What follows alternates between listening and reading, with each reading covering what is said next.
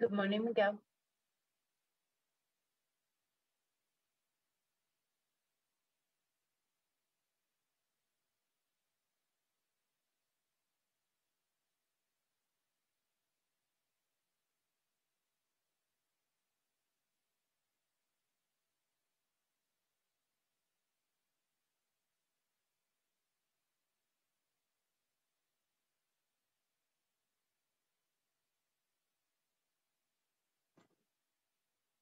Just a courtesy announcement that we are live on the internet and in our meeting portal. Good morning, Frank. Good morning. Have a great meeting.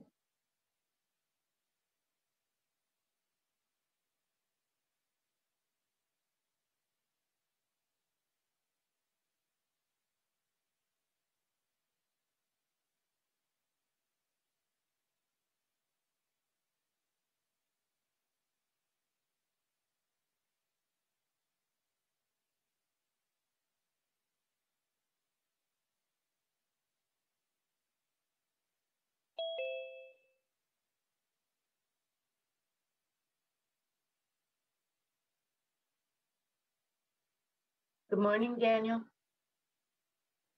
Good morning, Rhonda. Have a great meeting. Thank you.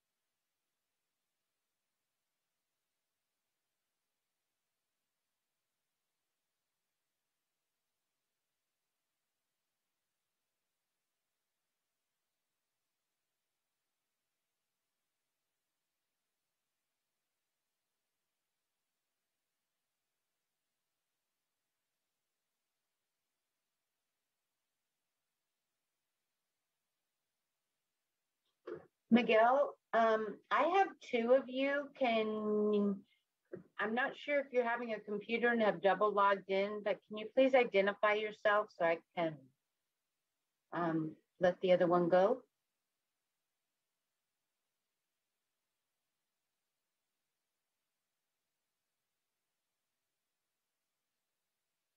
Miguel Marquez?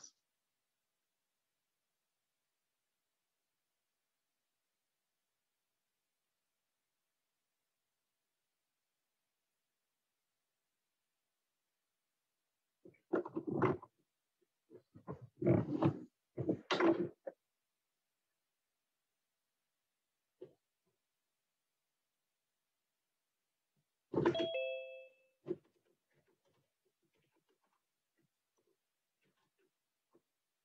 Marquez, can you please identify yourself?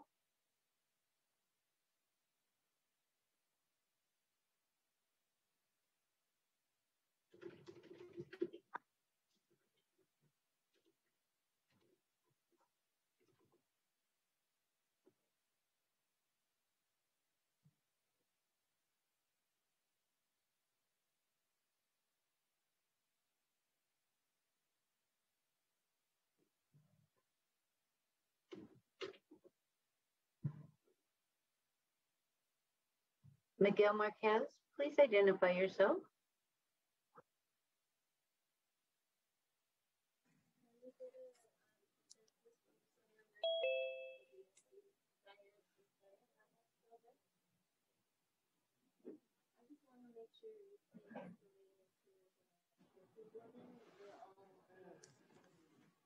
Mi- Miguel, it looks like one of these is unmuted.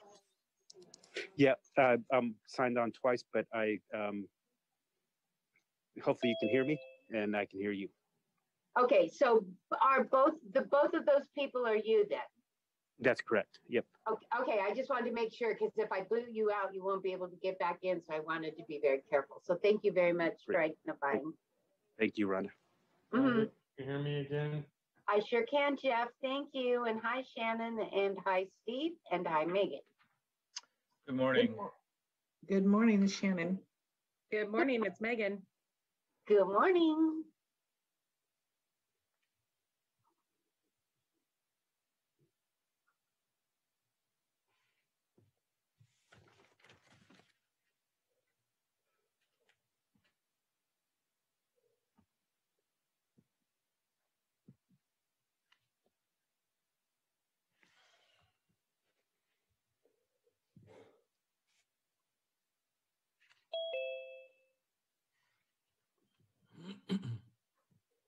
Morning, Paul. Good morning, Samina.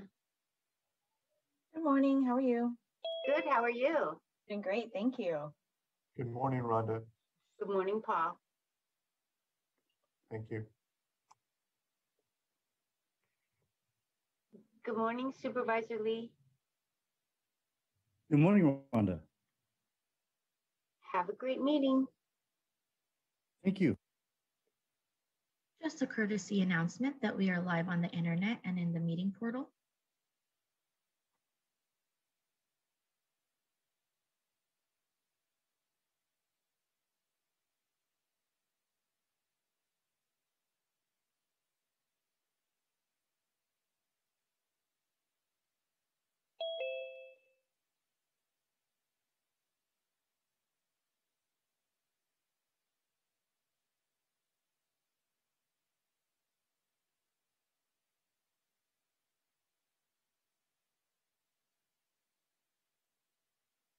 Good morning, Annie. Um, you're still muted if you'd like to test your mic. Okay, here I am. Hi, good morning. Good morning, I can hear you loud and clear. Thank you. Okay, Good morning, Supervisor Wasserman. Good morning, Rhonda. How are you? I'm doing very well, thank you. Good. As it That's- should be. Thank you. Um, as usual, I'll be your meeting host, and today Jill Mendoza will be your clerk. Jill, thank you very much. Thanks, Rhonda. Welcome. Uh-huh. Hi, Angela.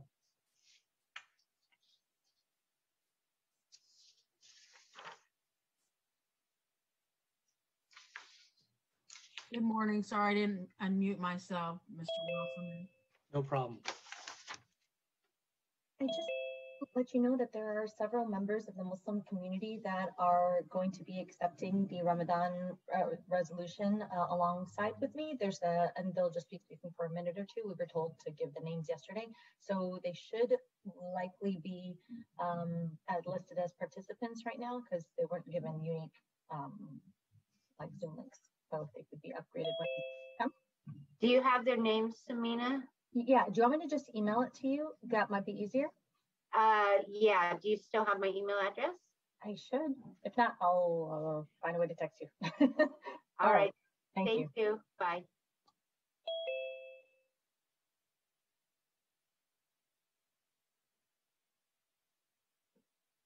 Good morning Supervisor Sun, Supervisor Chavez.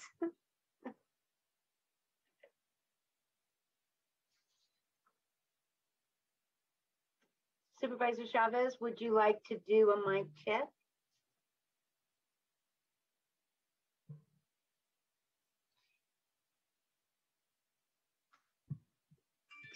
Say Mike, Mike, Mike. Good morning, Rhonda. Susan. Good morning Supervisor Ellenberg. Nice to see you, Vice President Ellenberg. Nice to hear you, Clerk Schroeder.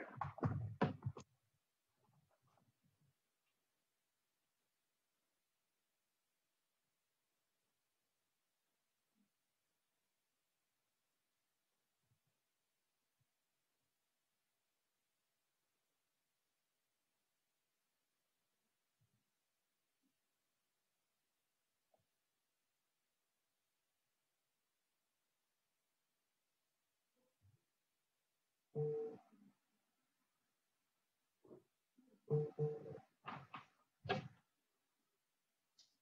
bum, bum.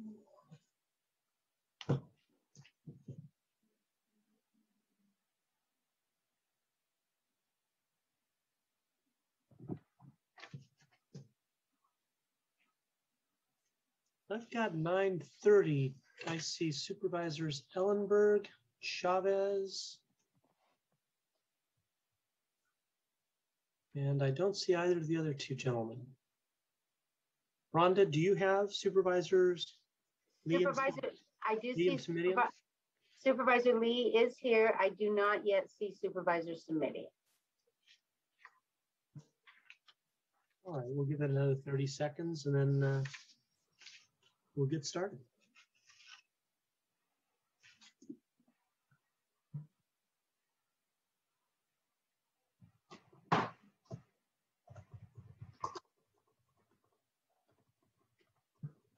Just send him a text.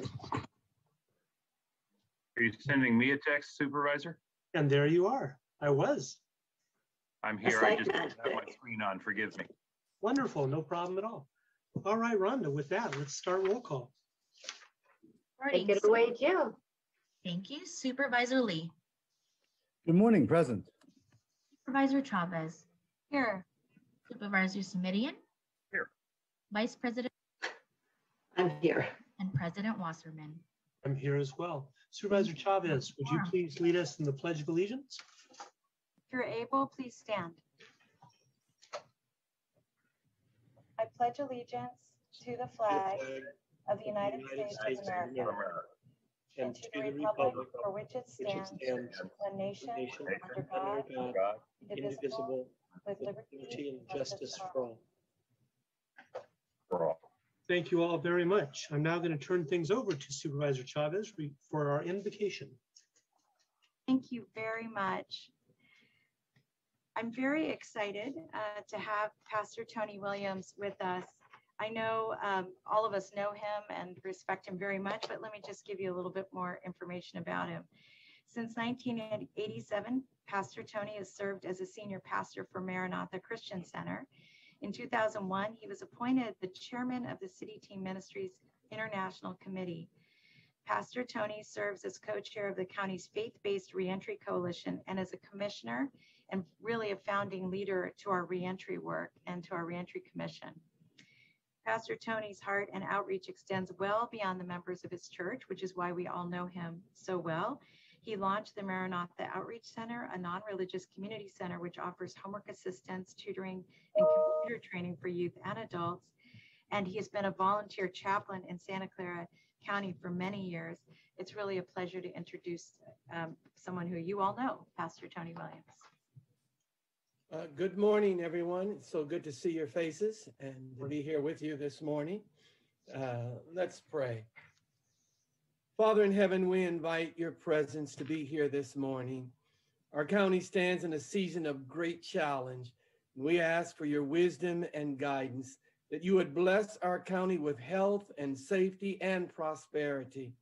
We pray for businesses and corporations and corporate leaders that they would grow and prosper in business in this county. We pray for small business owners that they would grow and develop their businesses as well.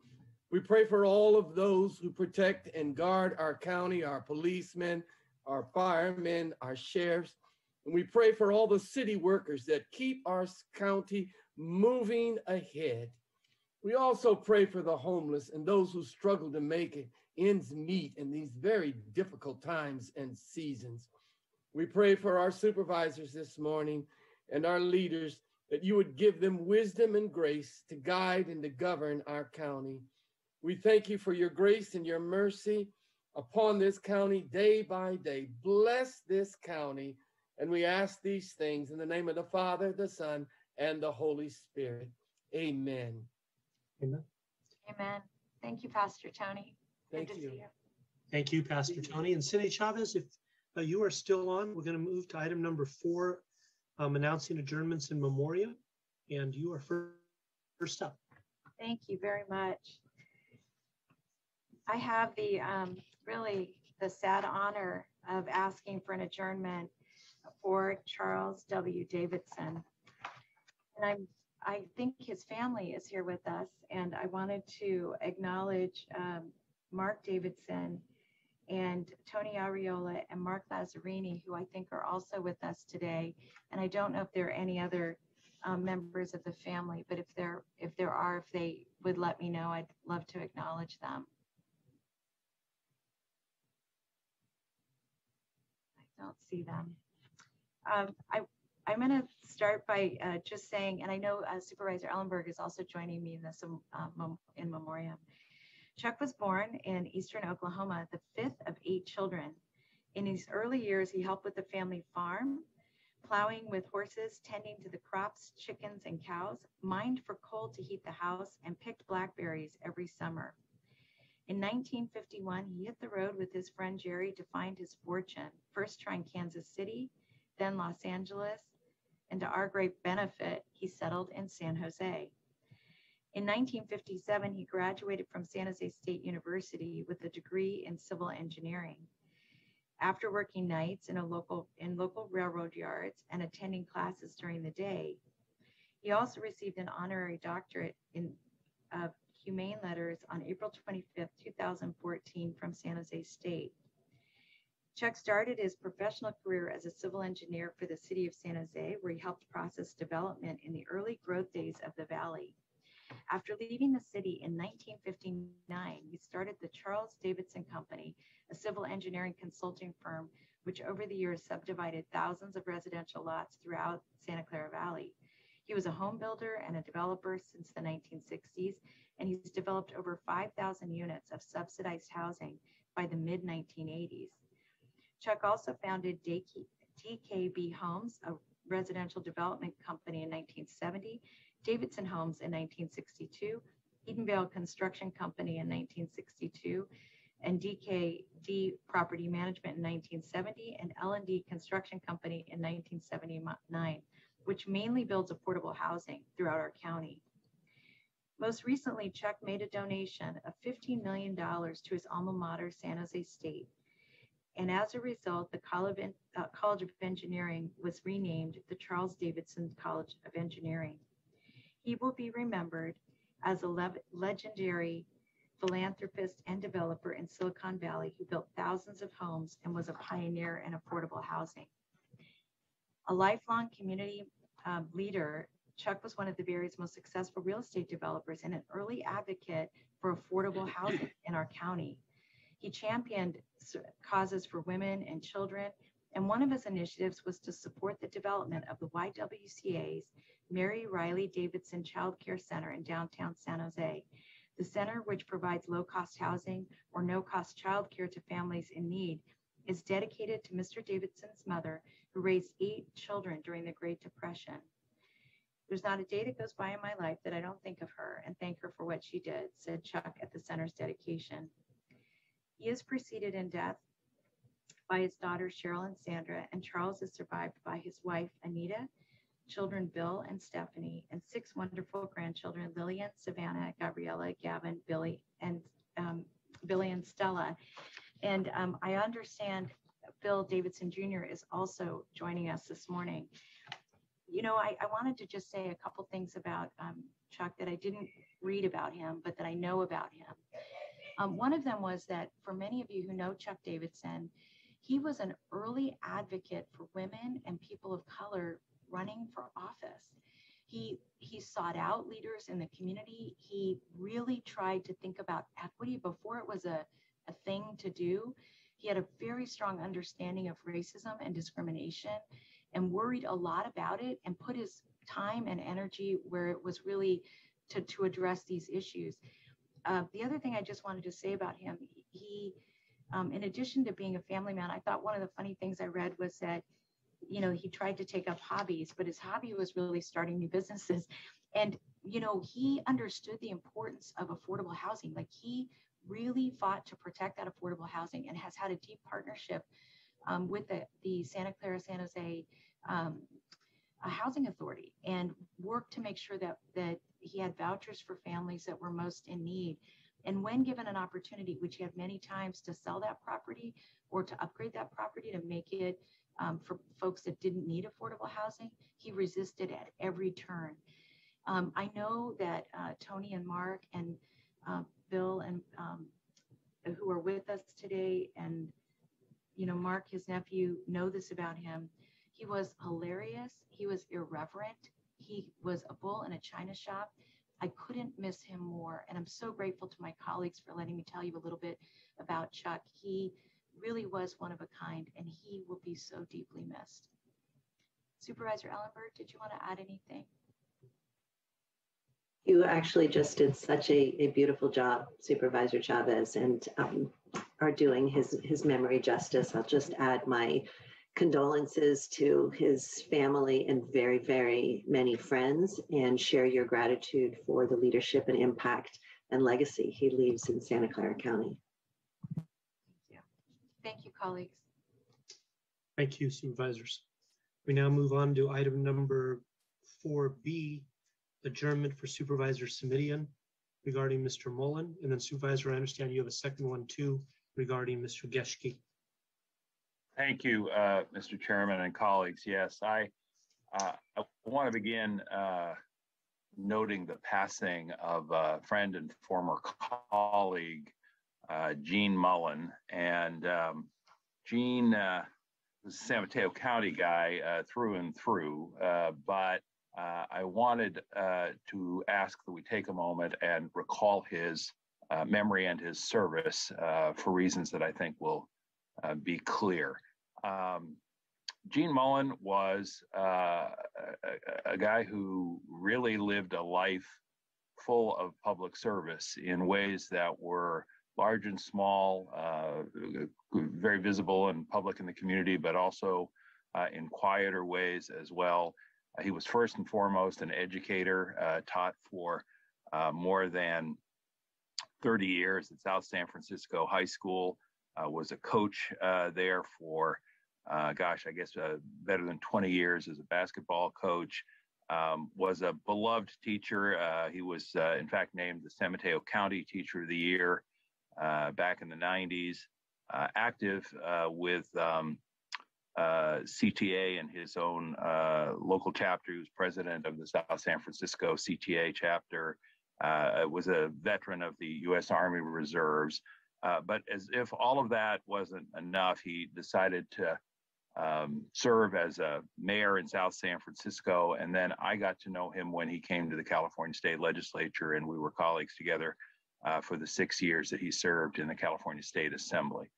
And he was, again, not surprisingly, uh, always focused on public education, chaired the Assembly Education Committee.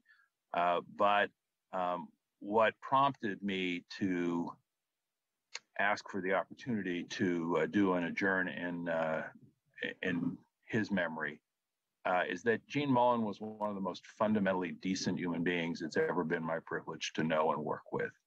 Uh, we sometimes think of uh, people in politics as uh, a little bit loud, a little bit aggressive, uh, a little bit uh, self absorbed, if I may say so. And none of that was Gene. Gene was just decent to the core, carried himself in a way that made you know that his word was good, his values were solid, and that uh you could count on him to do the right thing as he saw it. And uh, he will be missed uh, both as a, a person of public service, as a as a family member, certainly by his extended family, and as a friend by all who knew him. I did want to take a chance, um, take this chance, Mr. Chairman, to say that when someone passes, it's um, sometimes the case that you realize that as well as you thought you know them, there are things that you did not know.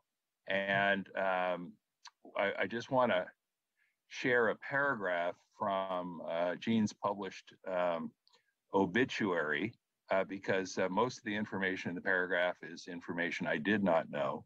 And it reminds us uh, that the people we know and the people we have the opportunity to serve with are often uh, far more complex than uh, we perhaps realize. Uh, and so I'm going to read directly, Mr. Chairman, from the obituary for my friend and former colleague, Gene Mullin. Um, and the obituary reads While Gene was well known as a teacher, coach, distinguished public servant, and community leader, he held a fascinating array of jobs earlier in his career. He was a dealer, shill, and lifeguard at Cal Lodge at State Line, Lake Tahoe, a joke writer for Phyllis Diller when she appeared at Cal Neva, and a golf caddy for Joe Kennedy, the father of JFK and RFK. He spent time as a ticket agent with the Southern Pacific Railroad, a vendor at Kezar Stadium, a brick cleaner, and a private investigator reviewing FBI files, including a case involving the Playboy trademark. He even did a stint opening Willie Mays' mail and responding on Willie's behalf. Um, that is um, the side of Gene Mullin that I did not know quite so well. Uh, but as I say, I, uh, I particularly wanted to say thank you for the opportunity to adjourn for truly one of the most decent people uh, it's ever been my privilege to know and work with. And then um, Thank you, Mr. Chair. As you mentioned, there is a uh, a second in memoriam, uh, and it is for uh, a friend and uh, local constituent, Chuck Geschke, who just passed away at the age of 81. Uh, for folks in Santa Clara County, uh, Chuck is known as uh, someone who is uh, almost synonymous with Adobe, the business he co-founded. Uh, when um, uh, you see that uh, three-letter acronym PDF, that's Chuck. He he really had a, um, a, a, an outsized influence not only in the the world of technology, but uh, in our world here in Santa Clara County. He had a deep commitment to making sure that the firm that he co-founded was, uh, in fact, uh, here, and many of us drive by it on a regular basis. Uh, I got to know Chuck uh, back, gosh, a little more than 20 years ago now, when he was in my ALF class, American Leadership Forum, and what I was always struck by in Chuck's case was that uh, in a group full of accomplished people, where he was uh, probably among the most accomplished, he was also, quite frankly, among the most uh, reserved, humble, quiet, uh, never in any way, shape, or form uh, self-aggrandizing. And you know, Chuck uh, went through life. in this case, I think the word I would use as one of the most gracious people that I've ever known he carried and not in a uh, not in a sense of um, good manners, although he was certainly a, a good mannered human being in his every interaction. But he he simply carried himself with grace in every interaction and and quiet dignity. And uh, I knew him as a, as I say as a an ALF classmate, as a as a friend from that experience, uh, as someone who certainly was a a generous and active um, philanthropist and local community member. Uh, we would uh, see each other at events and take the opportunity to catch up on our lives. Uh, he and Nan, his wife, uh, were just um, uh, seemingly inseparable, but uh, mostly it is his quiet grace that is going to be missed, I think, and the dignity he brought to every interaction. And so while we say, um, adjourn in memory of an extraordinary business leader. Uh, we uh, also say adjourn in memory uh, in recognizing the passing of a, a person of real grace in the way they carry themselves in the world. Thank you, Mr. Chairman. Thank you, colleagues, for the opportunity to adjourn today's meeting in memory of these two uh, extraordinary folks. Thank you. And that was amazing to hear the additional info about Gene. That was just incredible incredible. Thank you for that. Thank you all. And our condolences to all the family affected um, by the three adjourned in memoriam today. With that, we'll move on to item President five. We actually have one more uh, adjournment, please. Oh, Supervisor Lee, please go right ahead.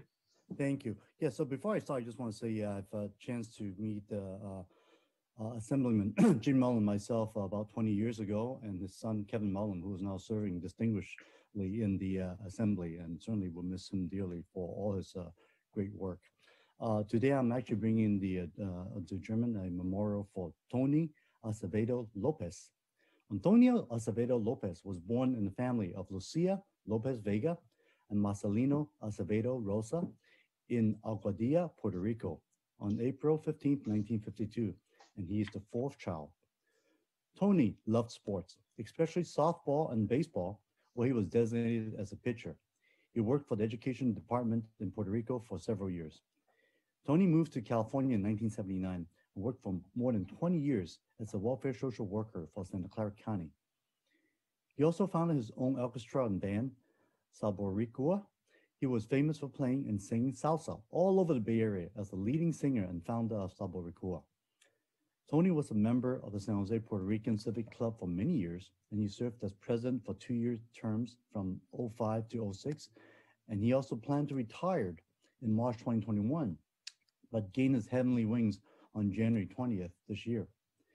His 12 children and 15 grandchildren really loved him, and his family hosted a memorial service for Tony Acevedo on Saturday, April 17, 2021, in San Juan Bautista, California. Today, uh, joining us, I see we have Angela Tirado, the voice of San Jose. And Angela, would you want to say a few words? Thank you very much. I want to just share real quick his picture. And I come today as Angela Tirado, the voice of San Jose. I also come as Madam Chair Commissioner on the Social Services Advisory Commission, and I come as a proud Puerto Rican. And I had the pleasure of knowing um, Tony um, through his music. Um, you didn't just hear his music, you didn't just hear him sing, you really felt it. Um, he was a beloved educator, an artist, public servant. He dedicated his life to serving the community and he created an impact on the lives of many of us. Um, he had a true passion for playing and for singing salsa. He brought like that flavor to San Jose, the Puerto Rican flavor. Um, and many people touched it. You didn't have to be Puerto Rican to feel that flavor because uh, everyone felt that. And uh, he played baseball. He helped with the baseball, and he was actually part of the Puerto Rican League there. And he gave a lot of advice. And if he saw a young man or a young woman playing, and he would always go out there and, and play with them, you know, as an adult. So, um, you know, the, the legacy that he left on our community is truly a gift, a truly a gift that we are proud of and we are grateful for.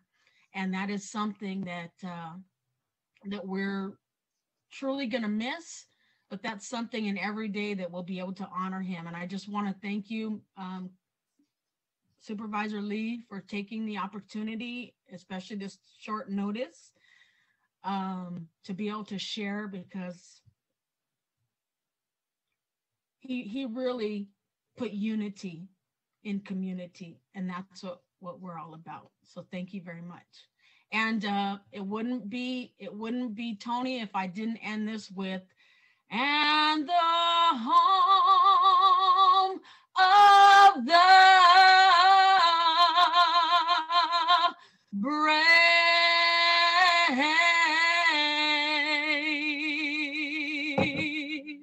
Play ball, Tony. Very nice, very nice. Thank you. Thank you, Angela. Thank you, Supervisor Lee. We now move on to item five, and 5A is also Supervisor Lee um, with a proclamation. Thank you, President Wasserman. Uh, today, we have uh, a few di distinguished guests here today is uh, Samina Usman from the Council of American Islamic Relations, Molana Nabi Abidi, the Shia Association of the Bay Area, Dr. Muhammad Nadim, President of the Muslim Community Association, Farla Andrabi, President of Mountain View, Palo Alto, Musalla, Shakil Alauddin Al-Bakri, Shakir at the Valley Community, West Valley Community Association, Athar Siddiqui from the South Bay Islamic Association, and Akbar Saeed, President for the Evergreen Islamic Center, and they are with us today. Muslims are one of the most racially diverse religious groups in the United States of America. According to a study done in 2017 by the Institute for Social Policy, American Muslims are the only faith community surveyed with no majority race, with 26% white, 18% Asian, 18% Arab, 9% Black, 7% mixed race, and 5% Hispanics. Muslims have a long history in the United States, dating back to the slave trade in which 10 to even 20% of the slaves brought over to the colonial America from Africa to work on the plantations were Muslims. Muslims have long served the nation's armed forces and fought in all major United States wars, from the American Revolutionary War to the modern conflicts today, with some Muslim Americans making the ultimate sacrifice in combat. Muslims have contributed to social movements throughout the history of the United States, including right here in Santa Clara County, to work toward justice and fair inclusion for all. Muslim American communities have played a significant role in the history of California's economic, cultural, spiritual, and political development.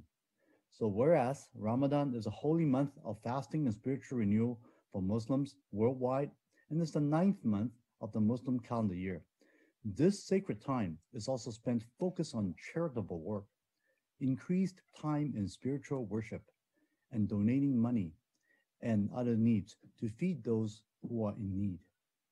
Muslims contribute significantly to philanthropic organizations that help people from all faiths in the United States and around the world by providing medical assistance, family services, and academic supplies, feeding the hungry, and providing essential services. And whereas Ramadan is a time to reflect spiritually, build communally, and aid those in need, and marks an annual spiritual renewal for each individual and a reason to gratitude this month. And whereas Support Life Education has distributed over a million pounds of food to those in need in Santa Clara County since August 2020 and coordinated a vaccine clinic from the base here at the Muslim Community Association in Santa Clara to vaccinate hundreds of people. So now, therefore, be it resolved that the Board of Supervisors for the County of Santa Clara does hereby recognize and proclaim April 12th through May 12th, 2021, as a Ramadan, the holy month, and encourage all county residents to continue supporting those in need during this special time in Santa Clara County. And just to show uh, on the screen, everybody can see the proclamation uh, passed and adopted by the Board of Supervisors, County of Santa Clara, State of California on this 20th day of April 2021 by unanimous vote. Congratulations. Thank you, Supervisor Lee. And before we move on to item 5B, that'll be um, presented by Supervisor Simitian, I invite anyone who wishes to speak under public comment, which will come after this next, to electronically register so their hand is raised and that uh, Jill can recognize you. Supervisor Simitian. Thank you, um, Mr. Chairman and uh, uh, colleagues. It's uh, my pleasure today to uh, welcome uh, a longtime friend and community leader, Ani Ani Komshan, who's uh, with us today at the meeting. notwithstanding the fact that we are joined for a solemn occasion, and that is the uh, recognition of uh, April the 24th as the uh, 106th anniversary of the uh, Armenian genocide. Uh, Ani is um, uh, a leader in the community in many respects with the Armenian National Committee here in Silicon Valley, where she deals with um, some very challenging uh, geopolitical issues uh, and their local relevance. Uh, someone I've known uh, for a very long time through St. Andrew uh, Armenian Apostolic Church in Cupertino in my district, uh, and as someone who has the kindness and patience to be a leader of uh, Homenetmen, which is the scouting organization with um, uh, young people uh, scattered around the Capitol lawn in my memory uh, during my time in Sacramento, uh, as well as uh, uh, serving as a color guard quite frequently locally these days. So, in all of those roles, we welcome her, even though it's for a somber occasion. And that somber occasion, as I say, is the commemoration, but also the acknowledgement in a public venue, Mr. Chair and colleagues, of the genocide that took place uh, starting 106 years ago on um, April the 24th. I, I say um, acknowledgement because for uh, too long and in too many instances, uh, people have been uh, reluctant to simply step up and say the words out loud Armenian genocide. And uh, that's notwithstanding the fact that uh, the uh, contemporaneous news accounts were very clear, notwithstanding the fact that uh, there is a, broad historical understanding and acknowledgement and recognition. And notwithstanding the fact that at various times our national leaders have made it pretty plain uh, just what happened and why it's important to recall these kinds of experiences. Um, you know, President Jimmy Carter, more than uh, 30, 40 years ago now, I guess, uh, made reference to the fact that there was a quote, a concerted effort made to eliminate all the Armenian people uh, and described it as, uh, quote, probably one of the greatest tragedies that ever befell any group. Uh, and uh, some years later, uh, President Reagan referred to the genocide of the Armenians in just that language. Um, later, the first President George Bush referred to the quote terrible massacre suffered in 1915 to 1923 at the hands of the rulers of the Ottoman Empire. And again, uh, colleagues, as I say, these are uh, direct quotes.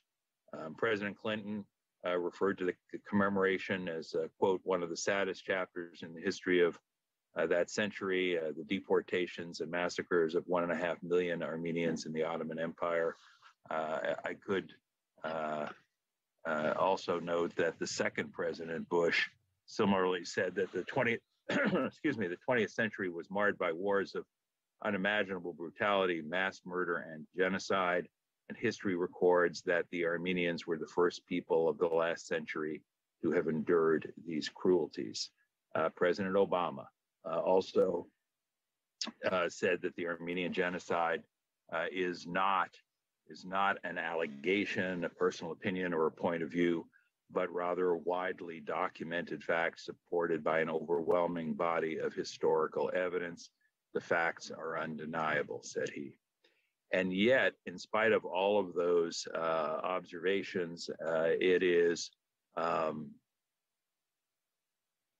a source of continuing discomfort and concern that, as a matter of official policy, uh, the United States has not always stepped up the way our board has, and certainly the state legislature has, uh, has not always stepped up to acknowledge uh, this uh, genocide and call it by that name, largely for reasons of uh, foreign policy, uh, quite frankly, which is why it was so gratifying when earlier uh, just a couple years ago, actually, and I, I want to pull the language here. Uh, why it was so gratifying that the Congress of the United States finally took action in October of uh, 2019. Uh, Congress uh, took action uh, in the House, the House of Representatives, to pass Res 296 by a vote of 405 to 11 affirming uh, that it is the official policy of the United States to commemorate and recognize the Armenian genocide and to uh, reject association of the US government with all forms of its denial uh, and to, to, promote the public education of the Armenian genocide. Uh, it, it is um, uh, so gratifying after so many years of denial from uh, some sources. And we are hopeful that in the coming few days, uh, we will hear uh, from President Biden in a uh, an official way with some uh, statement in his role, uh, not as a member of the Senate or vice president or candidate, but in his role as president of the United States. Before I turn the microphone over to Ani, if I may, Mr. Chairman, just briefly, I wanted to offer an observation um, about the importance of uh, this uh, moment and this proclamation. Um, if for those of you who've had a chance to uh, travel to Israel uh, and visit Jerusalem, and uh, one of the most uh, significant um, experiences for me during any visit is an opportunity to visit Yad Vashem, which is a both a center of learning, but also a center of uh, remembrance for those who perished in the Holocaust. And there is a quote tucked away from the German Jewish essayist Kurt Tucholsky um, that um, I look for when I visit, uh, and it is simply this a country is not only what it does, but also what it tolerates. And I think that's something of which we should be mindful. Uh, it is uh, so important that we um, continue to uh, call these things by their name uh, because what we have seen in the now more than a century that has passed is that man's inhumanity to man uh, is painfully uh, revisited year after year, decade after decade, now century after century, uh, in the absence of our acknowledgement and a commitment to say no longer. So with that, thank you, Mr. Chairman. I appreciate your patience. It's an honor to once again be able to uh, take these moments and uh, remember and uh, recognize and commit. And I'd like to turn uh, the microphone over, if I could, to Ani Anikomshan for just a few brief words. Thank you. And after Ani, after you speak, um, I'm going to go back to Supervisor Lee for one or two speakers uh, regarding the Ramadan proclamation that he did as well. Ani, go right ahead. Thank you. Thank you, Supervisor Simitian. Uh, Honorable Santa Clara County Board of Supervisors, President Wasserman, Vice President Ellenberg, Supervisors Chavez, Lee, and Simitian, on behalf of the St. Andrew Armenian Church and the Armenian National Committee of America, Silicon Valley, thank you for your Armenian Genocide Commemoration Proclamation on April 24th. For many years, Santa Clara County has stood by us acknowledging and recognizing the Armenian Genocide, uh, which occurred 106 years ago.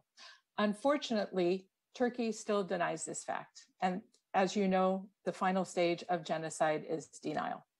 Uh, we know what happens with genocide denial. It's likely to happen again.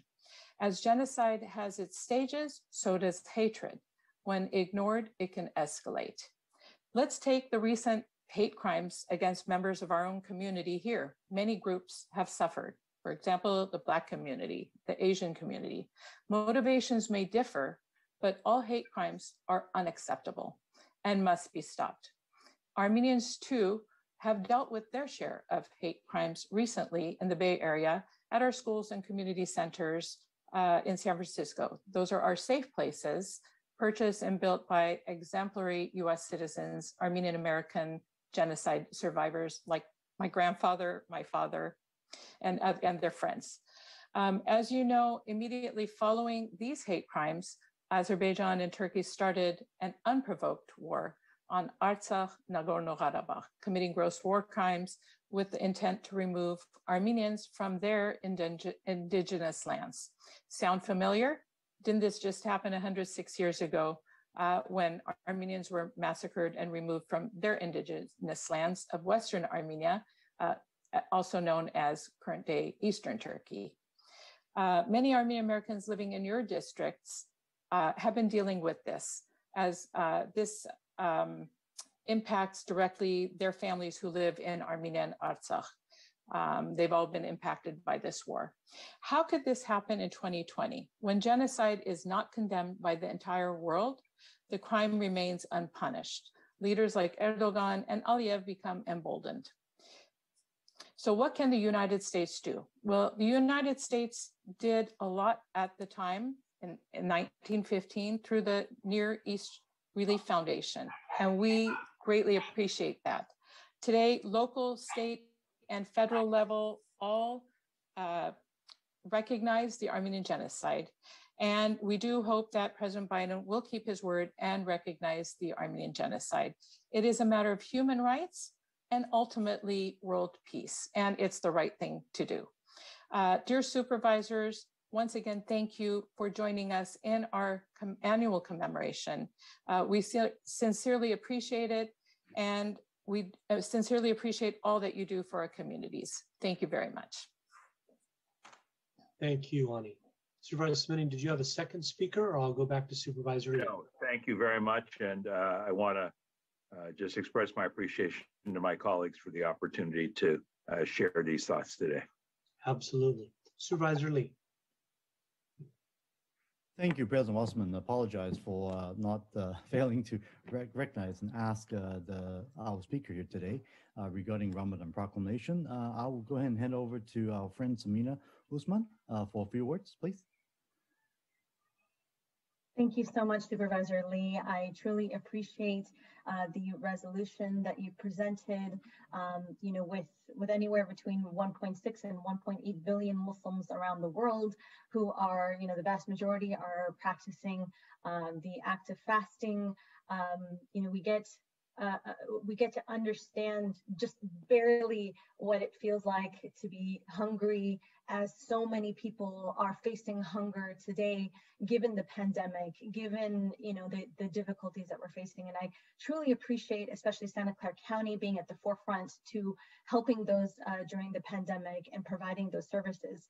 And i want to say that the muslim community has been um, also you know stepping up um, their efforts in order to help those in the pandemic. And i'll, I'll be turning it over to uh, sheikh Alauddin Bakri to, to share some of the things. I know it, it was mentioned mentioned in the proclamation, but we really truly want to make sure that we are um, uh, helping those in need, making sure to uplift uh, those um, and and um, you know, but again, Ramadan is a truly special time. It's been challenging, of course, given the pandemic because we can't gather together like we used to. I mean, like prayers would be like you know, you would have the whole halls packed because of people praying in the evening. And uh, but now there've been adjustments, and Dr. Muhammad Nadeem will, will share a little bit about that in order to ensure that you know we're all staying safe and healthy and. Uh, um, but you know, we we hope that we'll be able to come out of this pandemic uh, as soon as possible, so that we can um, hopefully next year be able to uh, celebrate Ramadan um, in congregation uh, like we used to. So I'm going to turn it over to uh, Sheikh Alauddin Al Bakri if he's able to say a couple words, please. Thank you. Yeah, thank you very much, uh, Sister Samina, and thank you, uh, Board of Supervisors, for inviting us today for recognizing Ramadan. Uh, it really makes a huge difference. I am uh, a resident of the city of Santa Clara, um, and um, I'm the local imam at uh, West Valley Muslim Association, which is in Saratoga. But I also serve uh, at MCA and at SBIA. Both presidents are here. Um, I go and teach there, and we do activities that not only serve the Muslim community, but the larger community. Uh, almost a year ago, maybe 10 months, uh, we started uh, at Support Life Foundation, of which um, I'm a board member. Um, the, we started serving the larger community by doing food distribution using the MCA uh, ground parking lot uh, and in partnership with Second Harvest. And almost every Saturday uh, for four or five hours, we would literally deliver food to the houses over 500 as addresses of delivery and 500 uh, uh, people that would come and pick up the food from the location itself. So it's both a pickup and a distribution center.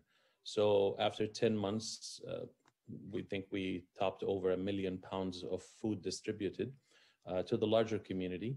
And uh, definitely that's, you know, informed by, uh, you know, our faith, our citizenship, our feeling that we belong. Um, and this is home, and these are our neighbors, and uh, these are the simple tenets of faith that this is the least that we can do. But um, to be here today and to see the recognition, it really uh, makes me uh, want to cry and uh, get emotional. I think when you fast, you get very emotional very easily. So thank you very much from the bottom of my heart. And on behalf of so many communities. I mean, I speak and lecture at seven different major centers in the Bay Area. Half of them or four of them are in the South Bay in the county of Santa Clara. Thank you for being a, a very supportive uh, board of supervisors and leadership. Thank you very much. Thank you. All right, with that, we will move on to item number six, which is public comment. Oh, I'm sorry. Doc- Doctor, you raising your hand? Uh, yes, uh, thank you so much, uh, Supervisor Lee and President Wasserman and distinguished members of the Board of Supervisor. Thank you so much for the opportunity to, to be here. We are really honored and grateful.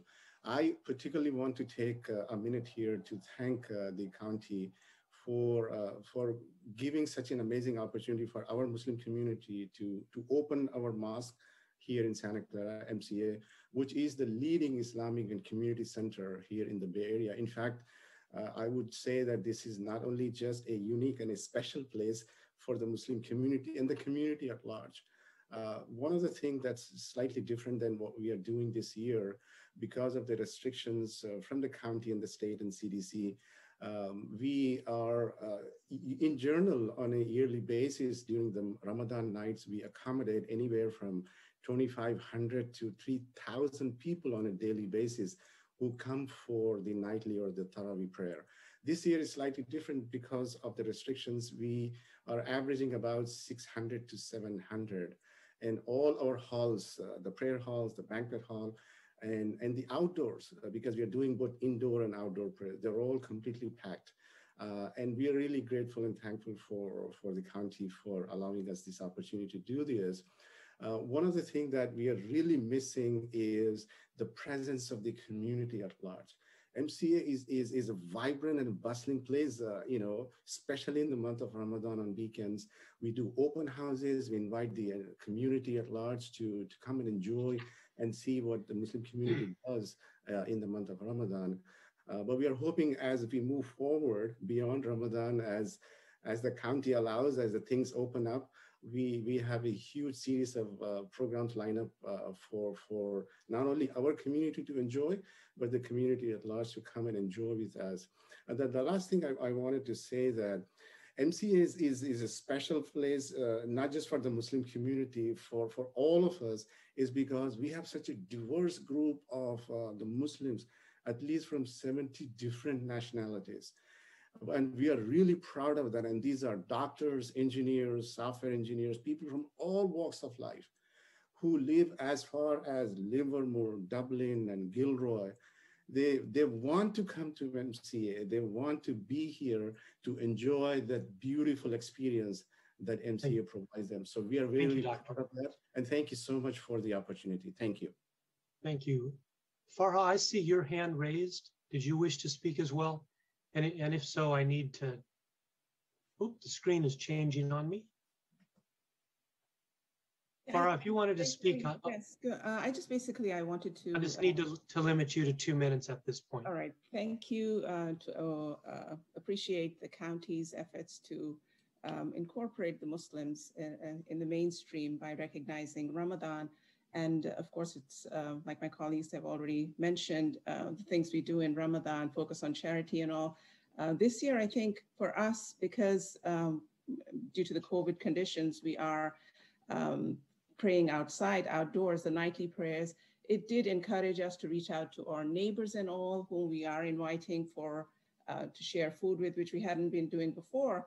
And in addition, we are also, you know, reaching out to the community at large and including them. We are compared to the other mosques, uh, smaller musalla, it's a smaller community. And um, um, the supervisor Joe Simitian mentioned Boy Scouts also. We also have a Boy Scout uh, troop, and um, I happen to be the scout master of that Boy Scout troop. And you'd be happy to know that I am America's first female scout master to start a Boy Scout troop. Um, in addition, it's a little bit uh, away from Ramadan, but as a Kashmiri, um, what uh, Supervisor Joe Simitian mentioned, um, that a country is uh, known by what it tolerates. Um, as a Kashmiri whose land is occupied by India, and although the United Nations has passed resolutions that um, the solution should be according to the wishes of the people, but for similar reasons for which um, our nation has uh, not uh, officially raised voices for other issues, such issues, we're facing similar issues. So it would be wonderful to bring to um, the attention of um, higher uh, officials that Kashmir is also an issue um, that needs similar attention. Thank you. Thank you, Farhad. And with, with that, we need to end the uh, commendation proclamation portion of our meeting today. Thank you all very much. We now move on to item six, which is public comment where anyone can speak about anything not on today's agenda. And if I look at my participant screen, Jill, I see two people. Yes, sir. We currently have two speakers, three. Oh, okay, let's just, just limit that to two minutes each. Thank you. One moment while we get the timer up. Thank you.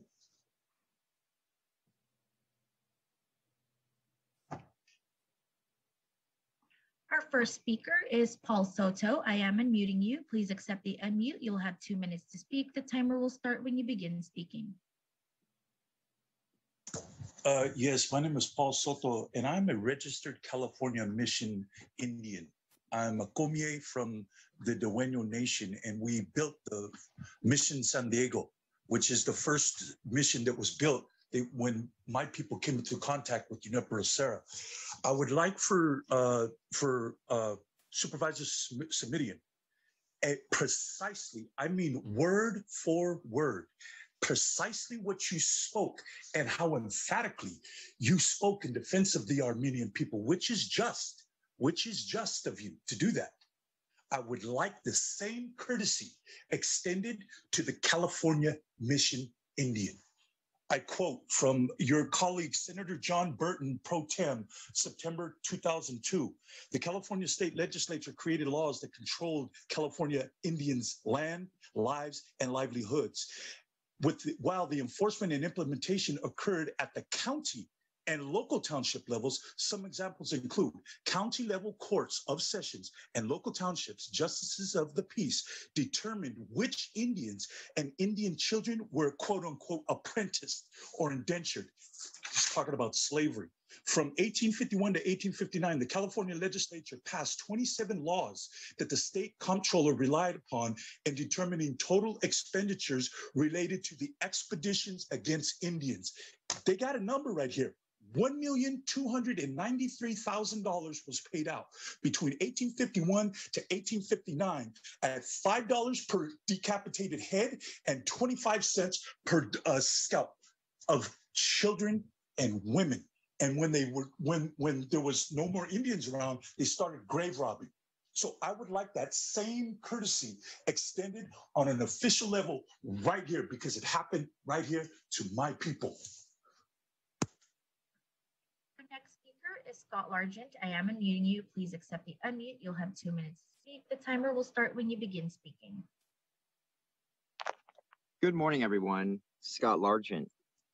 I uh, normally don't talk about articles kind of on the same days they come out or the following day, but there was something interesting on San Jose Inside um, about a gentleman that works for our district attorney. Um, his name is Daniel M. Chung. And he also did another article several months back in the Mercury, um, which is, is, some pretty interesting stuff. I did enjoy reading this.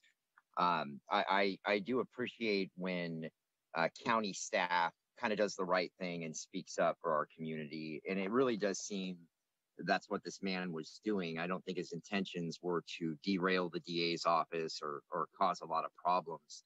I do hope that you supervisors uh, will stand up for this man he is being retaliated against by uh, by Jeffrey Rosen.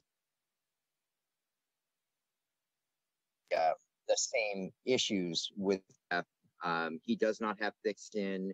If you criticize his um, his DA's office or himself, uh, he will come after you with both barrels. I've been maliciously prosecuted now for four or five years. I've been able to get a lot of the exculpatory evidence, just showing all the investigations and waste. It's just taxpayer waste. I mean, this guy thinks I'm a terrorist. You know, I, I'm not even on probation or parole. But let me get back to this man right here. Okay, I got about 30 seconds left. Daniel did the right thing. He spoke up for our community, and he's also speaking up for the Asian community. And there was one section in here where Jeff Rosen was making fun of him uh, in regards to his hair and saying he looked like a North uh, Korean dictator, uh, which is, you know, these are not appropriate comments. And we also have a DA that likes to make fun of uh, uh, disabled people at uh, county meetings. And that's another just dig that's just, it, this is inappropriate. This man just needs to go. We really need a new DA in Santa Clara County. Our next is Daniela Anaya. I am unmuting you. Please accept the unmute. You'll have two minutes to speak. The timer will start when you begin speaking. Good morning. My name is Daniela Anaya, and I'm a clinician working for Family and Children's Services within the Behavioral Health Department. We serve the birth to five and school age population. As we all know, the COVID 19 pandemic has resulted in health and mental health crises that has been compounded by social and systemic injustices, as well as ec- economic hardships. Our department has had an influx of referrals for behavioral health as many families and children are suffering. While we have seen an influx of referrals, we have not had the sufficient staff to accommodate our community's growing needs. As of October 1st, 2020, the department implemented assessment for intervention redesign, which has shifted all assessments for incoming referrals for birth to five clients from community based organizations to only three clinics. This new arrangement increases monthly birth to five assessments for full-time employees from four to six cases per month to eight to 10 cases. This cuts hours needed for support and care through the assessment process, shortens duration of assessments from state allowance of 60 days to complete assessments to only 30 days to complete assessments.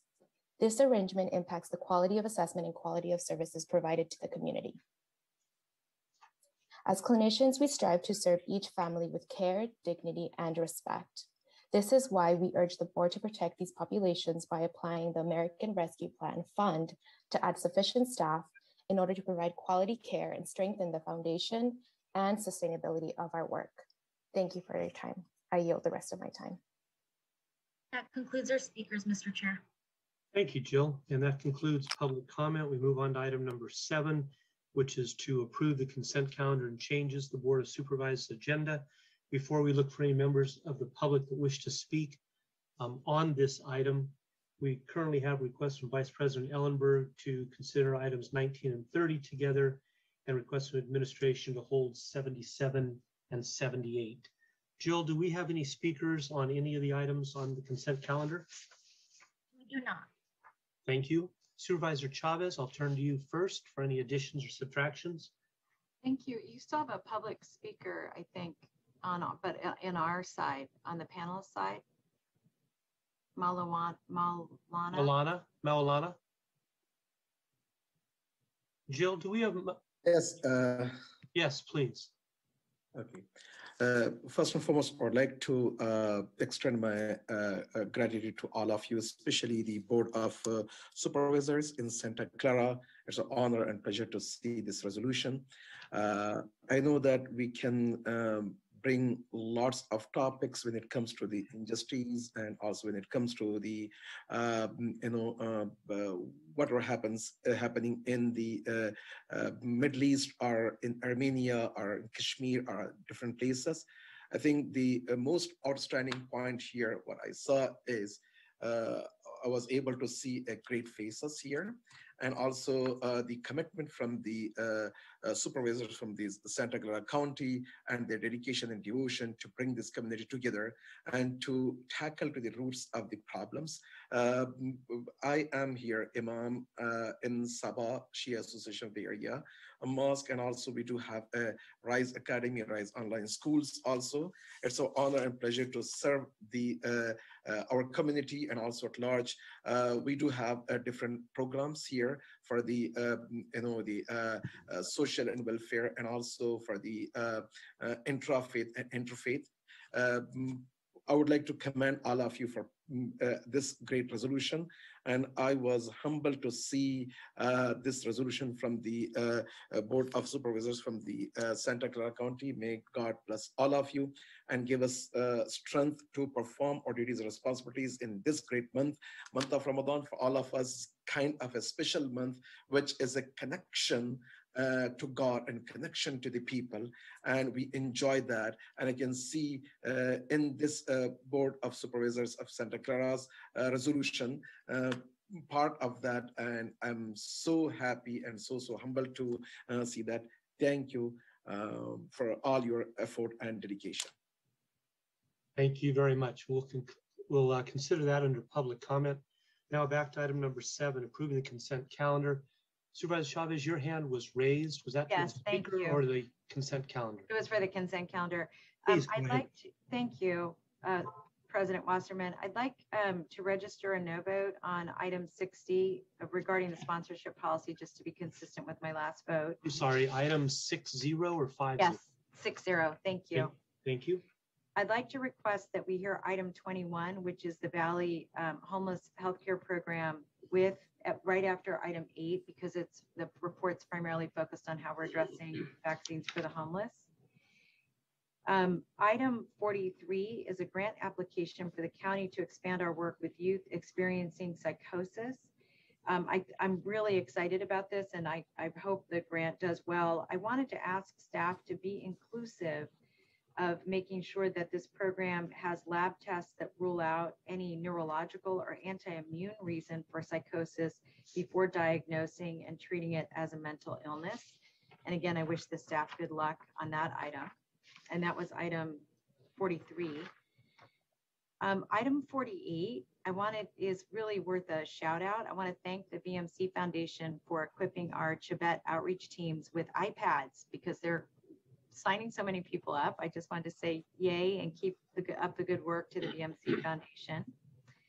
Um, item 58 is the resolution to establish our advisory redistricting commission.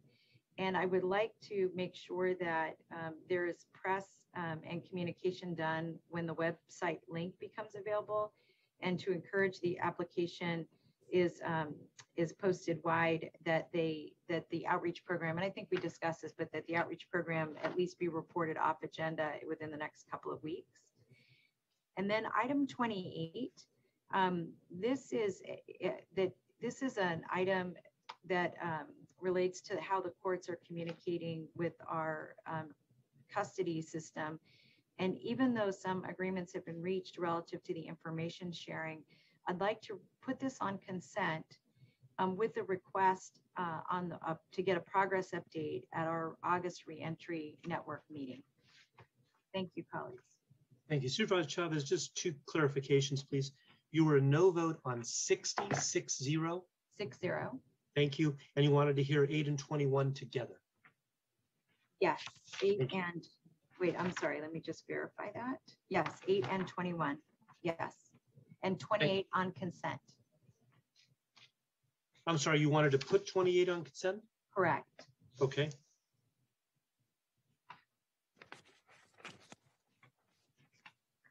And Jill, if you can remove any people that we have on as panelists, um, the- mostly the uh, previous speakers, that would be great. Supervisor Ellenberg, go ahead. Thank you, President Wasserman. There was an update to the consent calendar that was sent out this morning that reflected my request that we move item number 23, uh, which is to approve approve agreement with Matrix Consulting for a comprehensive fire and emergency services study onto the consent calendar. Item number 23. Gotcha. Thank you. Thank you very much. Um, Jill, looks like we still have one speaker left. Is that correct? Supervisors taking their hands down. We do have one public comment, sir. We have one public comment. All right. May we please hear for that person and he or she has two minutes? Oh, uh, President Wasserman, I do have some changes to the consent as well. Should I? Oh, let's, now? let's, Or- let's do your, let's do your changes first so the speaker's aware of that. Great, As thank you. do I, Supervisor. Thank you. Go right ahead. Supervisor Lee? Thank you. Uh, I would like to request to pull uh, item 54 off the consent and being, uh, have it heard concurrently with item 24. um, If that's okay? Pull 54 and hear it with 24? Correct. Uh-huh.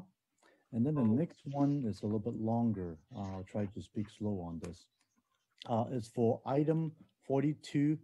Uh, I, I'm, we're okay to have it remain in consent, um, but I would like to also see if we could provide a follow direction.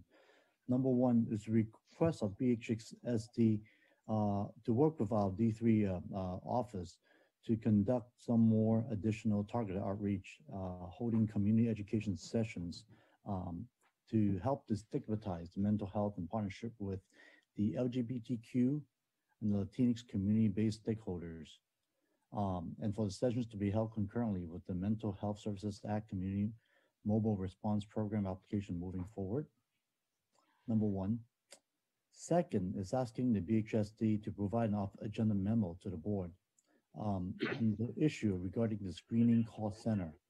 Um, focus really on the operation, staffing, and funding levels, um, the calls being received, um, and the referrals being made to community-based providers. Um, and and this memo is to look at the you know, the recommendations for potentially outsourcing calls um, for the MCRT uh, to to some type of a, a behavior health service provider to manage and operate, similar to how the community response team program is being envisioned to be operated, managed by a CBO provider. Um, it's my understanding that the providers be contracted to operate the community response team call center will be asked to screen and refer these incoming calls, say to to either PERT or MCRT, uh, and this will help streamline the calls and minimize the, uh, the confusion. to the community. Third is to request BHSD to provide an off-agenda memo also to the board uh, regarding the redesign uh, of the targeted public awareness pro, uh, pro campaign uh, regarding destigmatizing the mental health within our communities of color, uh, as well as promoting the uh, community mobile response program. this type of campaign should include, but not limited to pay TV, radio, or print ads, um, and in multilingual PSAs. Um, and finally, it's asked the BHSD to provide a board on a periodic, uh, say semi-annual uh, progress reports on the uh, MCRP, the Community uh, Mobile Response Program. All right. Thank you, Supervisor Lee. Supervisor Simitian. You... Oh, one, oh, I'm sorry. One, one more thing. Um, on item number 28. Yes. Um, I believe um, the uh, Supervisor Chavez wants to move this to consent, correct? Just yes. Now? Right. Um, so we, we do have a, a follow-up question uh, of request of, a, of agenda report um, to see if it's possible to receive a copy of the template court order drafted by Judge Manley to use to request access to the medical records of the track two clients. Um, and try to also figure out how we determined uh, the AP, AB 1810 track two um, and how the staff determined when an individual is incompetent to stand trial. Um,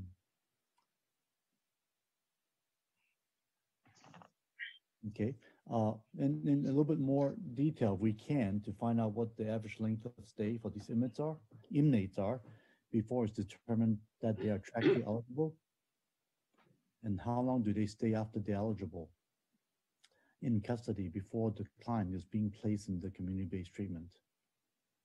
Gotcha. Certainly questions that, that can be asked of staff and, and uh, responded offline, if that's all right with you. Okay, yeah, let's do that. Thank you. Thank you. Supervisor Simitian and then Chavez. Uh, thank you, Mr. Chair. I will uh, ask that I be recorded as an abstention on item 68. That is 6-8. Uh, I will abstain. Uh, I um, would like to ask that item 23, which uh, had been suggested as a possibility for consent, uh, actually stay on our regular agenda just because I have some follow-up uh, questions and requests to make. So if we could keep 23 on the agenda, I think that would be helpful. Thank you. And uh, let me just ask uh, County Counsel for some guidance here in real time. Forgive me. item 73 is an item that involves uh, some back and forth uh, regarding uh, county-owned property and uh, VTA, the Valley uh, Transportation Authority. Uh, as council knows, two members of our board, myself included, sit on the VTA board as well as uh, being members of this board of supervisors. So we're in the somewhat unusual position of being members of both bodies that are uh, part of this uh, legal back and forth. Is there any conflict or need to um, recuse on this item if I could ask counsel in real time? Uh, without having any knowledge of uh, what may be specifically going on involving the board on the VTA side, I can say I'm, I'm not aware of any reason you would need to recuse. All right, thank you. I, I'm not aware either, uh, and I uh, think on a consent calendar item, probably fine uh, to simply uh, cast an aye vote, and that's where I'll be on this item. Thank you, uh, Mr. Chair. Those were my three uh, items for follow-up. Thank you. Supervisor Chavez.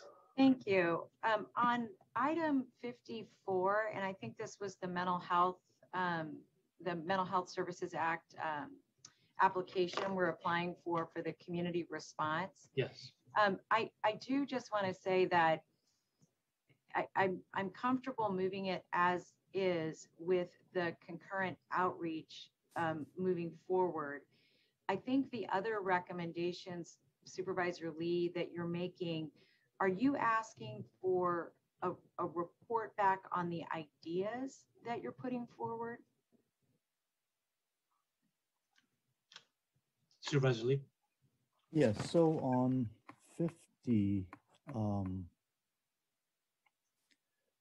yeah, so what actually for 54, uh, we're just putting off consent so that we could talk about it uh, a little bit later, uh, uh, along with 24. So we're not going to deal with that consent. at Oh, this I'm time. sorry, 50, Yes, 54 has been pulled to hear with 24, Supervisor Chavez. Correct. I'm sorry, I may, I may have the number uh, confused. On the, let me just look real quick at my notes. He was talking about item 42, if that's of any help. Yes, thank you, thank you. That item, you're just making recommendations for information? Right. Okay, as long as those are information requests, and this is rel- relative to our application for the mental health services. Right. The reason is, let me just say this, this Sure. went through a community process, and so I don't want to see us making um, changes. I, I do like the idea of continued outreach if the, but if the only thing you're asking for is an off-agenda information, i- i- is it off-agenda information regarding the issues that you're raising?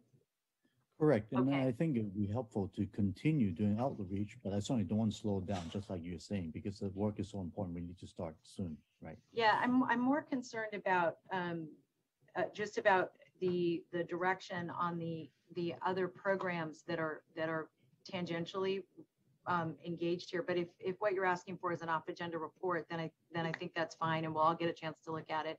So that's great. Thank you. Thank you. Thank you. And I see we have three speakers, Jill. Let's go back to those three speakers. Those will be the final three on consent, and each one has two minutes. We'll get the timer up. Thank you. Our first speaker is Chantel Gaines. I am unmuting you. Please accept the unmute. You'll have two minutes to speak. The timer will start when you begin speaking. Thank you. Uh, good af- or good morning. Sorry, Chantel Cotton Gaines, Deputy City Manager with the City of Palo Alto. Thank you all for your time today. I just wanted to express our support as a community for item number 42 and to thank the Stakeholder Leadership Committee as well as the Behavioral Health Board and staff for all of their hard work with um, the community engagement and identifying the sites for this mental health uh, community response program. So just wanted to take a moment to express our support as a community for this program and all the hard work done. And I'm excited to see support for it. Thank you. Have a great one. Thank you. Our next speaker is Scott Largent. I am unmuting you. Please accept the unmute. You'll have two minutes to speak. The timer will start when you begin speaking. Thank you. Uh, good morning, everyone. Scott Largent. The, the item on the consent calendar uh, that I'm speaking about right now is is item 42. I, I tried to participate in the uh, process, the community involvement end of things like that, and that just basically crashed and burned. I mean, you could put up your hand a hundred times, no one was ever going to call on you or take any type of feedback, um, or if quorum was ever even met. So I, I, I was very frustrated about that. I wanted to provide my feedback and it was pretty much shot down. Um, I very much appreciate Supervisor Lee, um, the questioning that you're doing now. Um, you're kind of chasing in the right direction right now. Um, I, I, I really am excited that you're asking these type of questions in an open and public setting and not, not just kind of burying it off to the side. Um, I am not impressed with Judge Manley's courtroom. Um, I'm not impressed with the fact that people are put on 10 years worth of probation, that they're cycling in and out of a system, and yet they're still behind a dumpster, butt naked, smoking mess, screaming and yelling, and not really getting any type of services. You guys are going to start catching on to more of this, um, but it's questions like what Supervisor Lee is asking that are really going to kind of blow the doors open um, on that failure of a system there. His team is a joke. These people are not getting help. Um, I advocate for a lot of them. I get thrown out of Manley's courtroom. He doesn't want the public in there. They just don't want anybody having their eyes in there. Um, and, and you as supervisors are just getting smoke blown up you. I mean, that's what's going on. And uh, I like the line of questioning, uh, Supervisor Lee. And if there's any um, information that you would like to see on my internal audit, um, I think it would be helpful. Nobody should be on probation for 10 years and basically uh, um, sent on a diversionary program that never has any success at all. So thank you. Our next speaker is Paul Soto. I am unmuting you. Please accept the unmute. You'll have two minutes to speak. The timer will start when you begin speaking. Uh, yes, Paul Soto, and I'd like to affirm everything that Scott Largent is saying. It's it's sad to hear that that he's not being acknowledged as an asset in the community because the information that he has and the lived experience that he has, I can affirm that that that it, it's it's solid information that you're getting from him. Uh, two things. Uh, number one is the in custody. They stay in custody anywhere between 30 days after they have already been okay to split. You're, you're everything, all the paperwork, everything, you're ready to go, everywhere between 30 days and up to a year. Up to a year. That's how long they're sitting in jail with no crime. And I will remind the, the, the board that that was the circumstance in which Michael Tyree was murdered. Michael Tyree was not in jail for charges. He was there waiting for a bed and he was murdered by, by those deputies. Okay. And, so, and, and I went into that dorm after that had happened, two weeks, two weeks after that had happened. I entered that dorm. So I know what that felt like. The residue, it stayed there. Secondly, is is is with respect to the the uh, the response team. That is a, that is a rock solid idea. I've read the memos. I've read the paperwork. All of the uh, all of the uh, you've covered every single area the meetings that you've had, they've been thorough. They really understand um, about the uniforms. They understand about the car. They understand about the talk. They understand the necessity for uh, for peers, counselor. So you have everything. The issue is going to be the actual bureaucracy that you set in place and make sure that all of those pieces are connected so that the service is seamless and that the person on the street um, um, is able to receive the service because you're going to have an acceleration of that population within the next five years. That is a guarantee that you're going to have that. That concludes our speakers.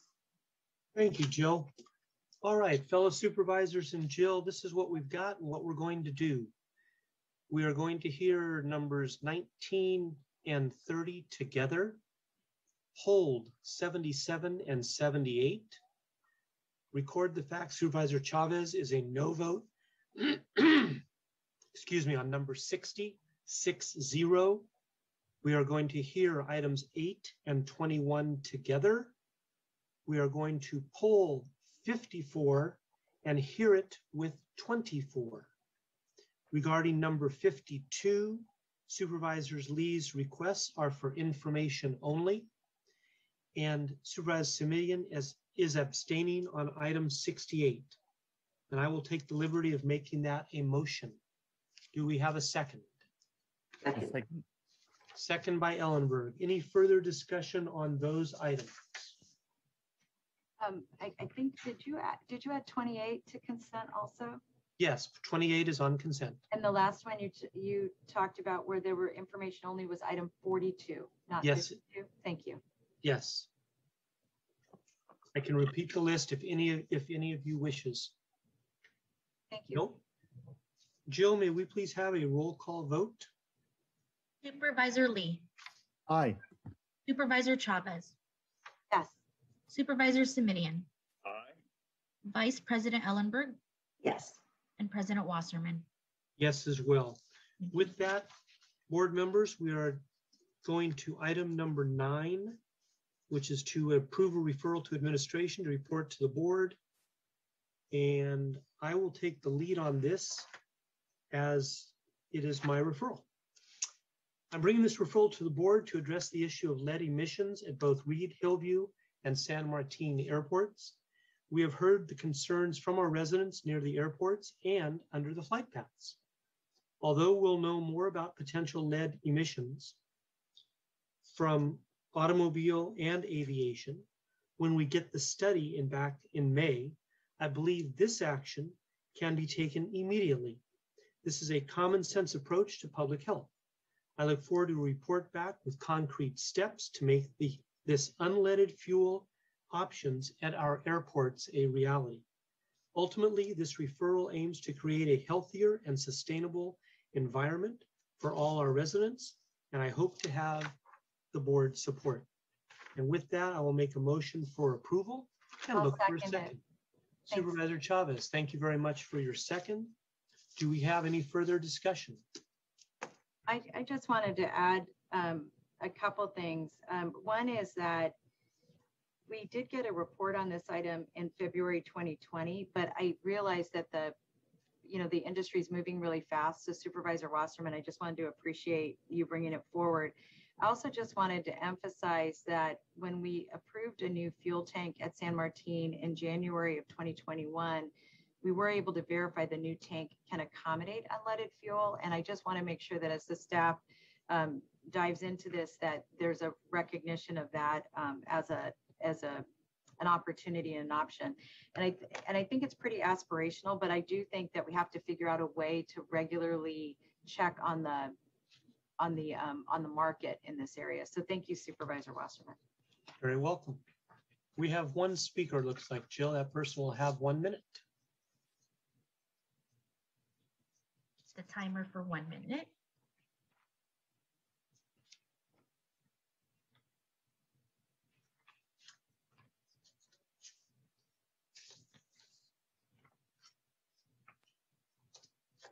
Our first speaker is Paul Soto. I am unmuting you. Please accept the unmute. You'll have one minute to speak. The timer will start when you begin speaking.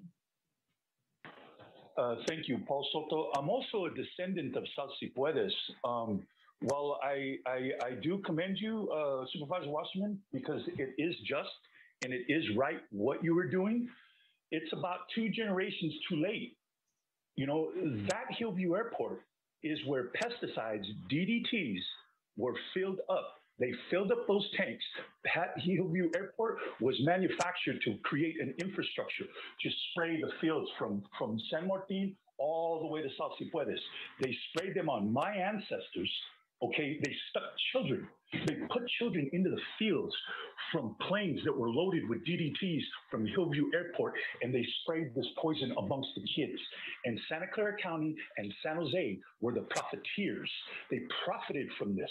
That's why Cesar Chavez was right there in the center, was because he knew that that was the scene of the crime.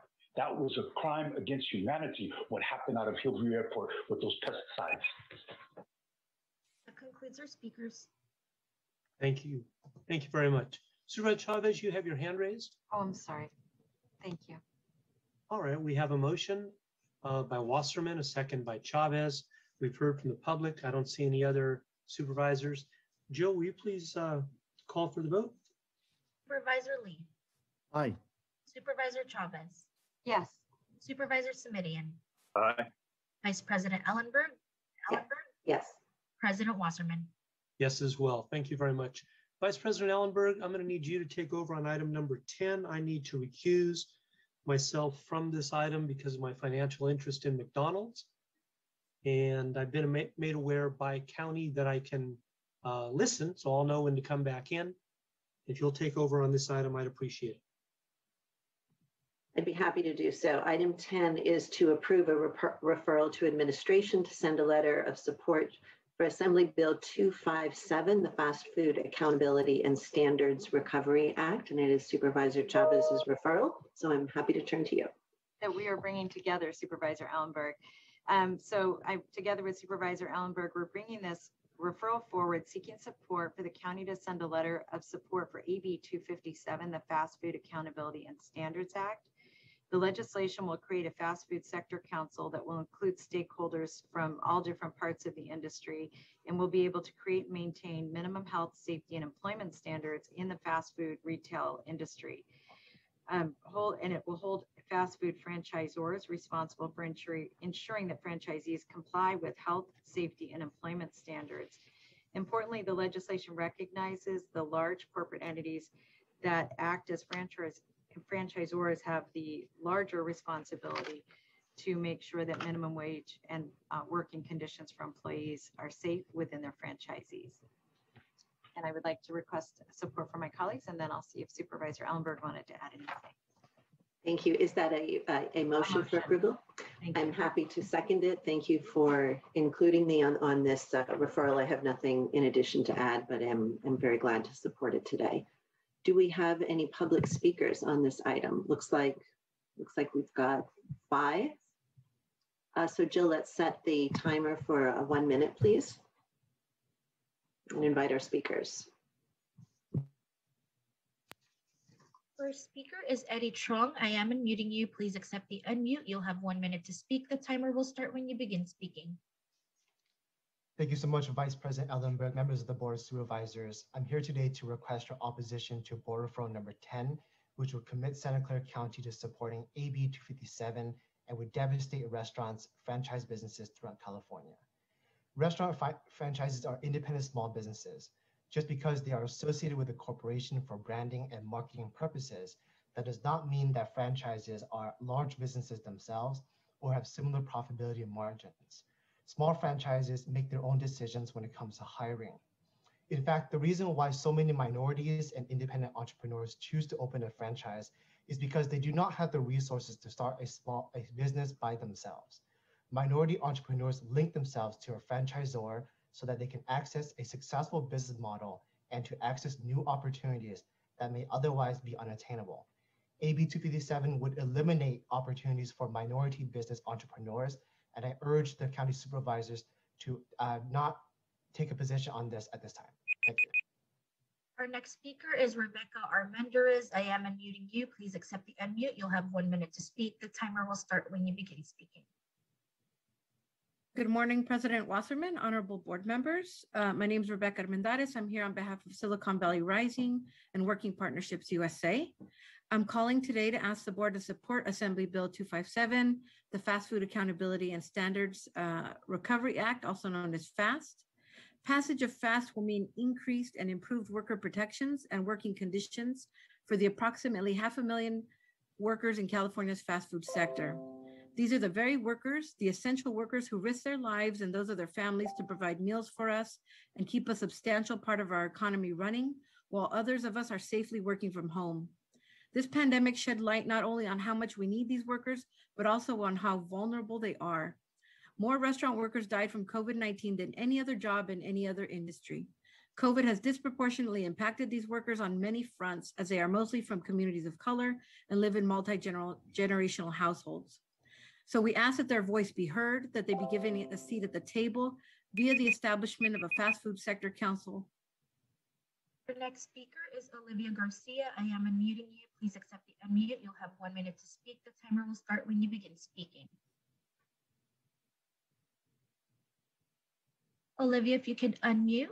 Hola, buenas tardes a todos. Mi nombre es Olivia García. Estoy aquí apoyando a la ley AB 257 para beneficio de nuestras familias porque es muy importante tener un seguro médico que nos proteja para nuestra salud. Gracias.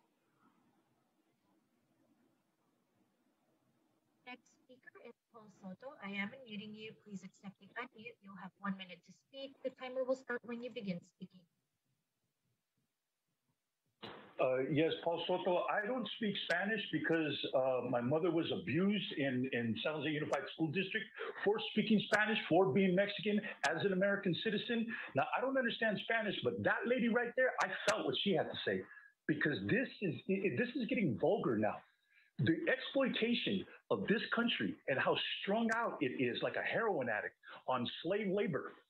They keep the immigration laws in place you, I'm tired of these restaurants exploiting my people, my people. I'm sick of it. I'm sick of them exploiting the hotel workers. I, I, I can't, it, it, makes me sick when I go to a hotel and I see how hard these women are working and then how disrespectful they were treated with respect to absolutely no uh, uh, COVID protections. The senora had to uh, uh protest out here in front of the McDonald's right here on First Street, right down the street from your building. I mean, this is really getting sick. I'm sick and tired of hearing these restaurants complain and then exploit the worker. Bill, apologies. Before you go to the next speaker, we should have had a translation of the of the Spanish speaker. Is there someone that can do that, please? I'm looking, ma'am. Um, we did send the link, and it looks like the translator is not in the room at the moment. We'll get someone to ask, right, if we can look and have somebody play that back and translate it for us. Thank you so much. So in the meantime, we'll, we'll go on. Thank you. Our next speaker is Eliza Blum. I am. Um, Please accept the unmute. You'll have one minute to speak. The timer will start when you begin speaking. Hi, I'm Eliza. Um, and to help translate Olivia Garcia, um, she was saying that she is in support of AB 257. Um, as a fast worker, she needs medical, um, she needs health insurance, and she really needs to be able to protect herself um, from COVID 19. Um, firstly, I'd like to thank Supervisor Chavez and Ellenberg for introducing this referral today.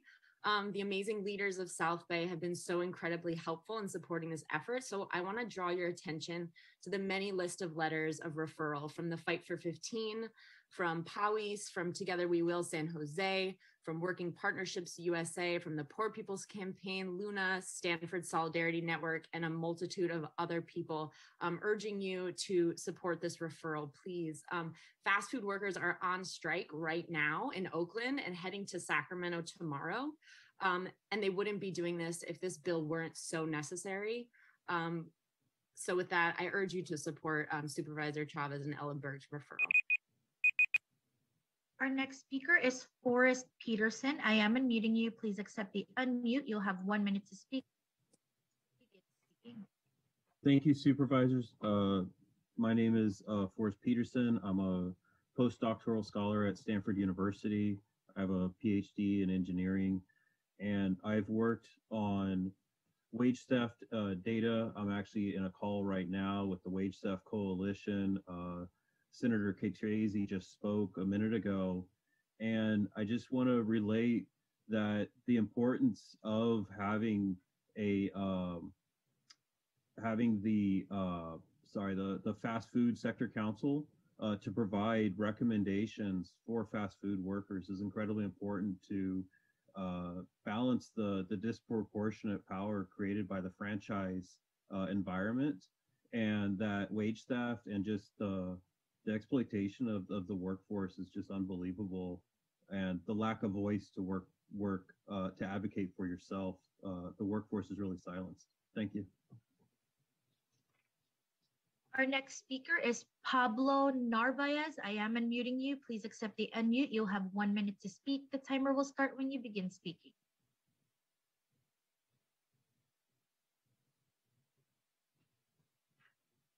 Pablo, if you could unmute, please. We're unable to connect with Pablo. Um, we do have the Spanish interpreter in the room now, ma'am. Thank you. And can we have, I, I appreciated the previous speakers' uh, help in translating. I want to just um, make sure that that we have our, our translator who can confirm that for us and then is on hand as needed. Hello, good afternoon. Yes, I am the Spanish interpreter. Um, I did not receive the link to become a panelist, so I had to join from the public, um, the link that was open to the public. That is why you could not see me. Apologies for that, and thank you for joining us now. And are you able to please translate the Spanish speaker's uh, comment for the public? Yes.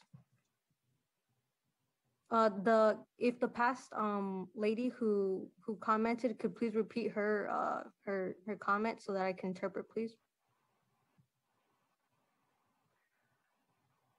I don't know that we'll be able to get her back on. Um, what I'd like to ask is that you will move on, and if you could review the um, the recording and get that that comment back, and then share it when you uh, when it's available, that would be helpful. Okay. Thank, Thank you.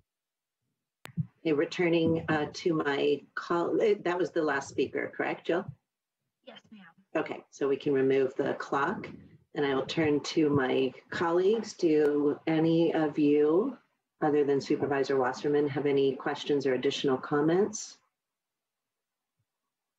If not, we have a motion from Supervisor Chavez, a second from myself, and let's do a roll call vote, please. Supervisor Lee. Yes. Supervisor Chavez. Yes. Supervisor Simitian. Aye. Vice President Ellenberg. Yes. And President Wasserman with a recusal. Thank, Thank you very much. Handing the uh, virtual gavel back to President Wasserman. Thank you, Madam Vice President, very much. That concluded item number 10. We move on to item 11, which is to consider recommendations related to increasing indoor air safety, brought to us by Supervisor Chavez. Thank you very much. Um, I know my colleagues are well aware of the loss of life in our community and that we've had over 80,000 people lose their job just in our county alone. And um, I know all of us are starting to feel like we're on the path to recovery and vac- vaccines are kicking in. And as a result, federal and state governments are providing resources for county governments to help our communities recover from the pandemic. This referral seeks to capture those resources to help our small businesses, nonprofits, schools, and other shared indoor spaces to be better protected from COVID 19 transmission and to be able to reopen faster.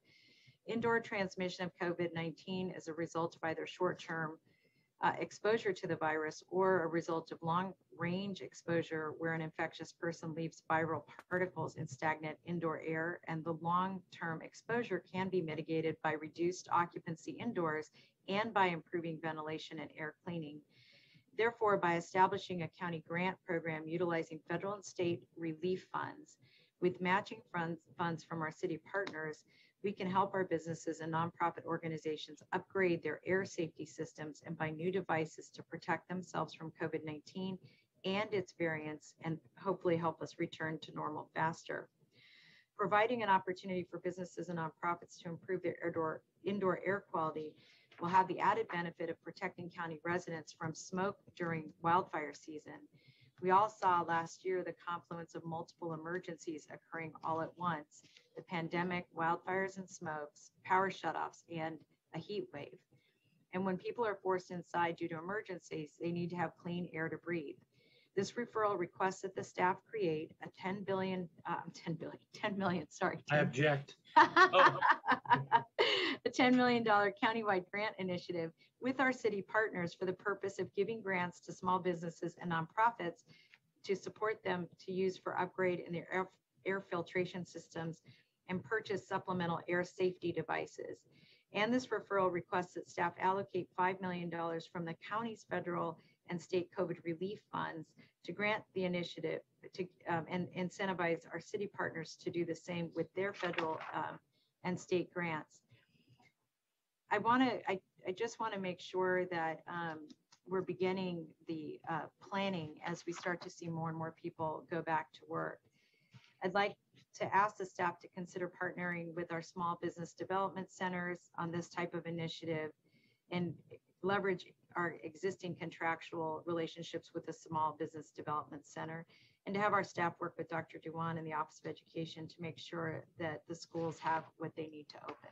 That would be a motion. Thank you. Supervisor Ellenberg. I'm, I'm happy to second for um, purposes of conversation, but I, ha I, have a couple of questions first. Sure. Thank you. Uh, first, thank you, Supervisor Chavez, for bringing this forward and for the continued work of, of our entire board to identify ways to mitigate the harms to our small local businesses that have resulted from uh, pandemic related policies. Um, first, with, with regard to scope of the referral, I want to understand how you're envisioning that it fits with other forms of support that the board has implemented to meet the needs of small businesses um, uh, impacted by the pandemic.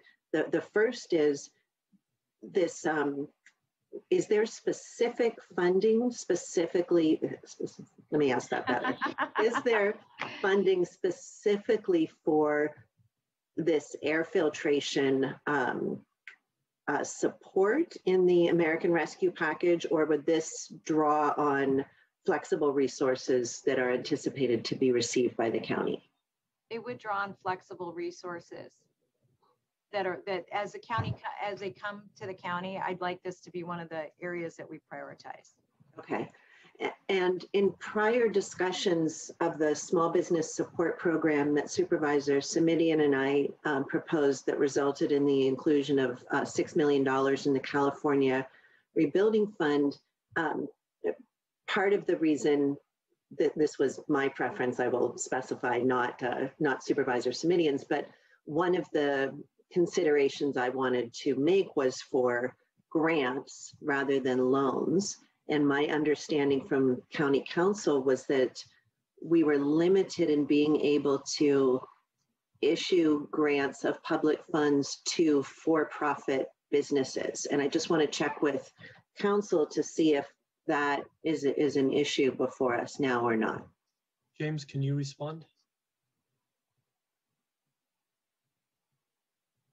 Sure, it depends on the specifics of the program, including the relevant criteria. And so that's something that we would look into as this moves forward and comes back.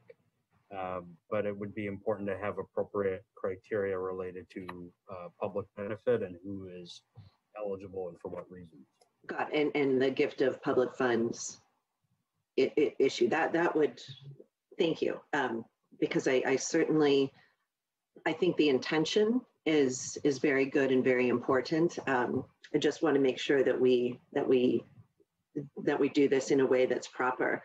And um, finally, while I, I really appreciate the goal of helping businesses reduce their risk of transmission by increasing ventilation, I wonder if this, it's a, it's a pretty large proposed investment. Um, if it could be used by businesses more flexibly, uh, if they didn't need air filtration, but they needed PPE, they needed to install barriers, they needed to move their operations outside. My preference would be um, to whatever grant program is created that's permissible uh, to allow more flexibility for businesses to to apply for what they need and wondering supervisor chavez if you'd be open to that or if you want to keep it limited to air filtration You know, I think it would be worth letting the staff take a look at it. The reason that I was looking at air filtration in particular was that that I think it also could help people who are on the bubble of deciding what to do relative to um, their investments. And I think we have to be mindful of the high level of risk. And and I'm really thinking that we don't know, like we just don't know how long the vaccines are going to last in people. There's a lot we don't know. And so that's why I was looking at, at air filtration in particular. And, um,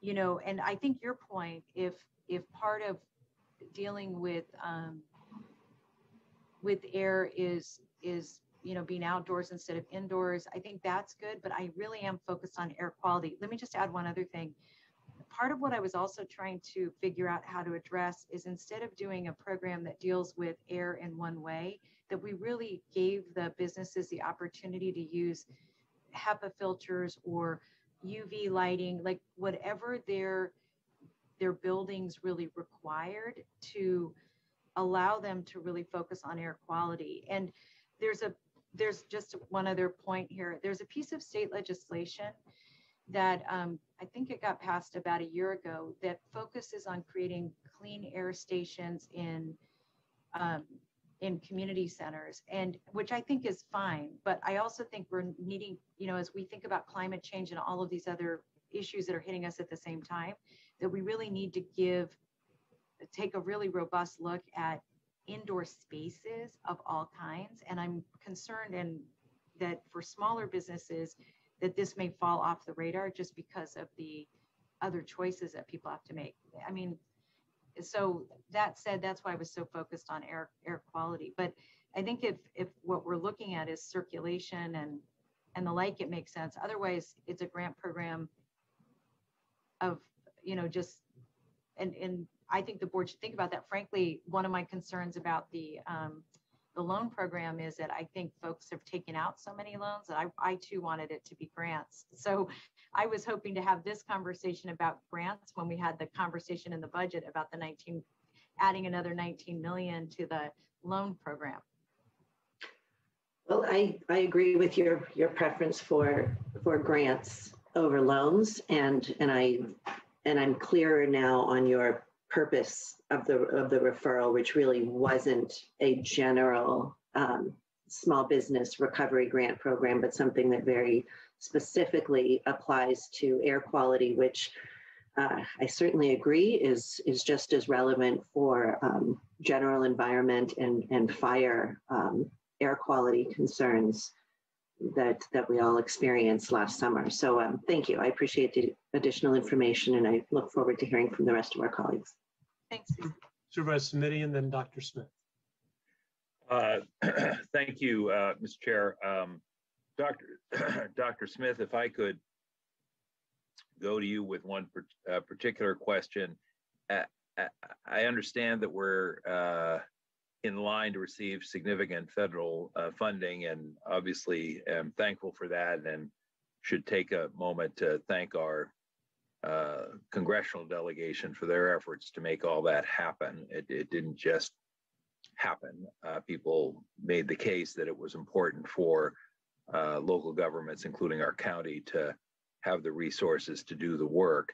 I, I am assuming that the, as I understand the conversation so far, that we could lawfully and appropriately use funds from that allocation, but that there isn't a specific set aside for these purposes.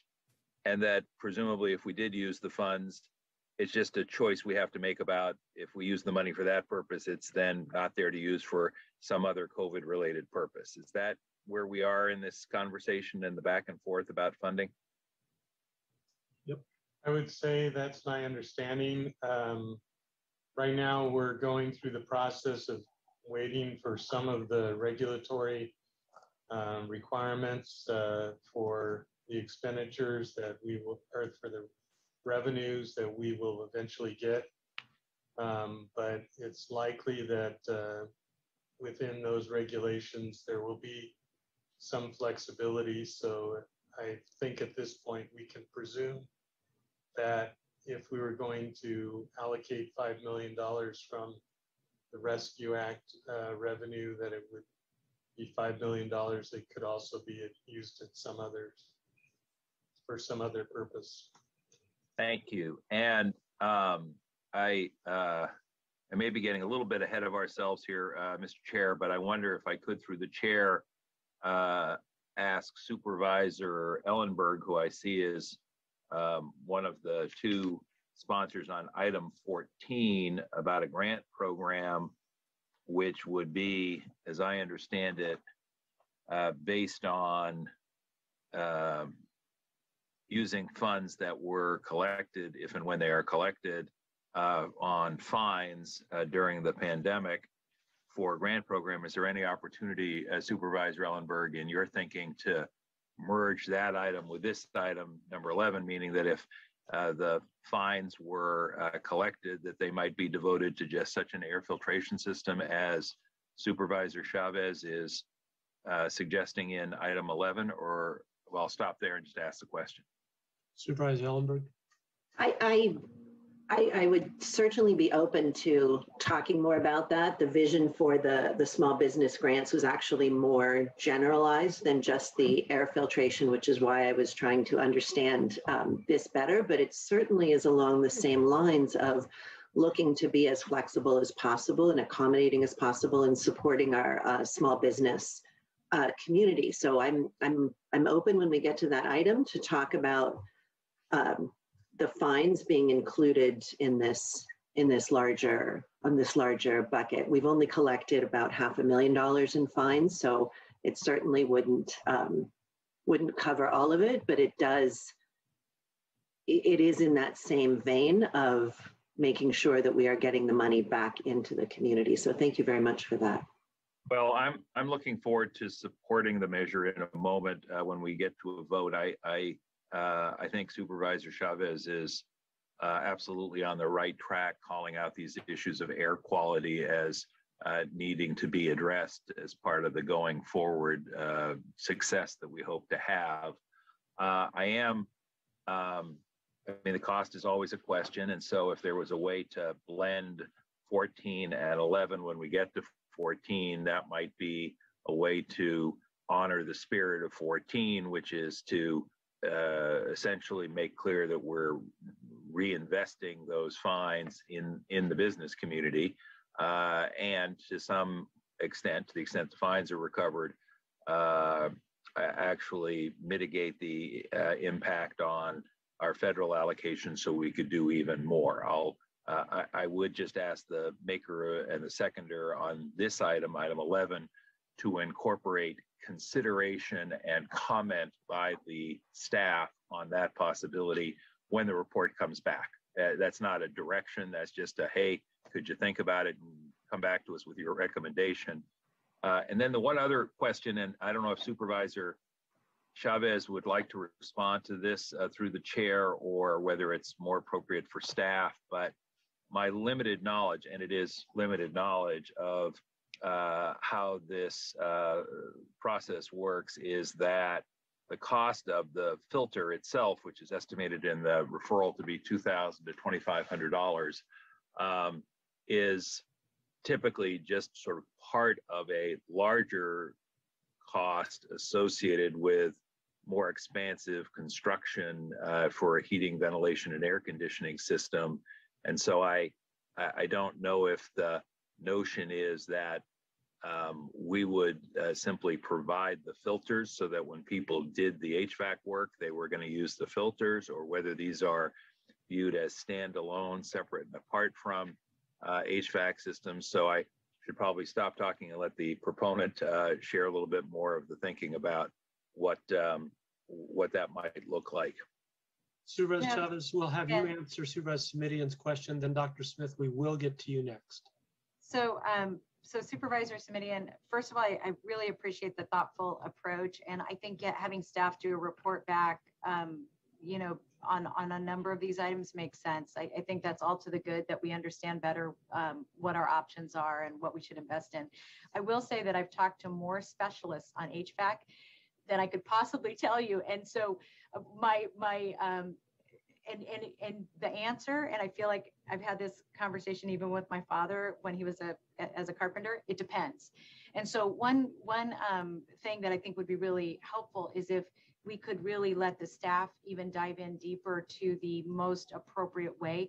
What we shared with you was recommendations we got from um, folks who work in the field. And i will just share with my colleagues you may recall that when we moved forward with the healthy nail salon program that one of the things that we did is we made investments of a thousand dollars for and gave folks options of what they could choose based on the physical buildings that they were in in terms of how to keep the air uh, clear. And so we have a little bit of history here. And so I, I think having the staff take a deeper dive i would do a disservice to explaining a MERV filter the hepa filters and the smoke filters and and what it takes to get them embedded. And it, and again, it sort of depends, but I'd like staff to get a dive at that, Supervisor Simitian. Thank you. Thank you, Dr. Smith.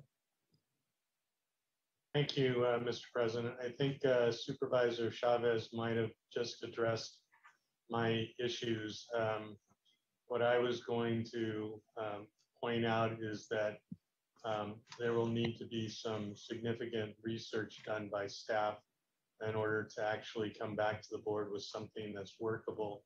Um, You've already talked a little bit about the legal issues that are related, and obviously there are operational issues and clearly financial issues where the money can come from. And as I understand the referral, it also asks us to involve the cities and other uh, partners in the fund. So uh, by saying, uh, uh, doing a deeper dive, I'm interpreting that as meaning um, we should come back uh, with a report uh, that is our best suggestion of how to proceed forward rather than committed to any particular process at this time since there's so much research that needs to be done. Thank you. I've got a comment, but Supervisor Chavez, he responding to you. Yeah, I think, um, I think that's right, um, Dr. Smith. And again, we do have, there is actually a, a great deal of research that's already been completed on this out in our, in the world because of the high level of interest with COVID-19. And we have experience with the Healthy Nail Salon program. That, that all said, I'm very interested in getting staff's perspective on the most appropriate way to proceed. Absolutely. Thank you. I'll just chime in and go back to Supervisor Ellenberg. Um, I'm very, very familiar with HVAC systems and in the process of designing one right now. And in the conversations we had, there were four different types of filtration systems. And they asked, did you want to do this one, which is the thin little one, or this one that's thicker, or this one that less, lets less things in? And I said, you know what? I've got allergies, this, that, et cetera. Let's go for the super duper ultra best one that filters everything possible, smoke, pollen, um, COVID, et cetera. They said, okay, then we would need to redesign your entire heating and air conditioning system because there would not be enough airflow going through that filter in order to properly heat or cool the areas. So it's a very in-depth and it differs on each location and size and volume. You can have a 500 square foot space with eight foot ceilings or a 500 square foot space with nine foot ceilings, and the filter has an entirely different effect. Supervisor Ellenberg. Thank you so much. Um, we've talked about the, the report coming back that that looks at the legal perspectives and the operational. I want to make sure also that we include reflections on from a public health perspective, since this is ultimately what we are trying to do is improve our public health. So um, with the agreement of the maker, I'd like to ask that the report back include recommendations on mitigation um, of air quality strategies that would be the most effective from a public health perspective. Uh, excellent. Yes. Thank you. So we have a motion and a second. We have three speakers. Um, Jill, if you'll bring them online for a minute each. Thank you. We'll get the timer up for you.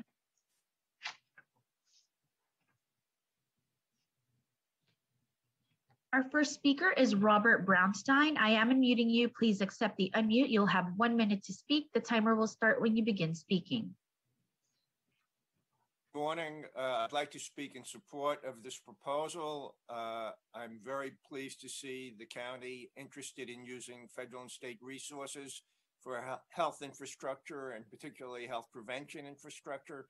I think this should just be a beginning of efforts to look at ways to improve health infrastructure through federal sources. Uh, another possibility is to improve filtration in housing in low income areas where there's compaction, many families living in one unit. And of course, a much bigger potentiality is to work with our, deleg- our congressional delegation to get into the Biden infrastructure bills resources that could be used at our South County facilities for skilled nursing facilities, LTSS facilities, and caregiver housing. Thank you. Our next speaker is Paul Soto. I am unmuting you. Please accept the unmute. You'll have one minute to speak. The timer will start when you begin speaking.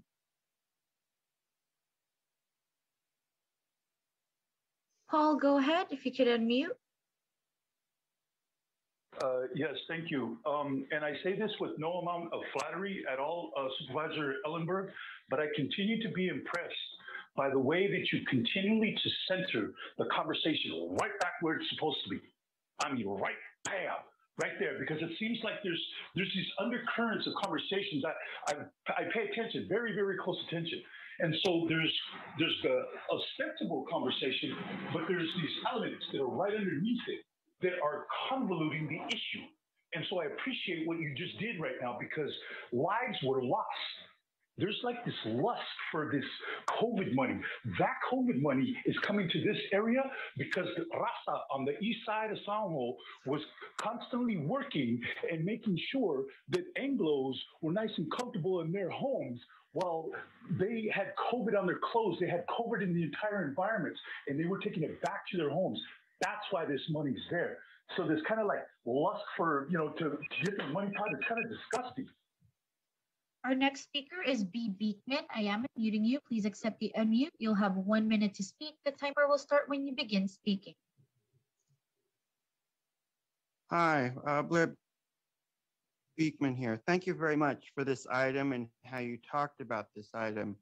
Um, it's my personal feeling that uh, I hope we can learn to talk about the secondary help that aerosol vaccines can possibly play in our lives. And you tried to offer a language possibly today to talk about that and how they could work in HVAC systems. Uh, their work with the vaccine process can be really helpful to talk about its public health benefits of this item, to talk about uh, air quality. Uh, you know, I'm learning the terms that, that you want to use uh, for an item like this in the future of HVAC systems. I hope it's a language aerosol vaccines we don't have to fear in the future.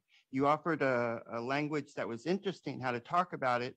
Um, just a reminder, thank you again for all your help and work and that uh, I don't think we have to fear using the term aerosol vaccine in the future. Thank you. Our next speaker is Forrest Peterson. I am unmuting you. Please accept the unmute. You'll have one minute to speak. The timer will start when you begin speaking. Hi there, honorable supervisors. Uh, I was uh, I heard this conversation. I, I, stayed on the call after the uh, the wage theft uh, earlier discussion. Uh, as a civil engineer, uh, mechanical systems actually falls under my expertise, so I know a little bit on this topic as well. I teach a dual enrollment program through Evergreen Valley College with Eastside Union High School District with their Yerba Buena Construction Academy. Uh, last year, uh, one of my student teams worked with Roger, who's the head of facilities of the Eastside Union High School District, and they showed the role of, of ventilation on uh, uh cognition and showed that in the typical classroom, the levels of CO2, which is exhaled just from just normally just sitting there, is high enough that it will lower your test scores from an A to a B uh, or lower, and that the, the ventilation is incredibly important. So the reason why I, called in is I want to recommend that if possible, try to focus the grants on, on after school programs or places where students are studying and doing homework. Thank you. That concludes our speakers, Mr. Chair. Thank you very much. And there's our screen back. We have a motion and by Chavez, second by Ellenberg. Seeing no other hands raised, I'll just chime in to say that uh, anything we can do to help using federal funds, I think is a good idea. I think Supervisor Ellenberg brought up, you know, this is one idea, item 14 is another idea. I do want to say that the number one priority to beating COVID is getting everyone vaccinated. And I'm very, very concerned that the pace at which we're vaccinating people is going to slow down and whatever dollars we can use to encourage people to get vaccinated, I think is our number one defense against death. Um, I'll be supporting the motion. If there's no other comments, I'll ask Jill for a roll call. Supervisor Lee, yes. Yes, I just a short comment. I would like to first thank uh, Supervisor Chavez for bringing this extremely important uh, issue up. Uh, very creative solution that's uh, being proposed here. Uh, certainly be supporting it, and I would uh, like to look at not necessarily here, but of course our school districts, our schools needs to have the same type of uh, uh, uh, ability to do so. So we might need to have a separate conversation with our school district to make sure they have the funding to upgrade the HVAC system for our children, number one. Uh, and and second, I'm, I'm really looking forward to seeing this report coming back uh, to see coming of a viable solution. Obviously, uh, funding is always limited, but uh, with the funding we gain from the federal government, I think it's really important to make sure that we are allocating uh, every penny of it to this. And I certainly do think uh, Supervisor Simitian's idea is great as well, whether it's coming from the fines or any other ways if we could get this all worked out. I think um, this would be hugely beneficial for our community and for us to get back to normal. So thank you. Thank you. I'm sure we'll have no problem spending all of it. And I hope the schools get money as well from the state. All right, Jill, if you'll please call the vote. Supervisor Lee. Aye.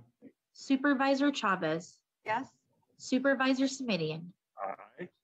Vice President Ellenberg. Yes. President Wasserman. Yes. Thank you very much. We now move on to item 12, considering recommendations relating to ensuring county's eligibility for federal and state funding. And I'm going to turn to Supervisor Chavez for this Thank regarding broadband. Yeah, thanks very much. This is in um, response to pending legislation in Sacramento, um, AB 14 and SB 4, which would extend and reauthorize the California Advanced Services Fund that would be managed or is managed through the California PUC. Um, Santa Clara County uh, could be potentially um, not just us, but our other public sector partners could be potential recipients of future dollars from this fund by establishing the required consortium as outlined by the PUC. I, I'm hoping that this is a, I hope staff is making other preparations for how we can take advantage of the upcoming state and federal funding. We're looking at this and this could be a once in a lifetime opportunity to really support major funding for broadband and other infrastructure projects. I understand that currently San Francisco is doing bi- biweekly meetings that include relevant departments and industry representatives on how best to take advantage of the expected Biden administration infrastructure bill that's not only for broadband, but other major projects. And um, the second item that I'm asking for is a, a dig once policy that will uh, support us laying the um, conduit underground whenever they're whenever we're digging up roads. And just as a reminder to my colleagues that because of Measure B and using um, some of our VLF funds, we're doing quite a lot of road repair and road building throughout the county, and it makes sense not to tear roads up more than once. I just want us to really, really prioritize that. Um, so establishing a dig once policy with the county um, could help us also expand broadband access. So these are um, a, to move in a, a referral to the administration county counsel to report to the board in June with options for consideration relative to um, developing a consortium. And then item two is to report to the board in June with options for consideration relating to the establishment of a dig once policy. Thank you. Is that a motion, Supervisor That Chavez? is- that is Thank you. Supervisor Ellenberg, did you want a second? I'm happy to second the motion. Um, and just uh, in preparation for today's meeting, I had to learn about HVAC systems and about um, trench joint trench agreements. Um, and I and I understand that an important piece, the consortium, I I absolutely agree with, and the dig once absolutely makes sense. But we need to make sure that there that this consortium or somehow that there's a joint trench agreement with telecommunication providers to make sure that we can actually use the trenches for for these multiple purposes. So I am sure that staff will come back with um, with those, those details in their report. I just wanted to make sure it was on the radar. Thank you. I, I can tell you it's on the radar 15 years ago when we repaved Santa Cruz Avenue in downtown Los Gatos and I was the mayor. When the trench was dug, each entity put their own conduit in. There's certain things that need distances between other conduits depending on what's in it. Some things are laid at two feet deep, some are laid at three feet deep, but everybody gets to put their stuff in there. Supervisor Simitian. Thank you. I just uh, wanted to ask if the maker and the seconder would be amenable on part B of the motion to explicitly indicate that the staff will come back not only with options, but recommendations using that that language. Thank I see a nodding head. I um, I, I understand and and agree with the sort of fundamental premise of dig once, uh, but it's it's a little situational in my experience. It's it's not inexpensive, uh, even if it's dark fiber. Uh, it's not without cost, and it is a little bit of a long-term bet that there will one day be some utility for that dark fiber in the locations where it is laid, and it it varies, in my understanding, uh, in its utility from location to location, meaning may not make a lot of sense on a county road to a very remote location if there are only uh, a handful of folks uh, who are beneficiaries. On the other hand, uh, just so you know, it's me. Uh, the um, you know that's the whole challenge in some of our more rural areas. Having said that, uh, my understanding as well is that the technology is changing. You know, we're we're talking about things like satellite internet, mesh networking, uh, that may or may not be preferable. So uh, that was I should have just taken yes for an answer, I think, but because I, I, appreciate I appreciate the willingness to incorporate the words uh, recommendations uh, for staff, just because I think I I want to hear from them what they think makes sense given costs and the state of the technology. Thank you. Uh, with that, I'm happy to support the uh, support the item, and I I will just say a shout out to my former colleague, uh, then State Senator Alex Padilla, now United States Senator Alex Padilla, actually wrote the legislation back in 2008 and 2010 that's referenced in the referral, and it made me smile because I remember at the time thinking what a uh, smart, forward-thinking uh, guy, uh, Senator then Senator Padilla, now Senator Padilla, uh, was and is. So um, nice to see his work sort of come full circle here at the local level. Thank you. Thank you. It can never hurt to put extra conduit in a trench once it's dug for some future purpose. And Supervisor Simitian, you're absolutely right. The cost to underground things is very, very, very expensive, which is why we still have so many telephone poles around our county. All right, we have everybody's spoken here for the moment anyway. We've got four speakers. Jill, take it away.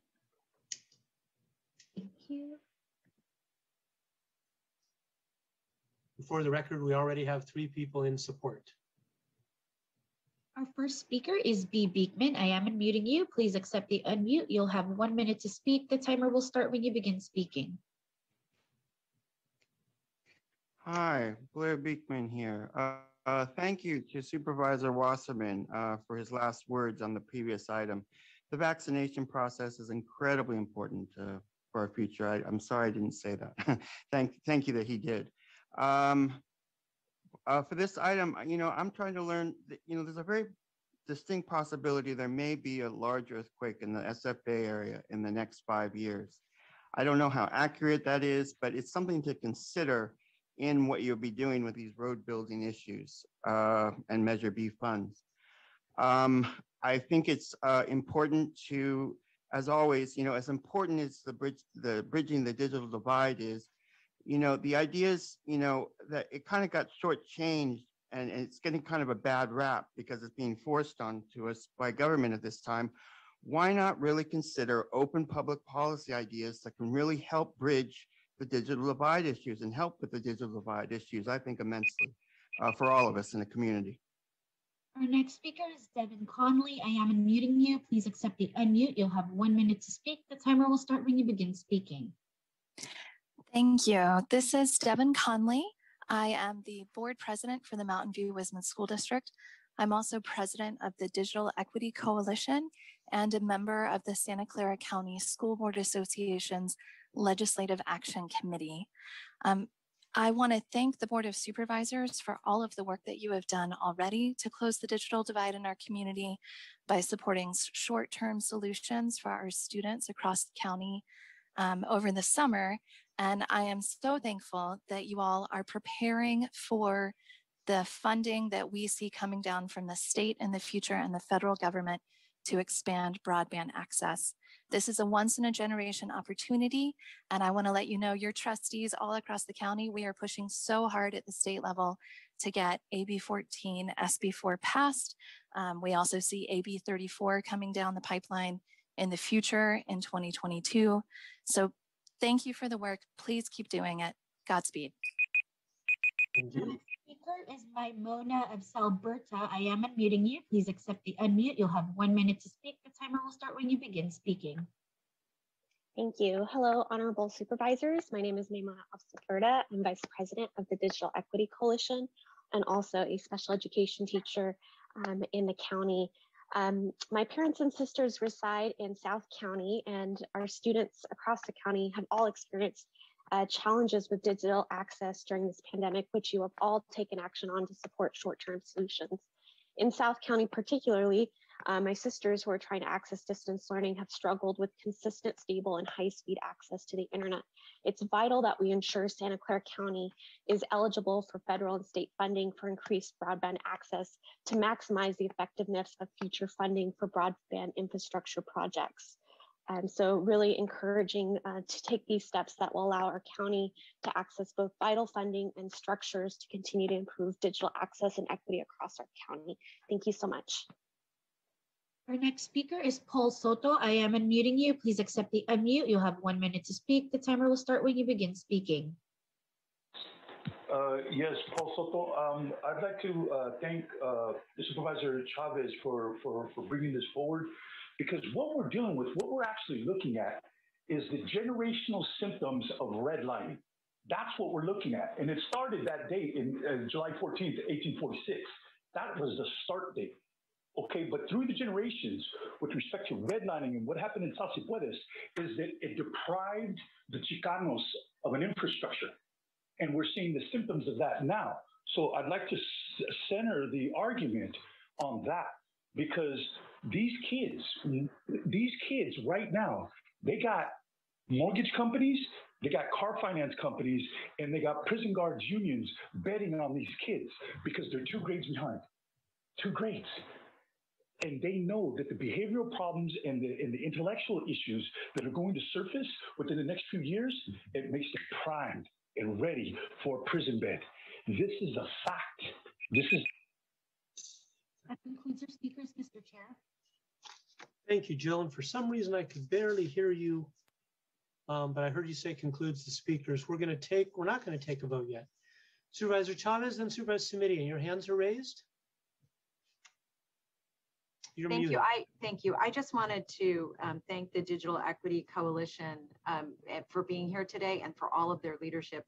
We've been connecting almost every other week for months, and they just have been amazing, these school board members. I just wanted to say thank you to them. Wonderful. All right, I think we're about to take a 5-0 vote. Is there any other comments to be made? Seeing none, Jill, will you please call the vote? Supervisor Lee, Aye. Supervisor Chavez, Yes. Supervisor Simitian, Aye. Vice President Ellenberg, Yes. President Wasserman. Yes. Thank you. Thank you very much. We move on to item 13, consider recommendations relating to county impacts regarding federal immigration reform brought to us by Supervisor Lee. Thank you, President Wasserman. You bet. Um, Yes, well, as an immigrant, this referral is very meaningful to me and to many fellow immigrants living in our county. As President Biden has committed to overhauling our nation's immigration system within the first 100 days being in office, he has issued a number of executive orders, proclamations, and memorandas that seek to restore the rights of undocumented immigrants in our country, as well as to restore the hum- humanity and dignity. This included, among many, revoking the ban of the people from Muslim countries, not defending the public charge rule in court, counting everyone in the US Census, and stop building a medieval war that was supposed to be paid for by Mexico. But also the important task of reinstating the DACA system, the DACA program. Despite all these, we set out to create a path to citizenship for the 11 million undocumented immigrants across our country, including an estimated 130,000 plus living in our own county alone. This referral asks to review and analyze legislative proposals and how they may impact immigrants locally. This includes HR 6, HR 1603, HR 1177. I'd also like to include U.S. Senator Alex Padilla's Citizenship for Essential Workers Act, Senate S 747, as part of the staff's review and analysis of federal legislative proposal relating to immigration. I would first like to thank our good friend Richard Hobbs from the Human Agenda for bringing this critical piece of legislation to my attention as well.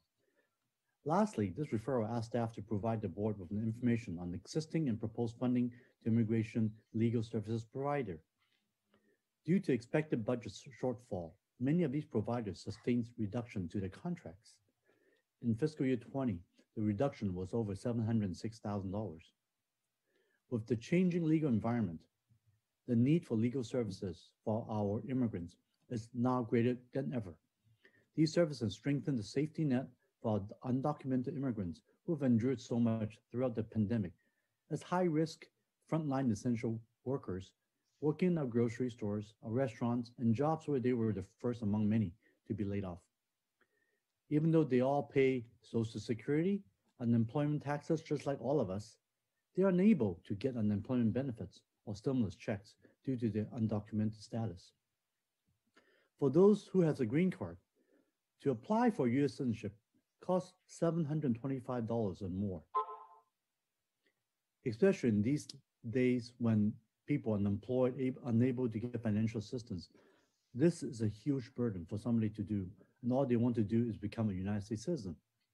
And this is why funding for immigration legal services providers is so important and more important than ever right now. And I would like to ask the board to provide the options for how to address these challenges and how much investment can be made based on the need in our community. And I would like to also thank our county's Office of Immigrant Relations in advance for the work on this. Thank you. Thank you Supervisor Lee. I'm going to take that as a motion to approve your items A and B, second by Chavez. Um, Jill, if you'll take us to our six speakers at one minute each. Thank you. One moment.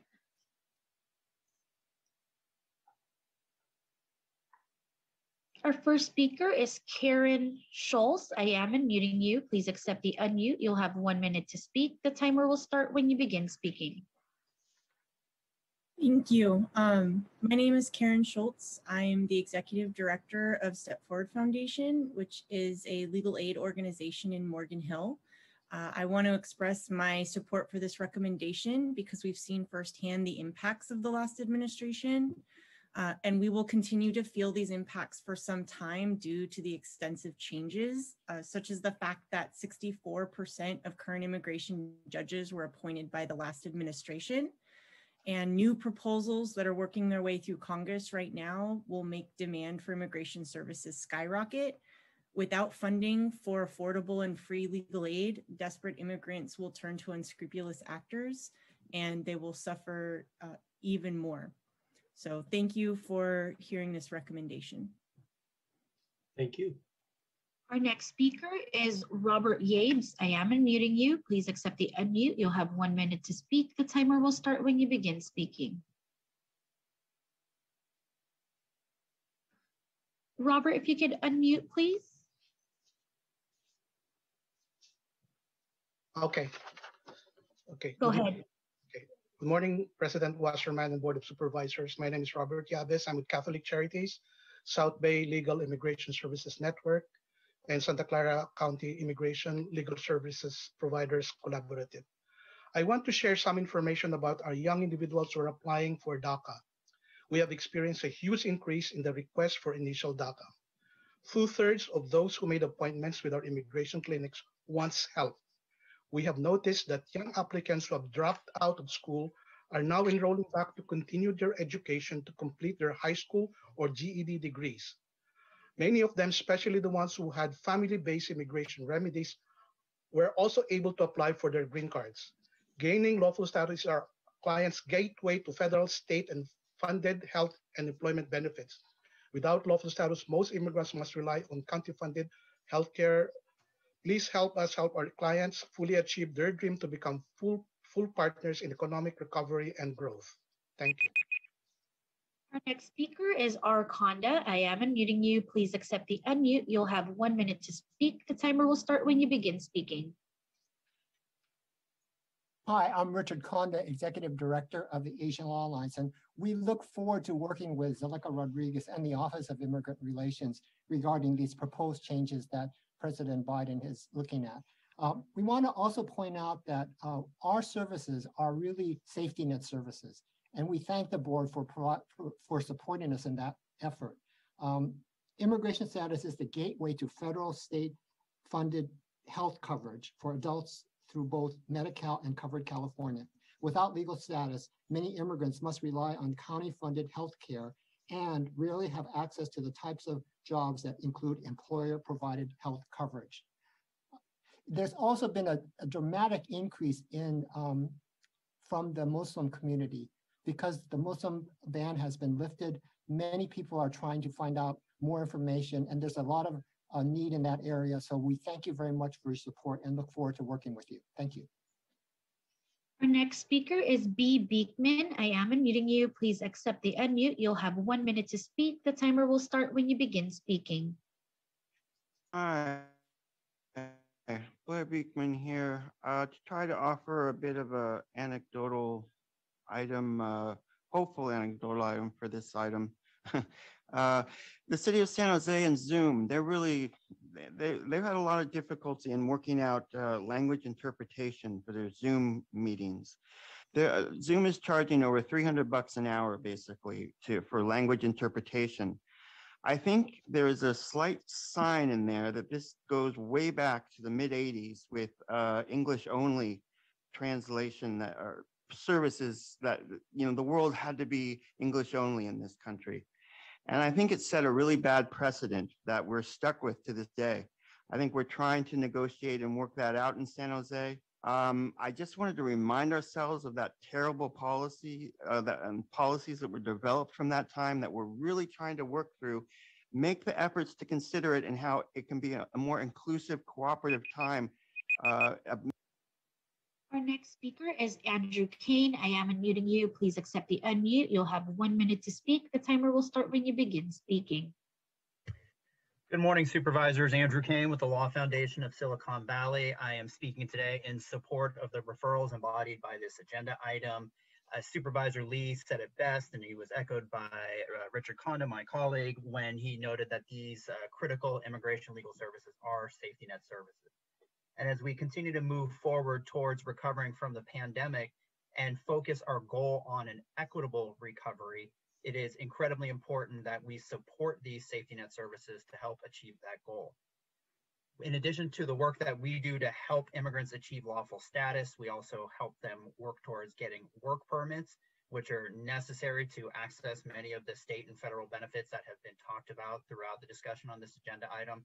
Helping a family with uh, undocumented temporary status to get permanent immigration status can lead to a significant rise in income and obtaining lawful status for all of our residents would increase county tax revenue by over 10, uh, $10 million. I thank you for your uh, continued support of our services and look. Thank you.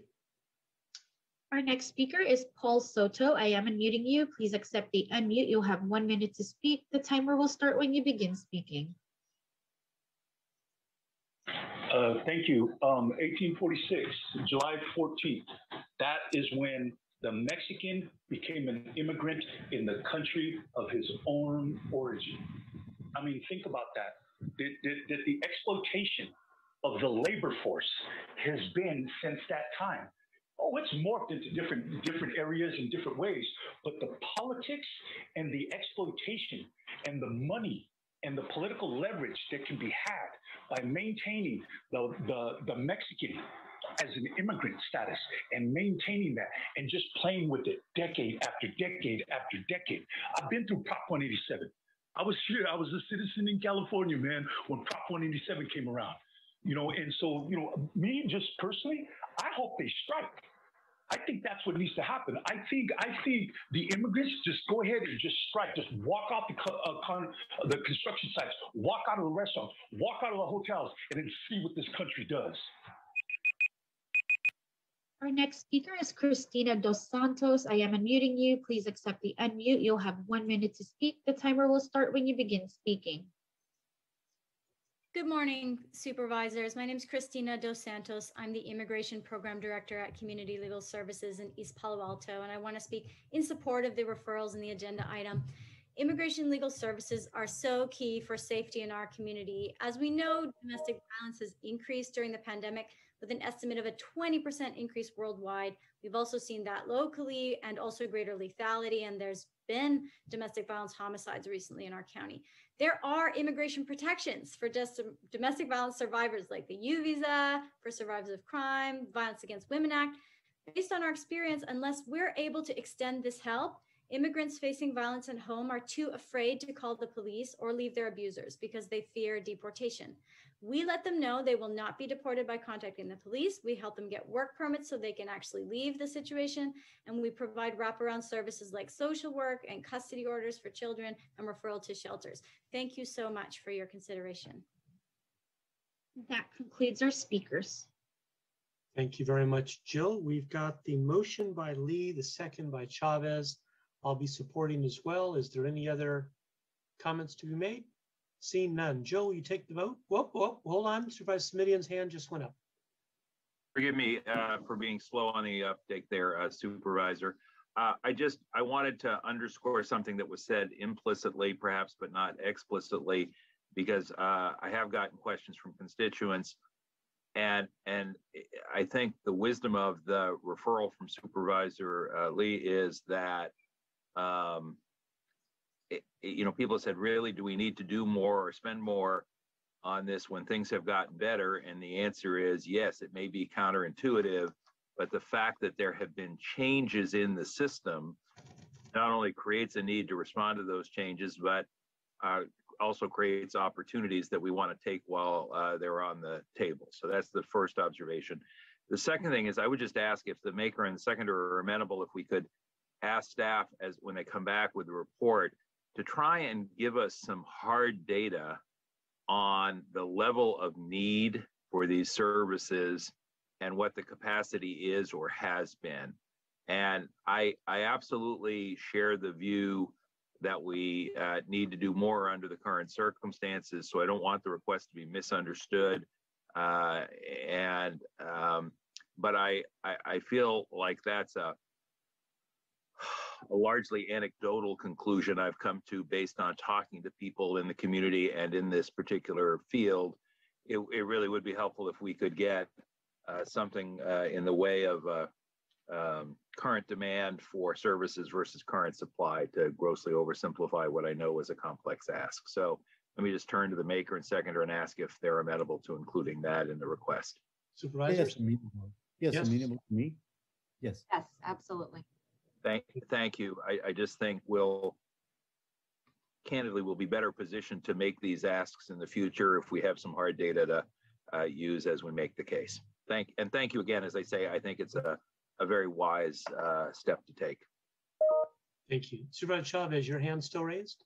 Thank you. I, I just wanted to make one comment. First, I wanted to thank Supervisor Lee for bringing this forward. I, and I concur with what Supervisor Simitian just said.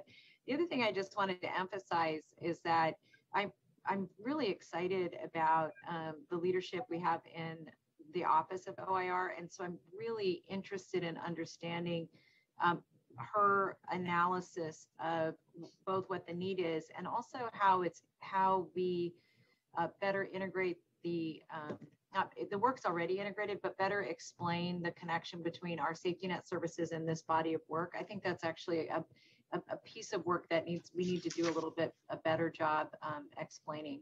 So thank you. Thank you. All right, Jill, go for it. Supervisor Lee, Aye. Supervisor Chavez, Yes. Supervisor Simitian, All right. Vice President Ellenberg, Yes. President Wasserman. Yes. Thank you. Thank you, Jill. With that, we move on to item number 14. Uh, Approval of referral to administration report of the Board of Soups, May 25th, with options for distributing COVID-19 public health order enforcement fines and penalties. And this was brought to us by Sup- Vice President Ellenberg and Supervisor Chavez. Why don't you two start it off? Thank you very much. Um, I'll- and I'll begin by thanking Supervisor Chavez again today, this time uh, for your partnership on the referral before us right now. And I also want to take a minute to reflect publicly how our county has addressed this pandemic for over a year now, because it's impressive. We were the first county in the country to issue a meaningful stay at home order. We opened childcare for our essential employees within a week of that first order. We scoured the globe and worked with partners to produce PP, to procure PPE. We ramped up testing to levels we had not imagined were possible. We stood up isolation supports for individuals who would have otherwise not been able to stay home following exposure to the virus. We contributed $7 million to purchase laptops and hotspots for children. We enacted residential and commercial moratoria to protect our community from some of the worst of the economic fallout. We invested millions of dollars in rental assistance and $6 million to support small local businesses. We have waived more than $6 million in fees that would have otherwise been collected from small businesses.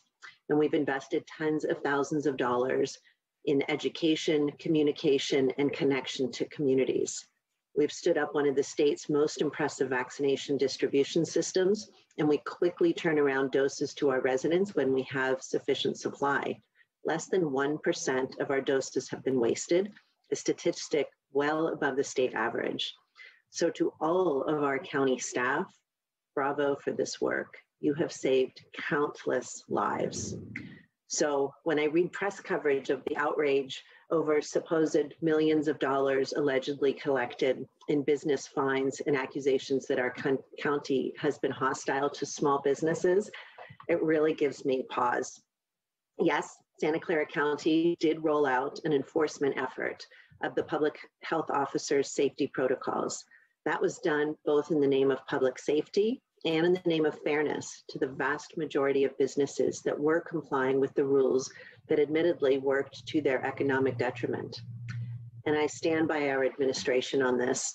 We never had the intent to drain millions of dollars from the small business community. We are well aware that it is going to be a tough economic recovery for many, many businesses, and that being fined was a hardship, which is exactly why our administration has been working extensively with our small businesses to cure infractions and eliminate or reduce fines. It was reported that nearly $5 million in fines have been levied. The truth is that as of March 1st, less than half a million dollars has been collected as a result of hard work in conjunction with the business owners. There's more detail in the legislative file uh, for this referral that notes the percentages of county businesses against which complaints were filed, the number of violations that were identified after investigations, the percent of violations that were cured prior to fines being levied, and the remaining percentages that were ultimately fined. I've said this many times before, but I want to reiterate once again, I, along with my colleagues, have been a strong advocate for our small local business community since the onset of the pandemic. Small businesses are the lifeblood of our community. That's why I am pro proposing today, along with Supervisor Chavez, that we take the fines that have been collected from businesses, pardon me, that breach the safety protocols and put them back into the small business community in the form of grants.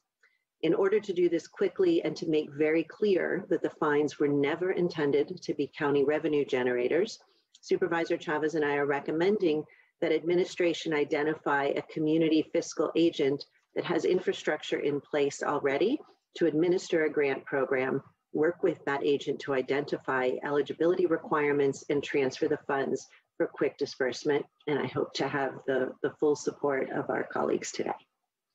Thank you. That was an extremely complete introduction. I'll take that as a motion from Supervisor Ellenberg. Supervisor Chavez. Second.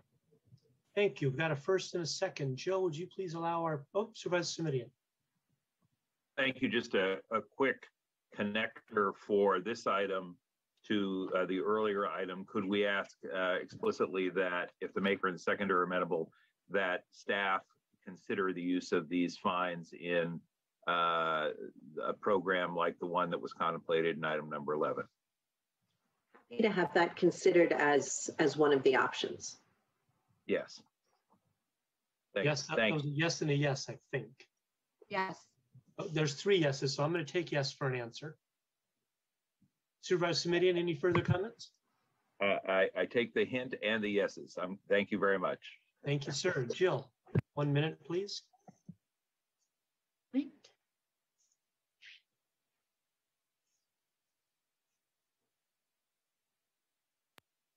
Our first speaker is B. Beekman. I am unmuting you. Please accept the unmute. You'll have one minute to speak. The timer will start when you begin speaking. Hi, thank you. Blair Beekman here. Uh, thank you for your words. I'm very impressed. Thank you. Um, it was spoken on the previous COVID item that how can you develop air quality programs for small businesses? I thought that was a really interesting language and you know, you're really trying to help out. Thank you. Um, I'm a bit on the other side that all through all this time, I wish Santa Clara County took a bit more of a lead uh, that differed from the state a bit and had you had your own a bit more of your own initiative and you didn't quite follow through with that. Uh, look to Fremont Unified School District and what they're doing right now. They are not opening their schools because it's very possible that what's what's going on in Southeast Asia right now, we may have a slight increase through the end of April and May and into June. So be wary, be ready. And uh, boy, just thank you for your work overall. And I hope we're sensitive to all sides of the issue. Thank you. Our next speaker is Dennis King. I am unmuting you. Please accept the unmute. You'll have one minute to speak. The timer will start when you begin speaking.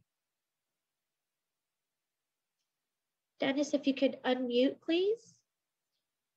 You're on, DK.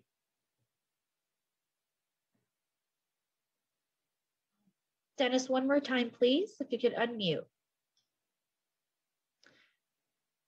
Seems like we're not able to connect Dennis, Mr. Chair, and that concludes our speakers. Thank you. I appreciate that. And I'm sure Dennis was going to give support.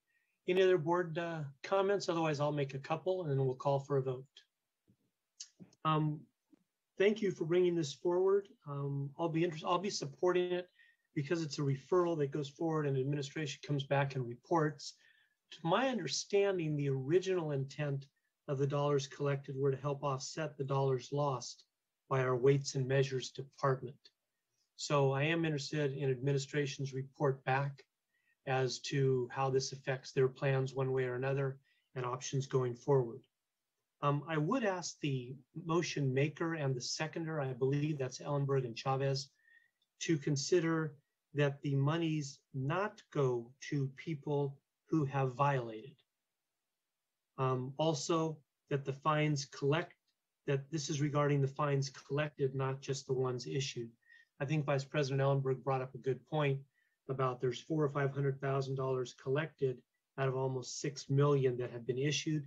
And I believe it's the motion maker's intent and the seconders that all that we're redistributing as grants is the dollars actually collected. I just wanted that that clarified. That is correct. If additional dollars are, are collected, those would go back as well. But if we don't collect another dollar because we've worked out all the fines, that's that's just fine as well. Super, I'm on board. And the seconder is nodding her head, Supervisor Chavez. Wonderful. Thank you. With that, no other hands up. Jill, please call the question. Supervisor Lee, I, Supervisor Chavez, Yes. Supervisor Simitian, Vice President Ellenberg, Yes. and President Wasserman. Yes, as well. Thank you. Members, that brings us, thank you, Jill. That brings us to item 15, approve the referral to administration uh, relating to the current status of unhoused pregnant residents. This is brought forth by Ellenberg and Chavez. And just a heads up to everybody, I hope to get through this one, then county executive and county counsel. Um, and then we should be around 12:30 and we'll break for lunch. So with that, I'm turning to Supervisor Ellenberg and Chavez, item 15. Thanks, President Wasserman, and again, uh, Supervisor Chavez for your support on this referral. And uh, thank you to the rest of our colleagues for considering this request. I'm bringing forward this referral with a sense of urgency to clarify what housing supports and services are available to vulnerable pregnant individuals and families with infants because it is currently unclear what housing supports are available to this population. I had been under the impression that this issue was being largely addressed by the placement of pregnant people into motel beds that have been made available through emergency COVID housing, uh, Roomkey and, and Homekey specifically. However, I have since learned that these individuals were not being prioritized for housing because the CDC did not recognize pregnancy as a high risk for housing qualification purposes. The HHP, our Valley Homeless Healthcare Plan, provides obstetric and other medical services to approximately 120 unhoused pregnant individuals per year, which is critical, but does not necessarily result in getting those people into housing. And in our county, the VI SPDAT does not prioritize single pregnant individuals for housing because they don't count as families. Considering how long it takes to be placed into transitional housing, it's likely a baby would be born during the wait. Further complicating that, sometimes parents lose custody of their children due to a lack of housing. So if a pregnant person can't qualify as a family before the baby is born, gives birth to their child, but then loses custody because of a lack of shelter uh, or treatment bed space that will take them and the baby, um, not only is that a systemic social problem, but that person still wouldn't qualify for family prioritization under our VI SPDAT um, system. So I hope that, that it is clear to everyone that pregnant residents and those caring for infants should be prioritized for non-congregate housing due to their specific health and developmental needs. Looking more largely, we know that the impact of homelessness jeopardizes the health, early development, and educational well-being of infants, toddlers, and preschool-aged kids. Children who experience homelessness as infants are more likely to experience lifelong health problems, hospitalizations, and emergency department visits as they grow. And this should never be a childhood experience. It's critical that we begin to identify the need for services in our county and to invest in early interventions that will provide greater supports to families. Failure to invest in the housing instability of infants and their families will likely result in significant downstream costs for the county, including in emergency healthcare services, developmental supports, and involvement of families in the child welfare and juvenile justice systems. Uh, with that, I, um, am happy to answer questions, um, take any comments, and that is a motion uh, to approve the item. Thank you. Supervisor Second. Thank you, uh, Mr. Chairman. I just, I wanted to ask if the motion uh, asking for the report back could specifically ask staff to comment on what I'll characterize as any lessons learned from the non-congregate sheltering work that we have done that we should replicate or continue in the future. I feel like we've just been through a very um, demanding situation. We're still in it, unfortunately, for many. Uh, I, I, think we learned uh, some lessons about what we can and should do. Uh, and I just want to make sure those get captured as part of the report back that uh, is being requested uh, here. Absolutely. Thank you. Thank you. Seconder, you agree? I think yes, and I, I just want to add one thing. So first of all, I want to thank Supervisor Ellenberg for digging in and learning more. That very, very illuminating. And um, some time ago, we actually did a referral to take a look at SPDAT and how it treated women in general too, in terms of vulnerability on the street. And I, I just would remind staff about that and see where that is in process. But on this particular item, um, I really appreciated the um, the questions that are on packet page 40. And what I would also, um, as staff takes a look at this, it, it, would be important to understand the size of families because I, I and and whether or not we're seeing single single parents of you know men or women. Um, and just you know and i'll think a little bit more about how we think about families writ large but i just really appreciate supervisor ellenberg um, you bringing this forward and i appreciate the questions by supervisor Simitian. thank you. Thank you. We've got uh, one speaker. Jill go right ahead please one minute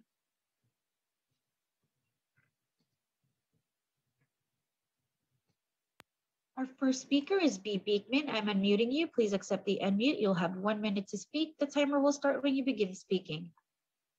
Hi, Blair Beekman again. Uh, hopefully to try to be quick for this item.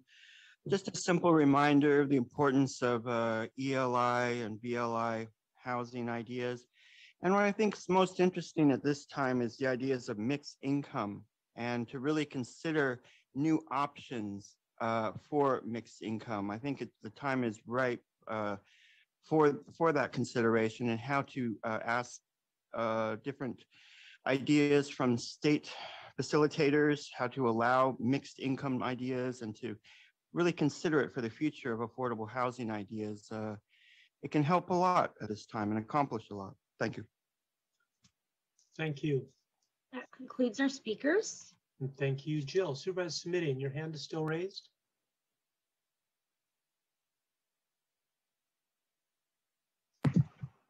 Supervisor Simitian? Sorry, that is a uh, hand that was not lowered in a timely fashion, Mr. Chairman. No worries. All right, we have a motion and a second. We've heard from public speakers. Joe, will you please roll call a vote? Supervisor Lee? Aye. Supervisor Chavez? Yes. Supervisor Simitian? Supervisor Simitian? Aye. Vice President Ellenberg? Yes. President Wasserman? Yes, as well. All right, members, we're going to do um, county executive and county counsel now, and I'm just giving Supervisor Simitian a little heads up. I think the only thing we could finish before 1230 would be item 23, which was going to be moved to consent, but you asked that it be heard. So I'm uh, hoping we can get that all done and uh, finish at 1230 and just giving everybody advance notice so they can plan accordingly. Dr. Smith, report from County Executive. Thank you, Mr. President. Um, hopefully you can hear me. Yes, we can. I wanted to give the board a little bit of an update about what's going on with regard to the budget. Um, the recommended county exec's recommended budget will be uh, delivered to you uh, first of May. Um, hopefully a little bit earlier. We're in the last minute um, section or part of the process where we develop all of our language and make sure that we do all of the proofing.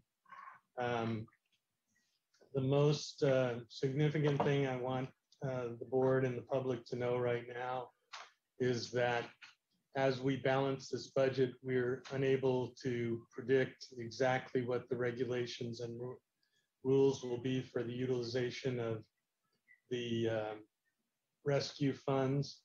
So anything related to the rescue fund allocation will come in the revised recommended budget during the June uh, time period.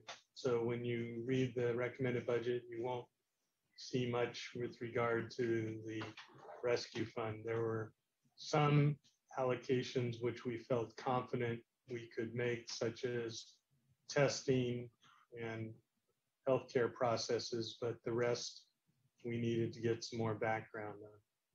Super so, understood. Uh, it will be a balanced budget. Uh, we will not have any layoffs associated. Actually, um, basically, all the departments will have additional services added. We're trying to take the opportunity of the great action that the board took uh, to balance our structural deficit over the last year in order to reset the organization, reorganize um, structures, and reorganize operations um, as much as we possibly can to become more efficient, more effective, all in the context of a recession that's peculiar and a pandemic that's uh, costly um, and an economy that's teetering. So uh, that I want people to be prepared for, and we'll obviously discuss in a lot more detail when the budget um, is is brought before you and when we discuss it. So thank you very much, and uh, Thank you. that's all I have to say. Thank you. James, report from County Counsel. There were no reportable actions taken at the closed session meeting of April 19, 2021, and that concludes my report. Thank you. Members, let's move on to 23.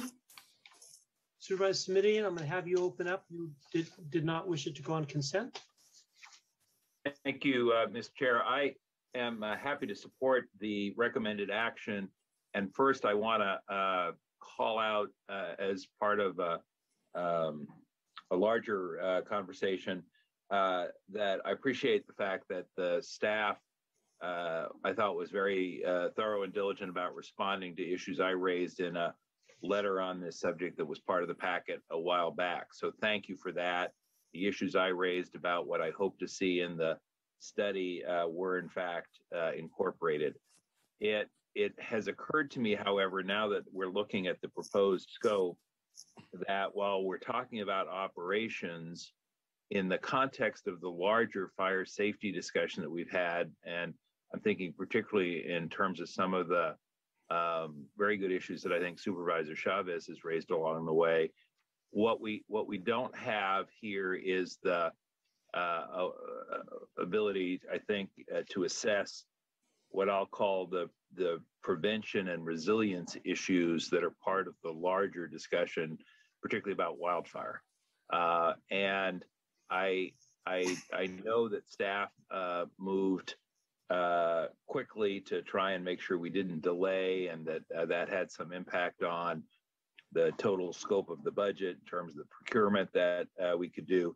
But I'm, I'm wondering if, in addition to moving forward today, we could ask for some supplemental services that address issues of prevention and resilience as well without going over the cap that would then require us to rebid the project. So I want to be really clear. I don't want to delay the exercise. I just want to broaden it uh, to be somewhat more uh, comprehensive in its scope.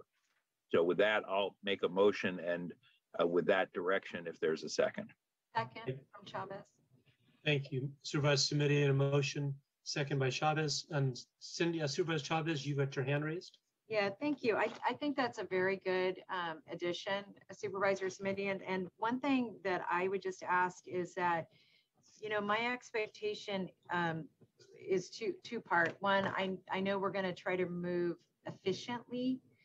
And what I would ask is that two things. Uh, one, that we get an off agenda once the um, this the scope is is um, settled, and that the that there be some benchmarks, and that that way, if there are other emerging issues that that come out of the study, we're able to respond to those in real time. I, I appreciate the speed issue, and I also think that there may be other issues in addition that that pop up that should be examined.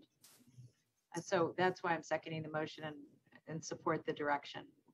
Is that fine with you, Supervisor Simitian? It, it is, and I, I think um, I see uh, Mr. Herzig uh, with his mask on there, I believe, and I just uh, I want to make sure that he's got the clarity he needs in the motion to move forward, stay on track, but expand the contract as directed. Yes, I do. Thank you, Supervisor. Thank you. Welcome, Gary. So we have a motion and a second. Jill, would you please uh, bring on our, our um, speaker? Yes, sir.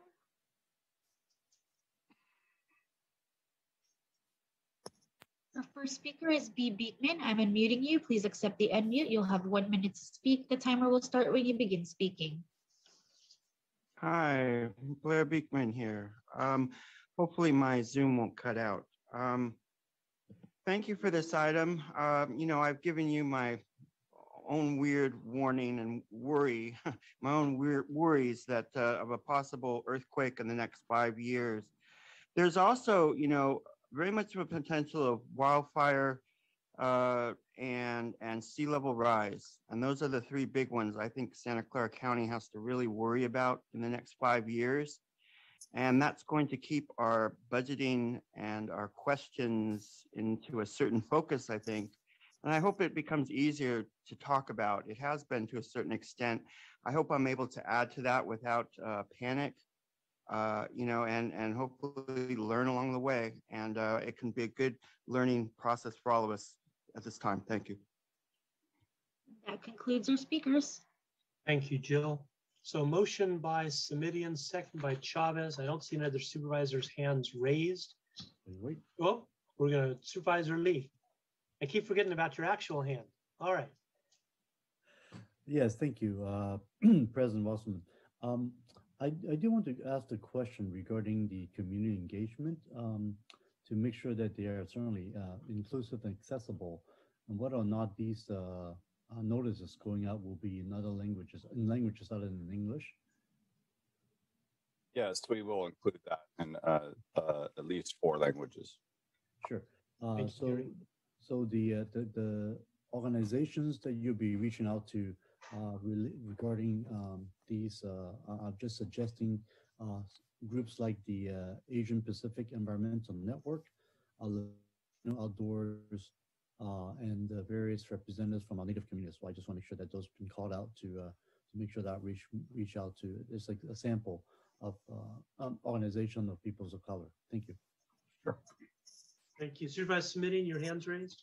Thank you. Only to clarify, I, I, I think implicit in prevention and uh, resilience, the notion of protection is inherent, but I just, I wanted to add that. So uh, in case I wasn't uh, appropriately specific, it was uh, clear for staff what, what they were being asked to do. Much appreciated. Thank you. Sounds like it is. No other hands raised, either electronic or human. Jill, will you please take the vote? Supervisor Lee. Aye.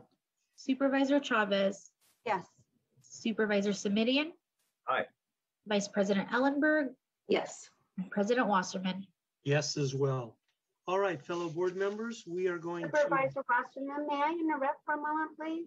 Yes, Rhonda. Before- before- I'm sorry to interrupt, but before we um, go to lunch, we would like to respond to Supervisor Ellenberg's request um, for the translation of um, the speaker that spoke in Spanish. So Yes. what we're going to do is we're going to replay what she said, and then our Spanish interpreter is here.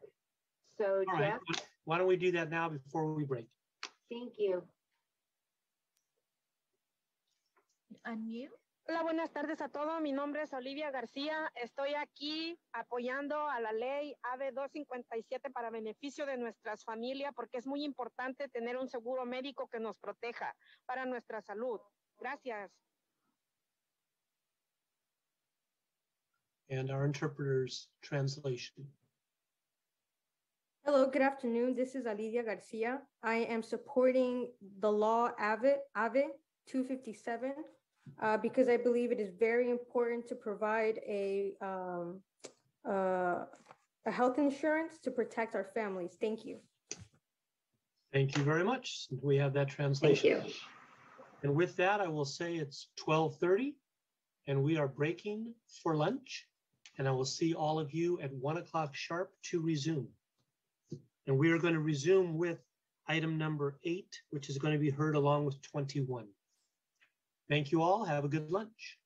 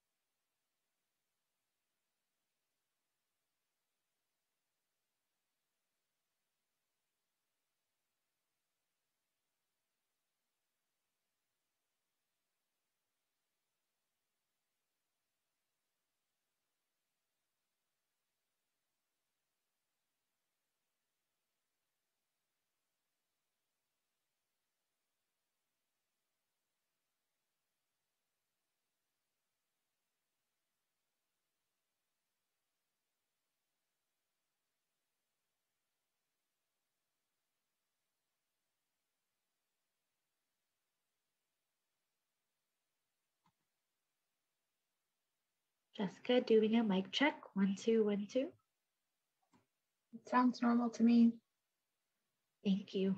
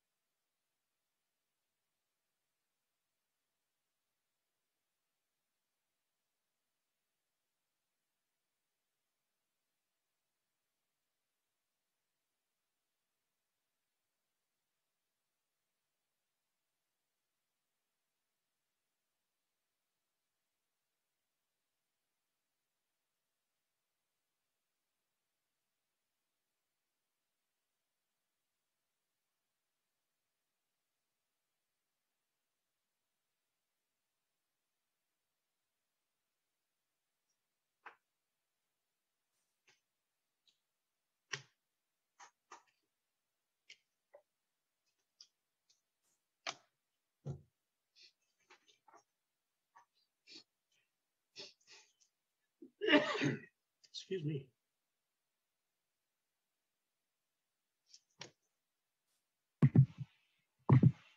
Bless you. Thank you very much. Belated. Madam Vice President.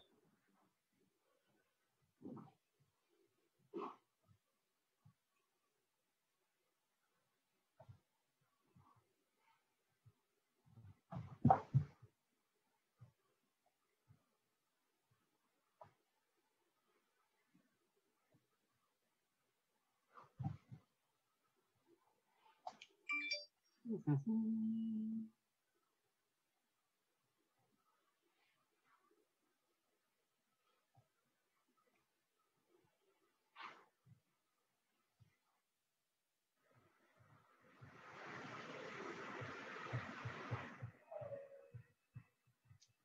It's one o'clock. How are we doing?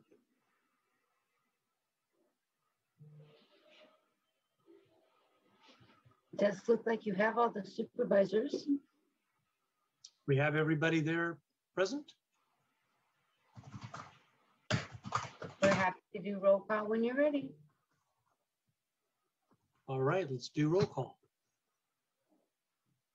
Supervisor Lee, Good afternoon, present. Supervisor Chavez, Here. Supervisor Simitian, Here. Vice President Ellenberg, I'm here. And President Wasserman. Here as well. Thank you very You much. have quorum. Thank you. And members, um, it was suggested and agreed upon that we will hear item um, 21 along with item eight. So we now open up normally with Dr. Cody.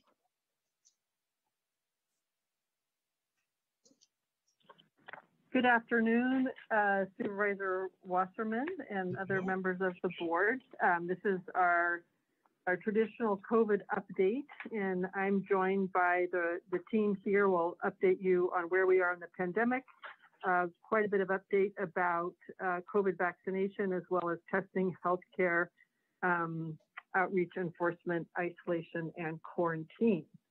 Uh, so just to begin, uh, I would say that after a precipitous decline and then some flattening, um, our the decline, the era of the decline seems to have ended. Um, we're seeing a little bit of a gentle uh, bump up in case counts, which we're keeping a very close eye on. Uh, next slide. Uh, but you can see that as the case counts have come down, uh, so too have the disparity, the disparities in, in case rates um, by county section. So we're no longer seeing the dramatically higher rates uh, in East San Jose and Gilroy. They are um, coming together a bit more. Next slide. Um, uh, similarly, the disparities by race ethnicity um, have also been um, have also been decreasing, although uh, some disparities um, do still remain. And in the next slide, uh, you can see that the deaths uh, are continuing to decline.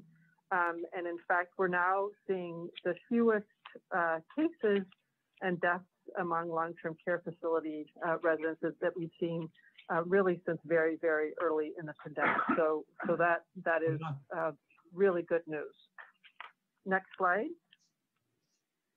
The um, number of patients in the hospital uh, is flattening, although still a gentle, gentle decrease. Uh, Dr. Kamal will comment more on that uh, soon. And in the next slide, uh, these are the where we are in the blueprint.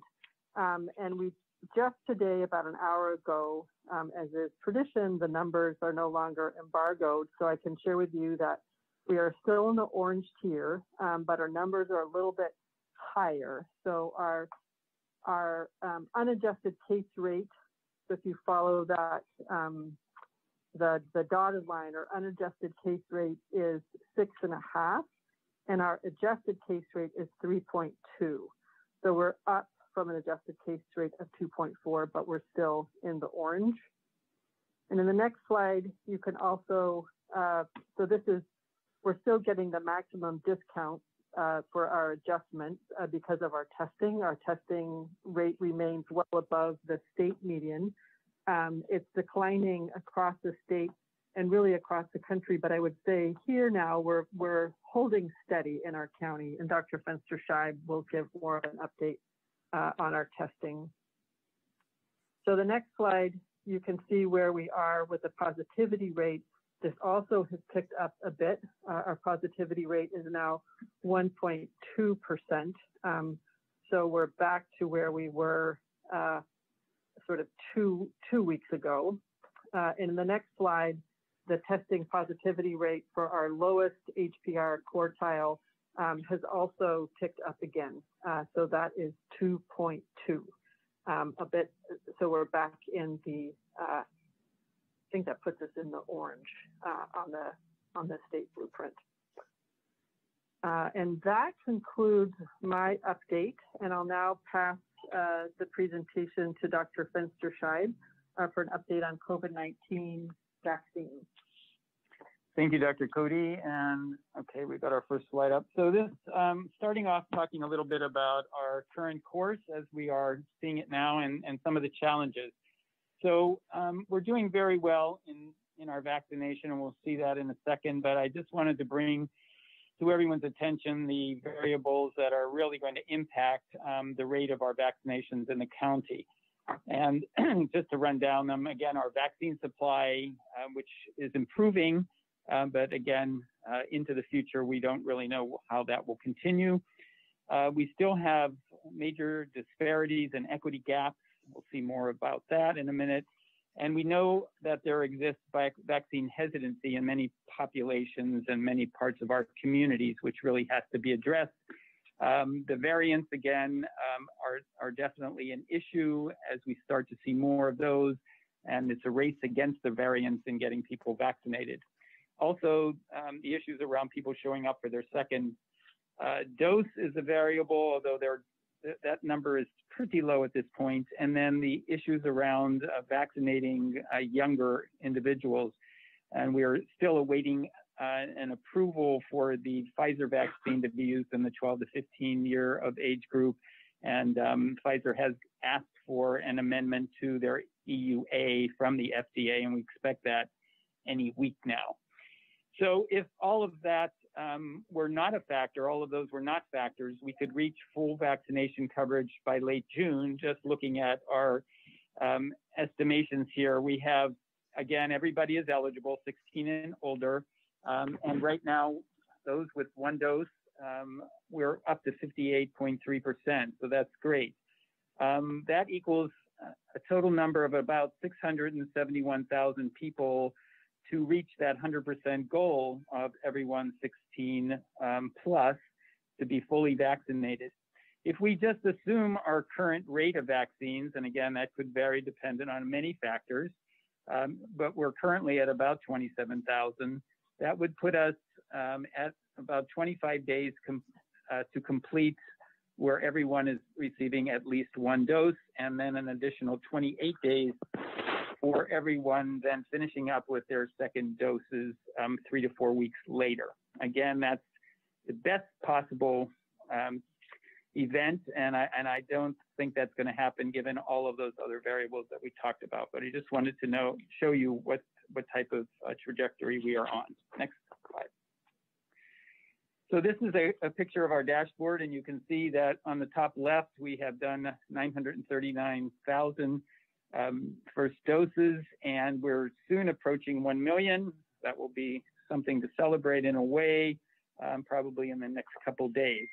Um, again, 58.3% of our population having received at least one dose, and also nearly a third of our population uh, fully vaccinated. So that's great. And then you can look at the bars again. The blue bars are the first dose, the green bars are the second dose, and the pink bars are the Johnson & Johnson, which again, we have on pause for the moment. I just point to you that really tall bar there on April 15th, we did nearly 40,000 vaccines in one day. Um, so at a 27,000 per day, that's a seven day average. So again, some days are lower and some days are much. Next slide. Um, thought you would like to see also kind of looking at vaccine uh, coverage by county, and you can quickly see the, the darker the darker greens are the higher rates or the, higher um, percentages of people being vaccinated. And you can see that the, um, the, the Bay Area here is doing quite well. And then you can see the rest of the state and how it's faring, but the Bay Area is doing quite well. Next slide. And this again is the vaccinations by day, and you can see um, at, out at the end um, the total doses that are, which is the seven day rolling average in gray, is really uh, spiking up. That's because, again, a, lot of those are first doses. That's the blue line, the blue squiggly line going up.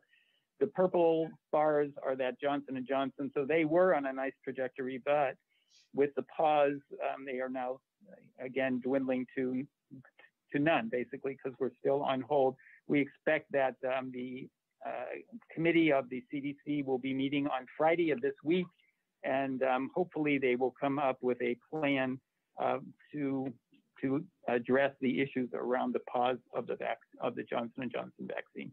Next slide. And then this is basically the same graph, except it's just showing the county health system.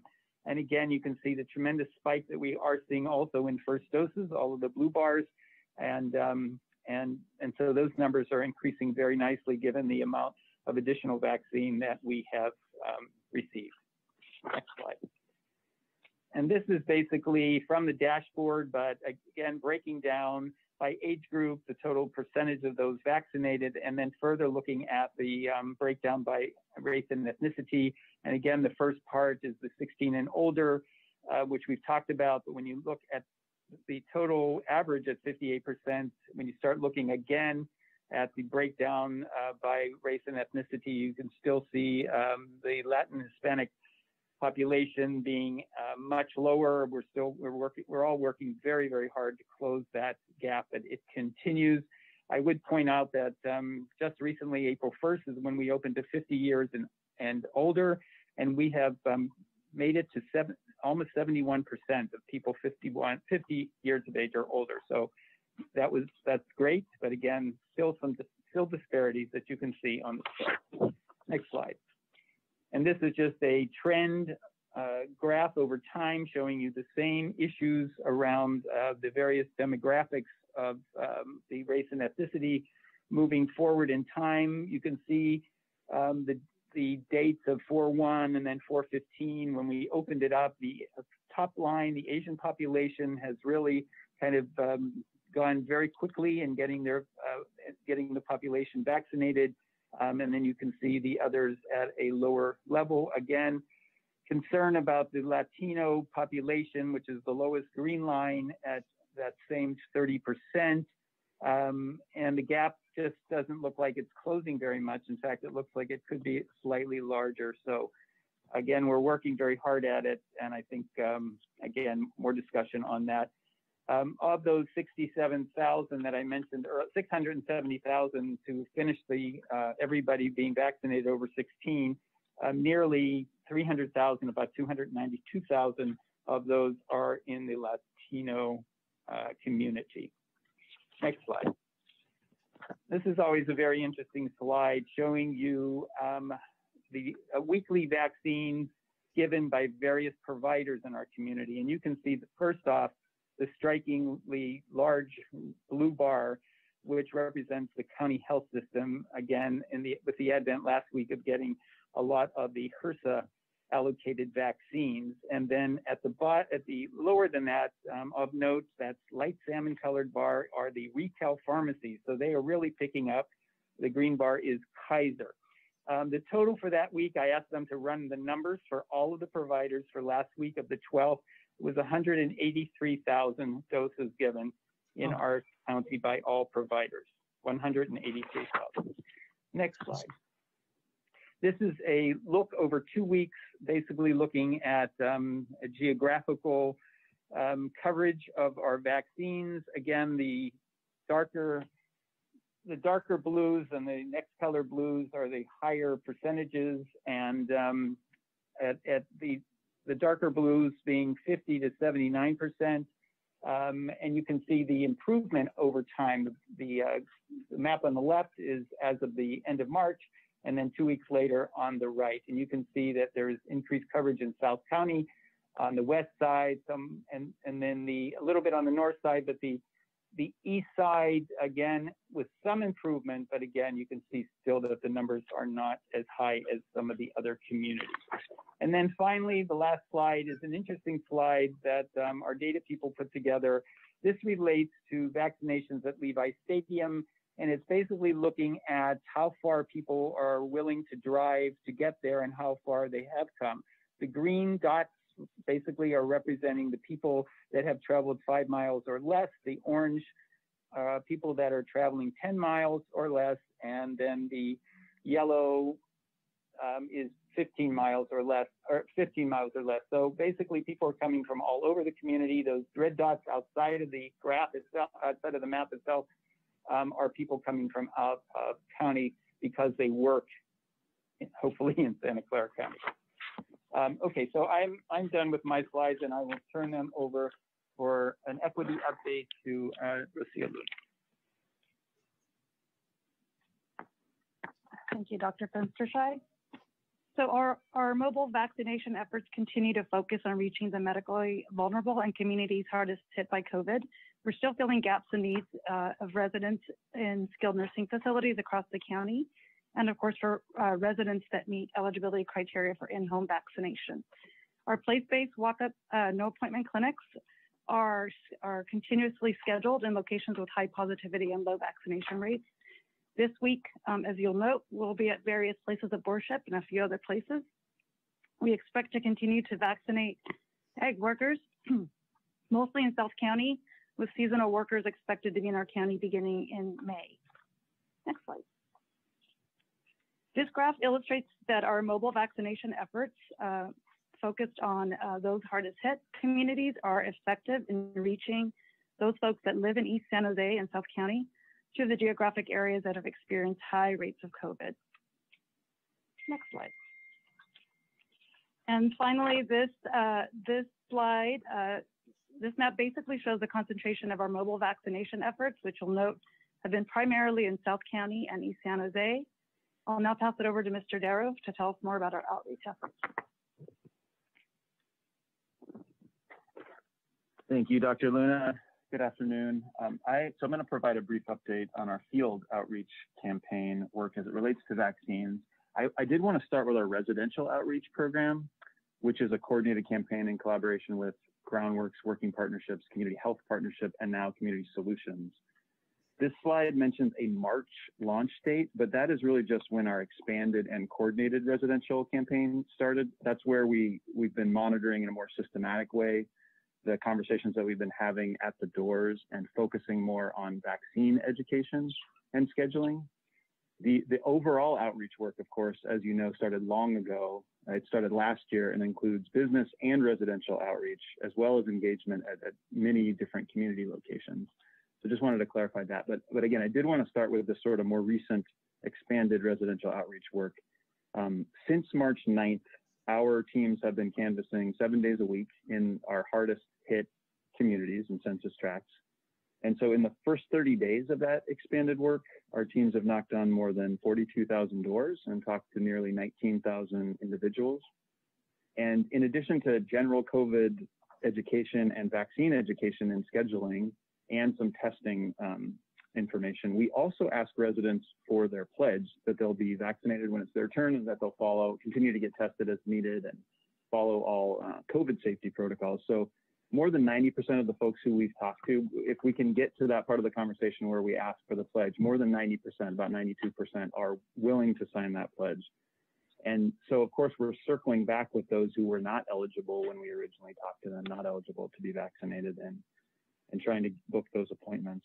Uh, just a few other notes on what we've been hearing at the doors. Um, we're seeing quite a large number of folks now who are reporting that they have already been vaccinated or that they have an appointment scheduled.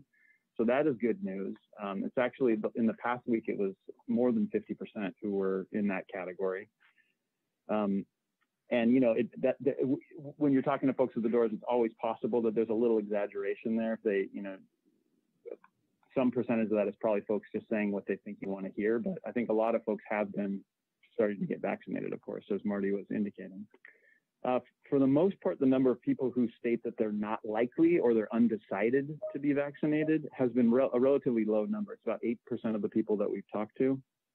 But we are starting just this past week now with expanded eligibility, we're starting to see a little bit of hesitancy, I think, among the younger adult population. It doesn't seem to be fear or kind of concern based. It seems to be a little bit more apathy or just not wanting to take the time to get vaccinated. It's not a huge number of people, but it is a theme that we're starting to see. So we'll need to be monitoring that and addressing that. Next slide, please. This slide shows where we focused our residential outreach.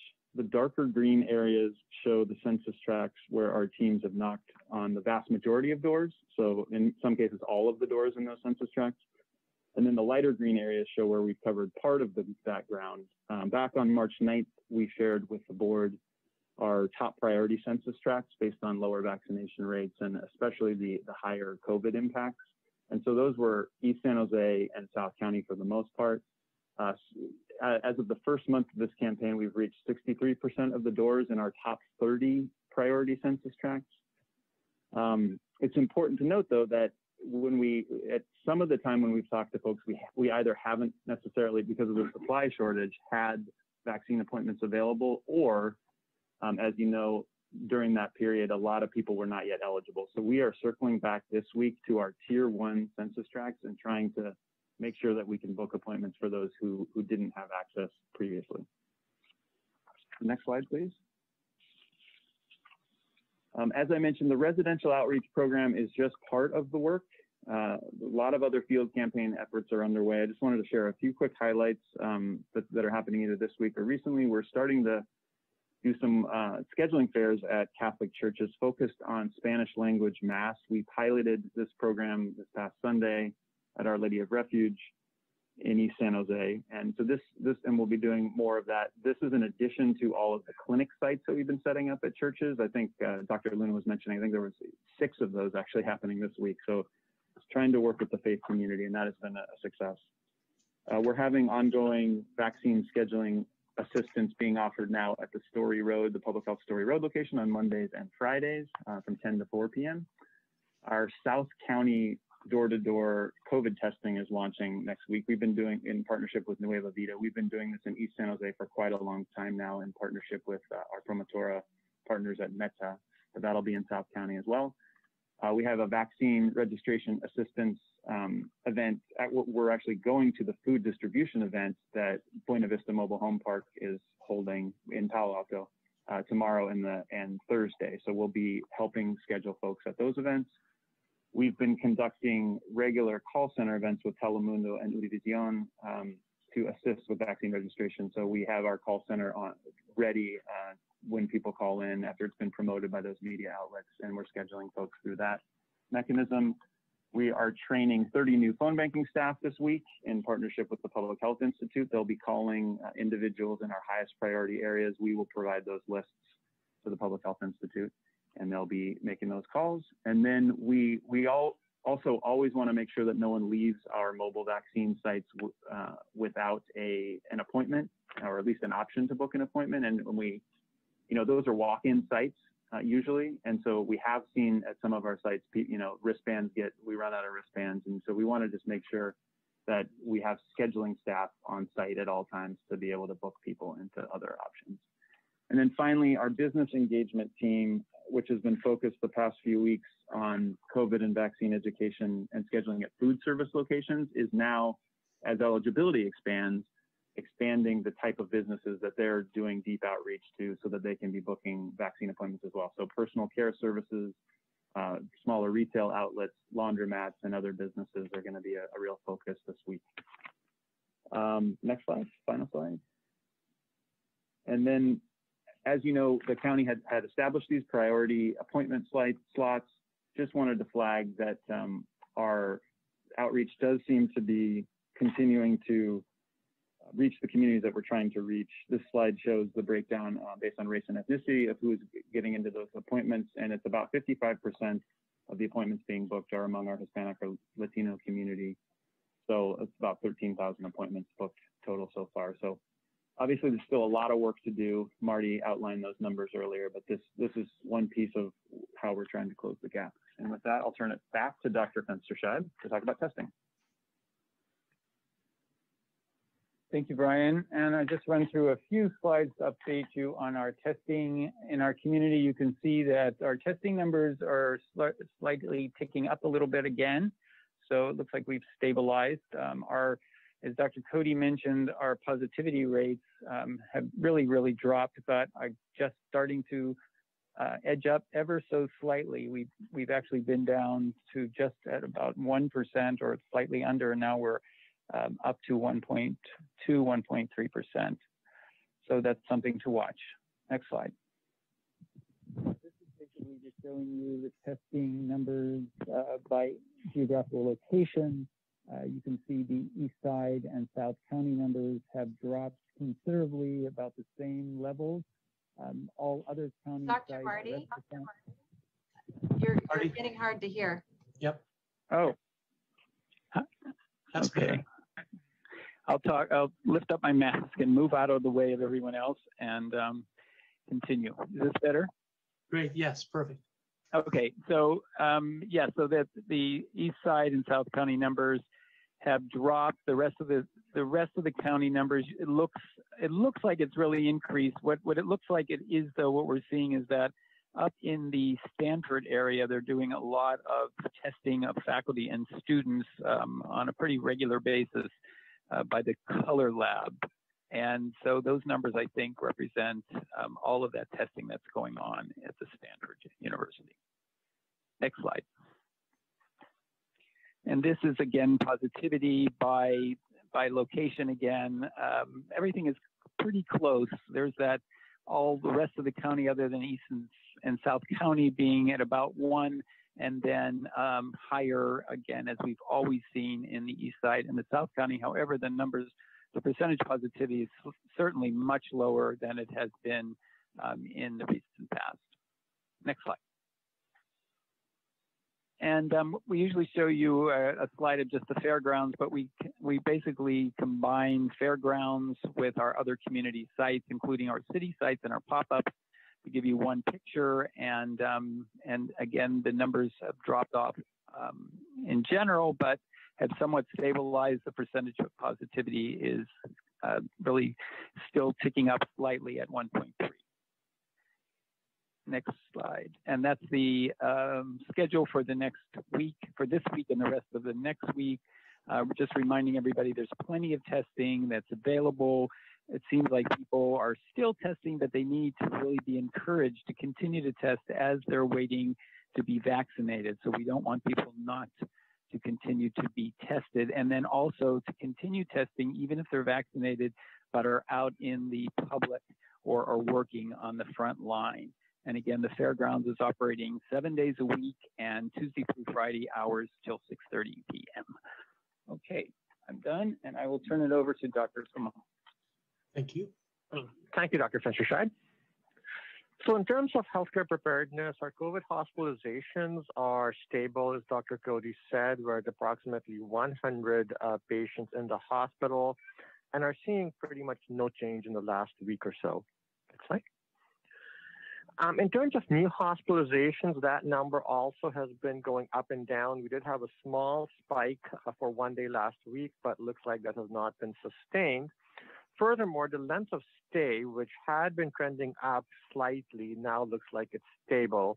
And once again, that's one of the metrics that we could use to determine whether hospitalized patients are sicker in any way, although there are other reasons for that as well. Uh, next slide. And other metrics of severity also look uh, mostly flat. Uh, the percent of all cases that get hospitalized is still in the neighborhood of 6%, which is lower than the 10 to 12% we had seen earlier on in the pandemic. And the percent of all hospitalized cases that go into the ICU had trended upward um, somewhat alarmingly, but once again has come down. So, all in all, we don't think there is any significant change in these signals to indicate more disease severity. However, given what is going on in the Midwest, given what's going on worldwide, we're going to continue to monitor these very closely to make sure that we are aware of any changes that occur. Next slide. Thank you, Dr. Kamal. Next slide. We continue responding to complaints and concerns that are filed in our portal at scccovidconcerns.org. And as of April 11th, we've received over 9,200 concerns, and we have been continuing to resolve the vast majority of those through phone, email, warning, response, uh, where only a, a, small number, 30% or so, uh, lead to an on-site inspection. We've issued 754 notices of violation, and consistent with the past few reports, the top three reported sectors continue to be uh, food retail, retail trade, and gym and fitness. Next slide. And as you can see, the total volume by day coming in, good news is that we're uh, still relatively low in the number of concerns that are coming through. Um, but on the left-hand side at the bottom, you can see that food retail continues to account for a much higher volume than even retail trade, uh, which is where a lot of our most vulnerable workers are working. Uh, next slide. And I'll turn it over to Hong Kao. Thank you. Next slide, please. I will be providing the status update on the isolation and quarantine support program. So from the start of the pandemic through April 15th, 2021, the INQ program has helped nearly 2,217 persons, including persons without a permanent home to isolate or quarantine in hotels. We've provided supportive services and over $892,000 in groceries and other necessities to help over 4,200 households to safely isolate or quarantine at home. And we've distributed over $9.3 million in direct rental and financial assistance to nearly 4,500 households. Next slide, please. And um, this graph here shows that the program trend continues to mirror the number of cases countywide on a seven day rolling average. Next slide, please. And since we last reported to the board between April 1st and April 15th, we have helped 27 households to safely isolate in a hotel. We've provided assistance to over to 143 households with in-home support services and we've supported 125 households with financial assistance. And all of these households received assistance within the first 24 hours of when the re referral is made to the INQ program. Next slide, please. And this graph shows um, the one of our partnerships with the Social Services Agency, where we refer um, referrals are submitted to SSA for additional services. Um, these referrals are submitted directly to an eligibility worker and um, he or she will then follow up to help clients apply for Medi-Cal, CalFresh, CalWORKS, and CalFresh. Um, next slide, please. And finally, we are also partnering with the City of San Jose and community partners to provide emergency rental assistance program details to our client. And I will now turn it back to Dr. Smith.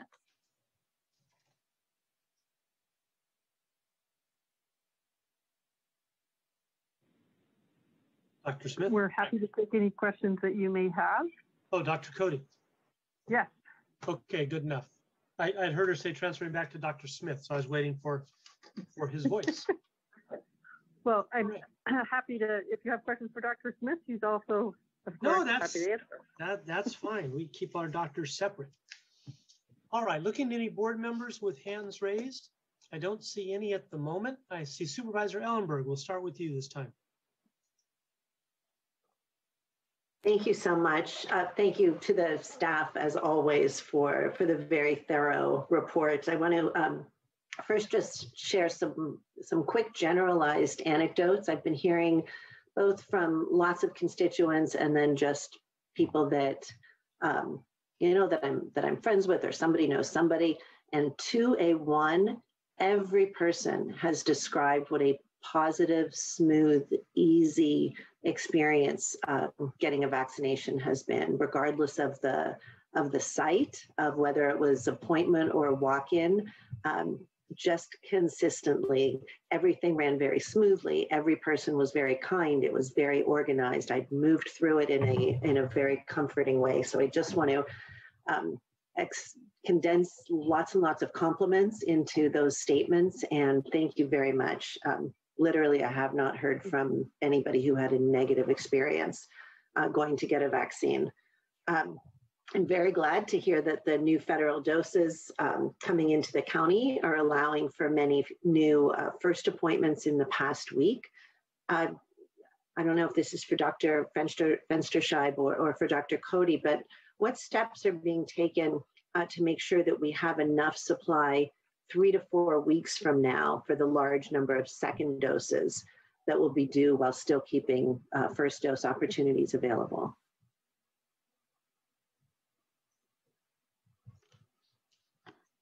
Okay, so they took me, sorry. I get all. I'm happy to hear from you, Dr. Smith. Um, well, as the board knows, we did get a substantial shipment from through our HRSA connection because of our FQHC qualifications, and we continue to get uh, pretty much our standard allocation from the state. Um, in terms of making sure that we have enough for second doses, we've on, been on the phone actually today and yesterday with HRSA to confirm their commitment to second dose allocations. I don't have a final answer on that, but it seems likely that they will um, commit to providing those second doses. Um, we also are working out the logistics with the inventory that we currently have to make sure that everything, all the second doses are covered. Uh, we still have, as you know, the J and J on pause, and we have a relatively small allocation still in our refrigerators of that that we're holding, obviously, until we get an answer. But that also works into our calculations. So we're tenuously held together at least for the next uh, week and a half to two weeks, um, presuming that we do get the second dosages. Um, there's also news on another front that we're getting communications from the TPA that some areas of California are having more hesitancy than others.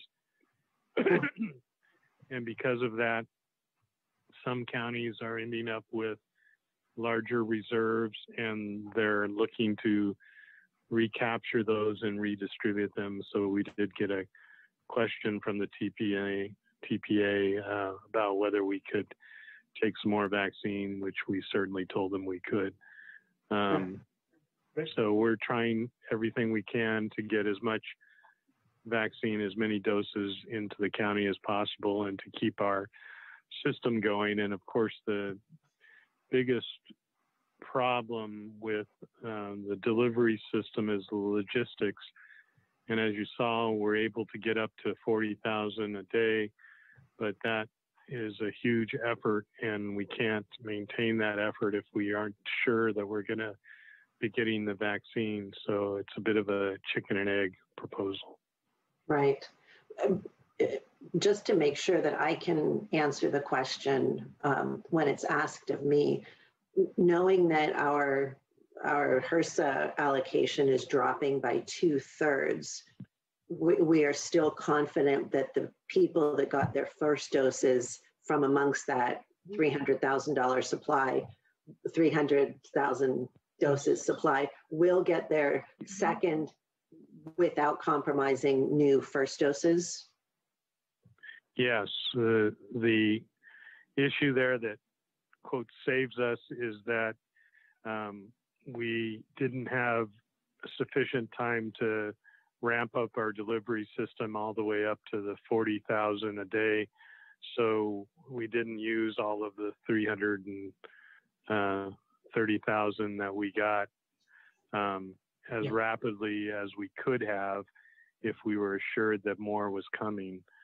So that leaves us with some in reserve to be able to use for second doses. Mm-hmm. Great. Thanks very much. I appreciate that.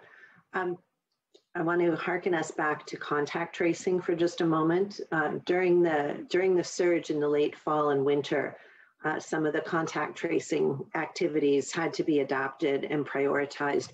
and we haven't discussed uh, case investigation or contact tracing for quite some time. Do we still, are we still doing contact tracing um, at any level? If we are, how might it be characterized and what, what is envisioned in the coming months or year uh, for this aspect of the response as more and more people are vaccinated? Thanks, Supervisor. This is Dr. Cody. Uh, we are still doing case investigation and contact tracing, um, much as the way that we've been doing it all along. Of course, during the winter, we scaled back to a, a lighter touch because the volume was so high. Um, but now we're back to complete um, case investigation and contact tracing. Um, we we don't know. There's lots of conversations with the state about when when we might transition to a different model. I think we're we're not ready yet. It turns out to be quite useful when we do our case and contact investigations, and then later uh, learn that a case uh, was infected with a variant of concern. Then we've already collected a very helpful information. Of course, we never know that at the time of the investigation, but that turns out to be um, a, a, new uh, use case for the case investigation and contact tracing that, of course, we uh, hadn't predicted uh, when we started a year ago.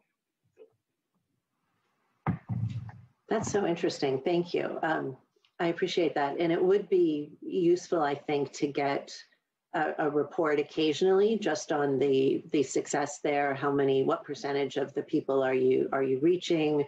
Are we improving on people um, being more open and willing to give their contact um, information?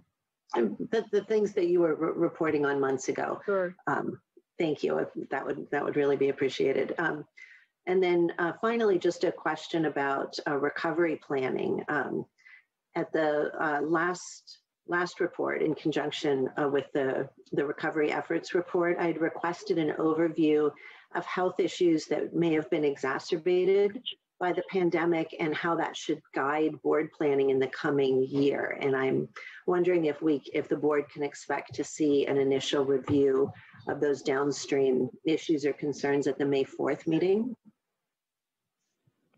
Yes, we'll be able to give you some initial concepts at May 4th. Um, yes.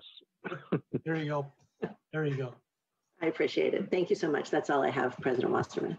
Thank you, Supervisor Chavez. Thank you. Um, I thank you very much for the, all the amazing work. And um, I wanted to just say to Dr. Kamal, I, I, really appreciate us keeping our eye on the um, health and hospital infrastructure for thank you, thank you for that report. I, wanted to start with a bigger question just for a moment about the variants and the trends we're seeing nationally and the work we're doing locally. I know when um, Dr. Smith or Dr. Cody, you get a question like this, we always tell people rush to the rush to get vaccinated because we're we're um, in a race against the variants. Um, but I wonder if, as you're looking across the nation, um, if there are any lessons to be learned there that that we should be thinking about now? Or if what you're seeing across the country um, should or could be changing the way we're communicating with people locally about getting their vaccine?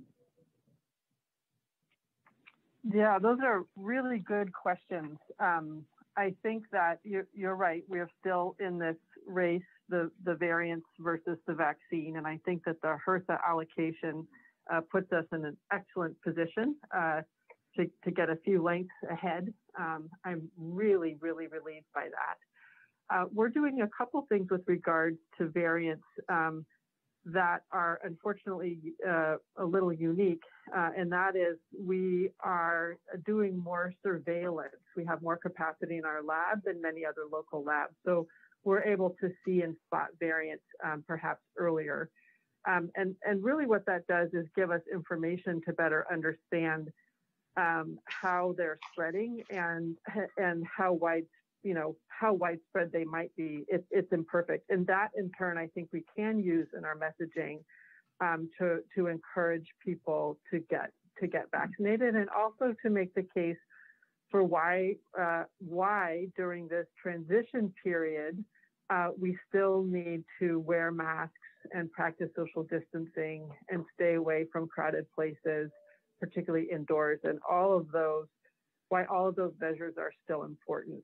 Um, I think that the messaging uh, is more challenging now than it than it has been uh, because you know a year plus in, it's very human to want to uh, relax a little bit, and in many respects, you know, in some some scenarios we can, uh, and in others uh, we can't uh, because we don't have a population level immunity. So I think that the um, a little long-winded, but I think the variant story kind of um, maybe can help people understand uh, why the prevention measures um, are are still necessary. All those layers are still necessary.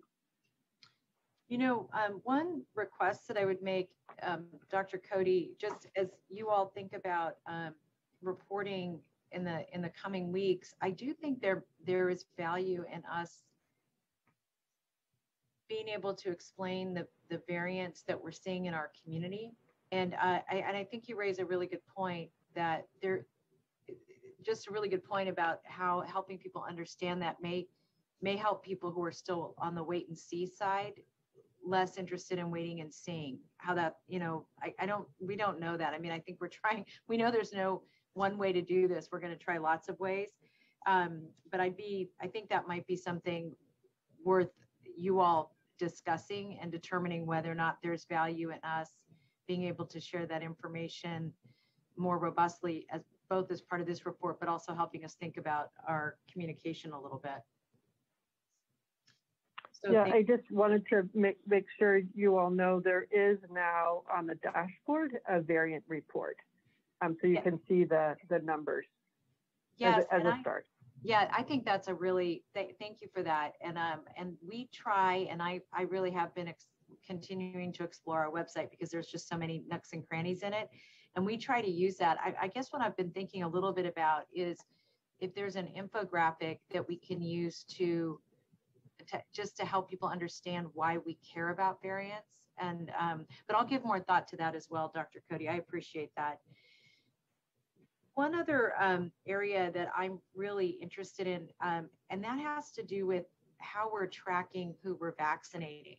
And there's a very good census, it's a data census track map that we have under our dashboard that has the COVID, COVID vaccine vaccinations by census tract.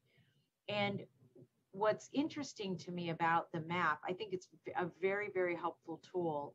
But what's interesting to me about the map is that you can look, um, I think the highest uh, census tract I've seen, it's a very small census tract, has a 75% of the, the residents who've received, I think, um, with at least one vaccine I think that's the highest one I found.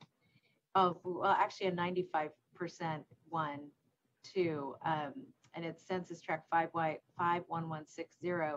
I think our the lowest census tract I've seen has been probably in the the high teens or early 20s, like maybe 22%. I, I raise that because what I would like to recommend is that um, for future reports that we use the census tract map um, to demonstrate our where we are in our process. And one of the reasons I think this map is so critical is that I think it really helps refine where we're where we are really trying to to work and um, and make sure that people are getting vaccinated. As an example, I think the door to door and the community work being done in Gilroy really demonstrates you know that concentrated area. I'm sure mike you, you've been looking at this too really mm-hmm. shows the community work the, the all the layers of the work that have really seen an accomplishment there and parts of east san jose as well. And then there's still these census tracts that are just really hard to dig into. Um, but the reason i'm raising this is that one of the challenges with looking at the data that says this is how many hispanics or latinos we've vaccinated how many african americans we've vaccinated is that the other number is so high that I think we're going to have to overlay the in a, in a, again, in a more explicit way, the locations that people are coming from that are being vaccinated and not solely rely on the, um, these other numbers. And I wonder if you all have had that conversation too about the high number of others that are, that come up in our, our numbers of vaccinations. Yeah, we've spent a lot of time uh, looking at the vaccination data, particularly uh, by race, ethnicity, and and trying to understand for those coded as other or unknown um, why and what that might mean. And it's uh, additionally complex, of course, because uh, people are getting vaccinated in several different systems. So there's a lot of different systems that are collecting and putting data into CAIR. Um, and we've noticed some patterns uh, around around that with some some systems um, uh, entering data in a way where we're actually missing a, a lot of information about race ethnicity. Uh, and I think this is actually a statewide problem. So um, we have to, as you know, do some workarounds to try to understand uh, who we're who we're reaching and where we and where we have gaps. Uh, and then on top of that, trying to visualize it uh, by geographic area um, is an additional uh, layer of complexity. Yeah, it really is. And I and like I said, I appreciate the map um, that we have in the you know the census tract map, but I do think we ought to be using that and and um, concurrently explaining where we are with race and ethnicity because I, I think it's very it tells a more complete story than seeing those two um, separate.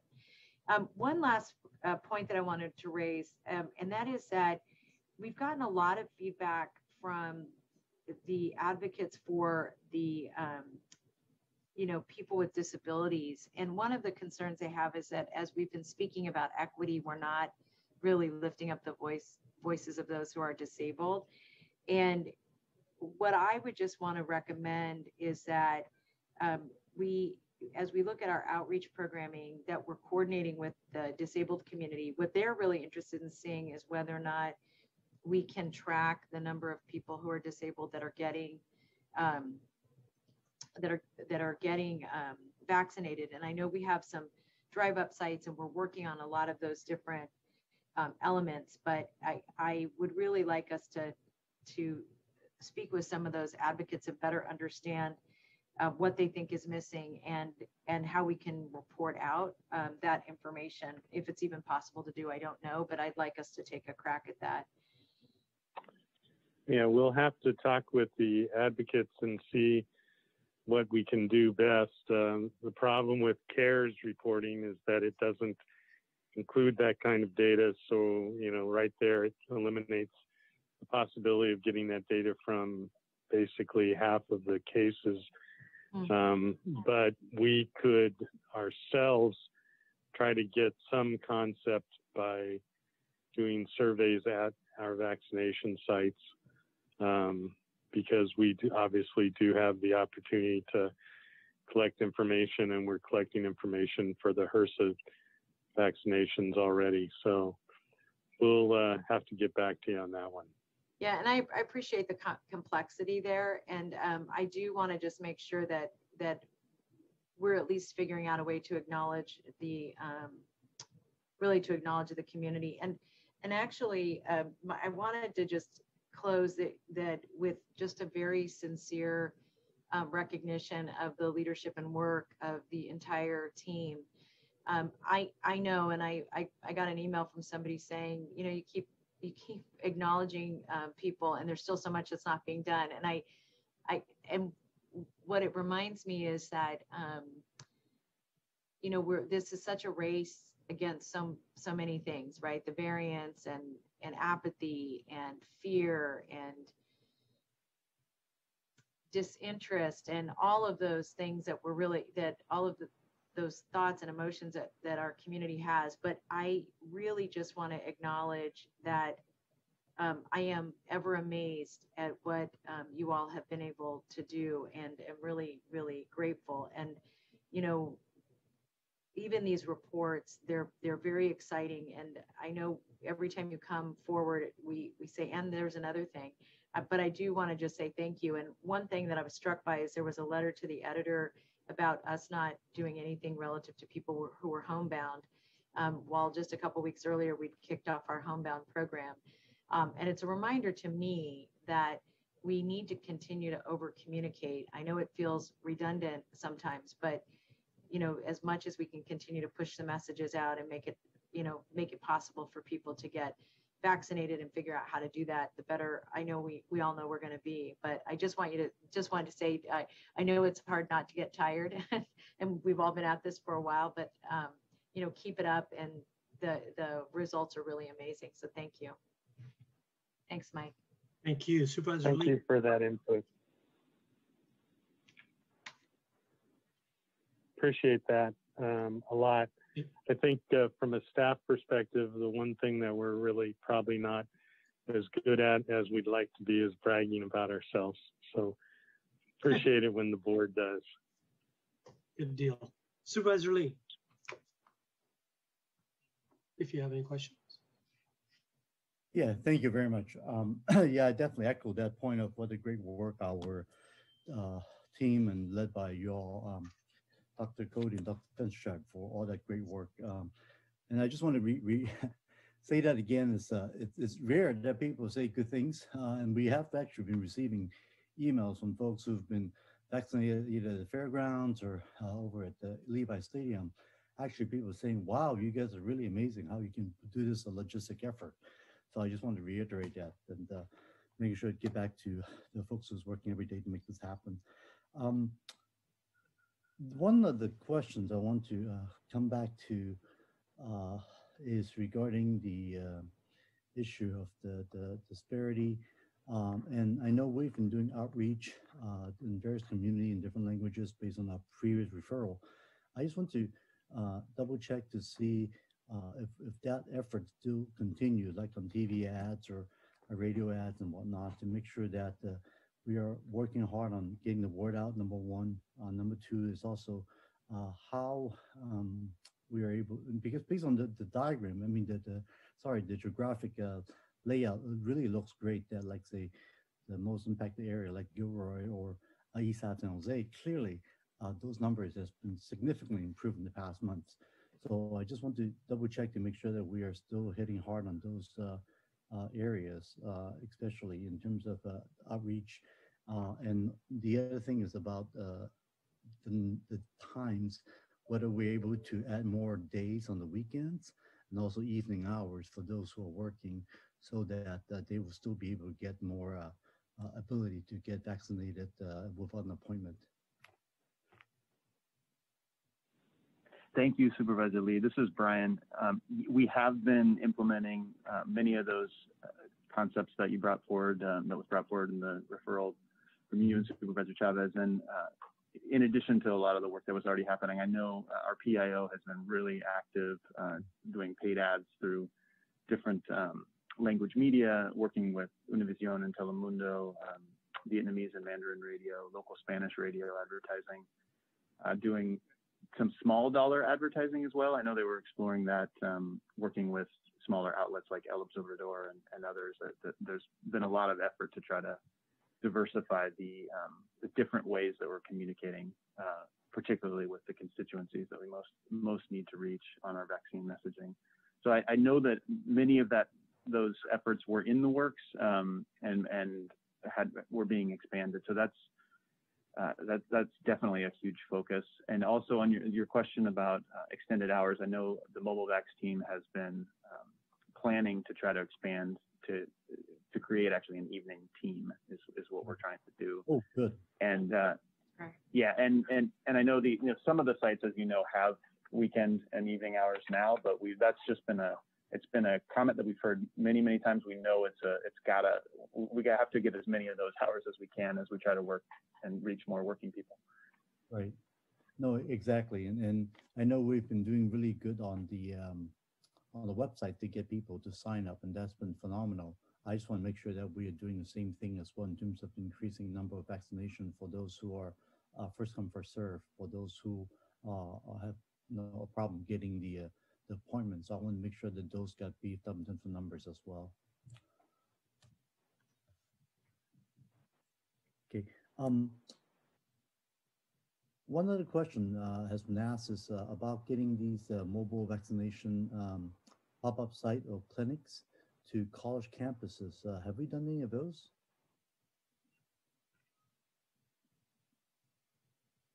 Hi, Supervisor Lee. This is this is Dr. Cody. We we have certainly had inquiries um, from uh, the college campuses.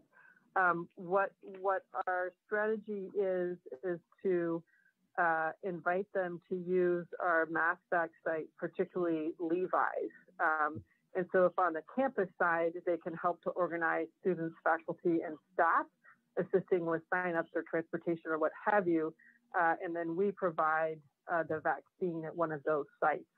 Um, and that allows us to reserve our other capacity for going to the more difficult to reach uh, populations. Got it. Yeah, definitely. I mean, obviously, because they at university, they certainly didn't have problem understanding English, or at least uh, uh, using internet, right, to make the reservations and whatnot. So I think Yeah. that's actually a smart way of uh, using the resources.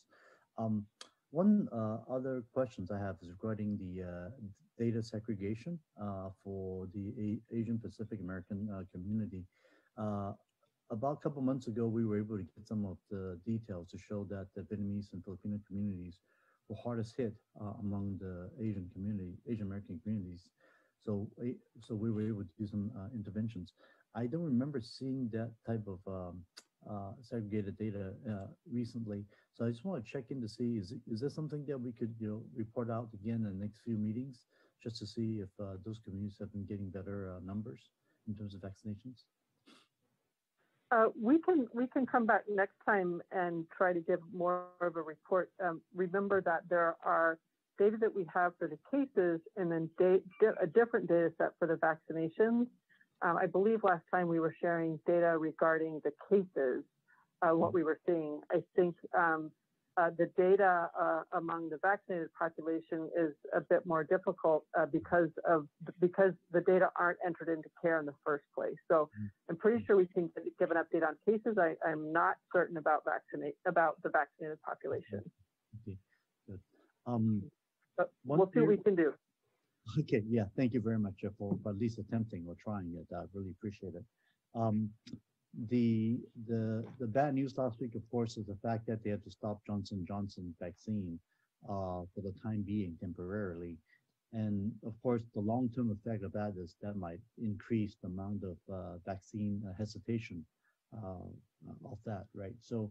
Um, there are words like guess Dr. Fauci saying that it's very possible this could be approved as of Friday, you know, and all that. So I know we have some doses still sitting around and, you know, obviously not being deployed. Uh, once the word gets out, right, that let's say the Janssen vaccine is, uh, uh, is, is approved again, uh, those could be very quickly be, uh, be implemented immediately to our various sites, correct? Uh, yes, I'm going to let Dr. Fenstersheib comment further. Yeah, the answer is absolutely yes. We expect, uh, again, I hope, some type of decision on Friday when the ACIP meets. And I mean, they have a lot of options for it. They, they could restrict um, the utilization of that dose, that, that of that vaccine to certain segments of the population. So we'll see what happens, but then we can utilize it. Um, and then there'll be the issue of, people's perceptions. No matter what they say, there'll be issues of perception. But just remember, at this point, it's only about 5% of all our vaccines. So it's, it's a very small component of our overall program. Exactly. So it's not affecting us uh, at all in terms of our, our ability to continue to um, get the vaccines out. So that's great. Um, one other area I would like to ask questions on is on the issue of vaccine verification, which obviously would help us well, open it sooner, whether it's uh, uh, large events or even restaurants and, and businesses.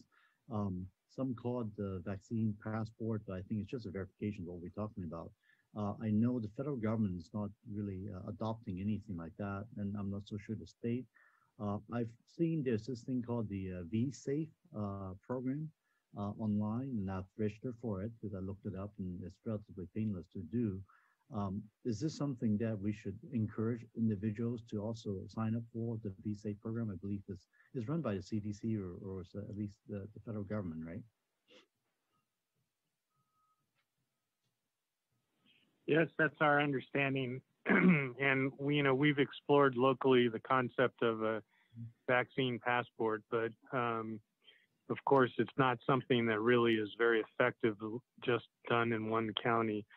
So we're looking to the CDC for direction about how to proceed. Um, I know there's, well, we've all read and are aware that um, there's activity going on in the administration that might end up with a vaccine passport uh, model, but at this point, um, we're waiting for more direction. Okay. And and uh, my last question in this series, I guess, would be: um, We know that the different states only have very different numbers. Uh, for example, Michigan is like one of the worst states now in terms of their numbers. Uh, versus uh, us here, we've been very fortunate that we are relatively flat, even though it's increasing a little bit lately. Um, is there anything we are really doing for folks arriving from uh, those, those areas on the airport? What are we doing to remind them regarding the 10 day, uh, you know, quarantine and things like that when people arrive from uh, uh on the planes coming to our areas?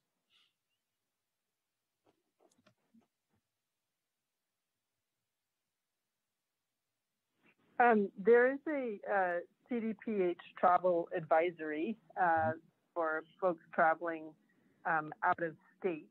Uh, and there's also a little bit of a different message for people who are vaccinated, and this originates with the CDC.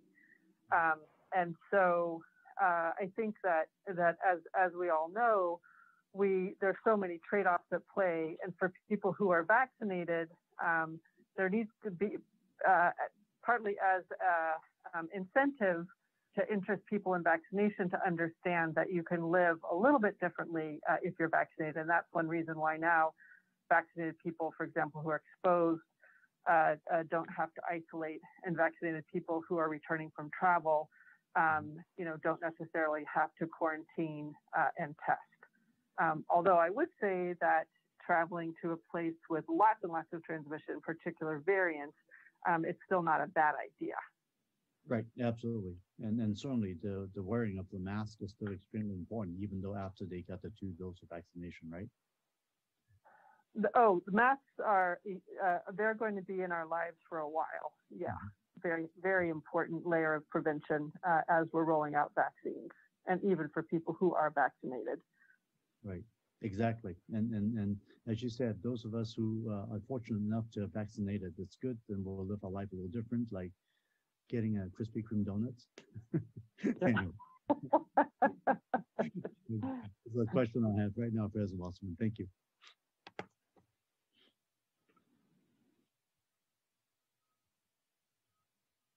Oops, I think you're muted. Now I'm unmuted. Thank you, Supervisor Lee. Supervisor Simitian. Thank you, uh, Mr. Chair. I wanted to uh, ask staff uh, if they could follow up a little bit on the uh, increased incidence of hesitancy that they've encountered, particularly with respect to the younger uh, residents that uh, uh, apparently exhibited some hesitancy, and and see if we had any sense, either hard data or even just anecdotally, what that hesitancy is about. What's what does that represent in terms of concerns that we should be thinking about addressing as we talk with folks in the community in the months ahead.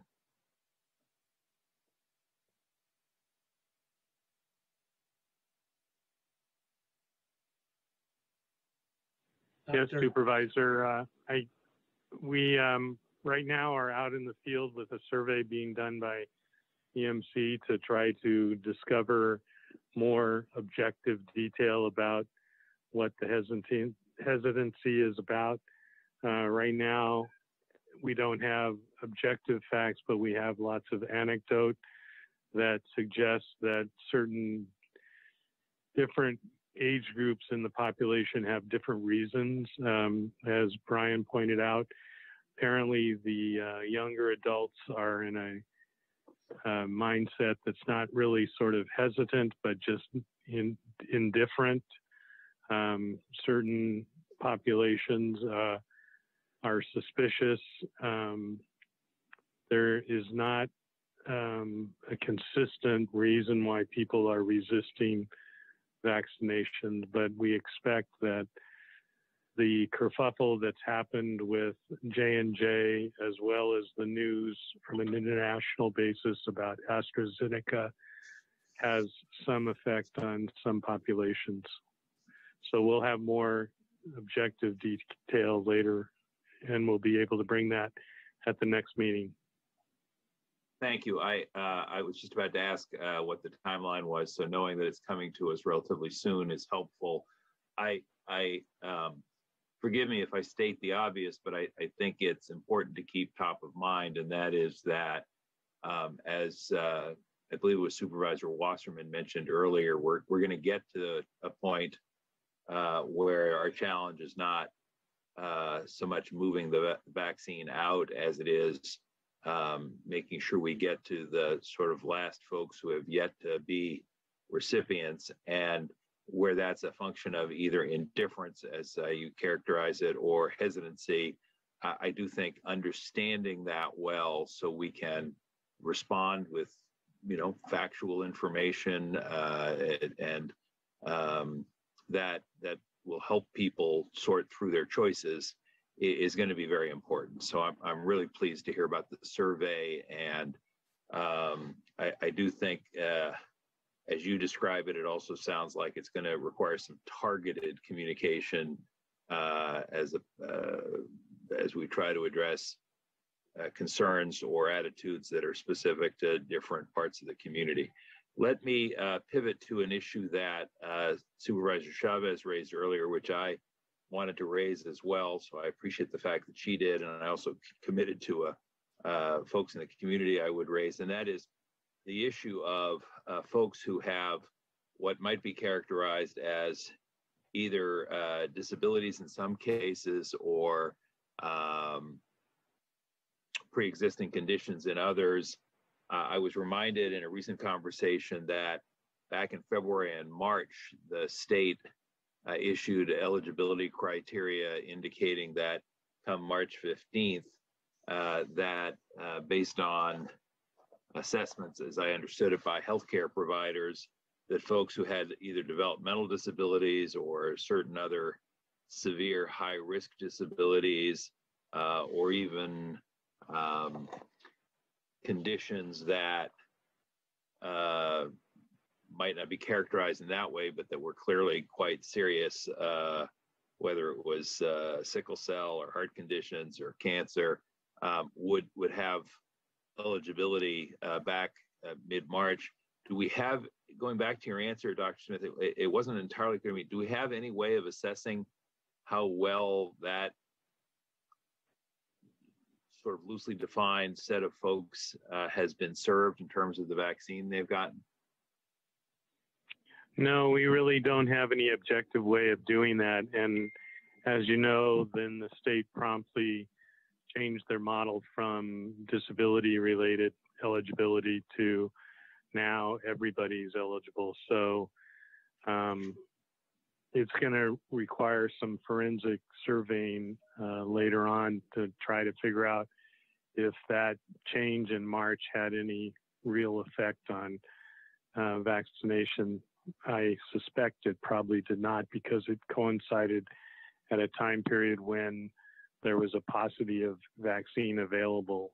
So um, there was such a short period of time between the eligibility that was specific to those with comorbidities and then opening up completely to everybody that um, I suspect it had very little effect, but we have no way of knowing that. Well, I uh, thank you. That's that's a helpful clarification. Can we? Um, I'm wondering if, in addition to the approach you referenced earlier, which is to perhaps do some survey research among the vaccinated populations, maybe to sort of flip the sample approach, sampling approach, and and ask if the folks at someplace like San Andreas Regional Center, who serves the uh, developmentally disabled community, could could help us determine what percentage of their clients, for example, have been served. I think that might give us a, um, a, a clearer sense of uh, how well that particular segment of the community has or has not been served. We'll communicate with the regional center and see if they've got some data. It's also possible at the state level that they might have some data that we could utilize and report back. Um, we'll have to do some research and find out.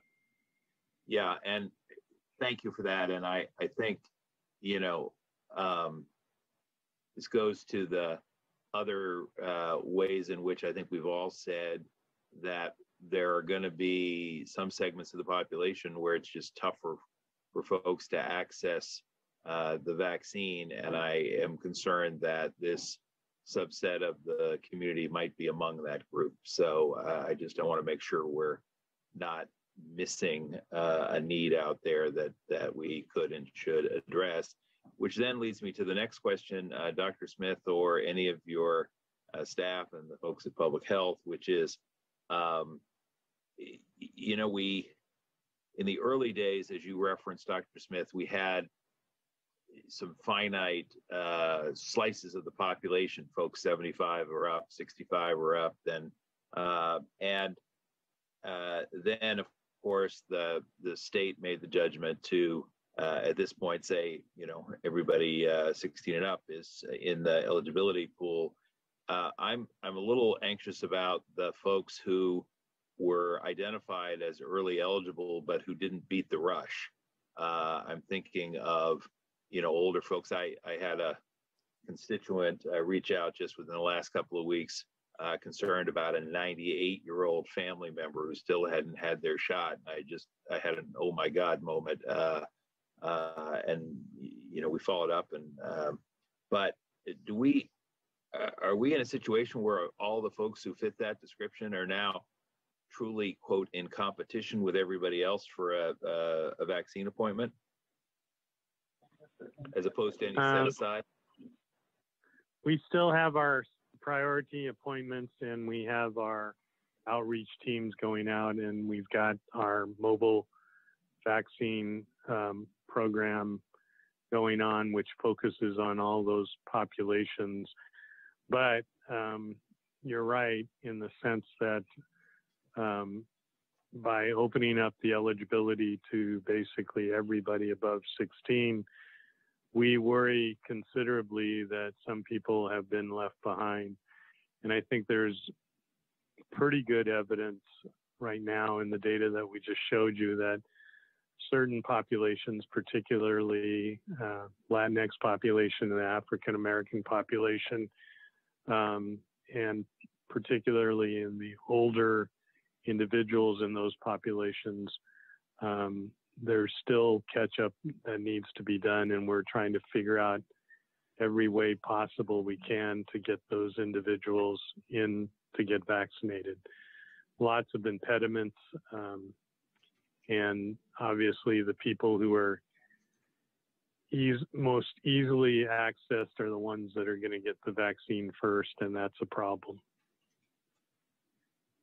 I um, I I was taken by the the description you provided of the challenge of ramping up you know i when i try to talk with folks about these issues and i'm trying to keep it as sort of simple and straightforward as i can i say look you need three things you need a site you need a, a team of folks to handle the logistics and actually deliver the vaccines put shots in arms as people now say and you need the vaccine. Uh, you know, I know it's more complicated than that, but those to me seem to be the three sort of uh, bottom line uh, prerequisites to a program. And you know what I heard you say earlier is, well, we've we've identified sites and we've got a, a system now for delivery, but it's a little hard to ramp it up and ramp it down and ramp it up and ramp it down depending on the availability of vaccine. Did I get that part right? Yes, exactly. I mean, I think we've proven that our system can deliver 40,000 doses a day, but you can't just snap your fingers and have that available in one day. You have to get all the people there that are required to support it. And like you say, it's important to have the vaccine. And you can't make all those appointments for a week or two weeks or three weeks in advance. If you're not sure you're going to have the vaccine to be able to do it.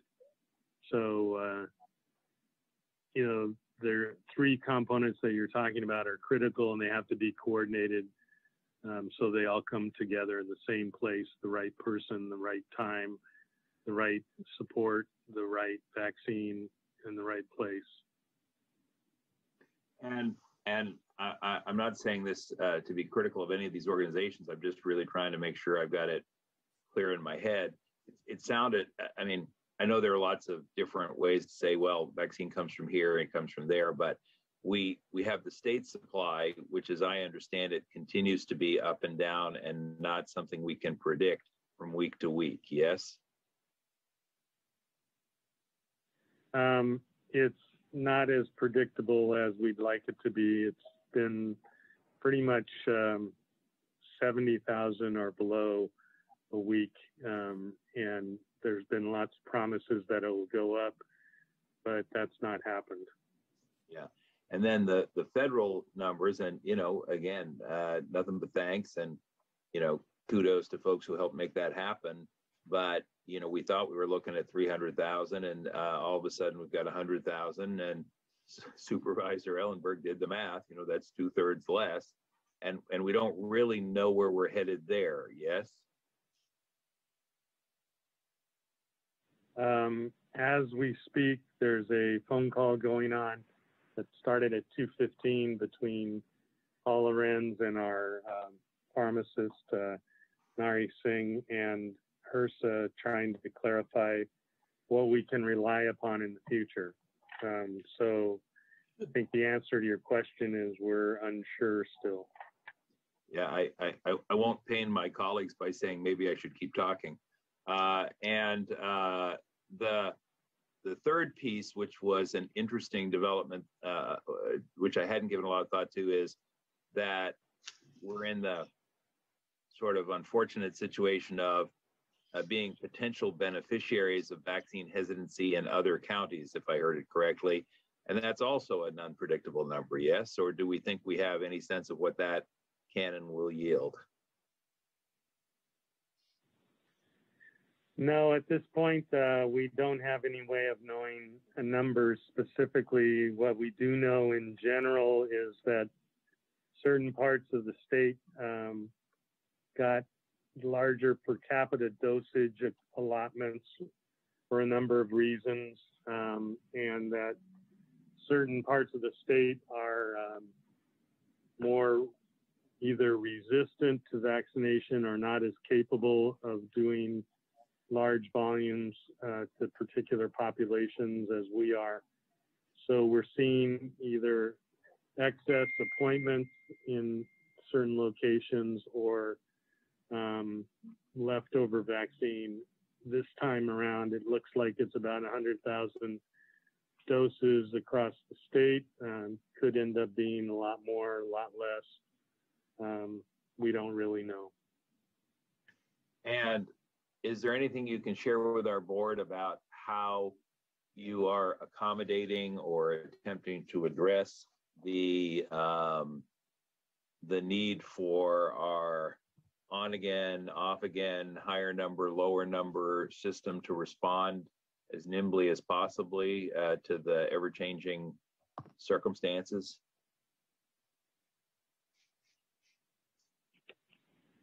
It's a um, huge personal or personnel EL um, problem uh, with our DSWs and our employees, as well as uh, contractors that we've been using as professional uh, parts of the team. Um, and it's been pretty much a day to day, moment to moment, uh, calling people in, uh, prepping for the next day, scheduling for the next day. Um, I guess that's the best I can say. It's a it's a huge problem. We sometimes have far much many more um, patients than we can handle accommodate easily.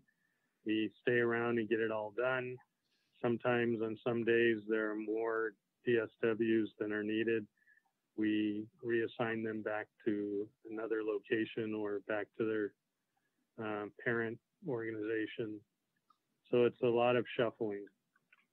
And last question, and thank you, uh, Mr. Chairman. Um, Dr. Smith, it, it, does this uncertainty about uh, volume of vaccine available uh, explain why, at least in my office, we hear from folks who say, I don't understand. I made an appointment. They said they had an appointment six weeks later, uh, but my friend just uh, made an appointment uh, this week and they were able to get an appointment in just a week or two. Why did I have to wait six weeks? And the answer is because somebody just honestly didn't know how much vaccine they'd have and didn't want to make appointments that they weren't sure they could keep. Is that kind of the simple answer to a complicated set of dynamics?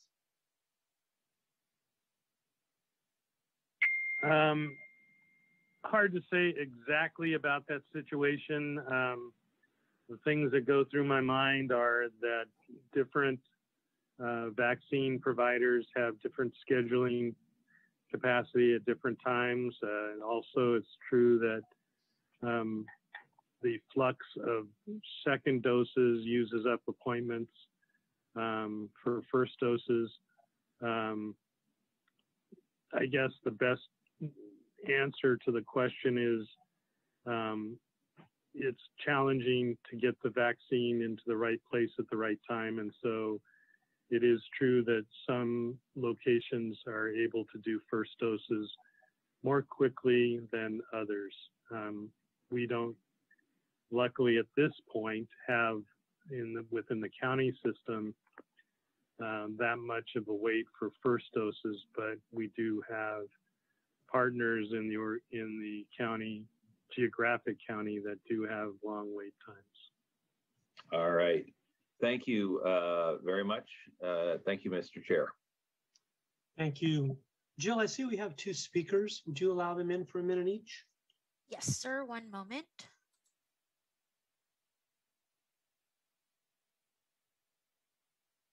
Our first speaker is John Pedigo. I am unmuting you. Please accept the unmute. You'll have one minute to speak. The timer will start when you begin speaking.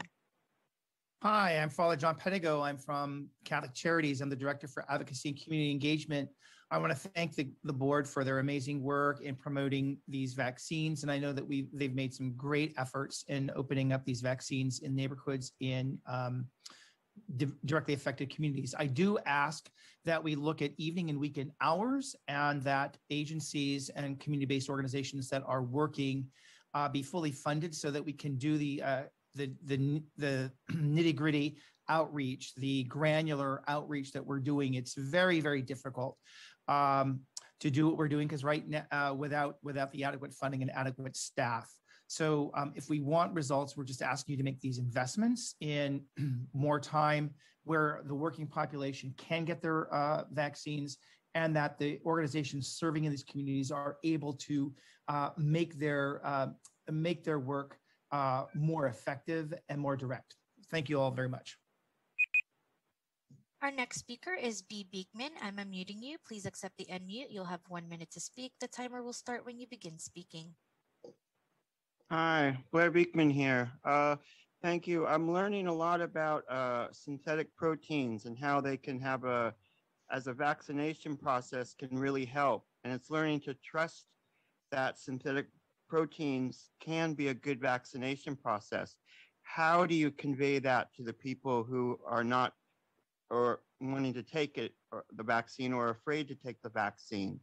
That's I'm a bit afraid. I'm learning about it now uh, it's a bit different than simple homeopathic remedies, uh, vaccines of say Johnson and Johnson and the AstraZeneca. The blood clots are an example of, of that. And so, you know, the synthetic protein by Moderna and Pfizer may be an interesting choice that is not so uh, fearful if you read into it and if you guys know how to talk about it and share that with the community. Please work on that. Thank you. That concludes our speakers. Okay, we'll go if we have any second rounders. We're starting with Vice President Ellenberg. Uh, just two quick thoughts. Um, first, in response to something that Supervisor uh, Lee said a while ago about college students, can we distribute vaccines to um, college or university health centers for them to distribute?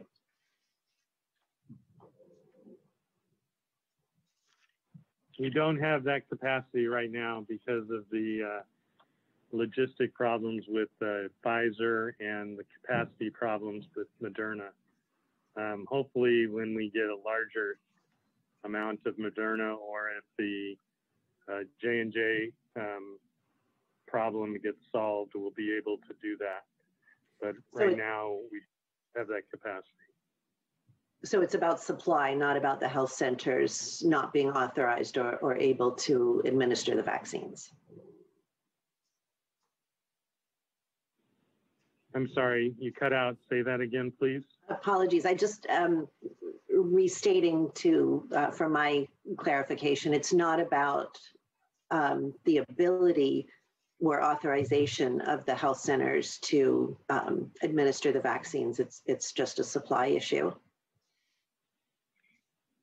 Well, there's a couple of layers going on. Number one, we can't redistribute the HRSA vaccine uh, to other locations, so that takes that off the table. Mhm. With regard to the state uh, vaccine, it could be distributed to qualified um, uh, providers, um, and it's possible for a school system to become a qualified provider. But um, right now, in order to distribute some Pfizer to a qualified provider, they have to have the ability to deal with the super high refrigeration requirement. So that's not an option at this point. Yeah, that's a good point. Thank you. It would also require approval from the third-party administrator, which I doubt we would have a problem with getting, but Mhm. um, you know, there there are bureaucratic problems with the whole process. Right, that's clear. And I, and yes, the, the, the storage issue is critical. Uh, the other point that I wanted to make um, was in, in response to Brian Darrow's um, uh, description of targeted ads and, and, and how we're giving different messages to different population, specific messages to specific populations, which I think is terrific.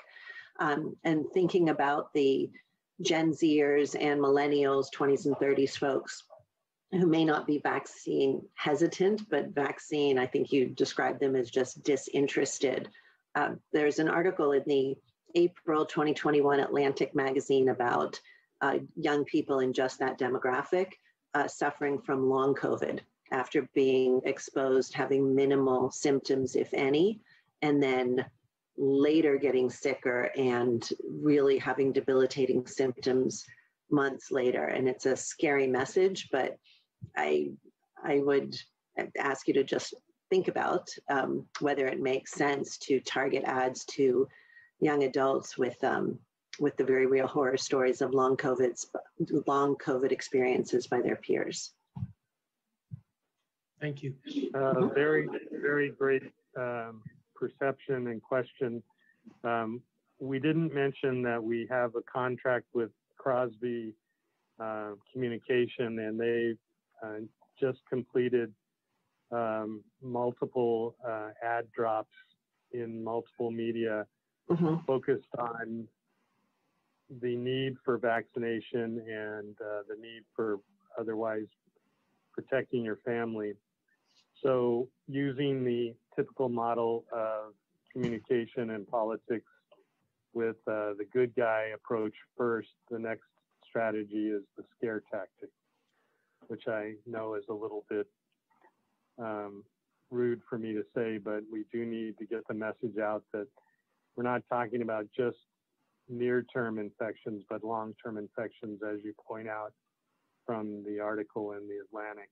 Right, and, and um, I would view it as comprehensive education, not not scare tactics. These are realities, and it's important for for people, especially populations that feel that they are not at all vulnerable, to really understand the full extent of of how this virus can can impact even otherwise young, healthy people. Yeah, your your approaches or words are much better than mine. Thank you. Thanks, Mike. Thank you. Supervisor Chavez. Thank you. I, I was just gonna um, suggest that the, that all of the, um, the commercials that are being developed either for social media or for TV be on the, um, the media toolkit, because I haven't seen them. And the other thing is, I would like to request an off agenda on the media buys. I think we've asked for that a while ago, so maybe it's coming. But I think it's really important for us to know um, for radio and TV and what's being purchased in our areas. Thank you. Thank Will you. do.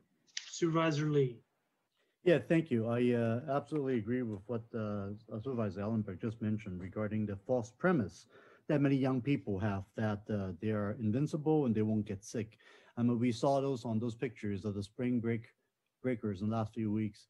Uh, the way they party, the way they truly believe that they're invincible uh, is certainly the concern. And I think we are seeing those numbers in Florida and Texas and other places uh, on many young people now are, are getting sick instead of the older ones. Um, so I think there's definitely a, a message that we need to get out there uh, to schools and campuses and uh, community colleges and high school even to, to explain that uh, that certainly young people are not immune. I think that's a very, very important point. Thank you. Um, and then here I am. I'm uh, about. I, I guess I, I mentioned this. I'm not sure if I mentioned this, but uh, uh, last board meeting, uh, we had a few protesters uh, out there uh, outside my door, trying to educate me why COVID didn't exist, and they haven't seen any dead bodies from COVID. I- I've used the term privately, but I'm just saying the the COVIDiots are out there. I just want to make sure that we really are are doing a good job of explaining the the, the these effects. They're trying to send videos of say how wearing masks has negative effect to your health and all that stuff that's still out there in the social media. Uh, is there any way we? I mean, I've written a letter to to Mark Zuckerberg on this issue. Uh, is anything that the county can do to produce PSAs or, or try to reinforce these issues and, and, and, and fight off these uh, these just fake uh, well fake news is one thing, but I mean fake news that could hurt people's health. They are- Our messages so far have all been positive messages, not trying to engage, you know, the the false news. Um, but um, you know, we're focused on trying to make sure we get the message to the groups that would be most receptive, and not arguing in the press with others. So we're doing we're doing positive things, which is great, but we are certainly not taking any efforts to debunk these uh, crazy theories.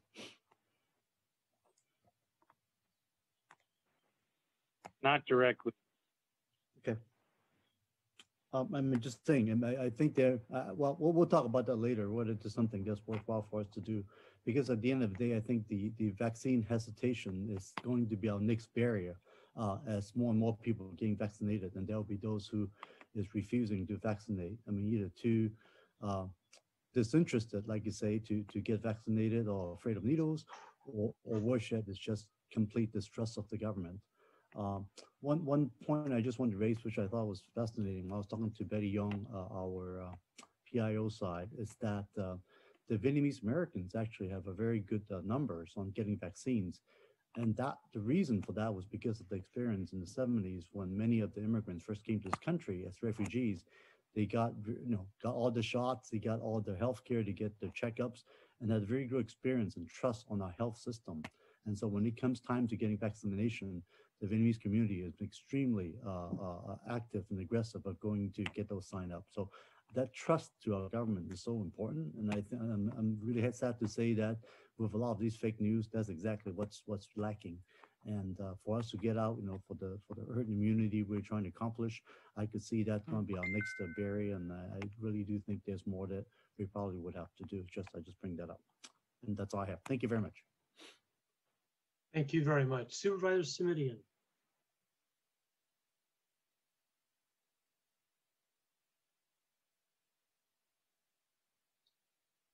Supervisor Simitian, did you have any final comments regarding item eight, COVID? Hearing none, I'll give, uh, give my comments. I have three or four specific things. Um, First and foremost, all of you are doing awesome. Every single report I've received, similar to Supervisor Ellenberg, and I'm sure the rest of us, has been overwhelmingly impressed with the efficiency, the professionalism, the politeness, everything about the experience. And I've heard from six or eight different sites. So kudos to all of you putting it together. Kudos to all of you doing it. Um, my first question relates to this particular dashboard here. However, I can show that. And when I total each of the columns, as I mentioned before, it does not include the pharmacies yet. So in that dashboard, there are no pharmacies in the total. So we really don't know how many people have been vaccinated. Then in my, what has become my favorite dashboard for the last month, this one here, which with the chart on the bottom, how do I do that? Where is it? Hold on one sec. There we go. This one here with the chart on the bottom and showing that we have vaccinated 939,000 people. That is an awesome number. Right now, we are not even allowed to vaccinate 400,000 people because they are 15 and under. So we have vaccinated 939 people out of 1.6 million, which is 58%. And that is downright awesome. My question for staff is I just want confirmation that red printing above the solid blue bar, it has been there for three weeks and it says, it says, uh, the dashboard could not be updated today due to state care problems. That doesn't happen every day, but this does. Due to issues with the California Immunization Registry data system, the number of vaccines administered is currently underreported. So Dr. Marty or Dr. Tong, I've been telling people based on this chart that we vaccinated 939,000 people.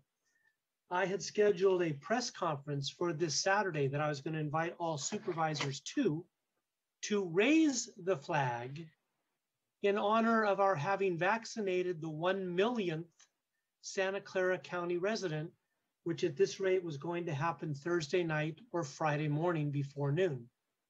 Now, because of the passing of former Vice President Mondale, our flags must be down as he lays in rest, and no flags can be raised until next week. So I'll figure out something to do, but I'm I'm going to, and all my supervisors, one millionth is coming this Friday. One millionth is a milestone. It is a big number, and it's out of 1.6. It's not just 50% of our population. It's it's going to be up around 60, 70%. So my question to Dr. Marty is with that red that says due to CAIR's system, and due to the fact that we don't have any idea what Walgreens and Costco, Walgreens, Costco, CVS, et cetera, aren't we well past a million people, Marty?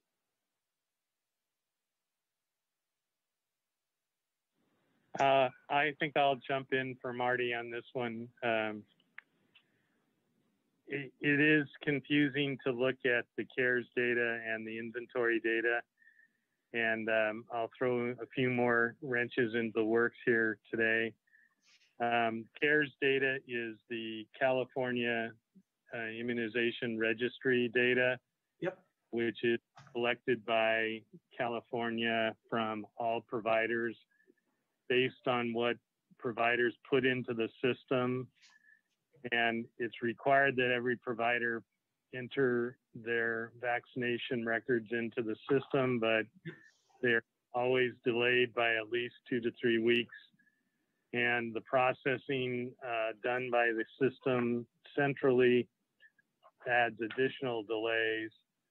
And to make that even more complex, state just recently uh, decided to um, utilize a different reporting structure that is now called IRIS. Used to be that they used what was called Snowflake. These were data collection systems that took the data from CAIR's and reported it out. The two systems don't mesh correctly. Um, so their um, accuracy in the short term is questionable. After a number of weeks, they actually measure up, but um, it makes it really hard to tell exactly how many doses have been given up to date. Then the first chart that you were looking at, which is the inventory chart, is our local data, not related to CAIR's, but created by us doing a survey of the providers to tell us how much vaccine they've received. So that number is also different than what you see with the CAIR's data. Yep, and Dr. Smith, So I- I- let, me- let me just interrupt here. I, I don't want to use a whole lot of time. The second chart right here, we show 939, and we also say this is currently underreported. So Yes, are, are, are- are we close to, probably, close to a million? yeah, we're, we're probably close to a million, plus or minus. We're, we're definitely higher than 939. We Okay, can't that- that tell you was- how close. That, that was my only close? point. Yeah, that was my only point that I wanted to get out here. Um, to do that and to tell Dr. Marty, even though our positivity rate is up a little bit, 1.2, 1.3, it's the sample size, Dr. Marty. It's like a batting average. You know, when you've had 600 at bats and you get a hit, it doesn't move. But your sample size now is far smaller than it was three months ago because vaccinated people are not getting tested. So whenever you have somebody test positively, it has a greater effect than it did three months ago when our testings were double what they are now. So Dr. Marty, Dr. Tong, Dr. Cody, Dr. Smith, Brian, everybody else out there, and all the thousands of people under you, you are doing a fabulous job. As far as I'm concerned, we are close to 1 million people in Santa Clara County having been vaccinated. And one, that's only out of the 16, 1.6 were allowed to vaccinate. So we are doing great there. The positivity rate going up is misleading because your sample size is smaller. And if one person tests positive today, it'll jump by far more than it did three months ago when you were testing twice as many people. So everybody, you are doing a fabulous job. Your numbers are fabulous. We are giving out the doses as fast as we are getting them. And federal and state government give us more, we'll get out more. We are well on our way to a very, very, very, very wonderful May and June and normalcy. And I will close with that. Uh, Supervisor Simitian, we tried to reach you previously. Are you available now? Did you have any closing comments? I, I am, I do not, I did not, and thank you very much. Thank you. All right, we had, uh, there was a motion made by a supervisor to include 21 in eight, in number eight, the Valley Homeless Healthcare Program. Uh, Any comments on that, please?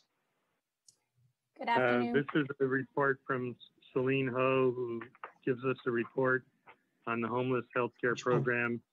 And just to reemphasize how important this is, it's because the, the county participates in the HRSA grant through our Valley Healthcare Homeless Yeah. program that we're able to get vaccine through HRSA. So, so Celine is uh, the person who made sure that that happened. Super. Go ahead and report out. Good afternoon, President Wasserman and members of the board. Um, I just wanted to give you a, a quick update on our vaccine numbers. As of last Friday, um, April 16th, we've completed 1,660 vaccinations uh, with 488 first doses, 333 second doses, and 839 doses of the Johnson & Johnson vaccine. Um, we continue to use our backpack medicine team to go out to the encampments to do the vaccination, as well as vaccinating um, at our uh, at our own clinic sites. Um, in addition, we also have our annual review of the sliding fee discount policy that's attached um, in your board packet for your review and approval. Uh, with that, I'd be happy to answer any questions you may have. Thank you very much, Celine.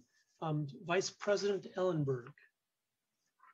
Celine, thanks so much for the report. I'm really glad to hear that there's a continuing increase in the number of VHHP patients uh, that are being vaccinated.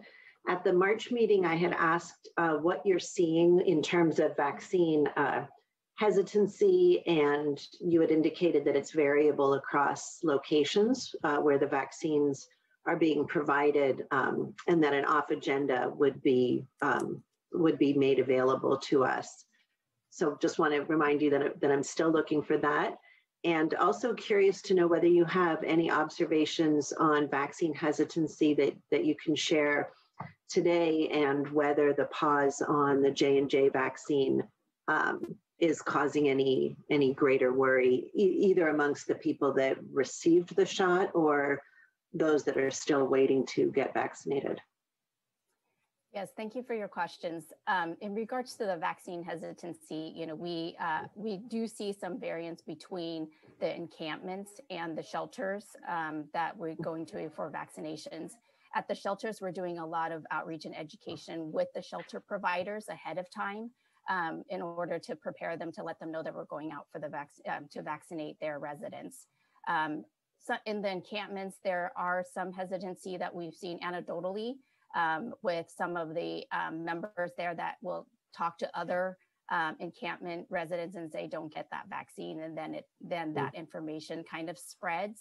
Um, but we are also doing outreach um, with our uh, community outreach workers to go out to kind of prepare them. We have some flyers that are specific um, to our homeless population that we distribute as well. Um, we actually are in the process of um, analyzing a patient survey um, that was just administered uh, a few weeks ago that also speaks to if they are um, planning to get the vaccine and if not, why. And so we'll have more information about that for you at the next um, board meeting. Great. In, re- yeah, in regards to the Johnson and Johnson vaccine, Mhm. you know, we started out with Johnson and Johnson only at the encampments, and obviously now we're using the um, the two dose um, vaccinations.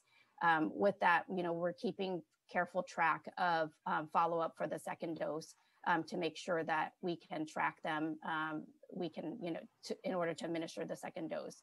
We've also set up a uh, VHHP hotline in case we go back to the to the encampment site and they're not there.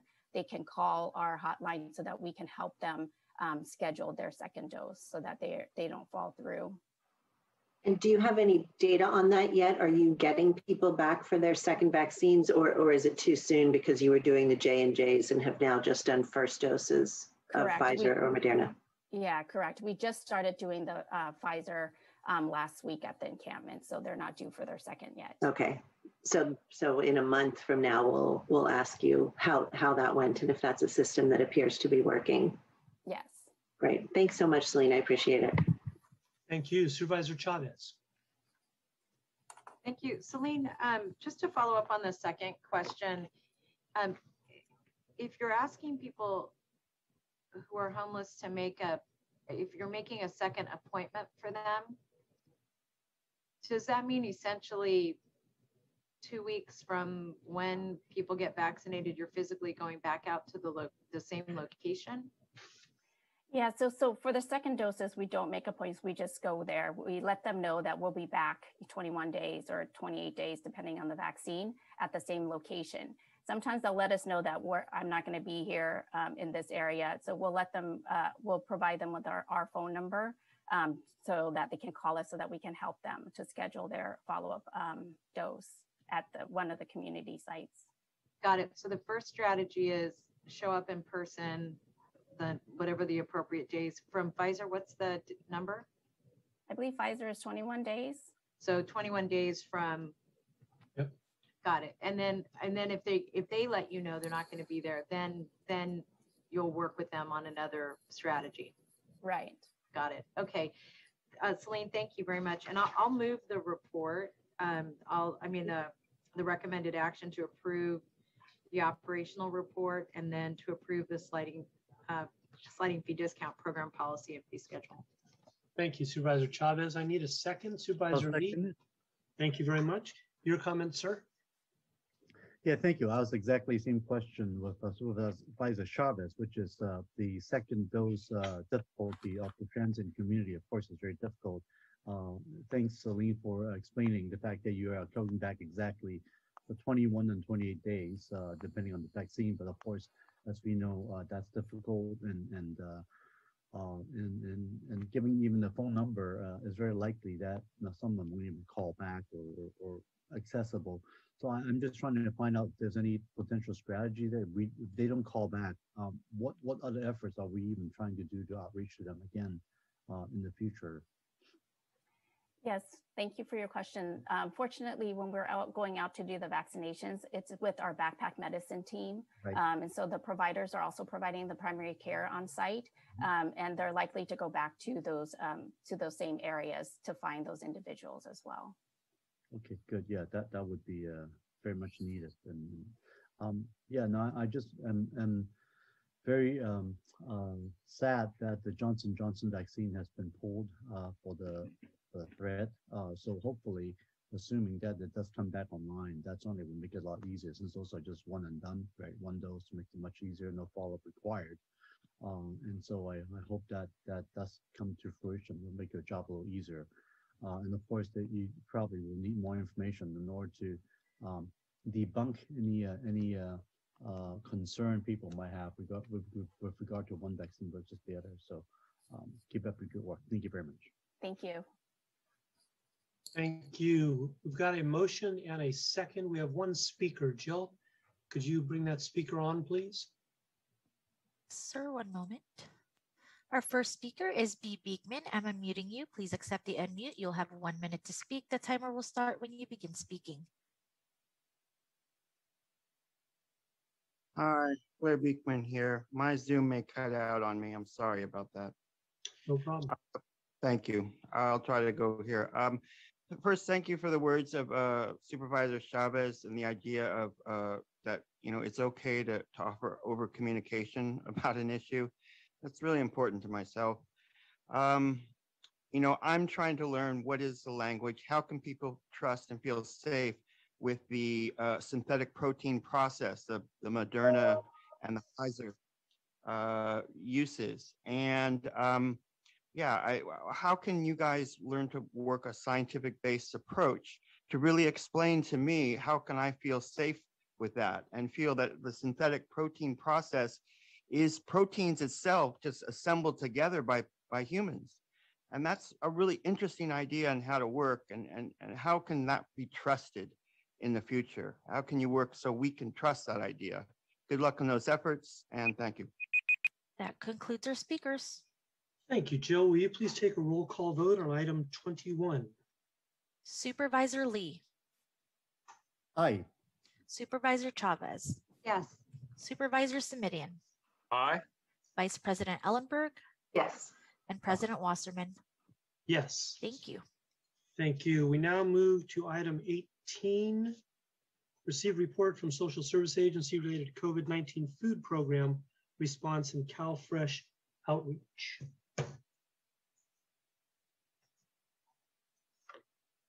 Back three. Who do we have? Angela? Yeah, how's it going, President Wasserman? It's going all right, thank you. Okay. We're getting, we're Um, getting good work done. um, so do my, am I supposed to share my screen? Um, or does someone, let me see if I can pull up the document. Oh, here we go.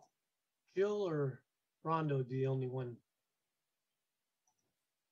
Is that, can you guys see that? Yes, we can. Okay, great, wonderful. Um, okay, so let's see, let me move on to the first slide. Um, so when COVID-19 shelter in place went into effect March 2020, food insecurity skyrocketed, which was immediately reflected in applications for CalFresh. Um, CalFresh applications doubled in April 2020, hitting a peak of over 8,000 applications, more than double the pre-COVID normal volume of approximately 3,000 to 4,000 applications per month. CalFresh applications have remained high for most of the past year throughout COVID, leveling off briefly in the fall to what we consider pre-COVID norms, but then peaking again in December. Um, in February 2020, there were a little over 84,000 individuals enrolled in CalFresh. As of April 2021, there are um, a little over 100,000 individuals enrolled in CalFresh, so about a 20% increase. The federal and state government responded to this nationwide trend. Oops, sorry. Um, the nationwide trend by increasing the CalFresh benefit. The, there is the emergency allotment supplement, which will continue through the end of the federal and state emergency declaration. um, and also a temporary 15% increase to the max CalFresh food benefit allotment that will um, stay in place through the end of September 30th, 2021. That's authorized through the American Rescue Plan. Sorry, let me fix this.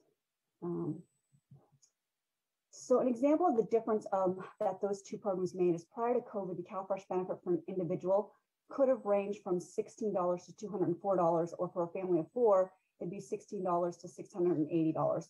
With the EA supplement and the 15% temporary increase, an individual will receive at least $234 and a family of four at least $782. So it does make quite a bit of difference. Let's see. So one of the primary goals of DEBS is to increase participation rates in CalFresh, meaning to maximize enrollment of those eligible to the program. The department has ongoing outreach, collaboration, and process improvements um, efforts in pursuit of that goal, and we ramp those up in light of the COVID pandemic. So I often field questions about how to tackle the low participation rate um, in California and locally. And that's a very complex question that I would, as a gross oversimplification, break down into two areas. So unfortunately, there are many people who are not inclined to seek assistance from CalFresh or public assistance programs due to lack of understanding, miseducation, stigma, or even fear. Angela, And- and excuse this- my, Angela, excuse my interruption for a minute. Supervisor Simitian, your hand is raised. Did you have a question about something she said, or did you want to speak? Same applies for Supervisor Ellenberg. No, once the presentation is finished, thank you. Thank you. Supervisor Ellenberg? You were muted. Was that same? I think it was. Yes, that was the same. Thank you. Okay, thank you. Excuse me, Angela, please continue. Of course, yeah. Um, but so in the first scenario where it's really about misedu- miseducation, stigma, and fear, that's where we would really collaborate with our CBOs and other partners who have reach and trust into the community. The second scenario really is about easing barriers to application and recertification for those who are willing to seek assistance. And essentially, we're just trying to make it easier for people to apply for and stay on CalFresh. Um, so in that scenario, we mo- mostly focus on outreach to existing clients that are not enrolled in CalFresh, and we look for innovative ways to reduce barriers. And some examples is reducing bureaucracy, paperwork burdens, and looking at ease of um, access to offices, digital divide, other issues that are similar to that.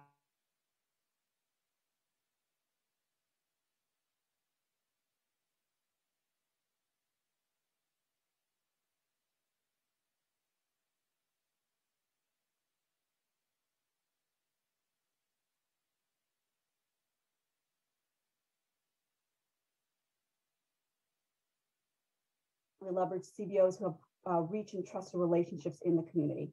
In partnering with CBOs, we conduct uh, CalFresh 101 to educate on high, um, high level CalFresh regulations and eligibility to train CBOs to be application assisters in the community. And the portion of CalFresh application submitted to by CBOs has increased from 15% in 2018 to 62% in the first two months in 2021.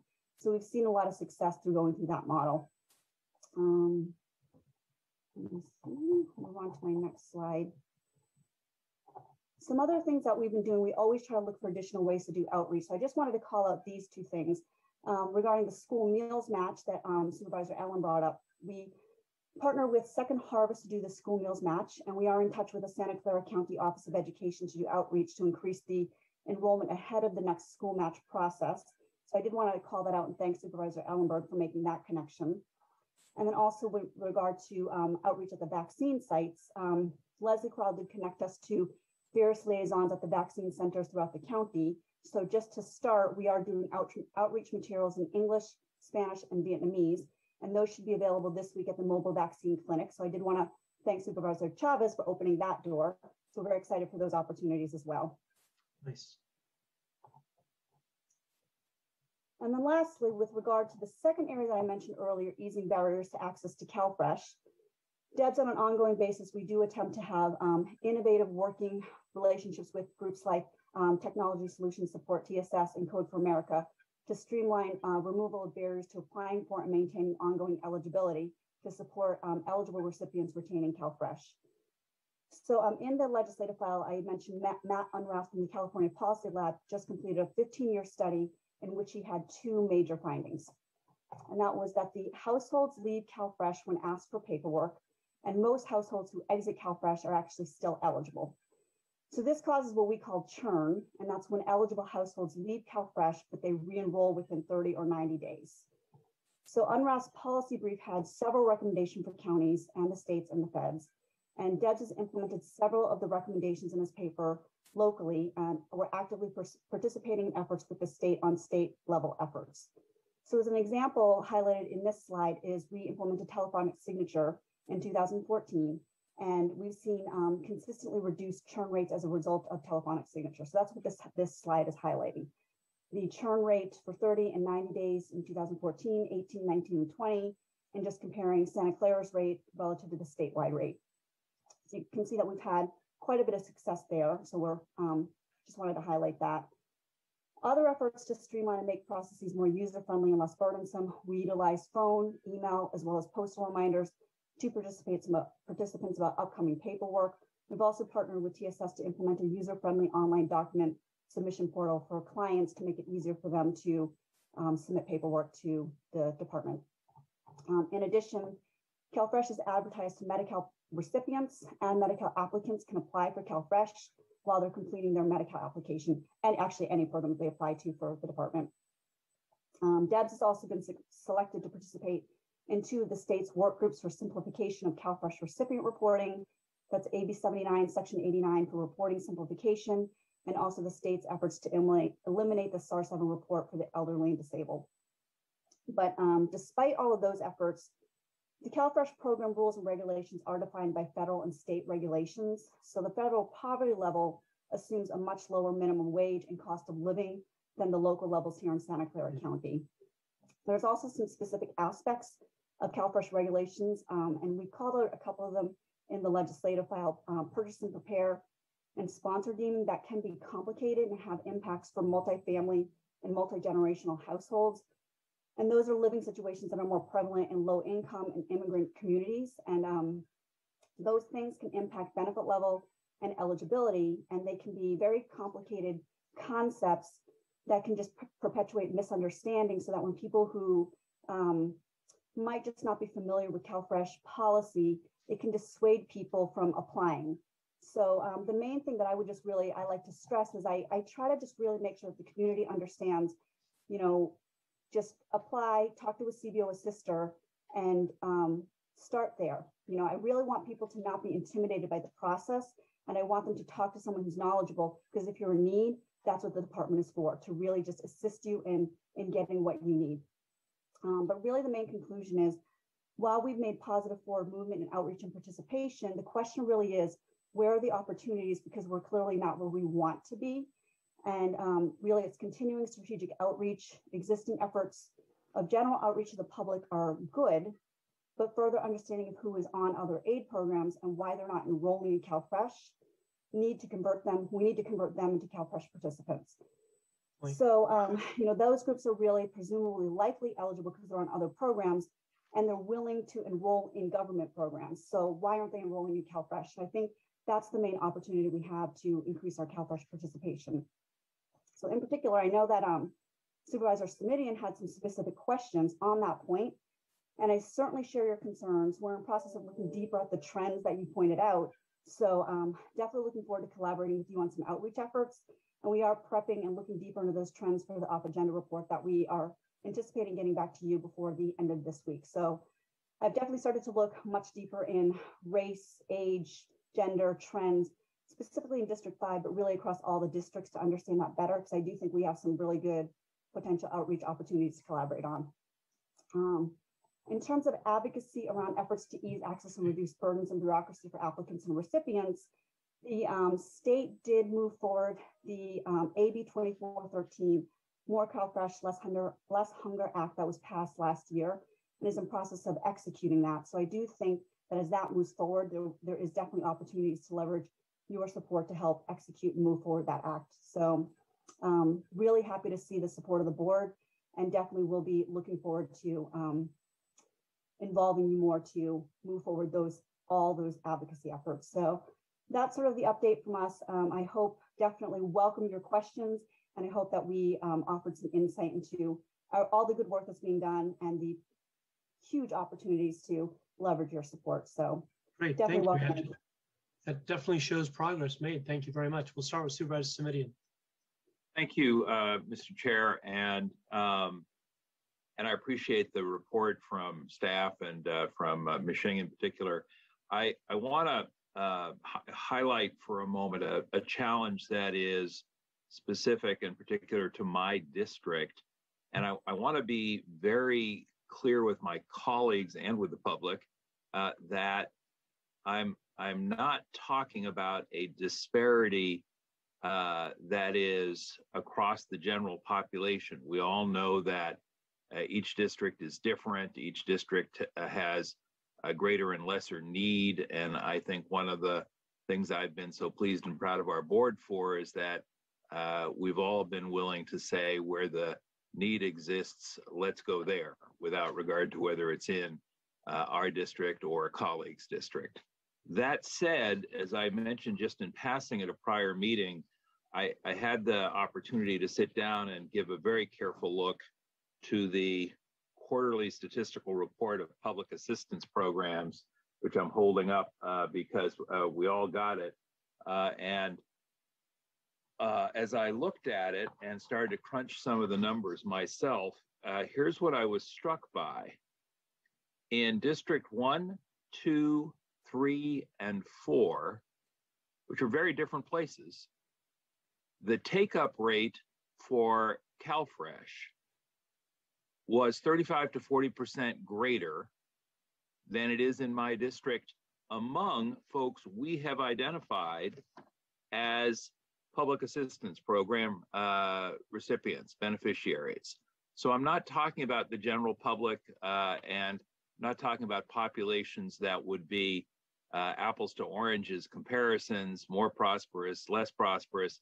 I'm, I'm noting that in each of the five districts, that once we uh, pull out the number of folks who are on public assistance of uh, any kind, that there is remarkable consistency in terms of the percentage of folks on public assistance who are accessing CalFresh benefits. So in District 1, it's 26%. In District 2, which is a very different place, it's 26%. Excuse me, 27%. So 27% in District 1, 27% in District 2, uh, even though they're very different places. 26% in District 3, 26% in District 4. So uh, remarkable comparability in terms of the percentage of folks who are on public assistance. So we have identified as folks who have qualified by virtue of their need. And yet, when you get to District 5, that number drops down to 19%, which is to say that we have a take up rate that is 35 to 40% less in District 5 than in all of the other four districts. And if you apply that calculation to the number of folks on public assistance, it indicates that there are probably in excess of 3,000 folks who can and should be receiving CalFresh benefits who are not in the program for one reason or another. And, you know, the sort of painful shorthand we've adapted and uh, or adopted rather in my office is to say we're leaving federal funds on the table while people can't put food on the table. And that's that's just a source of concern when you're talking about 300, excuse me, 3,000 people who are going without who are likely qualified. Now, it may be that there is some reason for that um, uh, discrepancy, that difference. But again, this is a function of looking at folks who are qualified for public assistance, identified as public assistance recipients, and a number that is uniformly uh, appreciably higher in the, all four of the other districts. So I raised that at our prior board meeting. Um, the social services staff has been good enough to talk with my staff in the intervening time. I've certainly talked to Dr. Smith about it, uh, but I, I, need to ask for help from our staff. And uh, so I'm going to uh, move approval of the recommended action, which is simply to receive the report today but with direction to staff to uh, follow up very specifically on uh, identifying the basis for that discrepancy, which is unique again to District 5, and uh, doing whatever is appropriate and necessary uh, to move those numbers up until uh, such time as they are comparable to all four of the other districts in the county. And I would ask for a second to that motion. Second. Thank you. Like, comment? I'm muted. Now I'm not muted. Okay, Supervisor Ellenberg. I, I think Angela wanted to respond to Supervisor Simitian. Respond, Angela, please. Yeah, um, Supervisor Simitian, just some initial thoughts. That's actually exactly why I'd asked for a little more time to respond in the off agenda, and we hope to comment on that in the off agenda back to you. Um, but yes, I actually am digging, and what I'm trying to do is disaggregate some of the um, race, ethnic, gender, and um, age discrepancies. And I absolutely do see that. And exactly what we want to do is you have it spot on. Um, not that you need me to tell you that, but that's exactly what I want, to look at because that's exactly my premise is that the individuals that are already on aid, uh, why aren't they on CalFresh? Period, across all the districts. And then in your district, seeing that additional gap, that's exactly the question we need to answer. And what I'm trying to see is by disaggregating race, ethnic, ethnicity, gender, and then digging that deeper by race, is there any patterns we're seeing? I, I don't want to get ahead of myself and comment today because we're, we're just digging this data up. I just got it the other day because it took a little time to pull those reports. I am already seeing it's fairly consistent across all the districts. There's a little bit of anomaly, but your district actually does have some different trends by that data that I'm seeing, but I want to analyze a little bit further before, before I draw any conclusions. So I don't want to be too early. But from that, what I'm thinking from there is, uh, you know, obviously all of it, we need to raise all of it, period, because it's not where we want it to be. But even within that, I think there's some targeted outreach by age and ethnicity that we can do because your district specifically, some of those are bringing down your numbers. So that's what I meant by I want to work with your staff to understand the demographics in your district um, that are just different that we can target to get that gap closed. And then, of course, that gap closed across the entire county, but particularly the gap closed in your district. That's what I want to um, address in the off agenda. And that's why I just wanted a little bit more time till Friday so we could do a little bit more of that analysis. I hope I'm not being too vague, but that that's what I wanted to be able to address. Through the through the chair, I thank you. Yes. I very much appreciate the follow up. And Ms. Shing, I um, first of all, I have to kid you back and say anytime you want to say I'm spot on, please come to the meeting. That's uh, good. Uh, and, and I'm getting a head shake from Mr. Wasserman apparently. But the other thing I want to say is, no, I very much appreciate your desire to make sure that um, the agency does not uh, sort of put forward a, uh, a, a, a notion or prescription until you've had a chance to crunch the data and feel like it, it rests on good analysis. So thank you for that. And thank you for doing uh, that to, to get there. Uh, I, my office and I, of course, are happy to help uh, with outreach in any way. Uh, and, eh, you know, it, uh, now I'm going to break my own rule and speculate a little bit.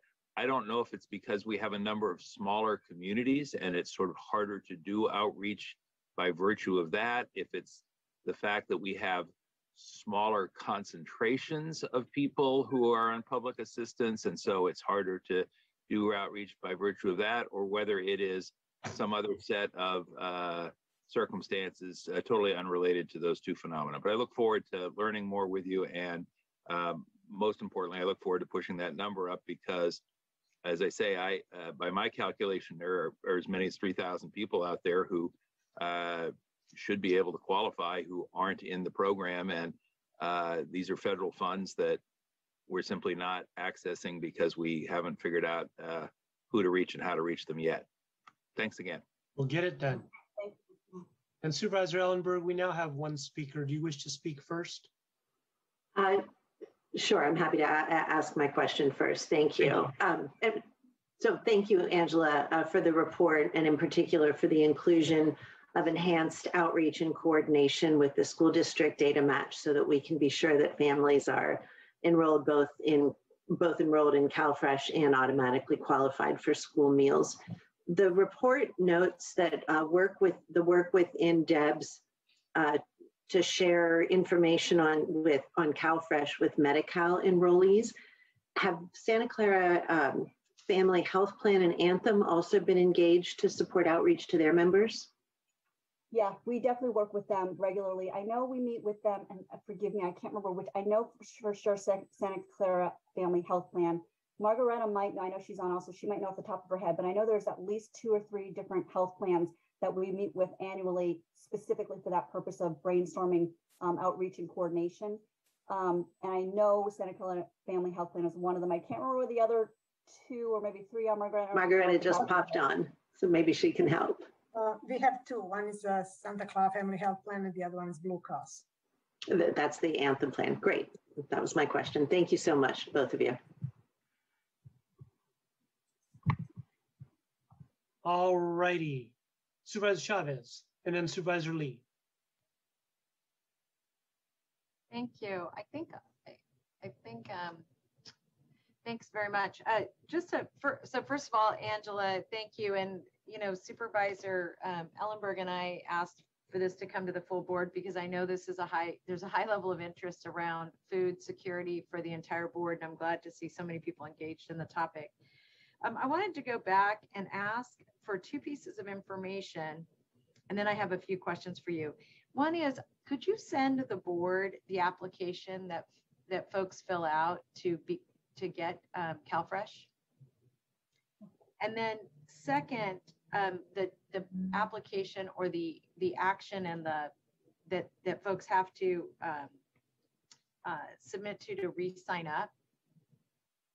That would be helpful.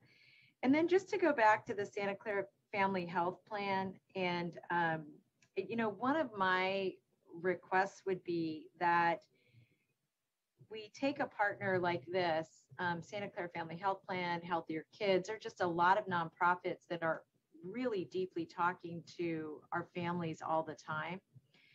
And through COVID 19, a number of our partners who provide a primary service have all of a sudden gotten into the COVID 19, go get your tests, go get vaccinated, and are actually signing people up for vaccinations right now. What I would like to request is that with the Santa Clara Family Health Plan and or the Healthier Kids Foundation, a number of these partner organizations that are doing phone calls to sign people up, uh, and all of that information you can get from um, from Brian and Rocio I would like us to ask if if they would be willing to make the same kind of phone calls to get people to sign up for CalFresh. Because I think the coordination and sending information out is great. I think people knowing that someone's going to help them fill out this form is is better. And I know there's a process by which a partner helps fill out the form and then they forward it to um, your department to have it properly, you know, uh, processed through um, a, a uh, and I'm sorry, what is, what is the, um, the, the staff persons that are working on this, the classification of, of employees? Well, oh, uh, eligibility workers? That's right. So they're eligibility workers, yes. Um, and and I'd like us to do a, a test to determine the best tools to get people signed up. Because I and I just want to say the numbers are going in the right direction.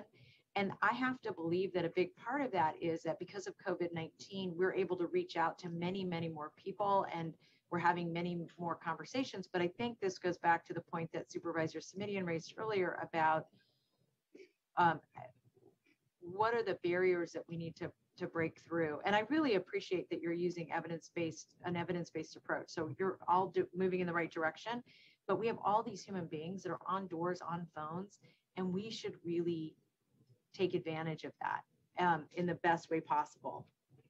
And including, for example, that we had a number of folks who required um, housing or food access during COVID 19. Those communities would be, um, the, and I and I would talk to our, our housing department to find out how appropriate it would be to reach back out to them and the, the most appropriate way to do that. But these have all been spoken to by a, a contact tracer, had at least somebody help them get connected to getting rent relief or food or PPE or cleaning products. So we have meaning more relationships with folks that I'd like to see us uh, determine whether or not we can we can um, you know change our relationship to make sure that if they need these resources, they're asking for them. And then here's my uh, my question, my last question. When we look at where we should be, Angela, what's our what's our goal? You mean in terms of um, CalFresh participation? Mhm. Yeah. So, you know, I think that right now the state is about 70%, but I think that I would say the sort of like uh, best practice is we would strive for like 80 to 90%.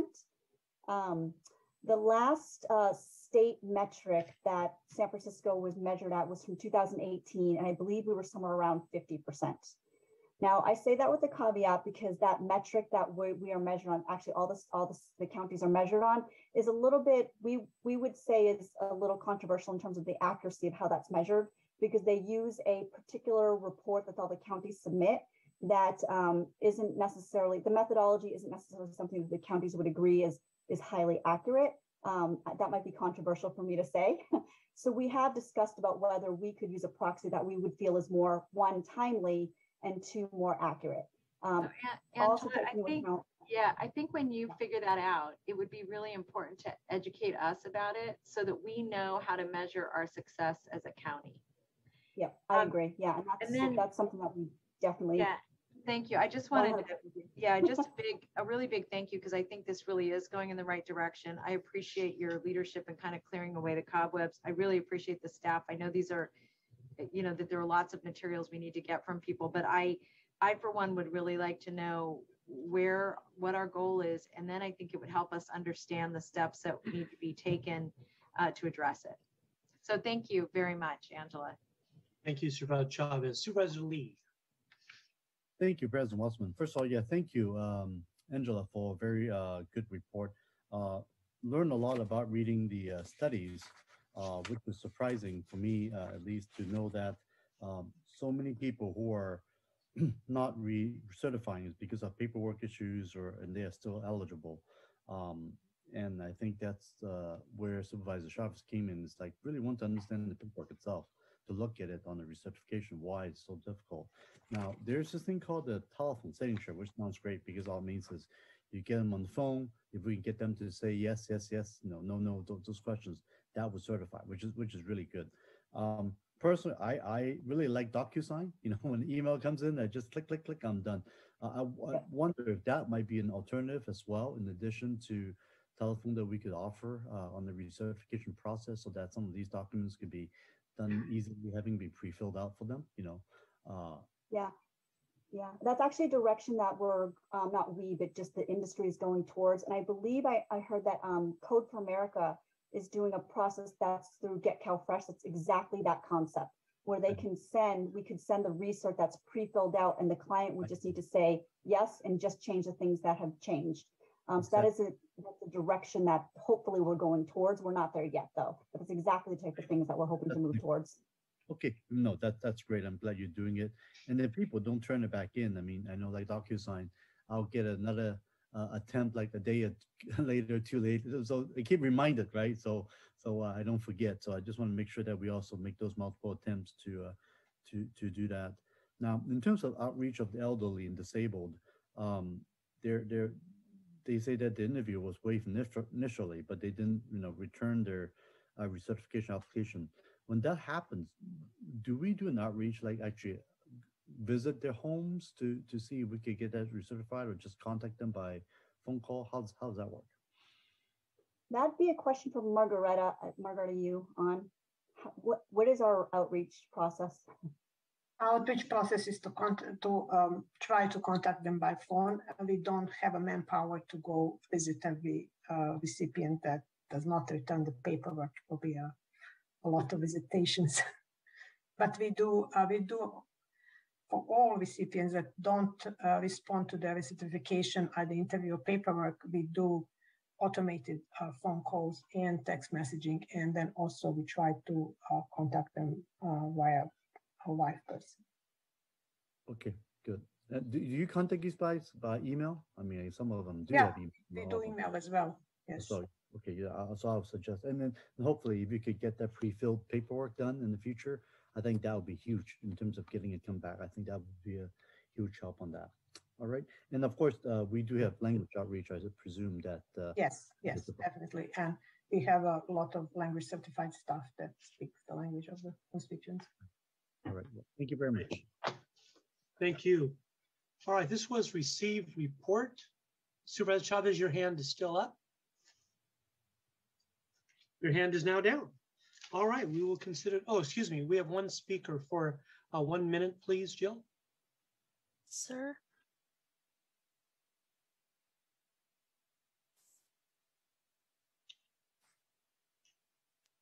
Our first speaker is B. Beekman. I'm unmuting you. Please accept the unmute. You'll have one minute to speak. The timer will start when you begin speaking. Hi, thank you. And uh, I guess how to describe it is something anecdotal. Uh, I'm really interested how the ideas of uh, to offer funding to large large scale Remember, farmers. Not just receive report on this one, but Uh, Supervisor Simitian? Go ahead. yeah. Uh, can I have some time back uh, on my Sure, time add back? 10 seconds on there, Jill. Thank you very much. Um, to offer something uh, hopefully helpful uh, and anecdotal, uh, you know, uh, large-scale farmers, uh, you know, in, in Monterey County, in the Central Valley, if they learn to accept uh, funding sources from state agencies, they can really practice, uh, you know, really good health practices with, uh, you know, their employees and, and farm workers.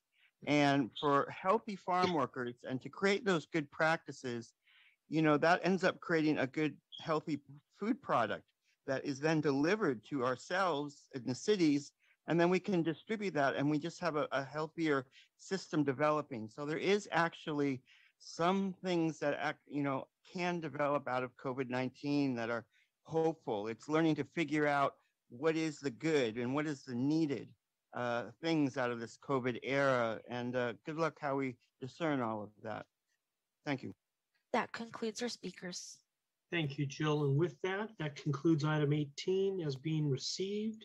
We now move on to item 19, which to, was received report from Social Excuse me, Service through the chair, Mr. Chairman. Yes, Supervisor Simitian.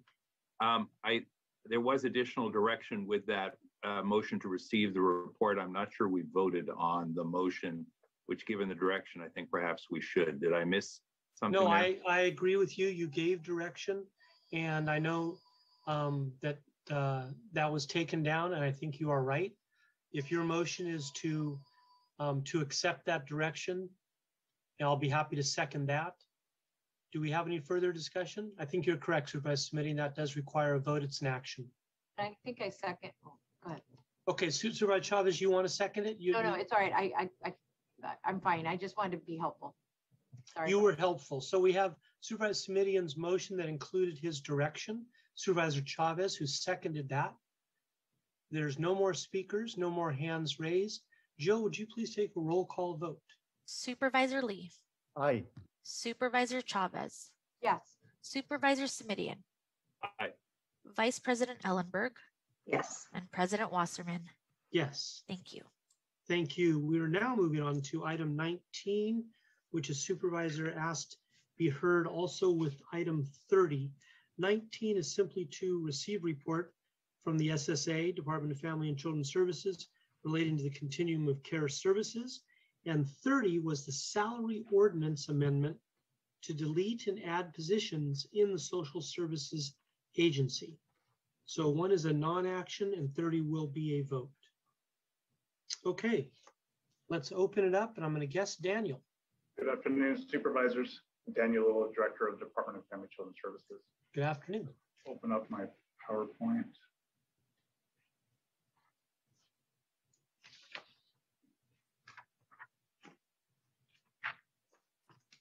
So good afternoon. I'm going to provide a, a brief update on the continuum of care, um, and then in the middle, provide some recommendations for the Welcoming Center uh, separately. Um, and at the end, I guess uh, we can take, I'll take questions on item 30 regarding positions. I'm sorry, you said at the end what? Um, at the end of the presentation on the on the continuum of care, um, then I'll just leave it open for questions regarding item 30 on on those positions. Okay, thank you.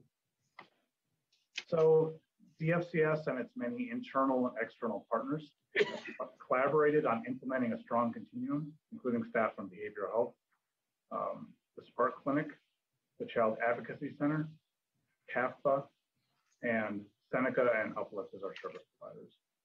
Areas of collaboration include the Welcoming Center and its services and training, expanding the number of therapeutic homes and services provided by community agencies, and ways to best distribute information regarding new service options and, and programmatic changes to resource plans.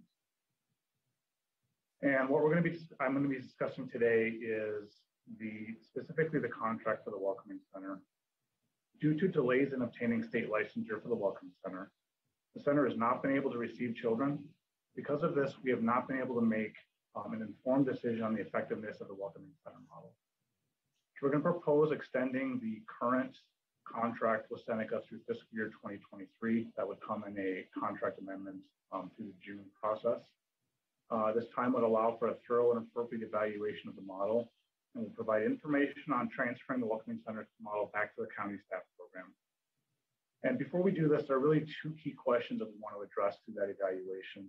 Um, one of them goes to the optimal staffing configuration. So what's the number, the appropriate number of staff per shift? What's the appropriate background classification training? And then second is the actual program model. DFCS and, and, Social Services Office of Contract Management will integrate the evaluation process and expectations in the next Seneca Welcoming Center Service Agreement, including the role of Juvenile Justice Committee and SSA's external evaluator resource development services. Additionally, DFCS has confirmed the Juvenile Justice Commission's role to inspect the Welcoming Center, JJC will chair a continuous quality improvement committee with DFCS that is aimed at improving services Additionally, the JJC will be involved in the planning and coordination of the RDA evaluation. And just to add some additional information, um, a question that I get uh, kind of routinely is, um, what would it take and, and why can't we bring this back to the county today? Um, and, my response is I believe that we can and we will do that. Um, I also want to make sure that we're not repeating programs of the past and expecting different results. Um, and I think the recent Child Advocacy Center is an excellent example of how to build a world-class program by building upon stakeholder expertise. The CAC has one kind of key advantage to the Welcoming Center in that there was a national model um, and an accreditation process. This provided a general framework that could then be built upon to make it our own. The, the CAC model has evolved and improved over the years to ensure continued high levels of care to children and families. By contrast, the Welcoming Center is a new model with limited examples with which to build upon. By partnering with Seneca, their expertise and experience can help us not start at square one. Seneca can be partners to see what works and what doesn't for our community. At that point, we can then work on a transition, transitioning the program back to DFCS, while also identifying what other partners would be beneficial to serve children. I'm also not 100% confident that the state would have created a specialized licensing category for us if it had not been Seneca as the primary operator of the program. our entire continuum from the Welcoming Center model to the enhanced treatment placements have garnered statewide attention. Casey Family Programs recently published a paper outlining Santa Clara County's work to discharge all youth from group homes and now um, and how we've begun building this new. And then Assembly Member Stone, with support from the Child Welfare Directors Association, introduced AB 808. This bill will create additional pilot sites around the state uh, built upon the continuum of care that we've developed. Um, and lastly, I do see a connection between the Welcoming Center and the Child, Ad and the Child Advocacy Center. Seneca has partnered um, to provide on-site clinical support as needed to the Child Advocacy Center. Um, the Child Advocacy Center really provides support to children who have experienced unthinkable trauma to facilitate forensic interviews and medical exams and to help create immediate safety. The Welcoming Center provides support to children who have experienced trauma based on a transition from a parental home due to placement disruption. And the Welcoming Center also provides immediate support to create safety for children.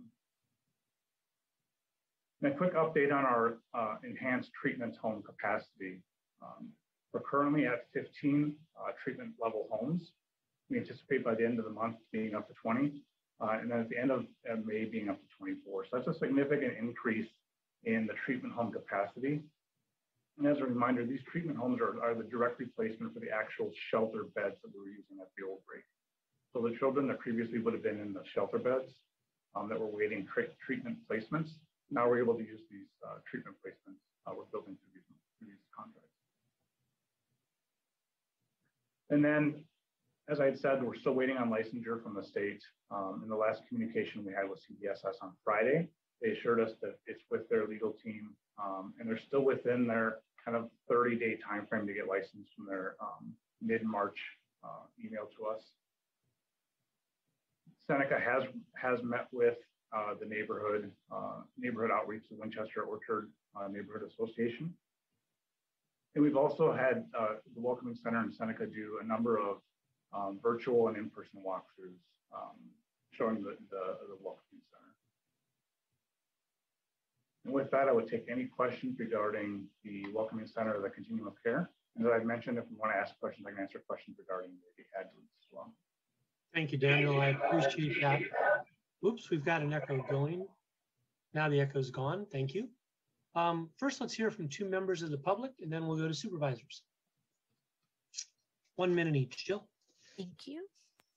Our first speaker is B. Beekman. I'm unmuting you. Please accept the unmute. You'll have one minute to speak. The timer will start when you begin speaking. Hi, thank you. Blair Beekman. Uh, I hope we can have a little patience for myself on this item. Uh, you know my work with accountability with technology and open public policies, and uh, I think it can build real good ideas of sustainability for our community and future. I think it's a great thing to teach children to, you know, steer them away from the juvenile system and, and show them that, you know, there's something positive and hopeful about how our community works. It's with that in mind, uh, with so many COVID uh, items today, I, I'm trying to learn to ask, you know, there is, since there is, you know, there's a molecular structure that's experimented with that can help with, you know, uh, the vaccination process, you know, it's a man-made thing, but it's, it's incredible. Its protein system can help a lot. Is that system, does it have a bit of microchip technology in it as well? Can you answer that for me, to me? And if you can, that's learning how to help the community. They need answers to those sort of questions. Thank you. Our next speaker is Maggie Cocaine. I'm unmuting you. Please accept the unmute. You'll have one minute to speak. The timer will start when you begin speaking. I am Maggie Cocaine. I am a foster parent in South County. Uh, last year, there was really very clear direction by the board that this would be a one-year contract. And based on that direction and doing the math, if the contract is extended until 2023, that sounds like the Welcoming Center won't open until July of 2022. So what are we doing in the meantime? How are we doing with overstays? What are those numbers? I think the board and the public should be aware of that. Thank you. That concludes our speakers. Thank you, Jill. And it looks like we have a couple of supervisors. Supervisor Lee. Yeah, thank you very much. Um, uh, uh, Daniel, the um, one question I have regarding the RAIC, um, this happened before I joined the board, uh, and I'm glad to see that uh, the RAIC is no longer there um, in this welcoming center. So first question I have is regarding the this licensing issue. Um, how close are we getting the license uh, at this point for the CDSS approval? Thanks, Supervisor Lee. The, the latest the, uh, estimate we received from CDSS was mid-March. They told us they were about 30 days out. Um, that's about the, that's the closest we've we've come to getting any kind of a date um, when that could be done. Uh, the last time we reached out last week, um, it, it, was just that the con the uh, licensing packet was with their legal staff doing the final reviews and would let us know. Okay. Um, so it could be any day now, basically, right? It's very close, correct? Yeah, and we're ready. The the center itself is ready to open as soon as we get the um, get the licensing in place. Okay. Um, one of the challenges that remain is in the build out of the new model uh, includes the need of more homes, um, engagement with the youth who continue to uh, refuse the placement, uh, and ensure to have some type of step down transition plan for the youth uh, to parents, family, or permanent homes. Um, what type of strategies are being currently developed to address these challenges? Yeah, good question. Thank you, Supervisor. Regarding the um, recruitment and retention of foster parents, we did just begin a pilot with the state to do um, specialized targeted recruitment, especially for youth um, that may have more significant needs, more significant trauma that requires different training. That's one avenue we're doing on the specialized recruitment. The other piece is we are ramping up our family finding efforts. So we have a family finding leader coming in uh, later this spring, early summer. That's going to be doing a, a cross-departmental um, kind of reboot of family finding. Because one of the one of the solutions nation nationally that we found is really the use of, of relatives um, is, is, even if not caregivers, but a support for you. Um, so you see options, see kind of a light at the end of the tunnel when they're in a foster care system. Um, the other component is with that, I mentioned the AB 808. Um, if that passes, that will actually create a more structured kind of step down model within the continuum. It would add a, a, additional elements that we currently don't have within our continuum. Um, behavioral health also has a um, uh, partnership with, with the FCS and they've created a uh, transitions coordinator. So that person's a clinician that's trained with the trauma that you've experienced um, in foster care and the importance of, of transitions, um, specifically between foster parents and, and, their, and their biological parents, and to ease in that transition and prepare youth and families for that. So that's something that's going to be focused specifically on youth that are in this continuum of we're some of those uh, most at-risk Um, I think lastly, because we're replacing typical congregate care, even some of our treatment level congregate care with individualized homes, um, that's shown to help with the with stabilizing children and improving permanency rates as well. So by using a uh, short-term residential therapeutic model that's based out of a foster home versus a, a congregate care setting, um, then we're hopeful we'll see higher levels of permanency and less disruption for those children typically would have resided in congregate care. Great. Um, so um, we certainly have a lot of um, lessons learned from the RAIC of how that was not successful. Uh, I'm not sure if this is the, the time you can give me the, the answer, but maybe if you can give an off agenda report later uh, to highlight the lessons learned of what's wrong with RAIC and how this welcoming center that we're developing is so different to solve those issues that's been highlighted. That would be very helpful to understand the differences.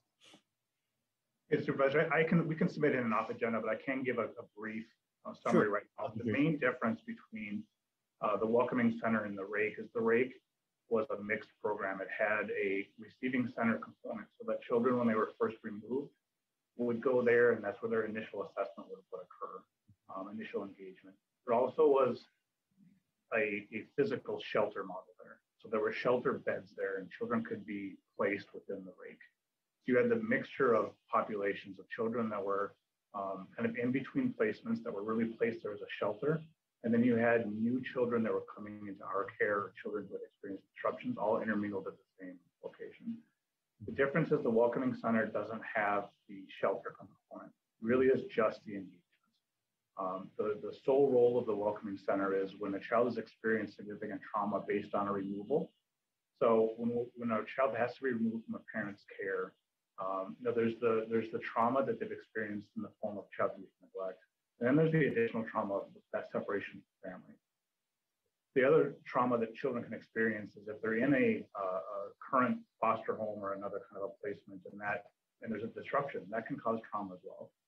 So in those two situations, while DFCS is looking for the next best, next available placement that's going to meet that need, the Welcoming Center then would be there to help engage that child, um, find out kind of what their needs are. So then when DFCS is doing our placement searching, we'll have that information right then. But, it, but the main difference is it's not a shelter, so children wouldn't be residing there. Right, and they are not expected to stay there for more than 24 hours, basically. That's correct. The, yeah, right. Okay. Correct. Thank you very much. Is that it, Supervisor Lee? Yes, thank you. You betcha. Supervisor Ellenberg. Thank you. Uh, thanks, Dan, uh, for the, the report. And I want to also appreciate uh, the Seneca staff for the tour that they gave me last month uh, of the Welcoming Center. The center was warm and inviting. Uh, the staff was knowledgeable and certainly eager to show us the progress um, that they've made in making the making the center an appropriate short-term placement for children and youth. Uh, Dan, thank you for directly addressing um, the contract extension issue. That was going to be my first question. Um, I hear that you've been waiting for the state licensing since last year, so I, I, I am sympathetic to the challenge that this presents not only to Seneca, but to us as a county Uh, the report mentioned that you will be proposing to extend the Seneca Welcoming Center contract through fiscal 2022 2023 to allow for an appropriate program evaluation to occur. Um, and I know that the board, prior to Supervisor Lee's arrival, gave direction for a one year contract, and this certainly feels like a two year contract. Do you anticipate opening uh, in July 2022? Thanks, Supervisor Ellenberg. Mhm. I think that we would be ready to open um, as soon as we can get the provisional license. Um, and then to provide enough, enough time for us to do an evaluation to then see what do we need to build internally. Um, going back to some of those key points, what would we need to develop for our staff? Um, Mhm. How do we want to train our staff? So I think those are the two questions that we need to make sure that we answer. Um, and then I think to make sure that the welcoming center model itself and how it fits within the continuum actually accomplishes what we get to accomplish. Um, what I what I'm trying to avoid is is replicating kind of what we've done, which has created additional issues I think both for staff as well as clients. Um, so you know, developing something soon that we can then see how does that fit within the, the county system. Mhm. It, it does make some sense, and it sounds like we're between the licensing issues and the COVID issues, we are almost inevitably um, pushed into a, a three-year timeline here. Um, the report also stated that an evaluation must occur before DFS, uh, DFCS staff could be trained to prepare for a DFCS run welcoming center program, which I am pleased to see because I do certainly appreciate a robust evaluation project. But the argument that some community stakeholders are making around outsourcing, receiving assessment and intake is that there was an urgent need uh, to go with a place that was ready, experienced, and able to start taking in uh, children. I'm I did notice that you haven't offered any tours yet, um, virtual or otherwise, for the resource families. And I, I'm confident that our foster care families would appreciate being included in these discussions and to be offered an opportunity to take a look around as they are the ones um, who spend the most time with the kids that come in and return to return to our system. Is that something you can incorporate with them to, to work out with them? Absolutely, Supervisor. I'll connect with Seneca. Um, actually, I meet with them later today, and I'll, and I'll ask them to start working on uh, setting Great. up. for the- Thanks. And then finally, with respect to item 30, and this is why I wanted to hear them together, um, President Wasserman, um, the deletion, with regard to the deletion of the unclassified social worker and the senior children's counselor position, can you talk about what the impact on staffing and supports um, will look like at the Welcoming Center? Absolutely. I'll start with the um, unclassified. Um, Mhm. the Two unclassified positions were, were codes that DFCS received several years ago in attempt to kind of get in front of our recruitment and, and training of new social workers. So the thought was um, we could hire people into an unclassified and then as, as traditional positions opened up, staff could transition over. We've actually gotten much more efficient in our hiring. So we have typically um, a regular position available that somebody that can get right into and then get into training. So these two positions, two unclassified, actually haven't been used since November 2019 and April 2020 because we've never need them. When we, when we have a regular position available, staff, the new new employee are going to pick that versus a unclassified position. So they, they just haven't been. I'm used. so sorry, your sound is a little bit unclear. Let's see if this is any better. Not really. No? I can, I, it, we- I can hear it. It's just um, kind of sounds like you're talking through a pipe or something. I'll try to move closer. Thank you. The, the unclassified positions were added several years ago in an attempt to onboard staff more effectively. Um, Since that time, we've actually built in our own efficiencies in our onboarding process. We haven't had a need to use those unclassified. We've always had a regular position that people, could, new employees could uh, go into to start their training. So those two unclassified positions have been vacant since uh, late 2019 and early 2020 Mhm. because a new somebody applying for a position with DFCS, um, you know, they have the option of, of putting in the application for the unclassified, They have the option to put their, their application in for the regular full position.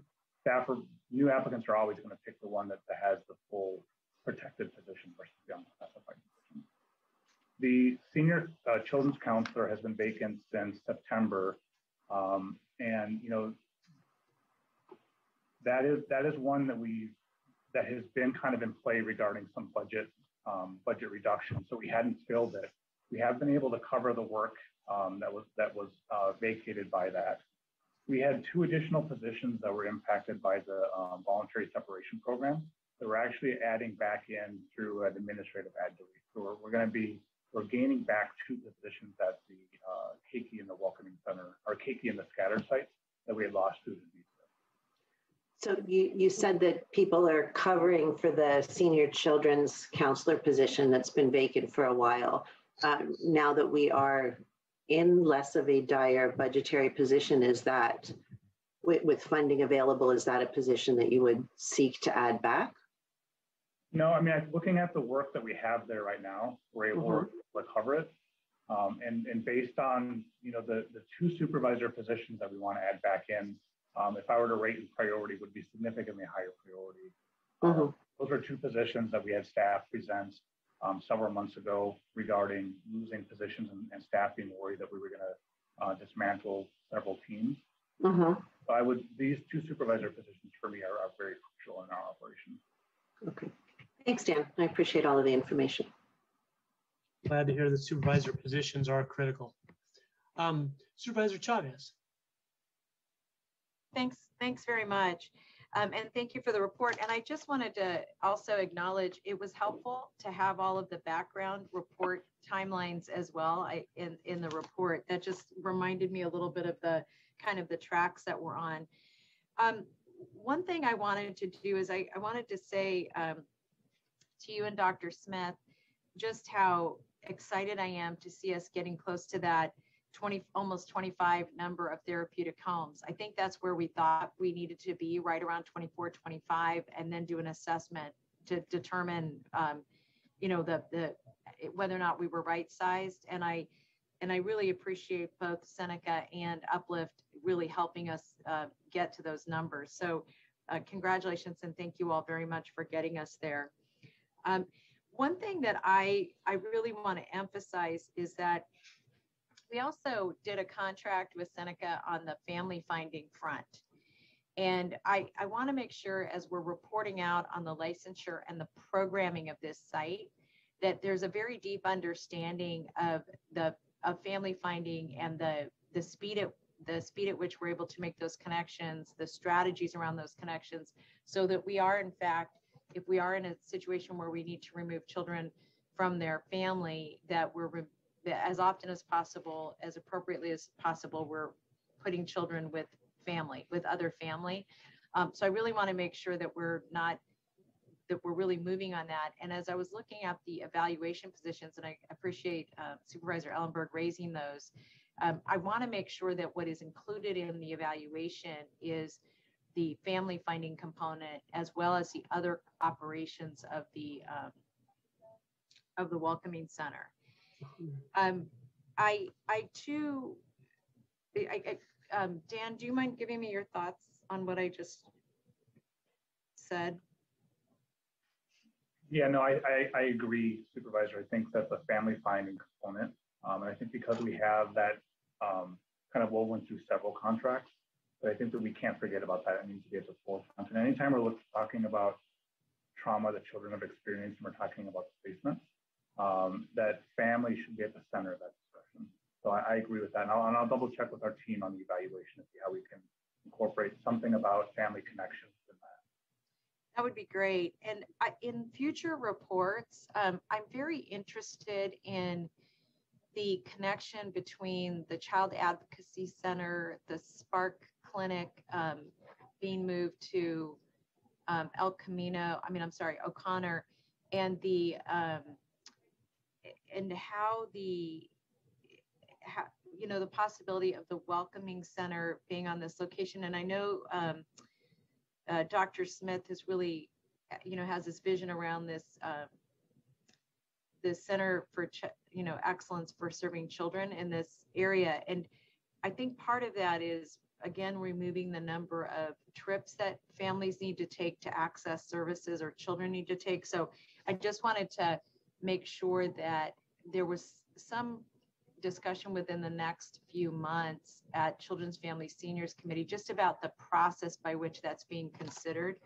Um, if it is, great. If not, why not? Just so we better understand that direction. Um, thank you for that. And then the, Dr. Smith?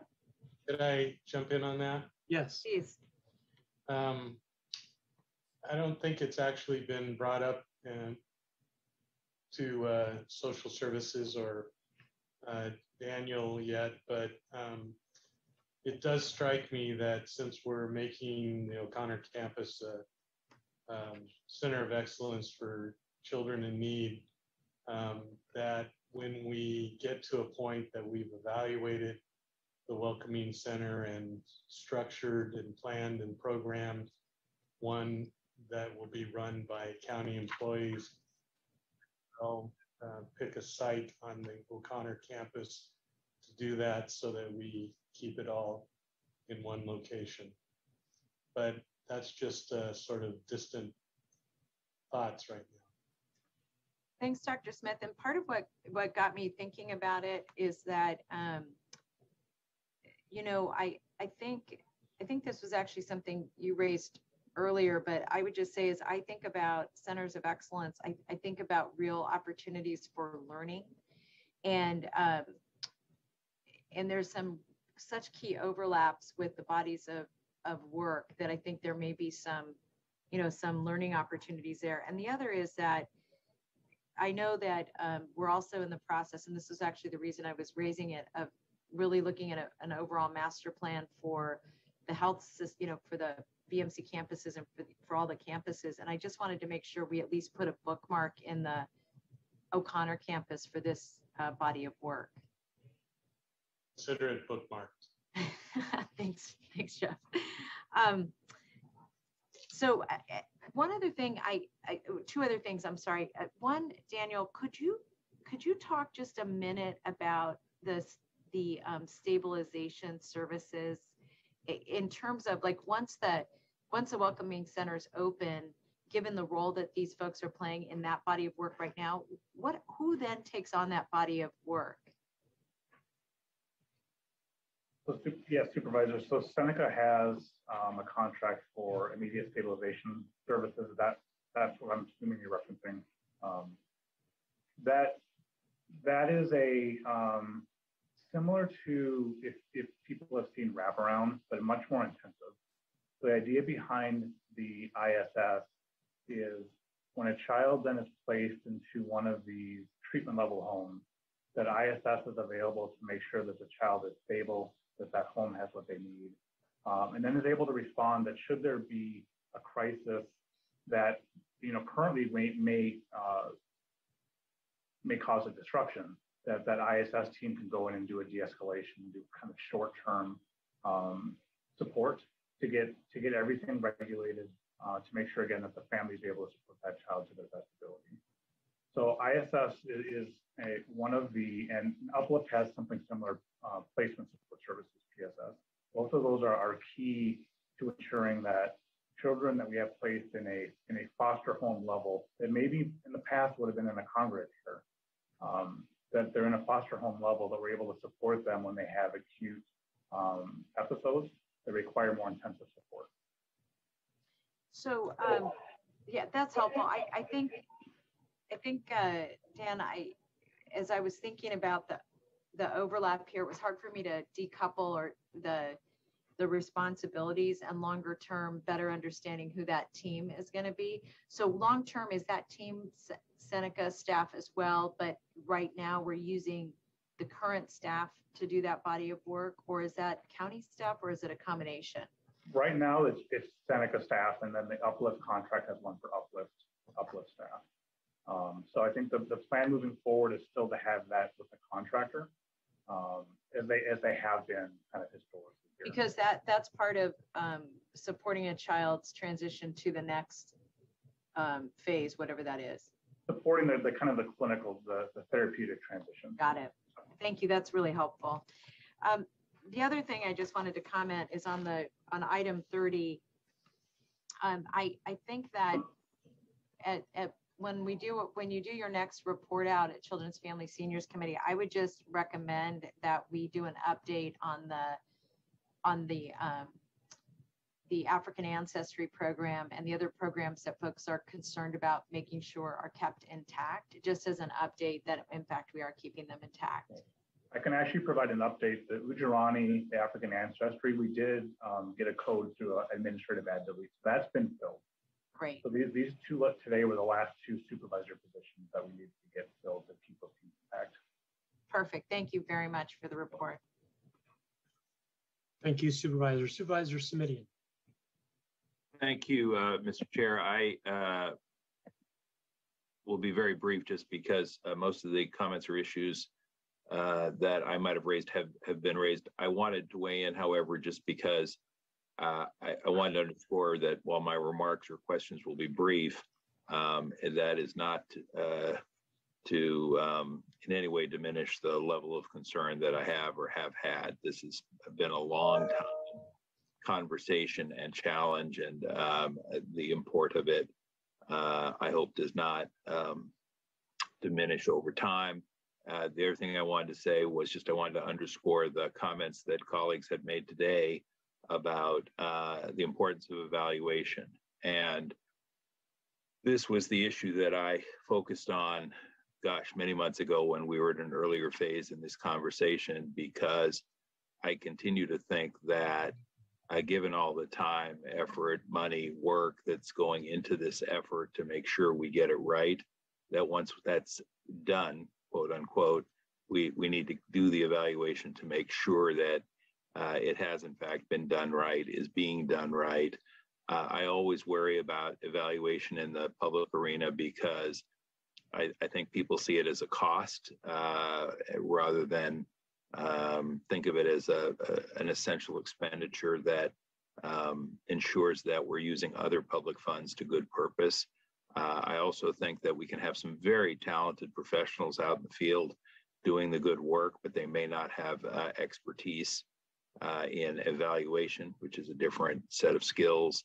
And, and finally, I think um, we owe it to the clients we serve to be willing to admit that something didn't work which is hard to do in a public and political arena. But whether it's the elected officials or the professional staff, uh, we've got to accept that responsibility. So, for all those uh, reasons and given all those concerns, I just wanted to, I think, at least triple underscore today the importance of evaluation.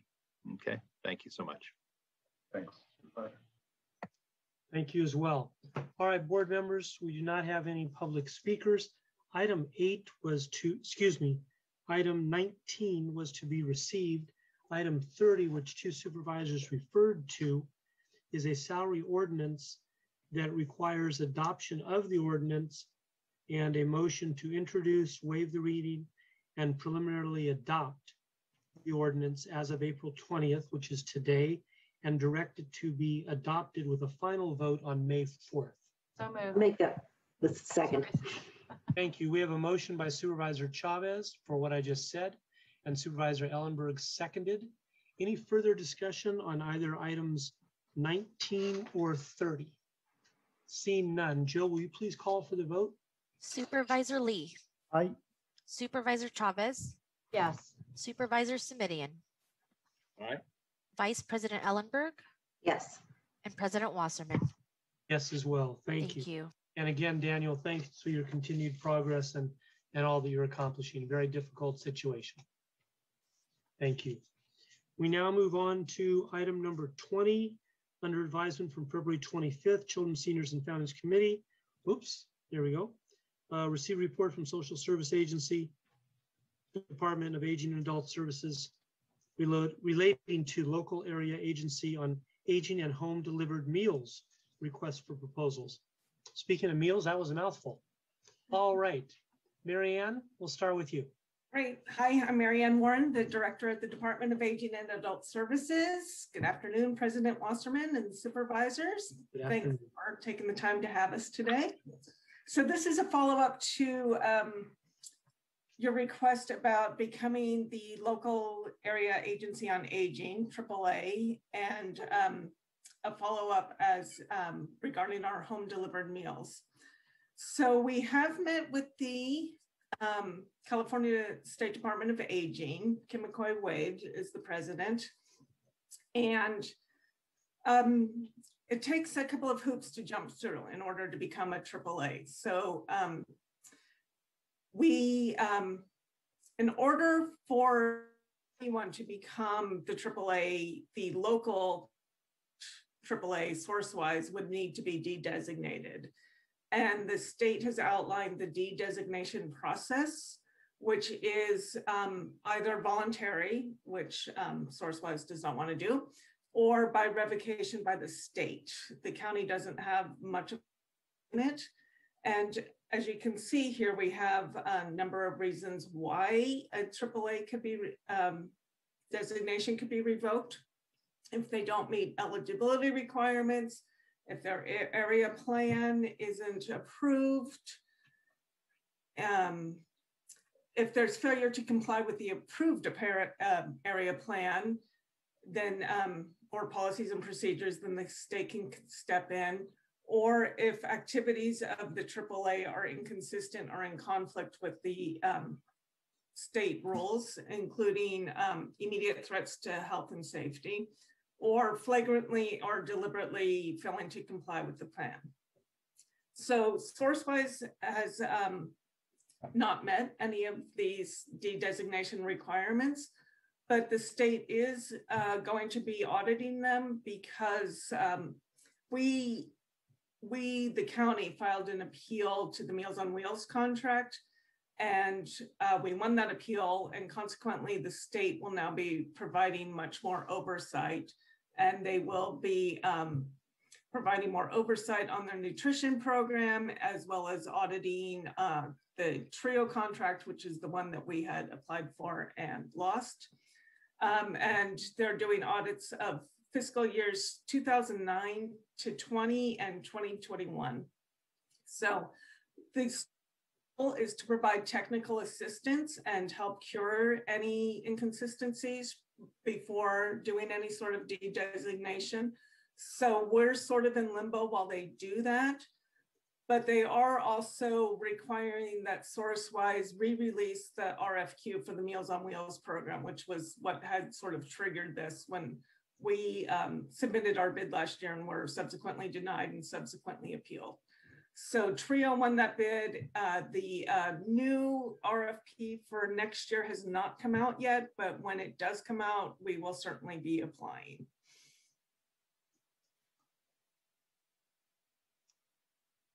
Stop. There you go, Marianne. Yes, so um, so we are just waiting to hear from the state at this point. Got it. Okay, let's hear from Vice President Ellenberg. Thank you. Thanks for the report, Marianne. I, I, really appreciate the work of our Department of Aging staff uh, to meet with the director of the California Department of Aging and others um, to have these discussions around the designation um, of the area agency on aging. It does seem very complicated, a um, little bit disheartening given the fact that this contract was signed in the 1970s and can't be overturned uh, more easily. Uh, I am pleased that they will be monitoring, um, that the CDA will be um, monitoring, um, auditing, and overseeing SourceWise. This is a good first step. I want to point out that we are currently fewer than 75 days away from the expiration of the current Meals on Wheels contract between Trio Community Meals and SourceWise, and SourceWise has not yet issued an RFP for a new contract, despite the fact that they have been ordered to do so uh, by the CDA. And SourceWise is currently being investigated for a pattern of disregard of direction from the California Department of Aging. And this shouldn't go um, un- unremarked publicly today. I, I, do believe that there are um, that there are concerns significant enough to to warrant elevating this. I agree with the recommendations from the local CBOs that have also expressed concern about SourceWise's actions. Uh, both with regard to this contract and over the years.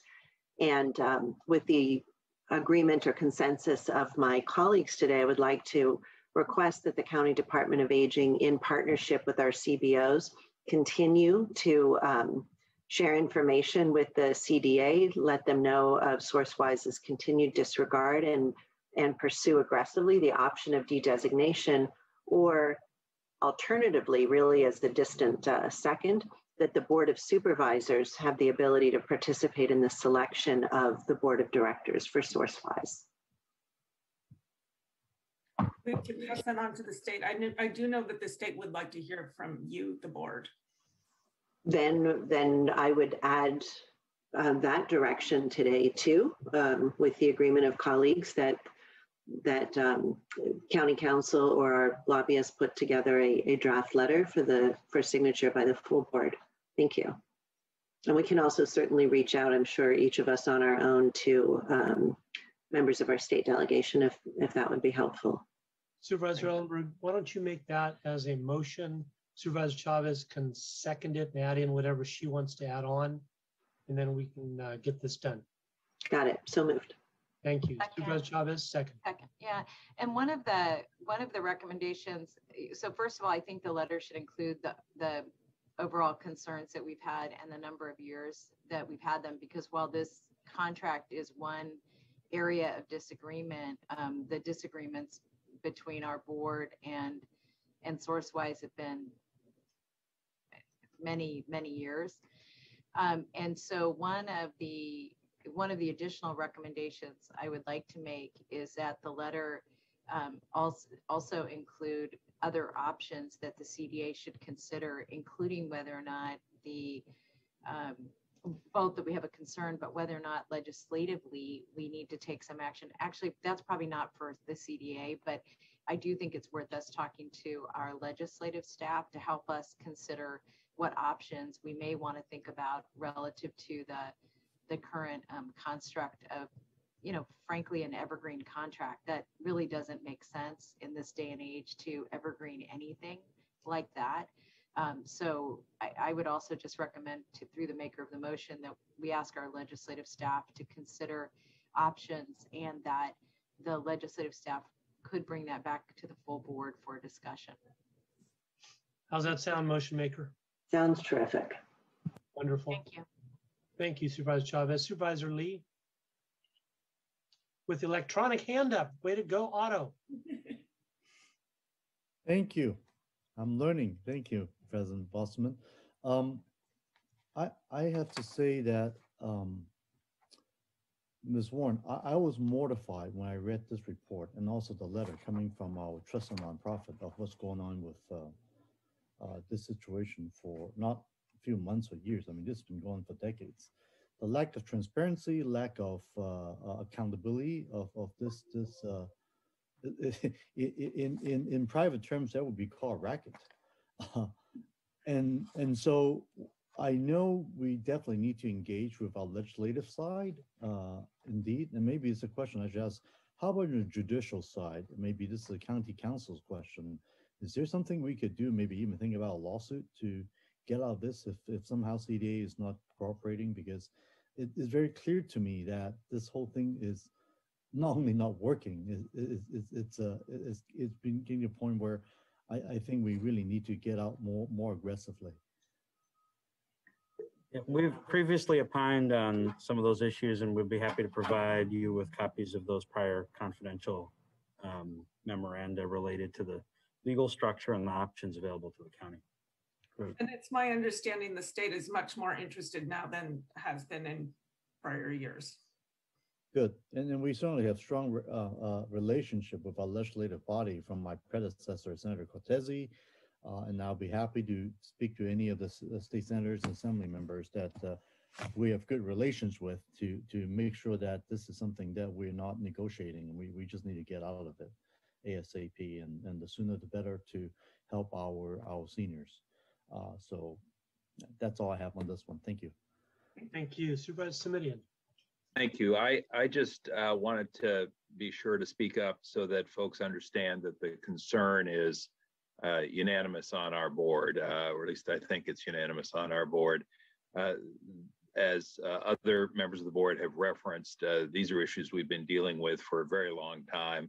Uh, the concerns first came to uh, my attention when uh, we struggled with prior leadership, in fairness, at uh, SourceWise to get some cooperation with our Harvey Rose audit team. And and I, I mean this as a compliment to the Rose organization. They're hardly shrinking violets. So if if they have a problem getting some cooperation, collaboration, uh, that means it just wasn't forthcoming because they're pretty determined folks. And uh, following that, this is now some years ago, as I say, I reached out to our own county staff uh, who expressed concern.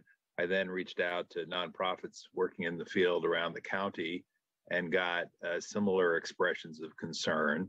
And when I asked why this had been going on as long as it had been going on, people were pretty direct in telling me they were afraid to speak up for fear that there would be consequences to their contracts. That's just a, a um, very disappointing thing to hear. Uh, I have uh, had a chance to speak directly to folks at CDA. Uh, I was um, pleased to see the letter from our nonprofits, and I do hope, uh, I believe the motion now incorporates essentially a request to take action that they uh, recommend. So I'm pleased to hear that. I wondered if I could pull the maker and the seconder into an even more direct uh, request of our legislative staff.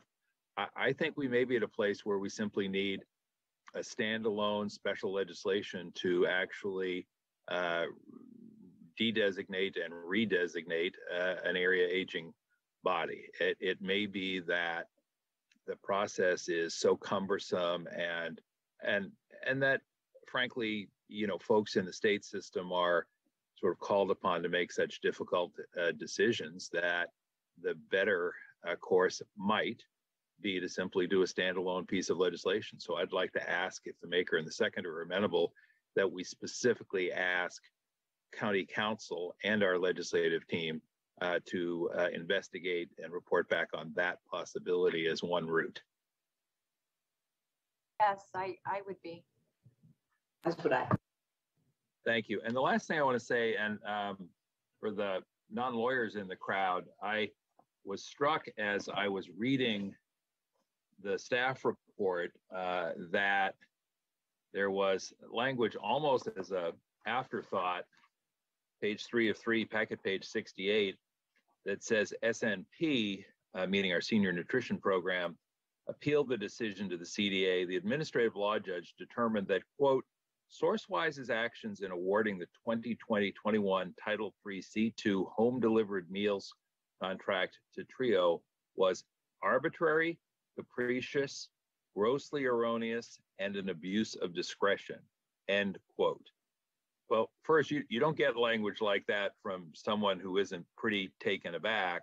But perhaps most importantly, arbitrary and capricious is a legal term of art. It, it I mean, you really have to go some to get uh, a judicial or, in this case, an administrative law judge to uh, to articulate a finding that something was arbitrary and capricious. So, uh, for those who are perhaps hearing this conversation for the first time or are new to the issue, um, this is uh, pretty damning language coming uh, out of the system, and uh, I thought it it, deserved mention, um, and it it's um, uh, it's a situation we really do have to resolve sooner rather than later at this point. Thank you, and thanks to the maker and the seconder for incorporating the uh, specific language. I do just want to ask, Mr. Chairman, before we walk away, I I'm if my colleagues would like to just think out loud a minute about having our board be in the position of appointing the board of directors. I I I think what I'm hearing is a proposal that perhaps we would approach this almost like one of our boards and commissions. I I'm just worried about us getting entangled in SourceWise's business, frankly. Uh, you know, it could be the I, I know Supervisor Ellenberg was very clear about calling it a distant second. I think, if I remember her language clearly, but but I just think, um, boy, this is uh, this is a tangle that I, am not sure we uh, want to involve ourselves in. So, we're supervisors. Were you thinking of a sort of a more quasi-independent body where we uh, perhaps played a role in at least identifying who was serving on the body? Uh, That's what I was thinking, more like um, family health plan, first five. Uh, But again, I would, I would far prefer that, that we don't get tangled in and that we do something entirely separate. Thank you. That's a helpful clarification, at least for me. Appreciate it. Thank you, Mr. Chair.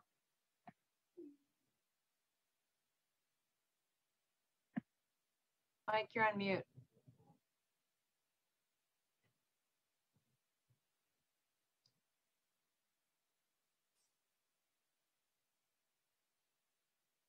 Thank you. Advantages and disadvantages to a wireless mouse with a ball that you can touch. All right, we have a motion by Ellenberg, a second by Chavez. We've heard from the public. We've given direction. I see mo- no more discussion. Jill, please call for a vote. Supervisor Lee, Aye. Supervisor Chavez, Yes. Supervisor Simitian, Aye.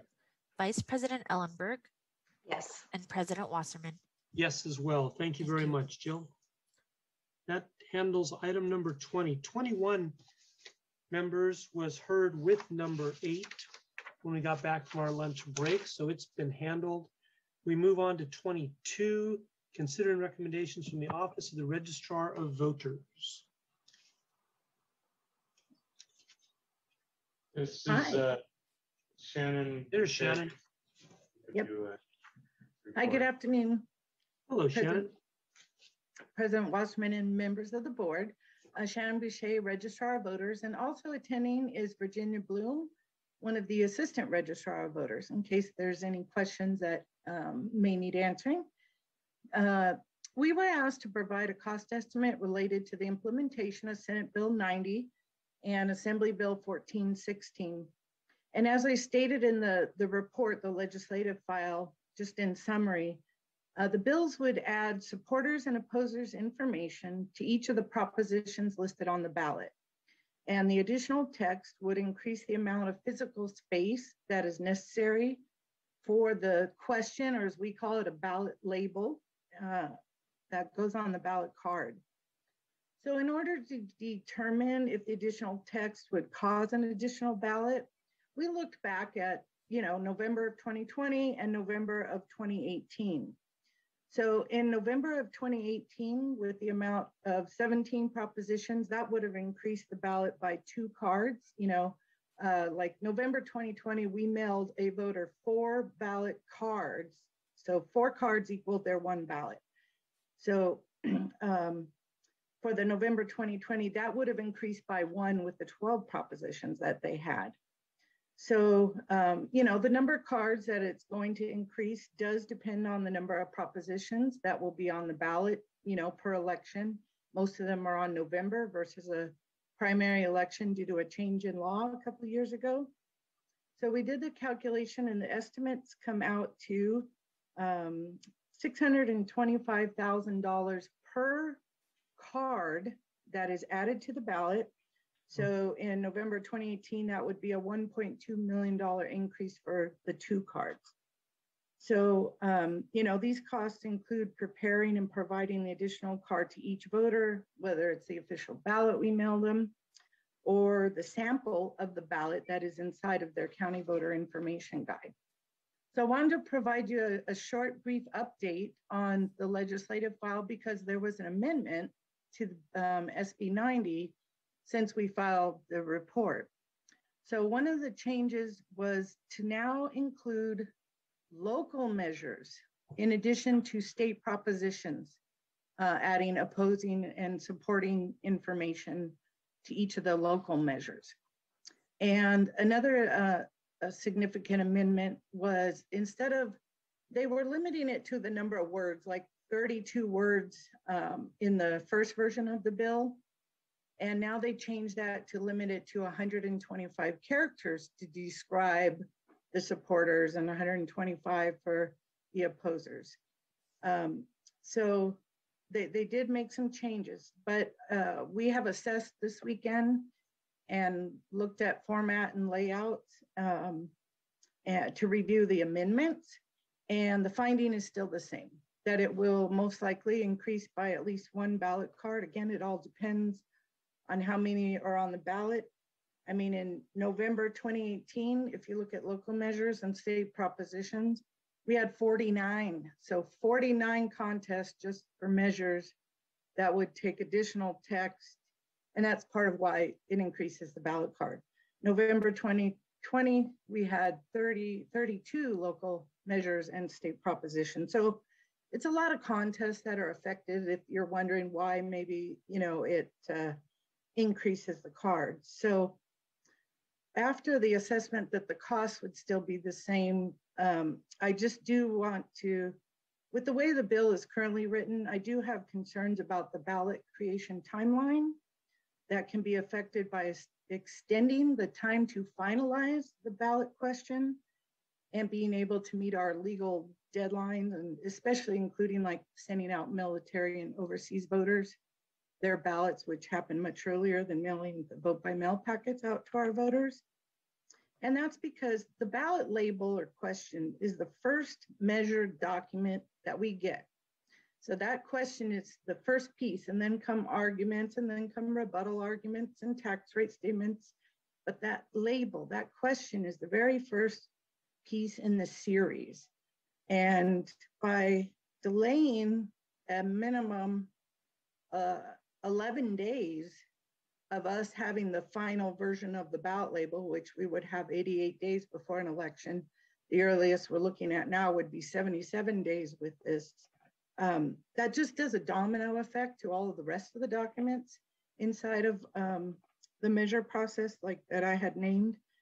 And, you know, in November 2020, we had over 11,000 versions of just official ballots, touchscreen ballots, audio ballots, remote accessible vote by mail ballots. So it just that this ballot question that they're wanting to change is affects all of those ballots and everything. So, you know, the county voter information guide has a sample of the official ballot inside of it.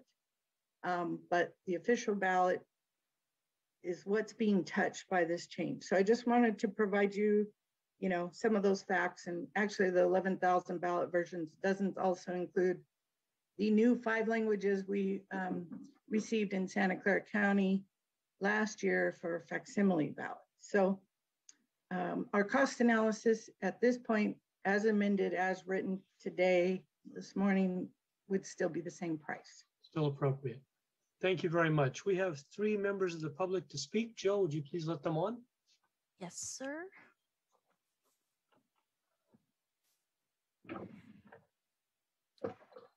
One moment while we get the timer up for you. Our first speaker is Craig Dunkerley. I am unmuting you. Please accept the unmute. You'll have one minute to speak. The timer will start when you begin speaking. Thank you. Uh, uh, greetings, uh, uh, uh supervisors. Uh, yes, I, I, currently am honored to serve as chair of the Citizens Advisory Commission on Elections. And I just wanted to alert the board that at our last meeting, we did unanimously approve a uh, resolution to recommend to the board that they endorse these bills. Uh, also wanted to offer assurances that uh, California Clean Money Campaign is very keenly aware of uh, the need to optimize uh, any impact that these bills may have on the ballot.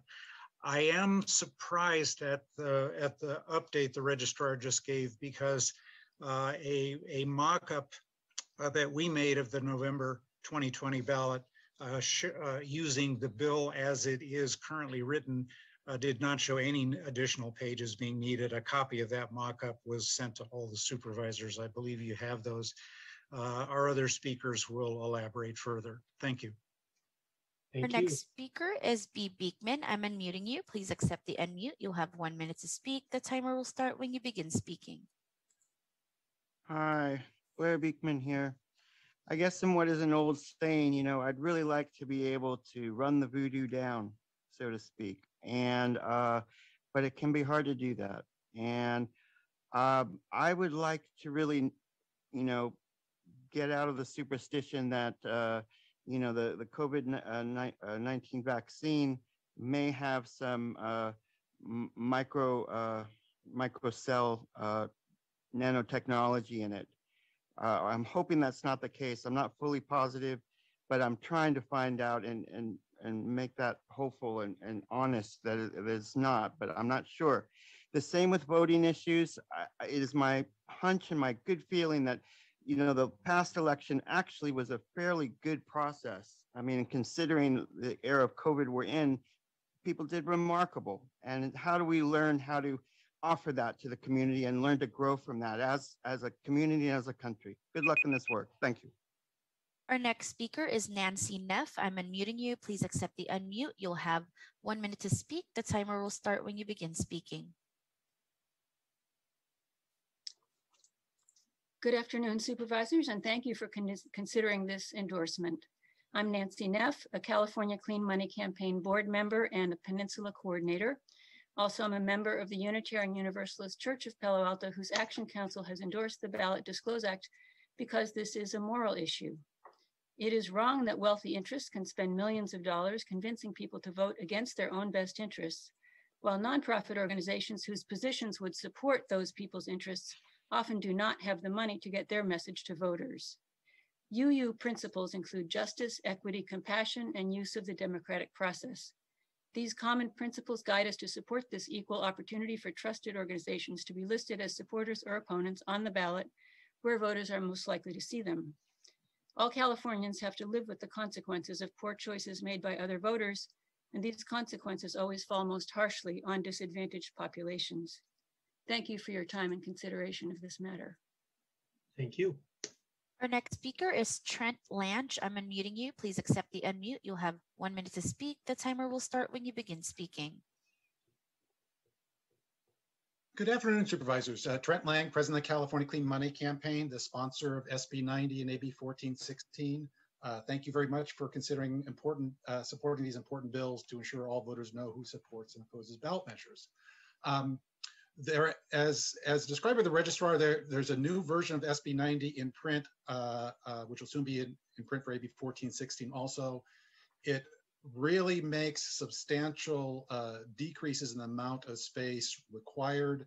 Uh, for example, the imprint bill changes, as the registrar uh, uh, pointed out, from 15 words to 125 characters. In her mock-ups, that would decrease it from 205 characters that they showed to only 125. The new uh, uh, counties may also make the font smaller if need be.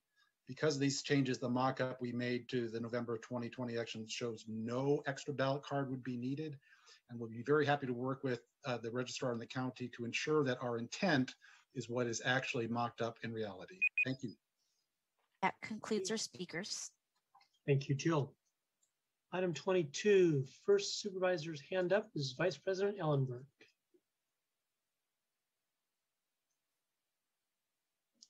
Believe me, I understand. I'm still I'm clicking it, clicking it. Yep. Uh, thanks, uh, Supervisor Wasserman. Uh, I want to thank uh, Trent, one of the, the speakers today, for spending time with my team to discuss the item and to ask our, and to answer our questions. Um, thank you also to all of those who wrote letters of support uh, for this item. I am inclined to support the request to send a letter to um, the state legislature in favor of uh, ballot disclose. I am certainly in favor of greater transparency in government generally. And I think adding supporting and opposing organizations to ballot initiatives moves us in that direction. On the other hand, I'm not a fan, I'm not a huge fan of unfounded, unfunded, uh, long day, of unfunded mandates. Um, and curious to know, uh, I don't know if our, our counsel or um, or um, Shannon is able to answer this. What funding sources do we expect to be available to cover any potential increased costs to the county should the legislature pass this bill?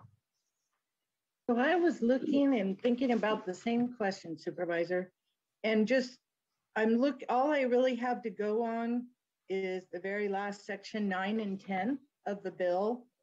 Um, you know, section 10 says no reimbursement is required by this act, etc. But it does say, however, if the Commission on State Mandate determines that this act contains other costs mandated by the state, reimbursement for local agencies shall be made. So I don't know legally exactly what that means. I'm going to ask county counsel Okay. exactly what that means uh, legally. James, can you uh, talk about that as well, please? So as, as is commonly the case with uh, state legislation that imposes obligations on counties or other local governments, the legislature usually um, uses the Commission on State Mandates process to cover costs. There are a Mhm. lot of problems with that process, a lot. The big first problem is that you have to file a test claim with the commission, and that can actually take literally many, many, many years. At one point, the commission had over a hundred-year backlog of pending test claims. Mm-hmm. After a test claim is approved, it's usually approved only for what the commission considers are quote marginal cost increases and then require annual submissions of detailed documentation to justify the marginal cost recovery. And the legislature can nonetheless suspend reimbursement, which regularly happens and indeed is commonplace with respect to elections related requirements. So I think the long story short is my recommendation would be that in a letter, we seek um, that we seek an amendment that the state provide direct general fund support to cover these cost increases to counties to assist with the implementation. The state has done that for other election items in the form of grants in the past to counties. Uh, I think that would be appropriate and helpful here, and I think the state right now would have the funding available to help cover that. I don't think reliance on the Commission on State Mandates process is adequate, sufficient, or in the long run, would be viable um, mechanism for the county to truly recover costs. Mhm. Thanks. And you anticipated my, my next question that, that might our letter be an amend, um, support if amended um, with, with exactly the language that you just suggested. Thank you, James. Um, Also noting that if we do vote in favor today, we will be, um, could describe it as the only county thus far or the first county um, to support these bills. Um, And I think that's, that's something to consider, to take into consideration as well today. I'll be interested to hear what my colleagues think.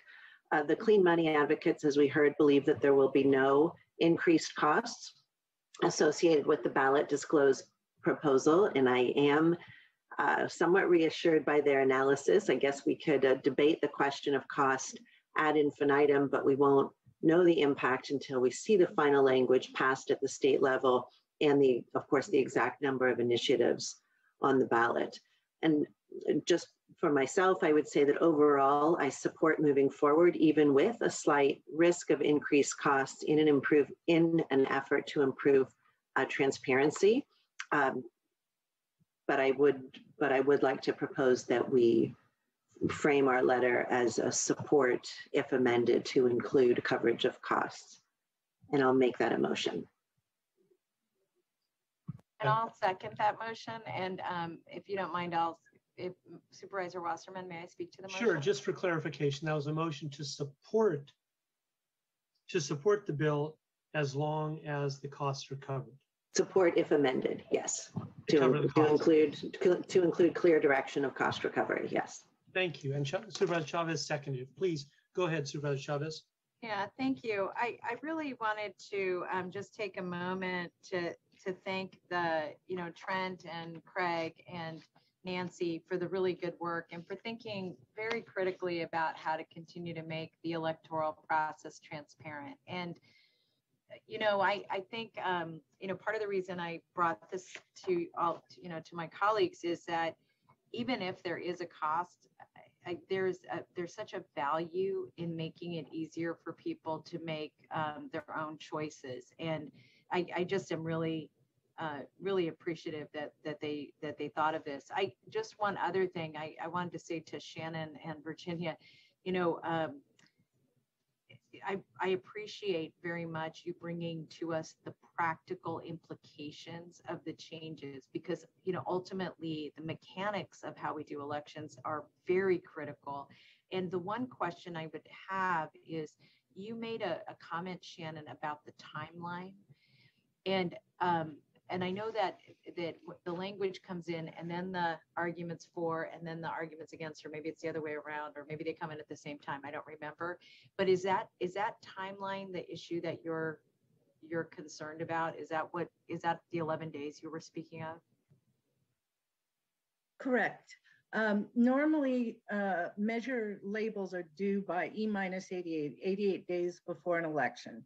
So the final version would be in our hands by that Friday. It's also the close of candidates, you know, same day. Um, and then the following Tuesday, arguments are due. And then a week later, rebuttals are due. So So- Shannon, is there something you would recommend that we include in our letter to address the timeline issue? it would be good to have something that that the additional text was came in at the same time like at the 8 e minus 88 when when we get the question can we have the text also um, because our key thing is that that ballot question You mean the is- text in terms of pro and con, supporters and not supporters? sorry, yes, the additional text, if we had that then, because now it can be due, what was it, about 11 days later? Yeah, what I, what I would just suggest is that I think, um, I think that, that having some, you know, a, a couple sentences that make a recommendation to look at the timeline to make this more feasible for local registrars of voters is what I would encourage our staff to include if the maker of the motion is comfortable with that.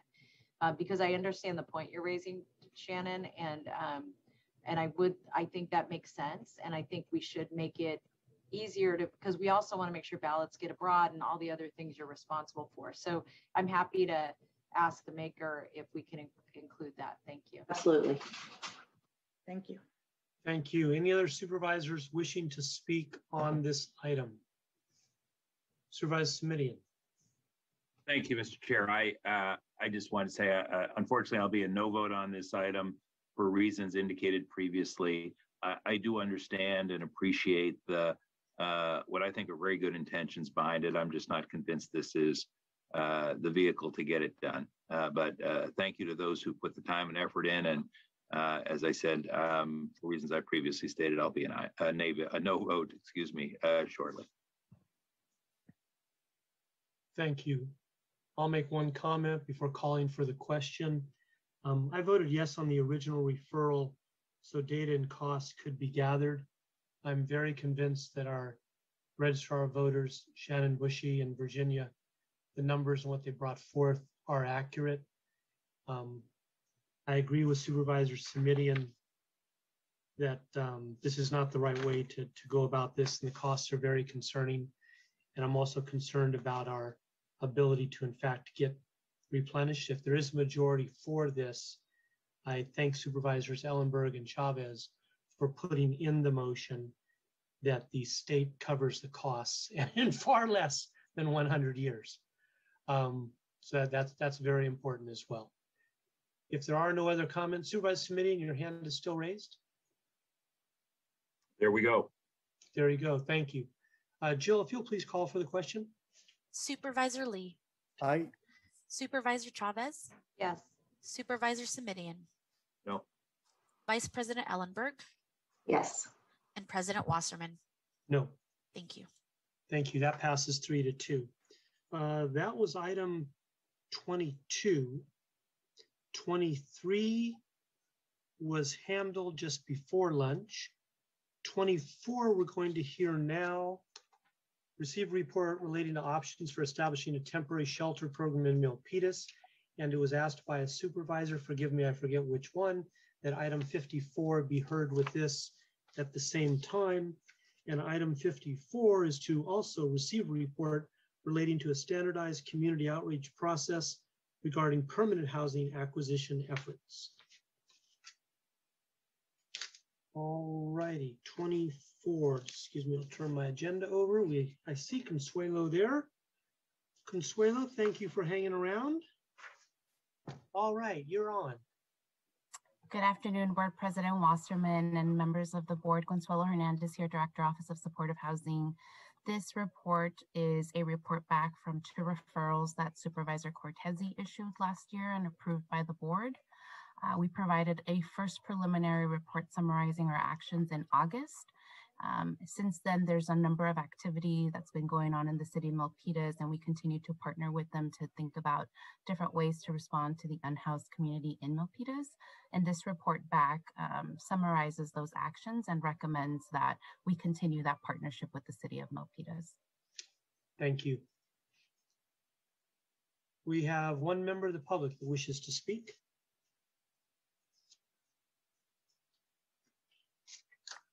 One moment. Two min- Yes, one minute each. Thank you, Jill. Thank you. Our first speaker is Alex Shore. I'm unmuting you. Please accept the unmute. You'll have one minute to speak. The timer will start when you begin speaking. Good afternoon. President Wasserman, is there a way to speak after item 54 is discussed as well, or is this the appropriate time? Oh, no, you can speak after 54 if you wish. You just speak once on both items, so your choice. Yeah, just wanted to hear more of the presentation and discussion to. Certainly, Alex will put you back in the queue. Thank you so much. Thank you. One second. Well, that concludes our speakers for this item, Mr. Chair. Okay, Jill, if you'll help remind me, we'll come back to Alex when we're done hearing from board members. We have uh. Supervisor Lee, hand, hand raised first. Yes, can you hear me? Yes, we can. Okay, good. Uh, first of all, I would say uh, thank you so much, uh, Consuelo and the uh, uh, Office of Supportive Housing team for the work on this uh, project and this report. Um, as my colleagues are aware, um, this is something that came through before I get on the board um, from my predecessor. Um, since coming on board, I've had my team track the prior initiative like this uh, to understand the urgent housing efforts that's been stemming from uh, COVID-19 in addition to the needs. Uh, and I'm mindful of the points that the staff raised around property that the staff identified in collaboration with the MUSD, the school district, and the city of Milpitas, uh, not being accessible to services on those two plots of land. And I also think um, it's just as important for all of us to engage with the members of community through this process. Um, I understand and appreciate that the staff wants to work in lockstep with the city of Milpitas in servicing the house, the houseless uh, population that resides in the area, which makes a lot of sense. Uh, and I'm also aware of the fact that a lot of this work was done uh, before I came here. Uh, and moving forward, I'm hoping that we can all stay engaged and continue to move together uh, with our local community. Um, with that said, I, I'm um, I'm asking for the following. One of which I would like to see is a bi-monthly report going to HLUET uh, around the recent updates of the city of Milpitas that they have made with their homeless task force that they formed and their set of recommendations around the community plan to end homelessness, unquote. The implementation plan along with any coordination uh, efforts that the county has been undergoing with the city of Milpitas. And I would also like to request the Office of Support Housing through the administration to provide the board at its June 8th meeting with an assessment of options for incorporating the 14th recommendations on the public engagement as it relates to the housing development projects proposed by the local nonprofit Catalyze SV. Lastly, I would like to request the Office of Support Housing through administration to provide the board at its June 8th meeting as well with analysis of City of San Jose's 2019 audit report regarding development, noticing, and ensuring outreach policies meet community expectations as a framework for designing, adopting, and implementing the county's own policy and community engagement and set of guidelines to ensure racially equitable uh, presenta- uh, presentation through the Government Alliance on Race and Equity which the board previously has made the commitments to do. And with that said, I would certainly like to move forward to receive the report. Thank you. That's direction, so we'll need a vote on that. Do we have a second to that direction? Second, met with a question. Thank you. Go, go ahead, Supervisor Chavez. Just to, I, just to know what, to be clear, this is on item 24 and 54, Yes. Supervisor Lee? Yes, this is on 24. I mean, I know we haven't done the 54 presentation yet, but uh, I'll be But happy to do the same as 54 as well. So this covers both. Right. Yeah, Thank you. I'll, I'll second that. Thank you. Thank you. Any further discussion? If not, we'll go. We have two uh, members of the public waiting to speak. Thank you very much. Go right ahead, Jill. Our first speaker is Alex Shore. I'm unmuting you. Please accept the unmute. You'll have one minute to speak. The timer will start when you begin speaking. Fantastic. Thanks, President Wasserman. And thanks, board and Office of Supportive Housing. Alex Shore, Executive Director of Catalyze SV. Thank you, Supervisor Lee, for bringing up the issues of community engagement. Like you and so many of your colleagues, we care about creating a really inclusive and collaborative and productive community engagement process. We believe that that does not have to be lengthy. It doesn't have to involve 15 community meetings, but it has to involve good quality community engagement. And we, like you, want to see a community that provides the housing for everyone who needs it and thinks the county is making huge strides to do that and would love to be involved in whatever way we can in supporting the county in creating the best community engagement policies, practices, and processes to get there. So appreciate the support. Happy to answer any questions the board may have on our perspective on community engagement and ways that we might be able to help as we started talking with Supervisor Lee about. Thanks. Thank you. Our next speaker is Loretto Cutie Brigade, Silicon Valley. I'm unmuting you. Please, please accept the unmute. You'll have one minute to speak. The timer will start when you begin speaking. Hello, thank you so much, everybody, for having me here today.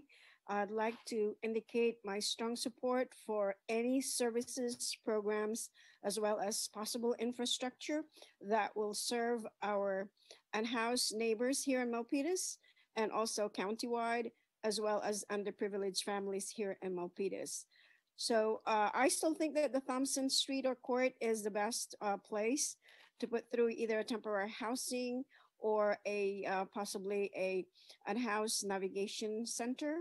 Uh, but anywhere in Milpitas, I think we need those services. Loretto Cuties Brigade Silicon Valley with uh, Hope for the Unhoused has been servicing our Milpitas Unhoused here, providing Loaves and Fishes hot meals and other necessary items. So we'd like to continue. Uh, we are supporting the Dignity on Wheels by setting up tents and providing necessary items as well, and also with abode services and other nonprofits. So thank you so much. We'll be working with you. That concludes our speakers. Thank you, Jill. Um, Supervisor Lee, I, hand, I see your hand is still raised. A, a concern I've got as far as the outreach, the the guidelines for outreach that that San Jose has, and I think it's, I think that's what you're suggesting. Um, I'll just say, in, in my experience, it all has has caused some bottlenecks, has caused projects not to get done as expeditiously as possible. You know, you you can't please all the people all the time and measuring twice and cutting once, I understand. Measuring 10 times and cutting once, you know, might might be overkill. I, I would suggest to you and Supervisor Chavez, perhaps there's some sort of compromise, or perhaps we ask Consuelo at this point what she thinks is reasonable to get the pulse of people. If you do too much, it's good to do outreach. If you do too much, you never get anything done. So it's kind of a it's kind of a tough place to be in. Um, Consuelo, any thoughts about that? Yes, thank you, Board President Wasserman, for the opportunity to share. I did want to clarify that the original board referral related to the outreach had more to do with how we communicate and convey property acquisitions to the board offices. Okay. Um, and it wasn't meant to be an exhaustive or extensive program design for community engagement um, because every city is different and every property is different. For instance, most recently, we've been working with the city of Mountain View on a potential acquisition of a hotel where that action hasn't actually come to you for a decision. Um, and very early conversations with the community have been a little confusing for them because it's unclear whose project it is, for example. Um, yes. Um, and, and in other instances, our preliminary work does make sense. Um, and so I just wanted to provide that context for the board that the, the response that we've prepared for you under item 54 is in response to how we communicate with you. Um, and really, um, you know, this was one of the recommendations that came out of HLUET is working directly with each of the board offices to leverage the relationships that you have in your respective districts. Wonderful. I'm all in favor of that. And that was a very um, politically correct answer. Good job, Consuelo. Supervisor, Supervisor Chavez. Yeah, thank you. I here's what I would like to recommend is that I think the difference um, the difference is that we we are playing a very different role because we're an investor in for most of these projects. In few uh, roles, we're also a co-developer. For example, the hub is an example of where we're, you know, we've got a different level of involvement what I would like to recommend, if Supervisor Lee is okay with this, is that I think the the the strategies that that are being shared both from Catalyze and even including the city of San Jose, um, in some instances, I think could really be best practices in terms of notification and how far out out out they go. And in some instances, I would argue that it hasn't been our process, but the cities the, that we're working with not having a robust process that actually does cost us time, Supervisor Wasserman, because I think that the there's some some confusion, and I do think we have to also th- think more about our role. So what I would like to recommend, if Supervisor Lee is okay with it, is to put these forward to our staff for consideration and and I think Consuelo is exactly right. To be customized based on the the type of project and frankly the experience of the city. Because some of them haven't built a lot of any kind of housing let alone affordable housing. So thank yeah. you. We've got uh, sounds like a friendly amendment from supervisor kissinger. Um, supervisor lee what uh, what is your thoughts you okay with that well i i, I certainly agree and i just want to make sure that what i meant uh, with the city of San jose's audit report is basically look at what they do and try to see if there are you know best practice or things that we could adopt or add to our program for outreach that would uh, work. So that's that's all this is just uh, incorporating any good practice on our neighbors in San Jose that uh, we could do. So so I think we're seeing the same thing. Yeah. Thank, thank you. Thank you. I'm on board. Any other uh, comments from Supervisor Chavez? Your hand still raised? Nope, you're down. Good enough. Jill, will you please call for the vote on item 24? and 54? Thank you, Supervisor Lee. Aye. Supervisor Chavez. Yes. Supervisor Simitian. Aye. Vice President Ellenberg. Yes. And President Wasserman. Yes. Thank you. Thank you. We now move on to item number 25, which we're hearing all by itself. And it's regarding approval delegation of authority of the county exec to negotiate, execute, yada, yada, the uh, property at 525 Charleston Road in Palo Alto. Jeff, do you want to, oh, Consuelo, do you open with this or Supervisor Simitian? There we go, Supervisor Simitian. I don't want to cut off any staff presentation, but I'm happy to move approval of the staff recommendation. Thank you. I'll second that as well. That, that That's fine. All right, um, Consuelo, we have a motion and a second. We have no public speakers. Do you wish to report anything out at this time? Thank you, Board President Wasserman. Nothing more to report on this item today. Thank you. Thank you. Supervisors, any further comment on this item? Seeing none. Supervisor Simitian your hand is still raised. You're you're good with the motion? I I I am. I I uh, I know that uh, our county staff knows that I am uh, still hopeful that we can accelerate the timeline. And uh, I appreciate staff's willingness to work on that. And what we have uh, discussed previously, Mr. Chair and colleagues, is that that's a conversation that probably is best had once we have a developer. And if we vote in a moment, we will have a developer and we can commence those conversations. So I'm going to uh, uh, ask for an I vote, and uh, then we'll start the conversation about how to expedite the timeline if possible. Thank you again. You got it. And Consuelo is an extremely talented staff person, so I'm sure it will all happen. Uh, Jill, will you please call the vote? Mr. Chair, can you confirm the seconder for us, please? Uh, yes, Supervisor Chavez. Thank you. Supervisor Lee. Aye. Supervisor Chavez, Yes. Supervisor Simitian, Aye. Vice President Ellenberg, Yes. and President Wasserman. Yes. Thank you. Thank you.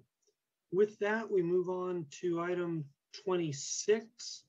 Again, approving delegation of authority to our county exec. And this is regarding funding and development of 330 Distel Circle in Los Altos.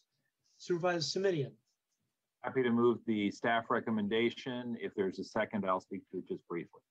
Second, Chavez, and then I wanted to speak to it also. Thank you. Thank you. Uh, I just wanted to indicate, Mr. uh, Chair and colleagues, that uh, earlier today, I got a, an email in support of the project from uh, Neysa Fligor, the mayor of Los Altos, who has been working closely with our county staff, Ms. Hernandez in particular, uh, to uh, bring this project forward. Uh, She was hoping to be able to speak to the matter, but we ran a little longer than her schedule permitted. So I just wanted to make sure her uh, note of support was a matter of public record. Thank you. Thank you. Supervisor Supervisor Chavez. Thank you. I, I was just really excited about this project and I wanted to acknowledge former Mayor um, Jan Pepper, who really shepherded this. And, you know, I want to just, I wanted to just thank her. I know she's not here, but, and also the, the staff in Los Altos for working so closely with Consuelo and her team. Thank you. Appreciate the comments. Supervisor Lee. Yeah, thank you. I certainly decided to support the project as well. Uh, this is a quick question regarding um, these type of project. If the the not the EH will do it, but let's say if, if they borrow the money and then the project's not completed uh, for whatever reason, is the county liable to repay the, the funds on the borrowing? If I may, um, President Wasserman, I'm happy to answer the question. Please do. Thank you. Thank you for the question, Supervisor. And I will add that we've been working very closely with this project specifically with the City of Los Altos, their planning department to really understand the land use path to reduce risk to the county. Um, we've um, conducted a number of community engagements, connected um, one-on-one with stakeholders to understand the challenges. Um, with that said, there are always issues that we face with any development, um, and we do have a repayment obligation, but also have the ability to sell the property if we are unable to develop housing at the site.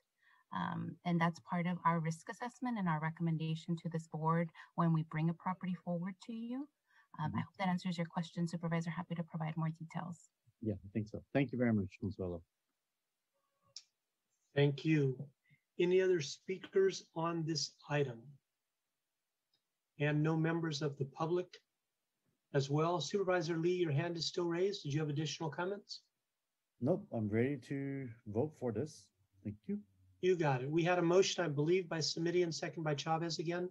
Is that correct? Yes. That is. Thank you very much. Jill, if you'll please take roll vote. Supervisor Lee, Aye. Supervisor Chavez, Yes. Supervisor Simitian, Aye. Vice President Ellenberg, Yes. President Wasserman. Yes. Thank you. Thank you. Thank you, Members, that- supervisors. I just wanted to take a moment to say that this was the first time that we issued our request for offers. And um, we had a pretty successful first draft or first process. I'm very grateful to city staff, both of Palo Alto and Los Altos for working very closely with us, serving on our review panel. And we already have follow-up meetings with both agencies um, this week to talk about the next steps. And just wanted to thank this board for their continued support. Thank you. Thank you, Consuelo, and on behalf of this board, you're doing a great job. That was 26. We move on to 27. Gene Clark, Chief Procurement Officers, report back on the procurement process for the use of force equipment. Yes, sir. Good afternoon, everyone. Can you see Good this? screen afternoon. Yes, we can. Excellent. Thank you so much. Honorable Board of Supervisors, Chief Procurement Officer, I'm here to provide a status report on the use of force and how it relates to some of the things we purchase with respect to lethal and non-lethal weapons, what we have in inventory, and to look at the process for procurement methods, approvals, and reporting. Why this update now? When we took this on, we thought it'd be a good idea here to give a baseline of the inventory, which is a good step here. and uh, actually just get some good feedback that we're on track and take any uh, recommendations that you have as a board back to uh, uh, continue to complete it uh, in the June timeframe. So this is a check-in to receive a report, including the inventory.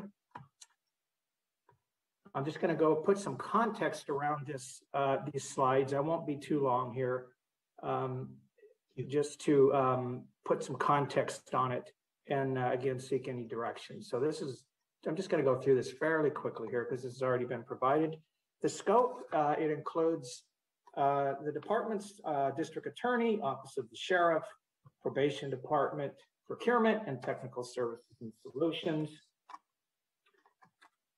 To provide more transparency on the county's acquisition of relevant armaments, this working group compiled an inventory of, of lethal and less lethal weapons we're taking a comprehensive approach to the acquisition of lethal and less lethal armaments by all of the respective departments. This includes approval workflows and reporting, which we're working on now. As part of the discovery phase, the work group is gathering relevant information on the five criteria that you have listed here. With respect to deliverables, an outcome of this project will be these five deliverables. And uh, if you look at number one here, list of lethal and non-lethal weapons, we tried to time this as best we could. Uh, the website came up with information uh, for the sheriff's department. So um, we did as best we could to get that current right now. We had to submit information uh, for the report. So the timing might be off a little. I want to acknowledge that because of the dynamics of it, of the, of the data itself. But uh, I, the, the website's probably the more current one because we had to submit this information of the inventory that we'll show you. But those are the five deliverables here.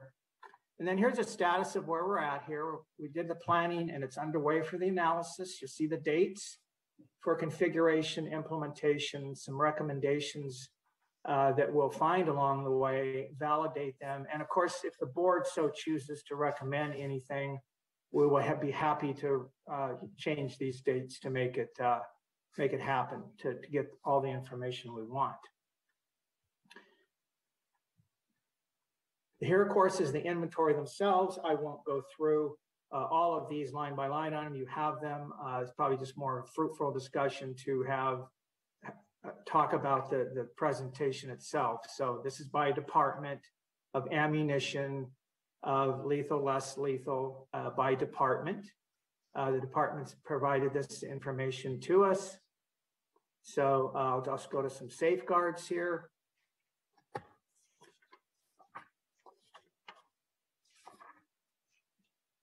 Weapons need to be purchased off a county contract. The county's current procurement system allows for buying catalogs and restricts county employees from purchasing items only agreed to in the contract and there's another method that we call field purchase orders. Those would not be allowed for uh, acquisition of armaments. So uh, just some oversight in, in some areas here. Uh, the, the, system itself, Ariba and SAP, also provide some controls in what we can and can't do through uh, workflow. Items of note, uh, all departments have some processes and approvals in place. There's no question about that through the systems, through some approvals. Opportunities exist in standardizing some of those areas as, as the group, as all of the departments, if you will. But, but know that there, there is process in each area to procure. Uh, we can fine tune standardizing some of that.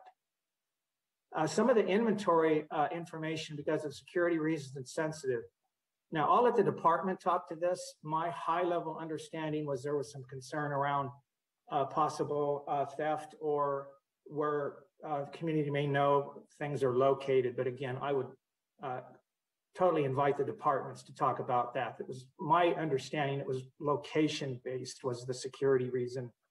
Uh, but again, we'll defer to the department because we have some uh, experts on this call. gap analysis, we could come up with a firearm procurement policy for the groups. I think that's probably something we should do. And currently, uh, the budgets are such that we we determine what we need as we go. So I'm just kind of acknowledging that there may be an opportunity to shore that up. I'm not sure, but that's when we did some of our analysis with the departments. That's what came out.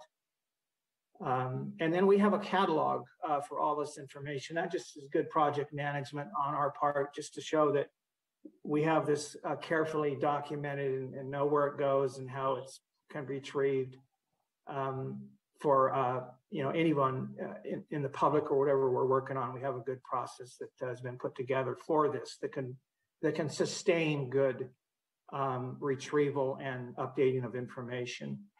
We did get good cooperation from the departments in, in trying to help us with what they have. Um, and then really, again, if I can just characterize it, we're, we did the baseline, we're seeking input here today just to keep uh, current with you. Uh, we've got work to do. We've got work to do in uh, workflow. Uh, if the approval uh, methods, we're going to take a look at that and then reporting so that it shores up some consistency around it.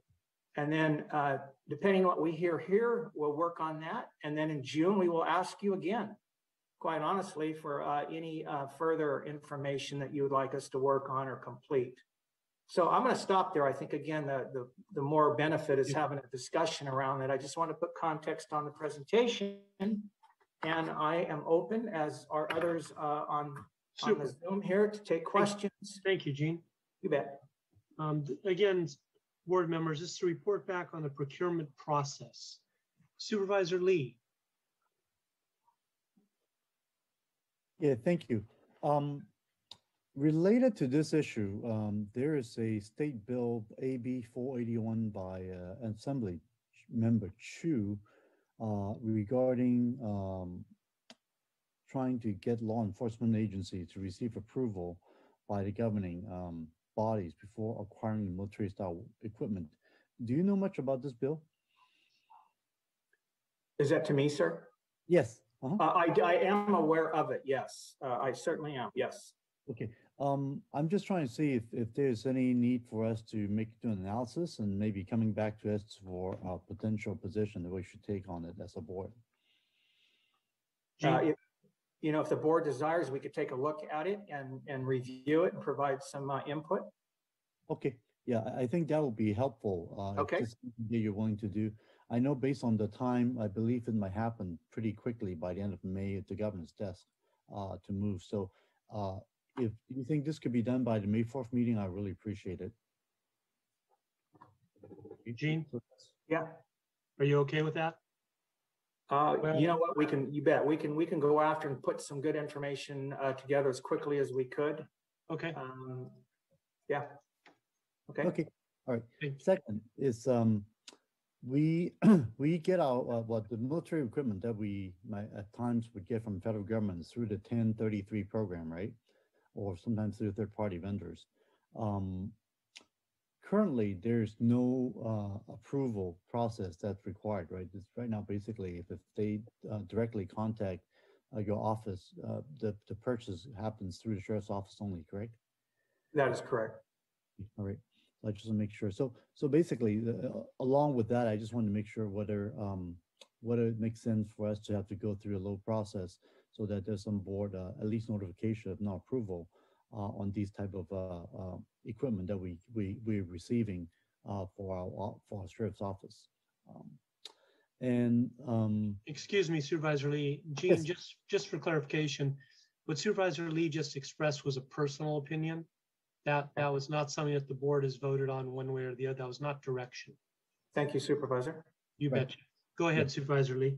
Yeah, please. Okay, yeah, just to just to clarify. So um, I guess when when we yeah when we come back to uh, discuss AB 41 since it's related to it, I would love to get your uh, yeah uh, uh, some type of analysis on that on that on those procedures on the 1033 program uh, on the purchase of uh, military equipment. I think that would be very helpful. Okay. Um, another one is um, we would like to find out. I guess, I guess I would like to see if staff could provide a board on what constitutes military style weapons uh, and provide an inventory um, for our review. Uh, we do not need to know the location uh, of this because of the fact that that's the confidential information. That's the last thing I, I care to know. But basically, I think what we're trying to figure out is just have a accurate inventory of information, number one. Second thing is, um, if you believe this is information that should not be released to the public, I would like to know why. And then, of course, you can I, you could provide to us as a confidential report, but I would like to be able to uh, know exactly what we have. Um, and then another, yes, go ahead. Pardon me, Supervisor, is this addressed to the department, sir?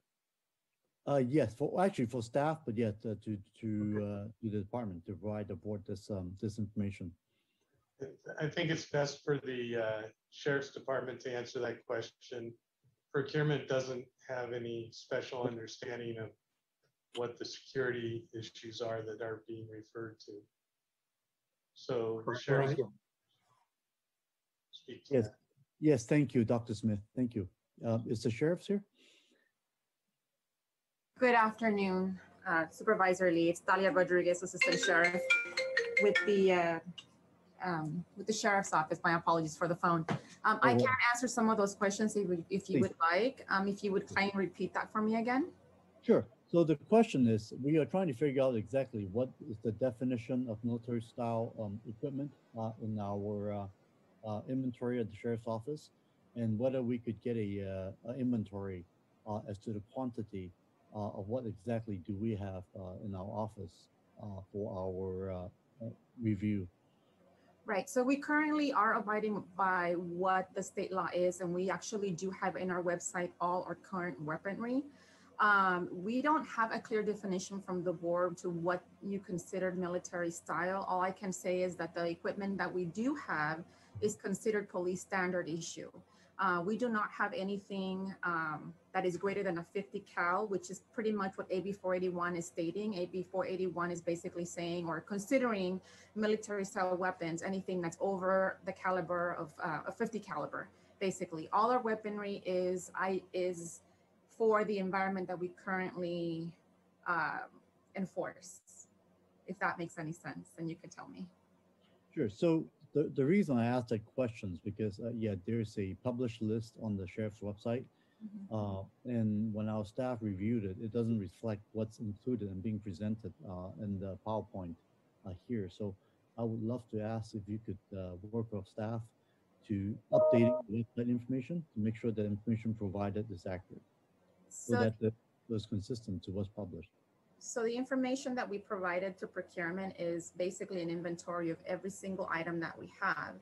Uh, I don't think that the, the PowerPoint has the, the correct information, uh, but we did provide complete accurate information on everything that we have. On the website, yes, you do see that we have pistols, that we have rifles. The only difference from what you see on the website and what you see on the list that we provided procurement is the caliber. For the most part, everything is listed on that in that group of weaponry is what we currently have is just basically the different type of caliber and perhaps the um, the name of the manufacturer, but essentially they're all the same type equipment, if that makes sense. Yeah, I, I think we, we've been reviewing it and I don't think we can put the heads and tails together. That's why these questions being asked. So if you could, I'm just asking if you could go back and uh, confirm what's published uh, and what's on PowerPoint, I I certainly appreciate, just to make sure the information provided, it it matches. Okay? Absolutely. Um,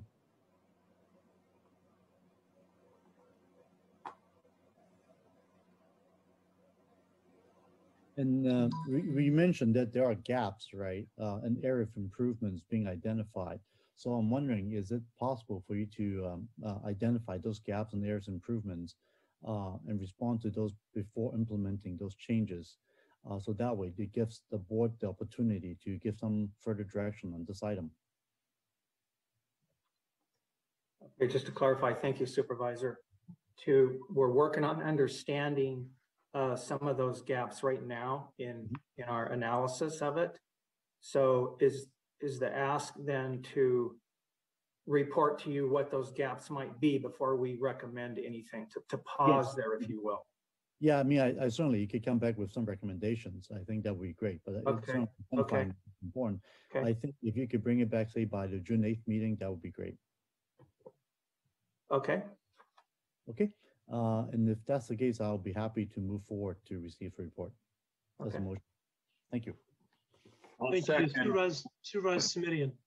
Thank you. I'll second and ask my colleague uh, Supervisor Lee in a moment if he's prepared to accommodate some additional uh, direction uh, as well.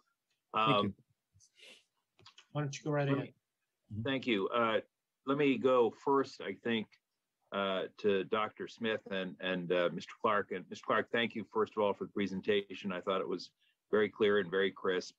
Uh, I, I am a little anxious that, um, you know, this is the follow-up on a referral that actually uh, came to our board in June uh, at my instigation. And you know, it's taken 10 months to get to the point where we have a working group. I understand that the more explicit uh, direction came, uh, I think, in August, but still, uh, it this is, um, I guess, Dr. Smith, I'd like to say, and uh, you know, as one board member and uh, as um, I'd like to see, and, and to Mr. Clark, I'd, I'd like to see a greater sense of urgency in addressing these issues. Uh, th- this is, um, you know, all too often uh, the moment of uh, public awareness and engagement passes and the work then does not get done. I, I want to make sure that on these issues that uh, that doesn't happen. So let me just again stress the need for a greater sense of urgency. The the second thing is um, it, it, Dr. Smith or Mr. Clark, either either one. Um, in terms of who's participating in the work group, is there a reason that our contracted uh, Office of uh, Correctional Law Enforcement monitoring the OCLEM uh, folks at OIR are not part of the group? And is there any reason that they couldn't or shouldn't be? No, they could, Go ahead, Dr. Smith. they could certainly be part of the group. Well, I'd like to suggest that uh, as uh, part of the direction, if the maker is amenable, uh, I certainly am as the seconder, uh, Supervisor Lee. Yes. And I'd also like to suggest that uh, we in, incorporate uh, some kind of uh, engagement by uh, what is, I believe, now uh, a standing community uh, correction and law enforcement monitoring committee. I know we've made our appointments. Dr. Smith, Mr. Clark, any reason we couldn't engage their attention as well?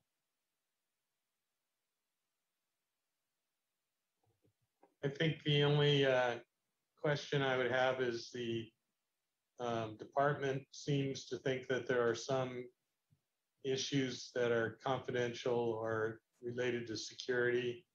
And I'm sure there would be an objection to having public members uh, in that discussion.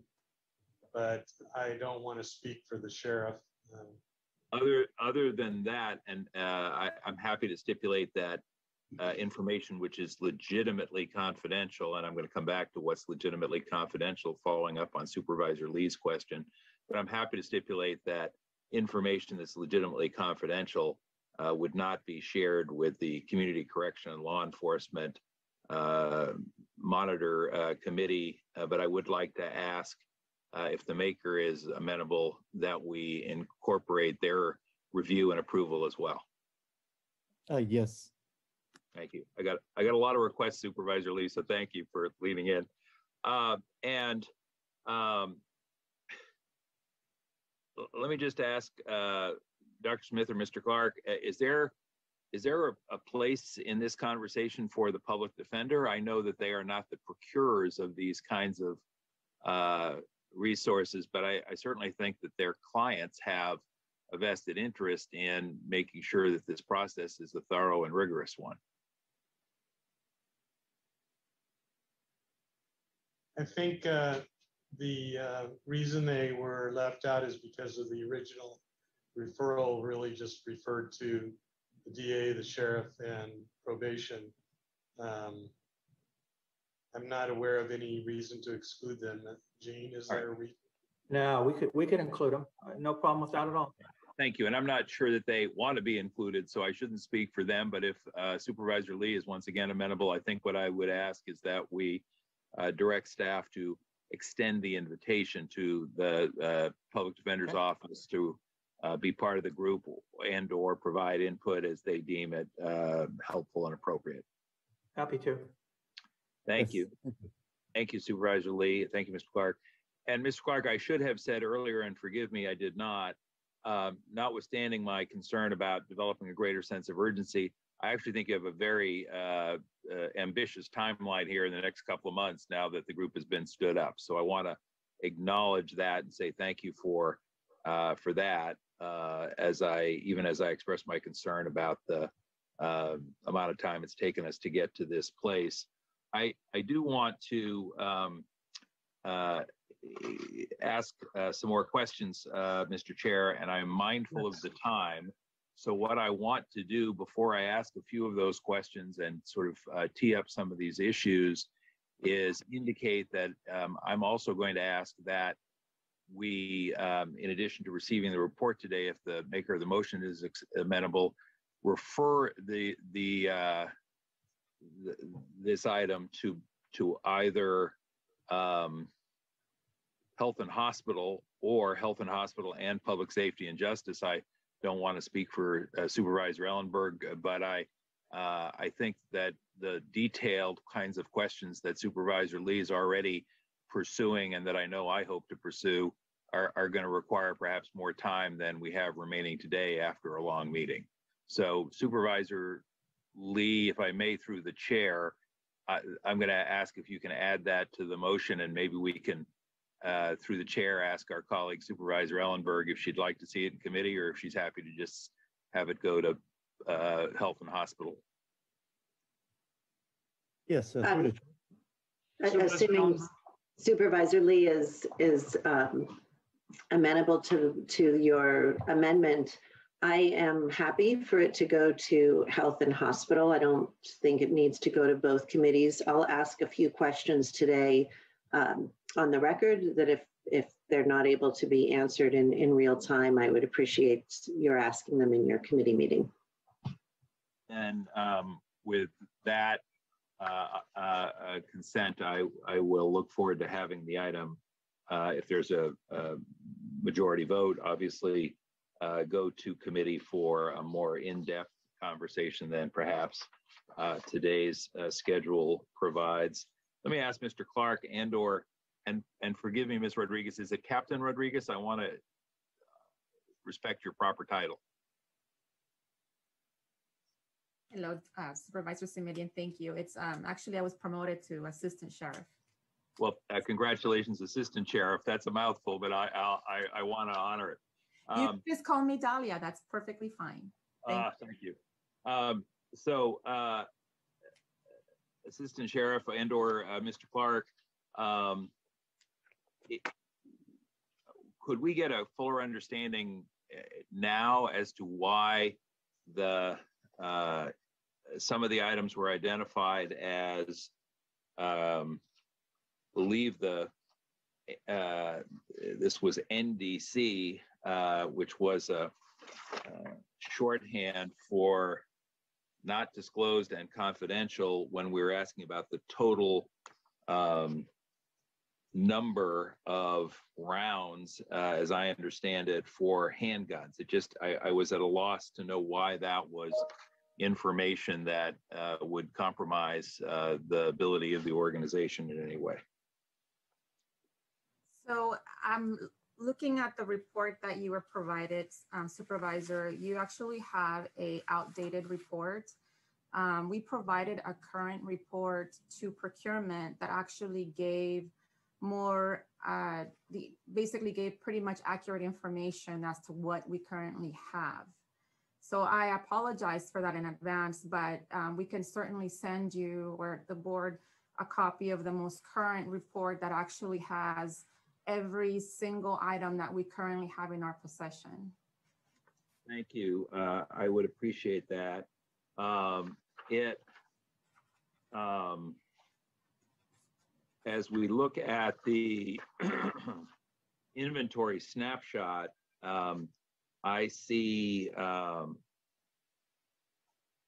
what is described uh, as on packet page 143, and forgive me, uh, Mr. Clark and uh, Assistant Sheriff Rodriguez, that may or may not be helpful to you, but uh, under current state less lethal inventory for uh, SHF Department, Sheriff's Department, there is reference uh, under uh, line six, line seven, line eight to what I believe are 40 millimeter launchers. Am I reading that correctly?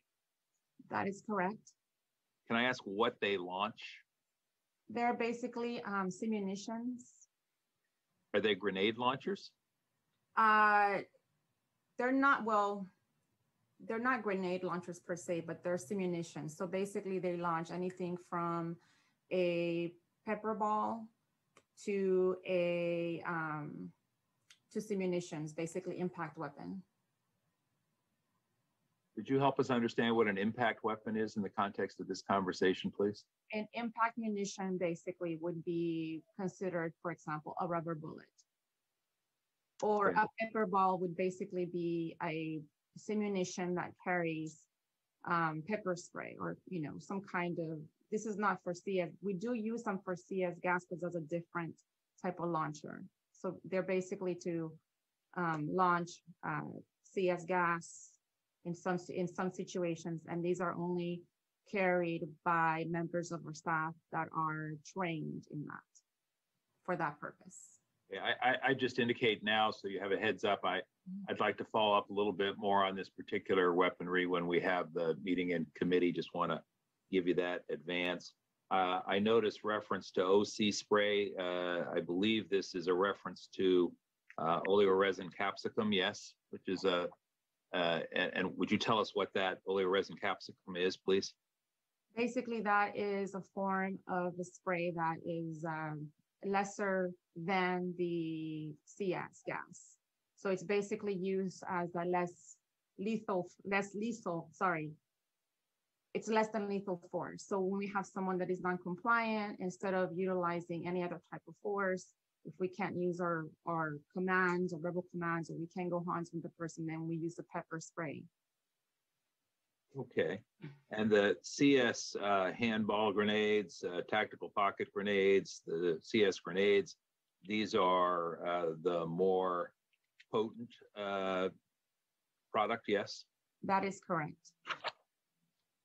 Okay. Um, is there uh, a reason that we didn't see any vehicles? Or there is there nothing in the way of vehicles that Mr. Clark, you think uh, it would be helpful for our board to be aware of?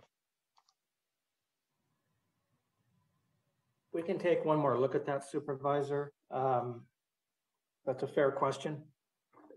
Thank you. I, I'm, I'm, I'm going to encourage you all to think about this on a, um, sort of a continuum, if you will, uh, between what I would call a sort of a standard squad car at one end of the continuum and, you know, what, what most people would refer to colloquially as a tank, perhaps at the other end of the continuum.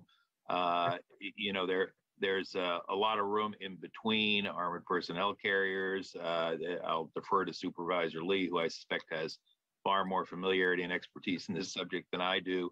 But I, I do think it would be helpful if, when we talk about this next, uh, we get uh, some discussion about vehicles as well. Um, and uh, then I want to go to the page, Mr. Clark, if you can put it up again, that had items of note. Okay. And I want, uh, I'll wait a moment here, if I may, through the chair. Yep. Thank you. Sure. Uh, And I notice under three B, it says there's no set budget for the purchasing of armaments. The departments need to identify funding. Does, does that mean, Mr. Clark, or perhaps it's a better question for Dr. Smith or Mr. Ituria, that um, we do not actually in our budget process identify either what weaponry will be acquired or in what amount, but rather that's a decision that is uh, left to the leadership of the sheriff's department uh, as they identify funds that they repurpose uh, following the budget? Yes, that's true. We uh, budget in by object. So object one, as the board knows, just for the public, is personnel costs. Object two is service and supplies. So the uh, armaments and issues that- like that you're talking about would fall under object two. And the budget does not delineate specifically the amounts or type of uh, purchases.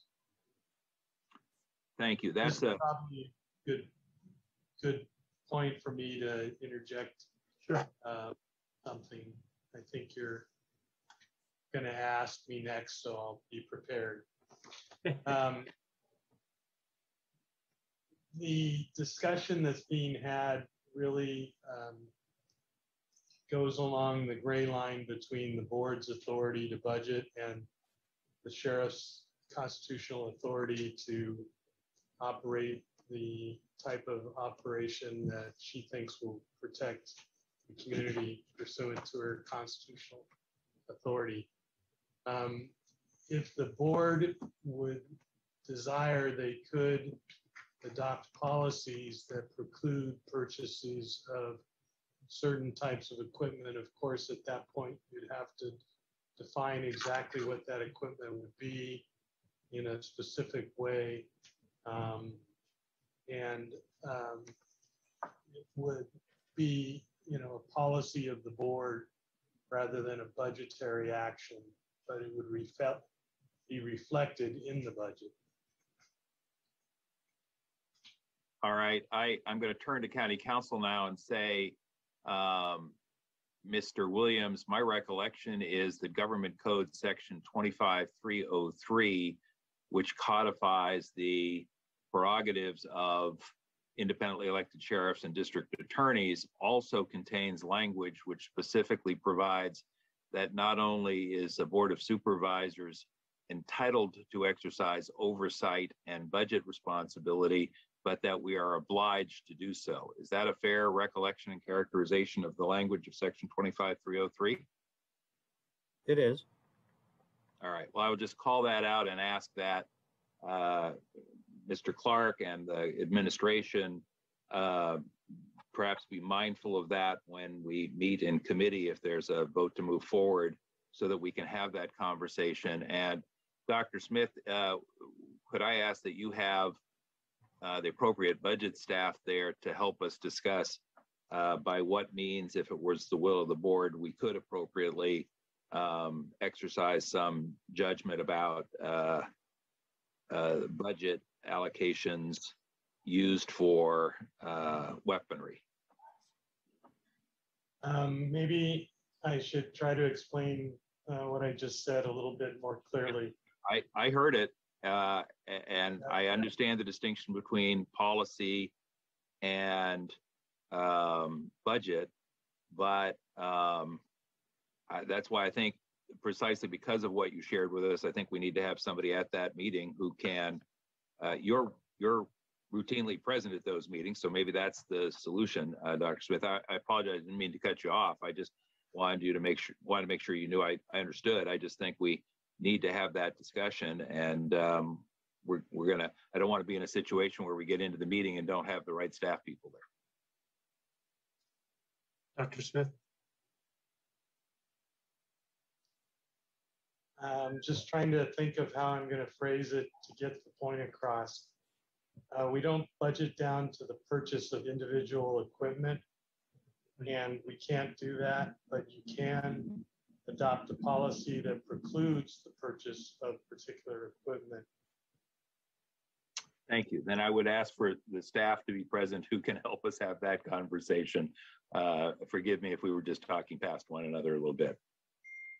And that relates to uh, Mr. Clark 3A, which is, as I understand it, your uh, gap analysis is indicating, among other things, that there is no firearm specific procurement policy. Is that, do I have that right? Among all the departments, yes, that's true. Okay. Uh, and I think that's clearly a um, uh, a subject uh, for uh, discussion. Um, Mr. Clark, I know your procurement. Has there uh, been a discussion of use of force claims and what they cost the county? To my knowledge, no, sir. I'm, I'm, I don't have that, I don't have that information. Dr. Smith, is there any reason that couldn't or shouldn't be folded into the larger conversation? Since ultimately, if there are use of force claims which are either settled uh, or result in judgments against our county by virtue of the weaponry, uh, that uh, is uh, money that comes out of the county budget. Certainly, we can include a discussion. Uh, I don't think uh, procurement or myself or administration could give you a good answer to that. It would have to come, I think, from the county counsel. Well, counsel's been kind enough to provide some of that information previously on a pretty regular basis, so I should say thank you for that. Uh, but ask Mr. Williams, is that something we could perhaps update with a particular eye towards this conversation? Yeah, we can, we can certainly do that. You specifically want to know any settlements or judgments associated with uh, weaponry. In other words, Yeah. where, where a weapon was involved in use of force. Ye- Yes, and also uh, where weaponry was not involved. and um, so we can get some order of magnitude. But as an example, um, and I'll look to the assistant sheriff here uh, if I get into uh, uh, poor choice of language about what's what. But you know, I I'm not sure everybody would think a collapsible baton was a quote uh, weapon. Uh, I would. Um, so you know, if somebody has got a use of force complaint and there is a um, a baton involved, I you know I'd want to sort of understand that since that's one of the things that uh, the budget dollars are paying for, as we've discussed thus far.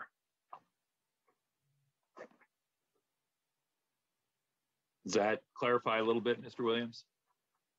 Yes. Thanks. Um, I'm going to stop there, Mr. Chairman, not because I don't have more questions, but because I know uh, Supervisor Ellenberg's waiting in the wings, and I'm going to uh, just ask that all of the requests for information be incorporated in the motion if Supervisor Lee is amenable to that, as he has been thus far, and for which I say thank you again. Thank you. Supervisor Vice President Ellenberg. Thank you. Not at all in the wings, right here on the virtual dais with you, Supervisor Simitian. Uh, and thank you very, very much for this line of, of questioning. I am I'm very appreciative that you and Supervisor Lee are going to take this up in uh, health and hospital. It certainly is relevant as a uh, health and safety issue. And I would be very interested in seeing um, if, if the conversations lead to policy recommendations um, on um, what, what type of weaponry we agree to spend public dollars on. Um, I, I, think that would be very interesting and useful. I want to direct a question uh, to County counsel in the event that an answer is available now, and if not, I would ask if you would consider it in your committee meeting. Um, I saw that in the report that uh, probation and the district attorney um, provided the exact number um, of Glock 17s that they have, but the sheriff's department just provided a range uh, for how many of that specific firearm.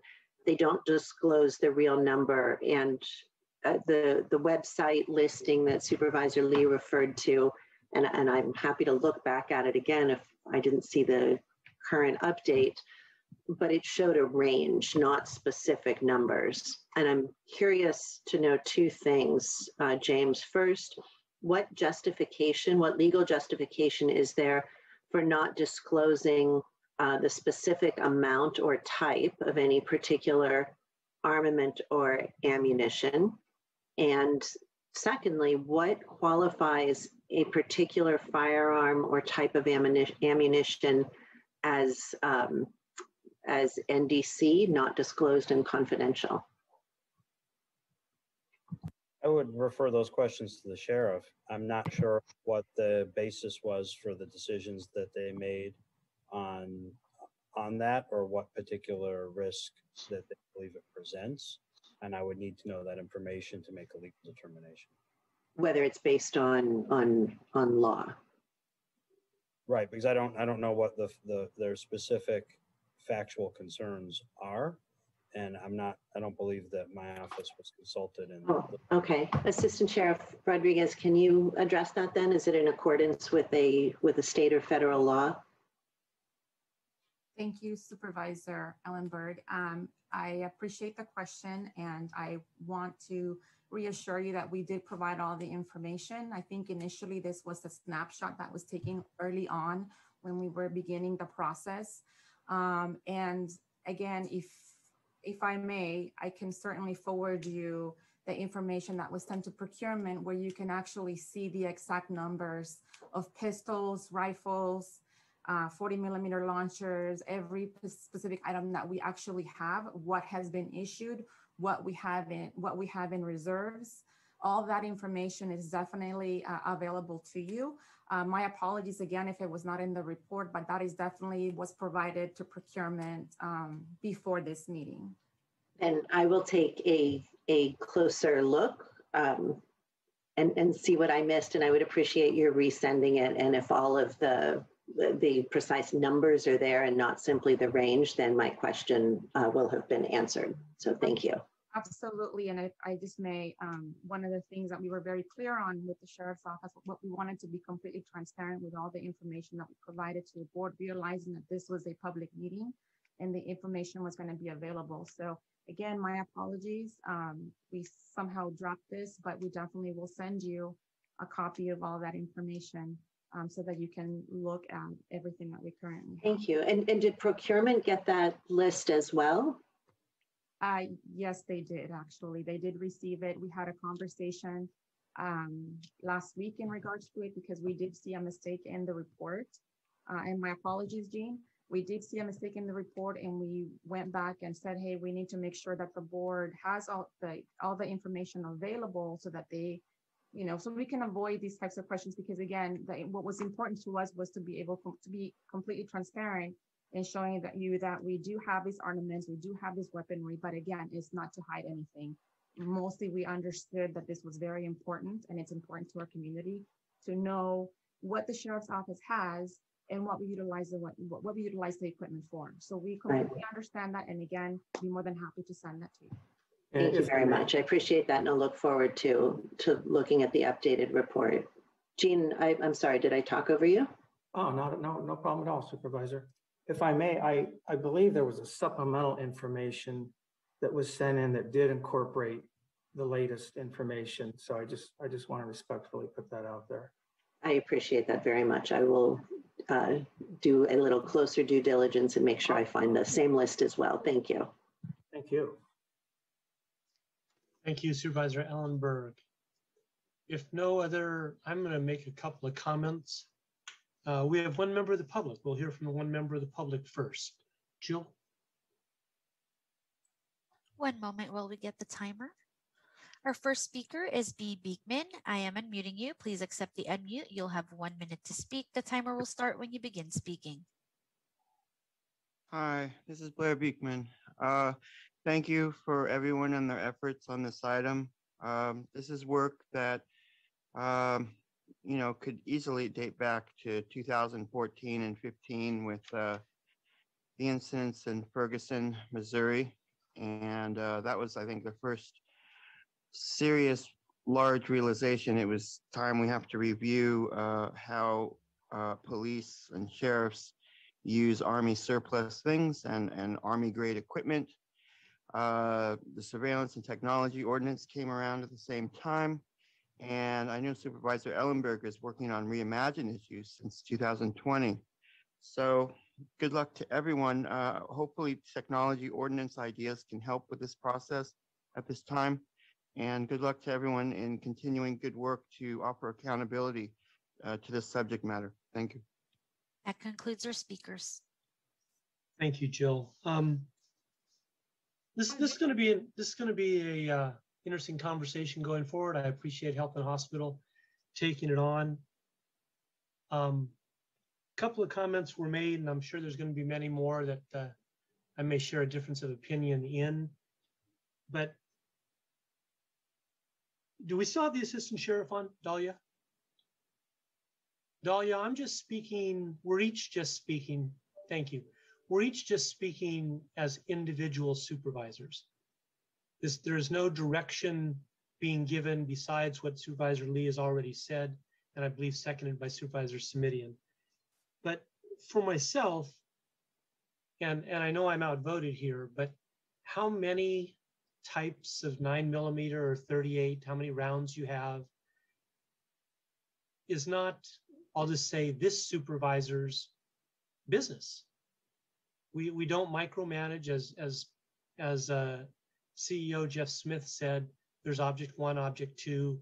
Each department buys however many items they need under object two and employs however many people they wish under object one. They just have to stay within their budget. So I, I appreciate you gathering all of that information. Um, but for myself, whether you whether you have 5,000 rounds or 10,000 rounds for a nine millimeter, doesn't matter to me. Where where we talk about excessive force reports, and I appreciate Supervisor Simitian asking for that information, and I look forward to reading through that information. Um, for me, something that wouldn't be relevant is the baton. It's not the baton that's guilty of excessive force. It would be the officer that's guilty if excessive force is found to have happened. So I may see these things a little bit differently. I just wanted to share my thoughts at this time with my fellow board members.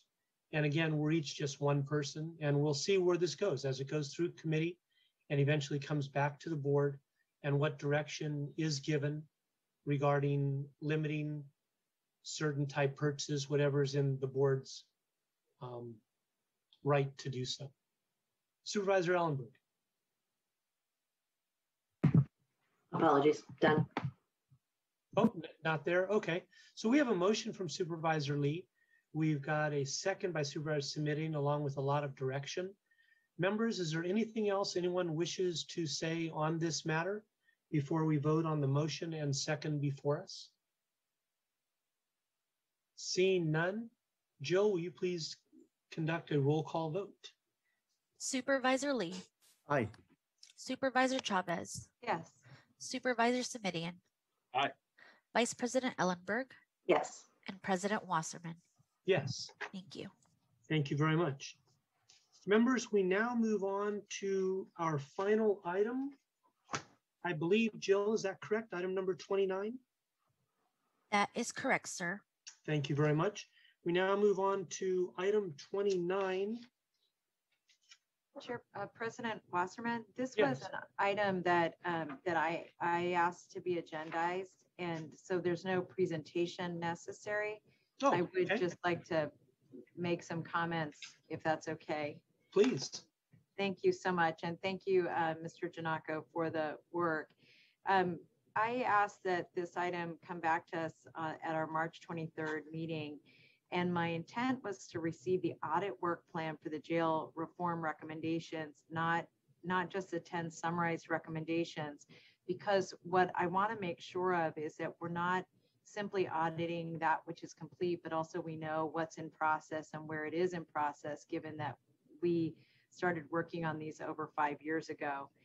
Um, so what I would like to do is um, move to receive the report and ask this, uh, Mike, if, uh, I'm sorry, Mr. Gennaco, if um, if we can get uh, th- this come back as a biannual report as part of the uh, board jail reform study session and that this that uh, the staff report on the jail reform recommendations implementation in progress made since the last time the report comes to the board in a graphic form with percentages. Uh, two, that the staff report with estimated timelines for completion of the remaining jail reform recommendations. And three, that OCLEM report with a progress update on the jail recommendations audit. Um, and that I, I just want to ask uh, OCLEM if in all future reports, if you could just give us work plans and dates uh, for when tasks will be uh, performed and any proposed timelines. And I, I know that a lot of your work is relatively new, so um, going forward, that would be my request, and that's a motion. Thank you, Supervisor Chavez. Do I have a second from a board member? I'll Second. I believe Supervisor Lee beat out Vice President Ellenberg. So you'll get the second on that one. Supervisor Simitian, you have your hand raised for additional comment? Uh, starting with a couple of questions, if I may, uh, through the Yes. chair. Mr. Gennaco, where are we on the information sharing agreement, which I know you've wrapped up some while ago with other departments and agencies, but where does that stand with the sheriff's department? Hello Supervisor Simitian. Um, to be um, direct and, and concise, uh, we are where we were in November, which is we don't have one. Um, my understanding is the sheriff has retained outside counsel and we've had some discussions, but we have had no movement with regard to uh, uh, effectuating an agreement. I'll just say that's disappointing uh, and go on to say that it um, clearly impedes the ability of your office to do its work. Uh, and to the extent that you can do the work with whatever workarounds are, are available, uh, it's going to make it more costly. Uh, we've discussed uh, some of the options previously, so I won't raise those again. Uh, but I did want to just uh, check in yet again on the status of the agreement, and it's clear there isn't one. So thank you for that. Could you be, um, could you share with us a little bit uh, about how you see the uh, community group that has been stood up, the Community Correction and Law Enforcement Monitoring Committee, playing a role in this work, uh, if if you do going forward?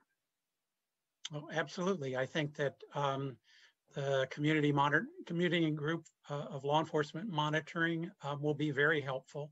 It provides a public face and a public facing uh, to do a number of things that I think a community, a group of community-based uh, representatives are most effective in doing. For example, uh, the community conversations that were stood up and begun last summer uh, to have those continued uh, and using uh, CCLEM to do that, I think will be very effective. And uh, I look forward to seeing how that um, how that uh, rolls out. Thank you, Mr. Chair, and thank you, Mr. Gennaco. Those were my only two questions. Um, and uh, I'll let it go with that. Thank you very much. Oh, Supervisor Lee. Yes, thank you. Um, for question for uh, Mr. Gennaco, um, we I know that uh, OCLEM has the auditing responsibility of jail reform recommendation, uh, and have has OCLEM or ha- well, have you issued any subpoenas? Or are you anticipating issuing subpoenas to compel the sheriff office to provide this information? Uh, Supervisor Lee, um, it is my understanding um, as of today, April 20th, that the sheriff is agreeable to providing the information we need to uh, continue with the jail reform audit. And if that's the case, there will not be a need to uh, issue a subpoena for that information. We made a request in the beginning of April for information with regard to 10 of the 80 subgroups of recommendations. And um, under that agreement um, and understanding, the sheriff will be providing that information in May. And we'll see. I, am hopeful and optimistic that information will be provided in May so that we can get that audit underway with regard to the 10 recommendations that um, have I been have been identified as being completed and ready for auditing. And and is that uh, those ten recommendations? Is something you could uh, provide to us as well? Yes, sir. Um, I can provide that information to you. Um, it ranges everywhere from issues involving jail classification to uh, uh, improvements in dentistry services and the custody health side. So it goes beyond the sheriff's office, um, but there are um, 10 of the 80, which is really more like 80 or 90 of the 655 recommendations subgrouped uh, there, and it's a big, healthy chunk of, of work. So we look forward to receiving the information. Thank you. I was one of the persons who voted for the 600 and so recommendations a few years back. Um, OCLEM notes that the jail reform work group is reviewing the other recommendations. I think it's a total about 33, right? That have been deemed completed but not submitted for auditing. Um, so the impression I'm getting from this is that these additional recommendations will be submitted audited in some type of rolling basis. And is it possible for OCLEM to continue the process of auditing a set of recommendations uh, at a time and provide the uh, the board at the next the jail reform study session with a similar audit process timeline uh, a work plan to audit these additional recommendations. The Yeah. Is to allow OCLEM the time to assess how its current proposed audit process will play out and um, for it to identify and make the necessary adjustments. Uh, And then to present to the board at the September uh, 20th meeting on what I learned. Yes, I, I- will, I will, I will work with the working group that is um, identifying the recommendations that are ready to be audited. Here's the conundrum is that um, OCLEM doesn't have control over about, over when the recommendations would be ready to be audited. And I, I also believe, I'm trying not to uh, go over a- a road that was gone over before when there was a request for all 655 uh, with an arbitrary deadline. And none of that was ever done. That was just, that failed. And I'm not, I'm trying not to repeat failures of the future. But uh, to the degree that uh, the, the partners in the jail reform group can provide some information to me that I can then convey to this board on, on where they are with each of those uh, recommendations, I can provide it. Um, I won't be able to check it um, in the same way, uh, but I can provide what they're representing is done for sure. Mhm. Okay, great. Thank you very much. Thank you. Board members, we don't have any public speakers on this item. And forgive me, the motion maker was Simitian, is that correct? Chavez. Okay, and then Supervisor Lee beat out Supervisor Ellenberg. I remember those close finishes. All right, if there is no further discussion, I'm going to ask Jill to take our final vote of the day. Supervisor Lee, Aye. Supervisor Chavez, Yes. Supervisor Simitian, Aye. Vice President Ellenberg, Yes. and President Wasserman. Yes. Thank And with that, board members, today's board meeting is concluded. Have a nice evening. Stay well. Take care, everyone. See you all soon. Thank you Thank all. you, Mr. Chair. Thank you, Thank you. Mr. President. Thanks. Good night. Good night.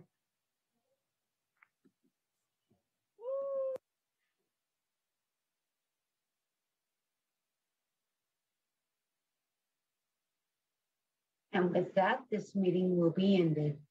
Thank you.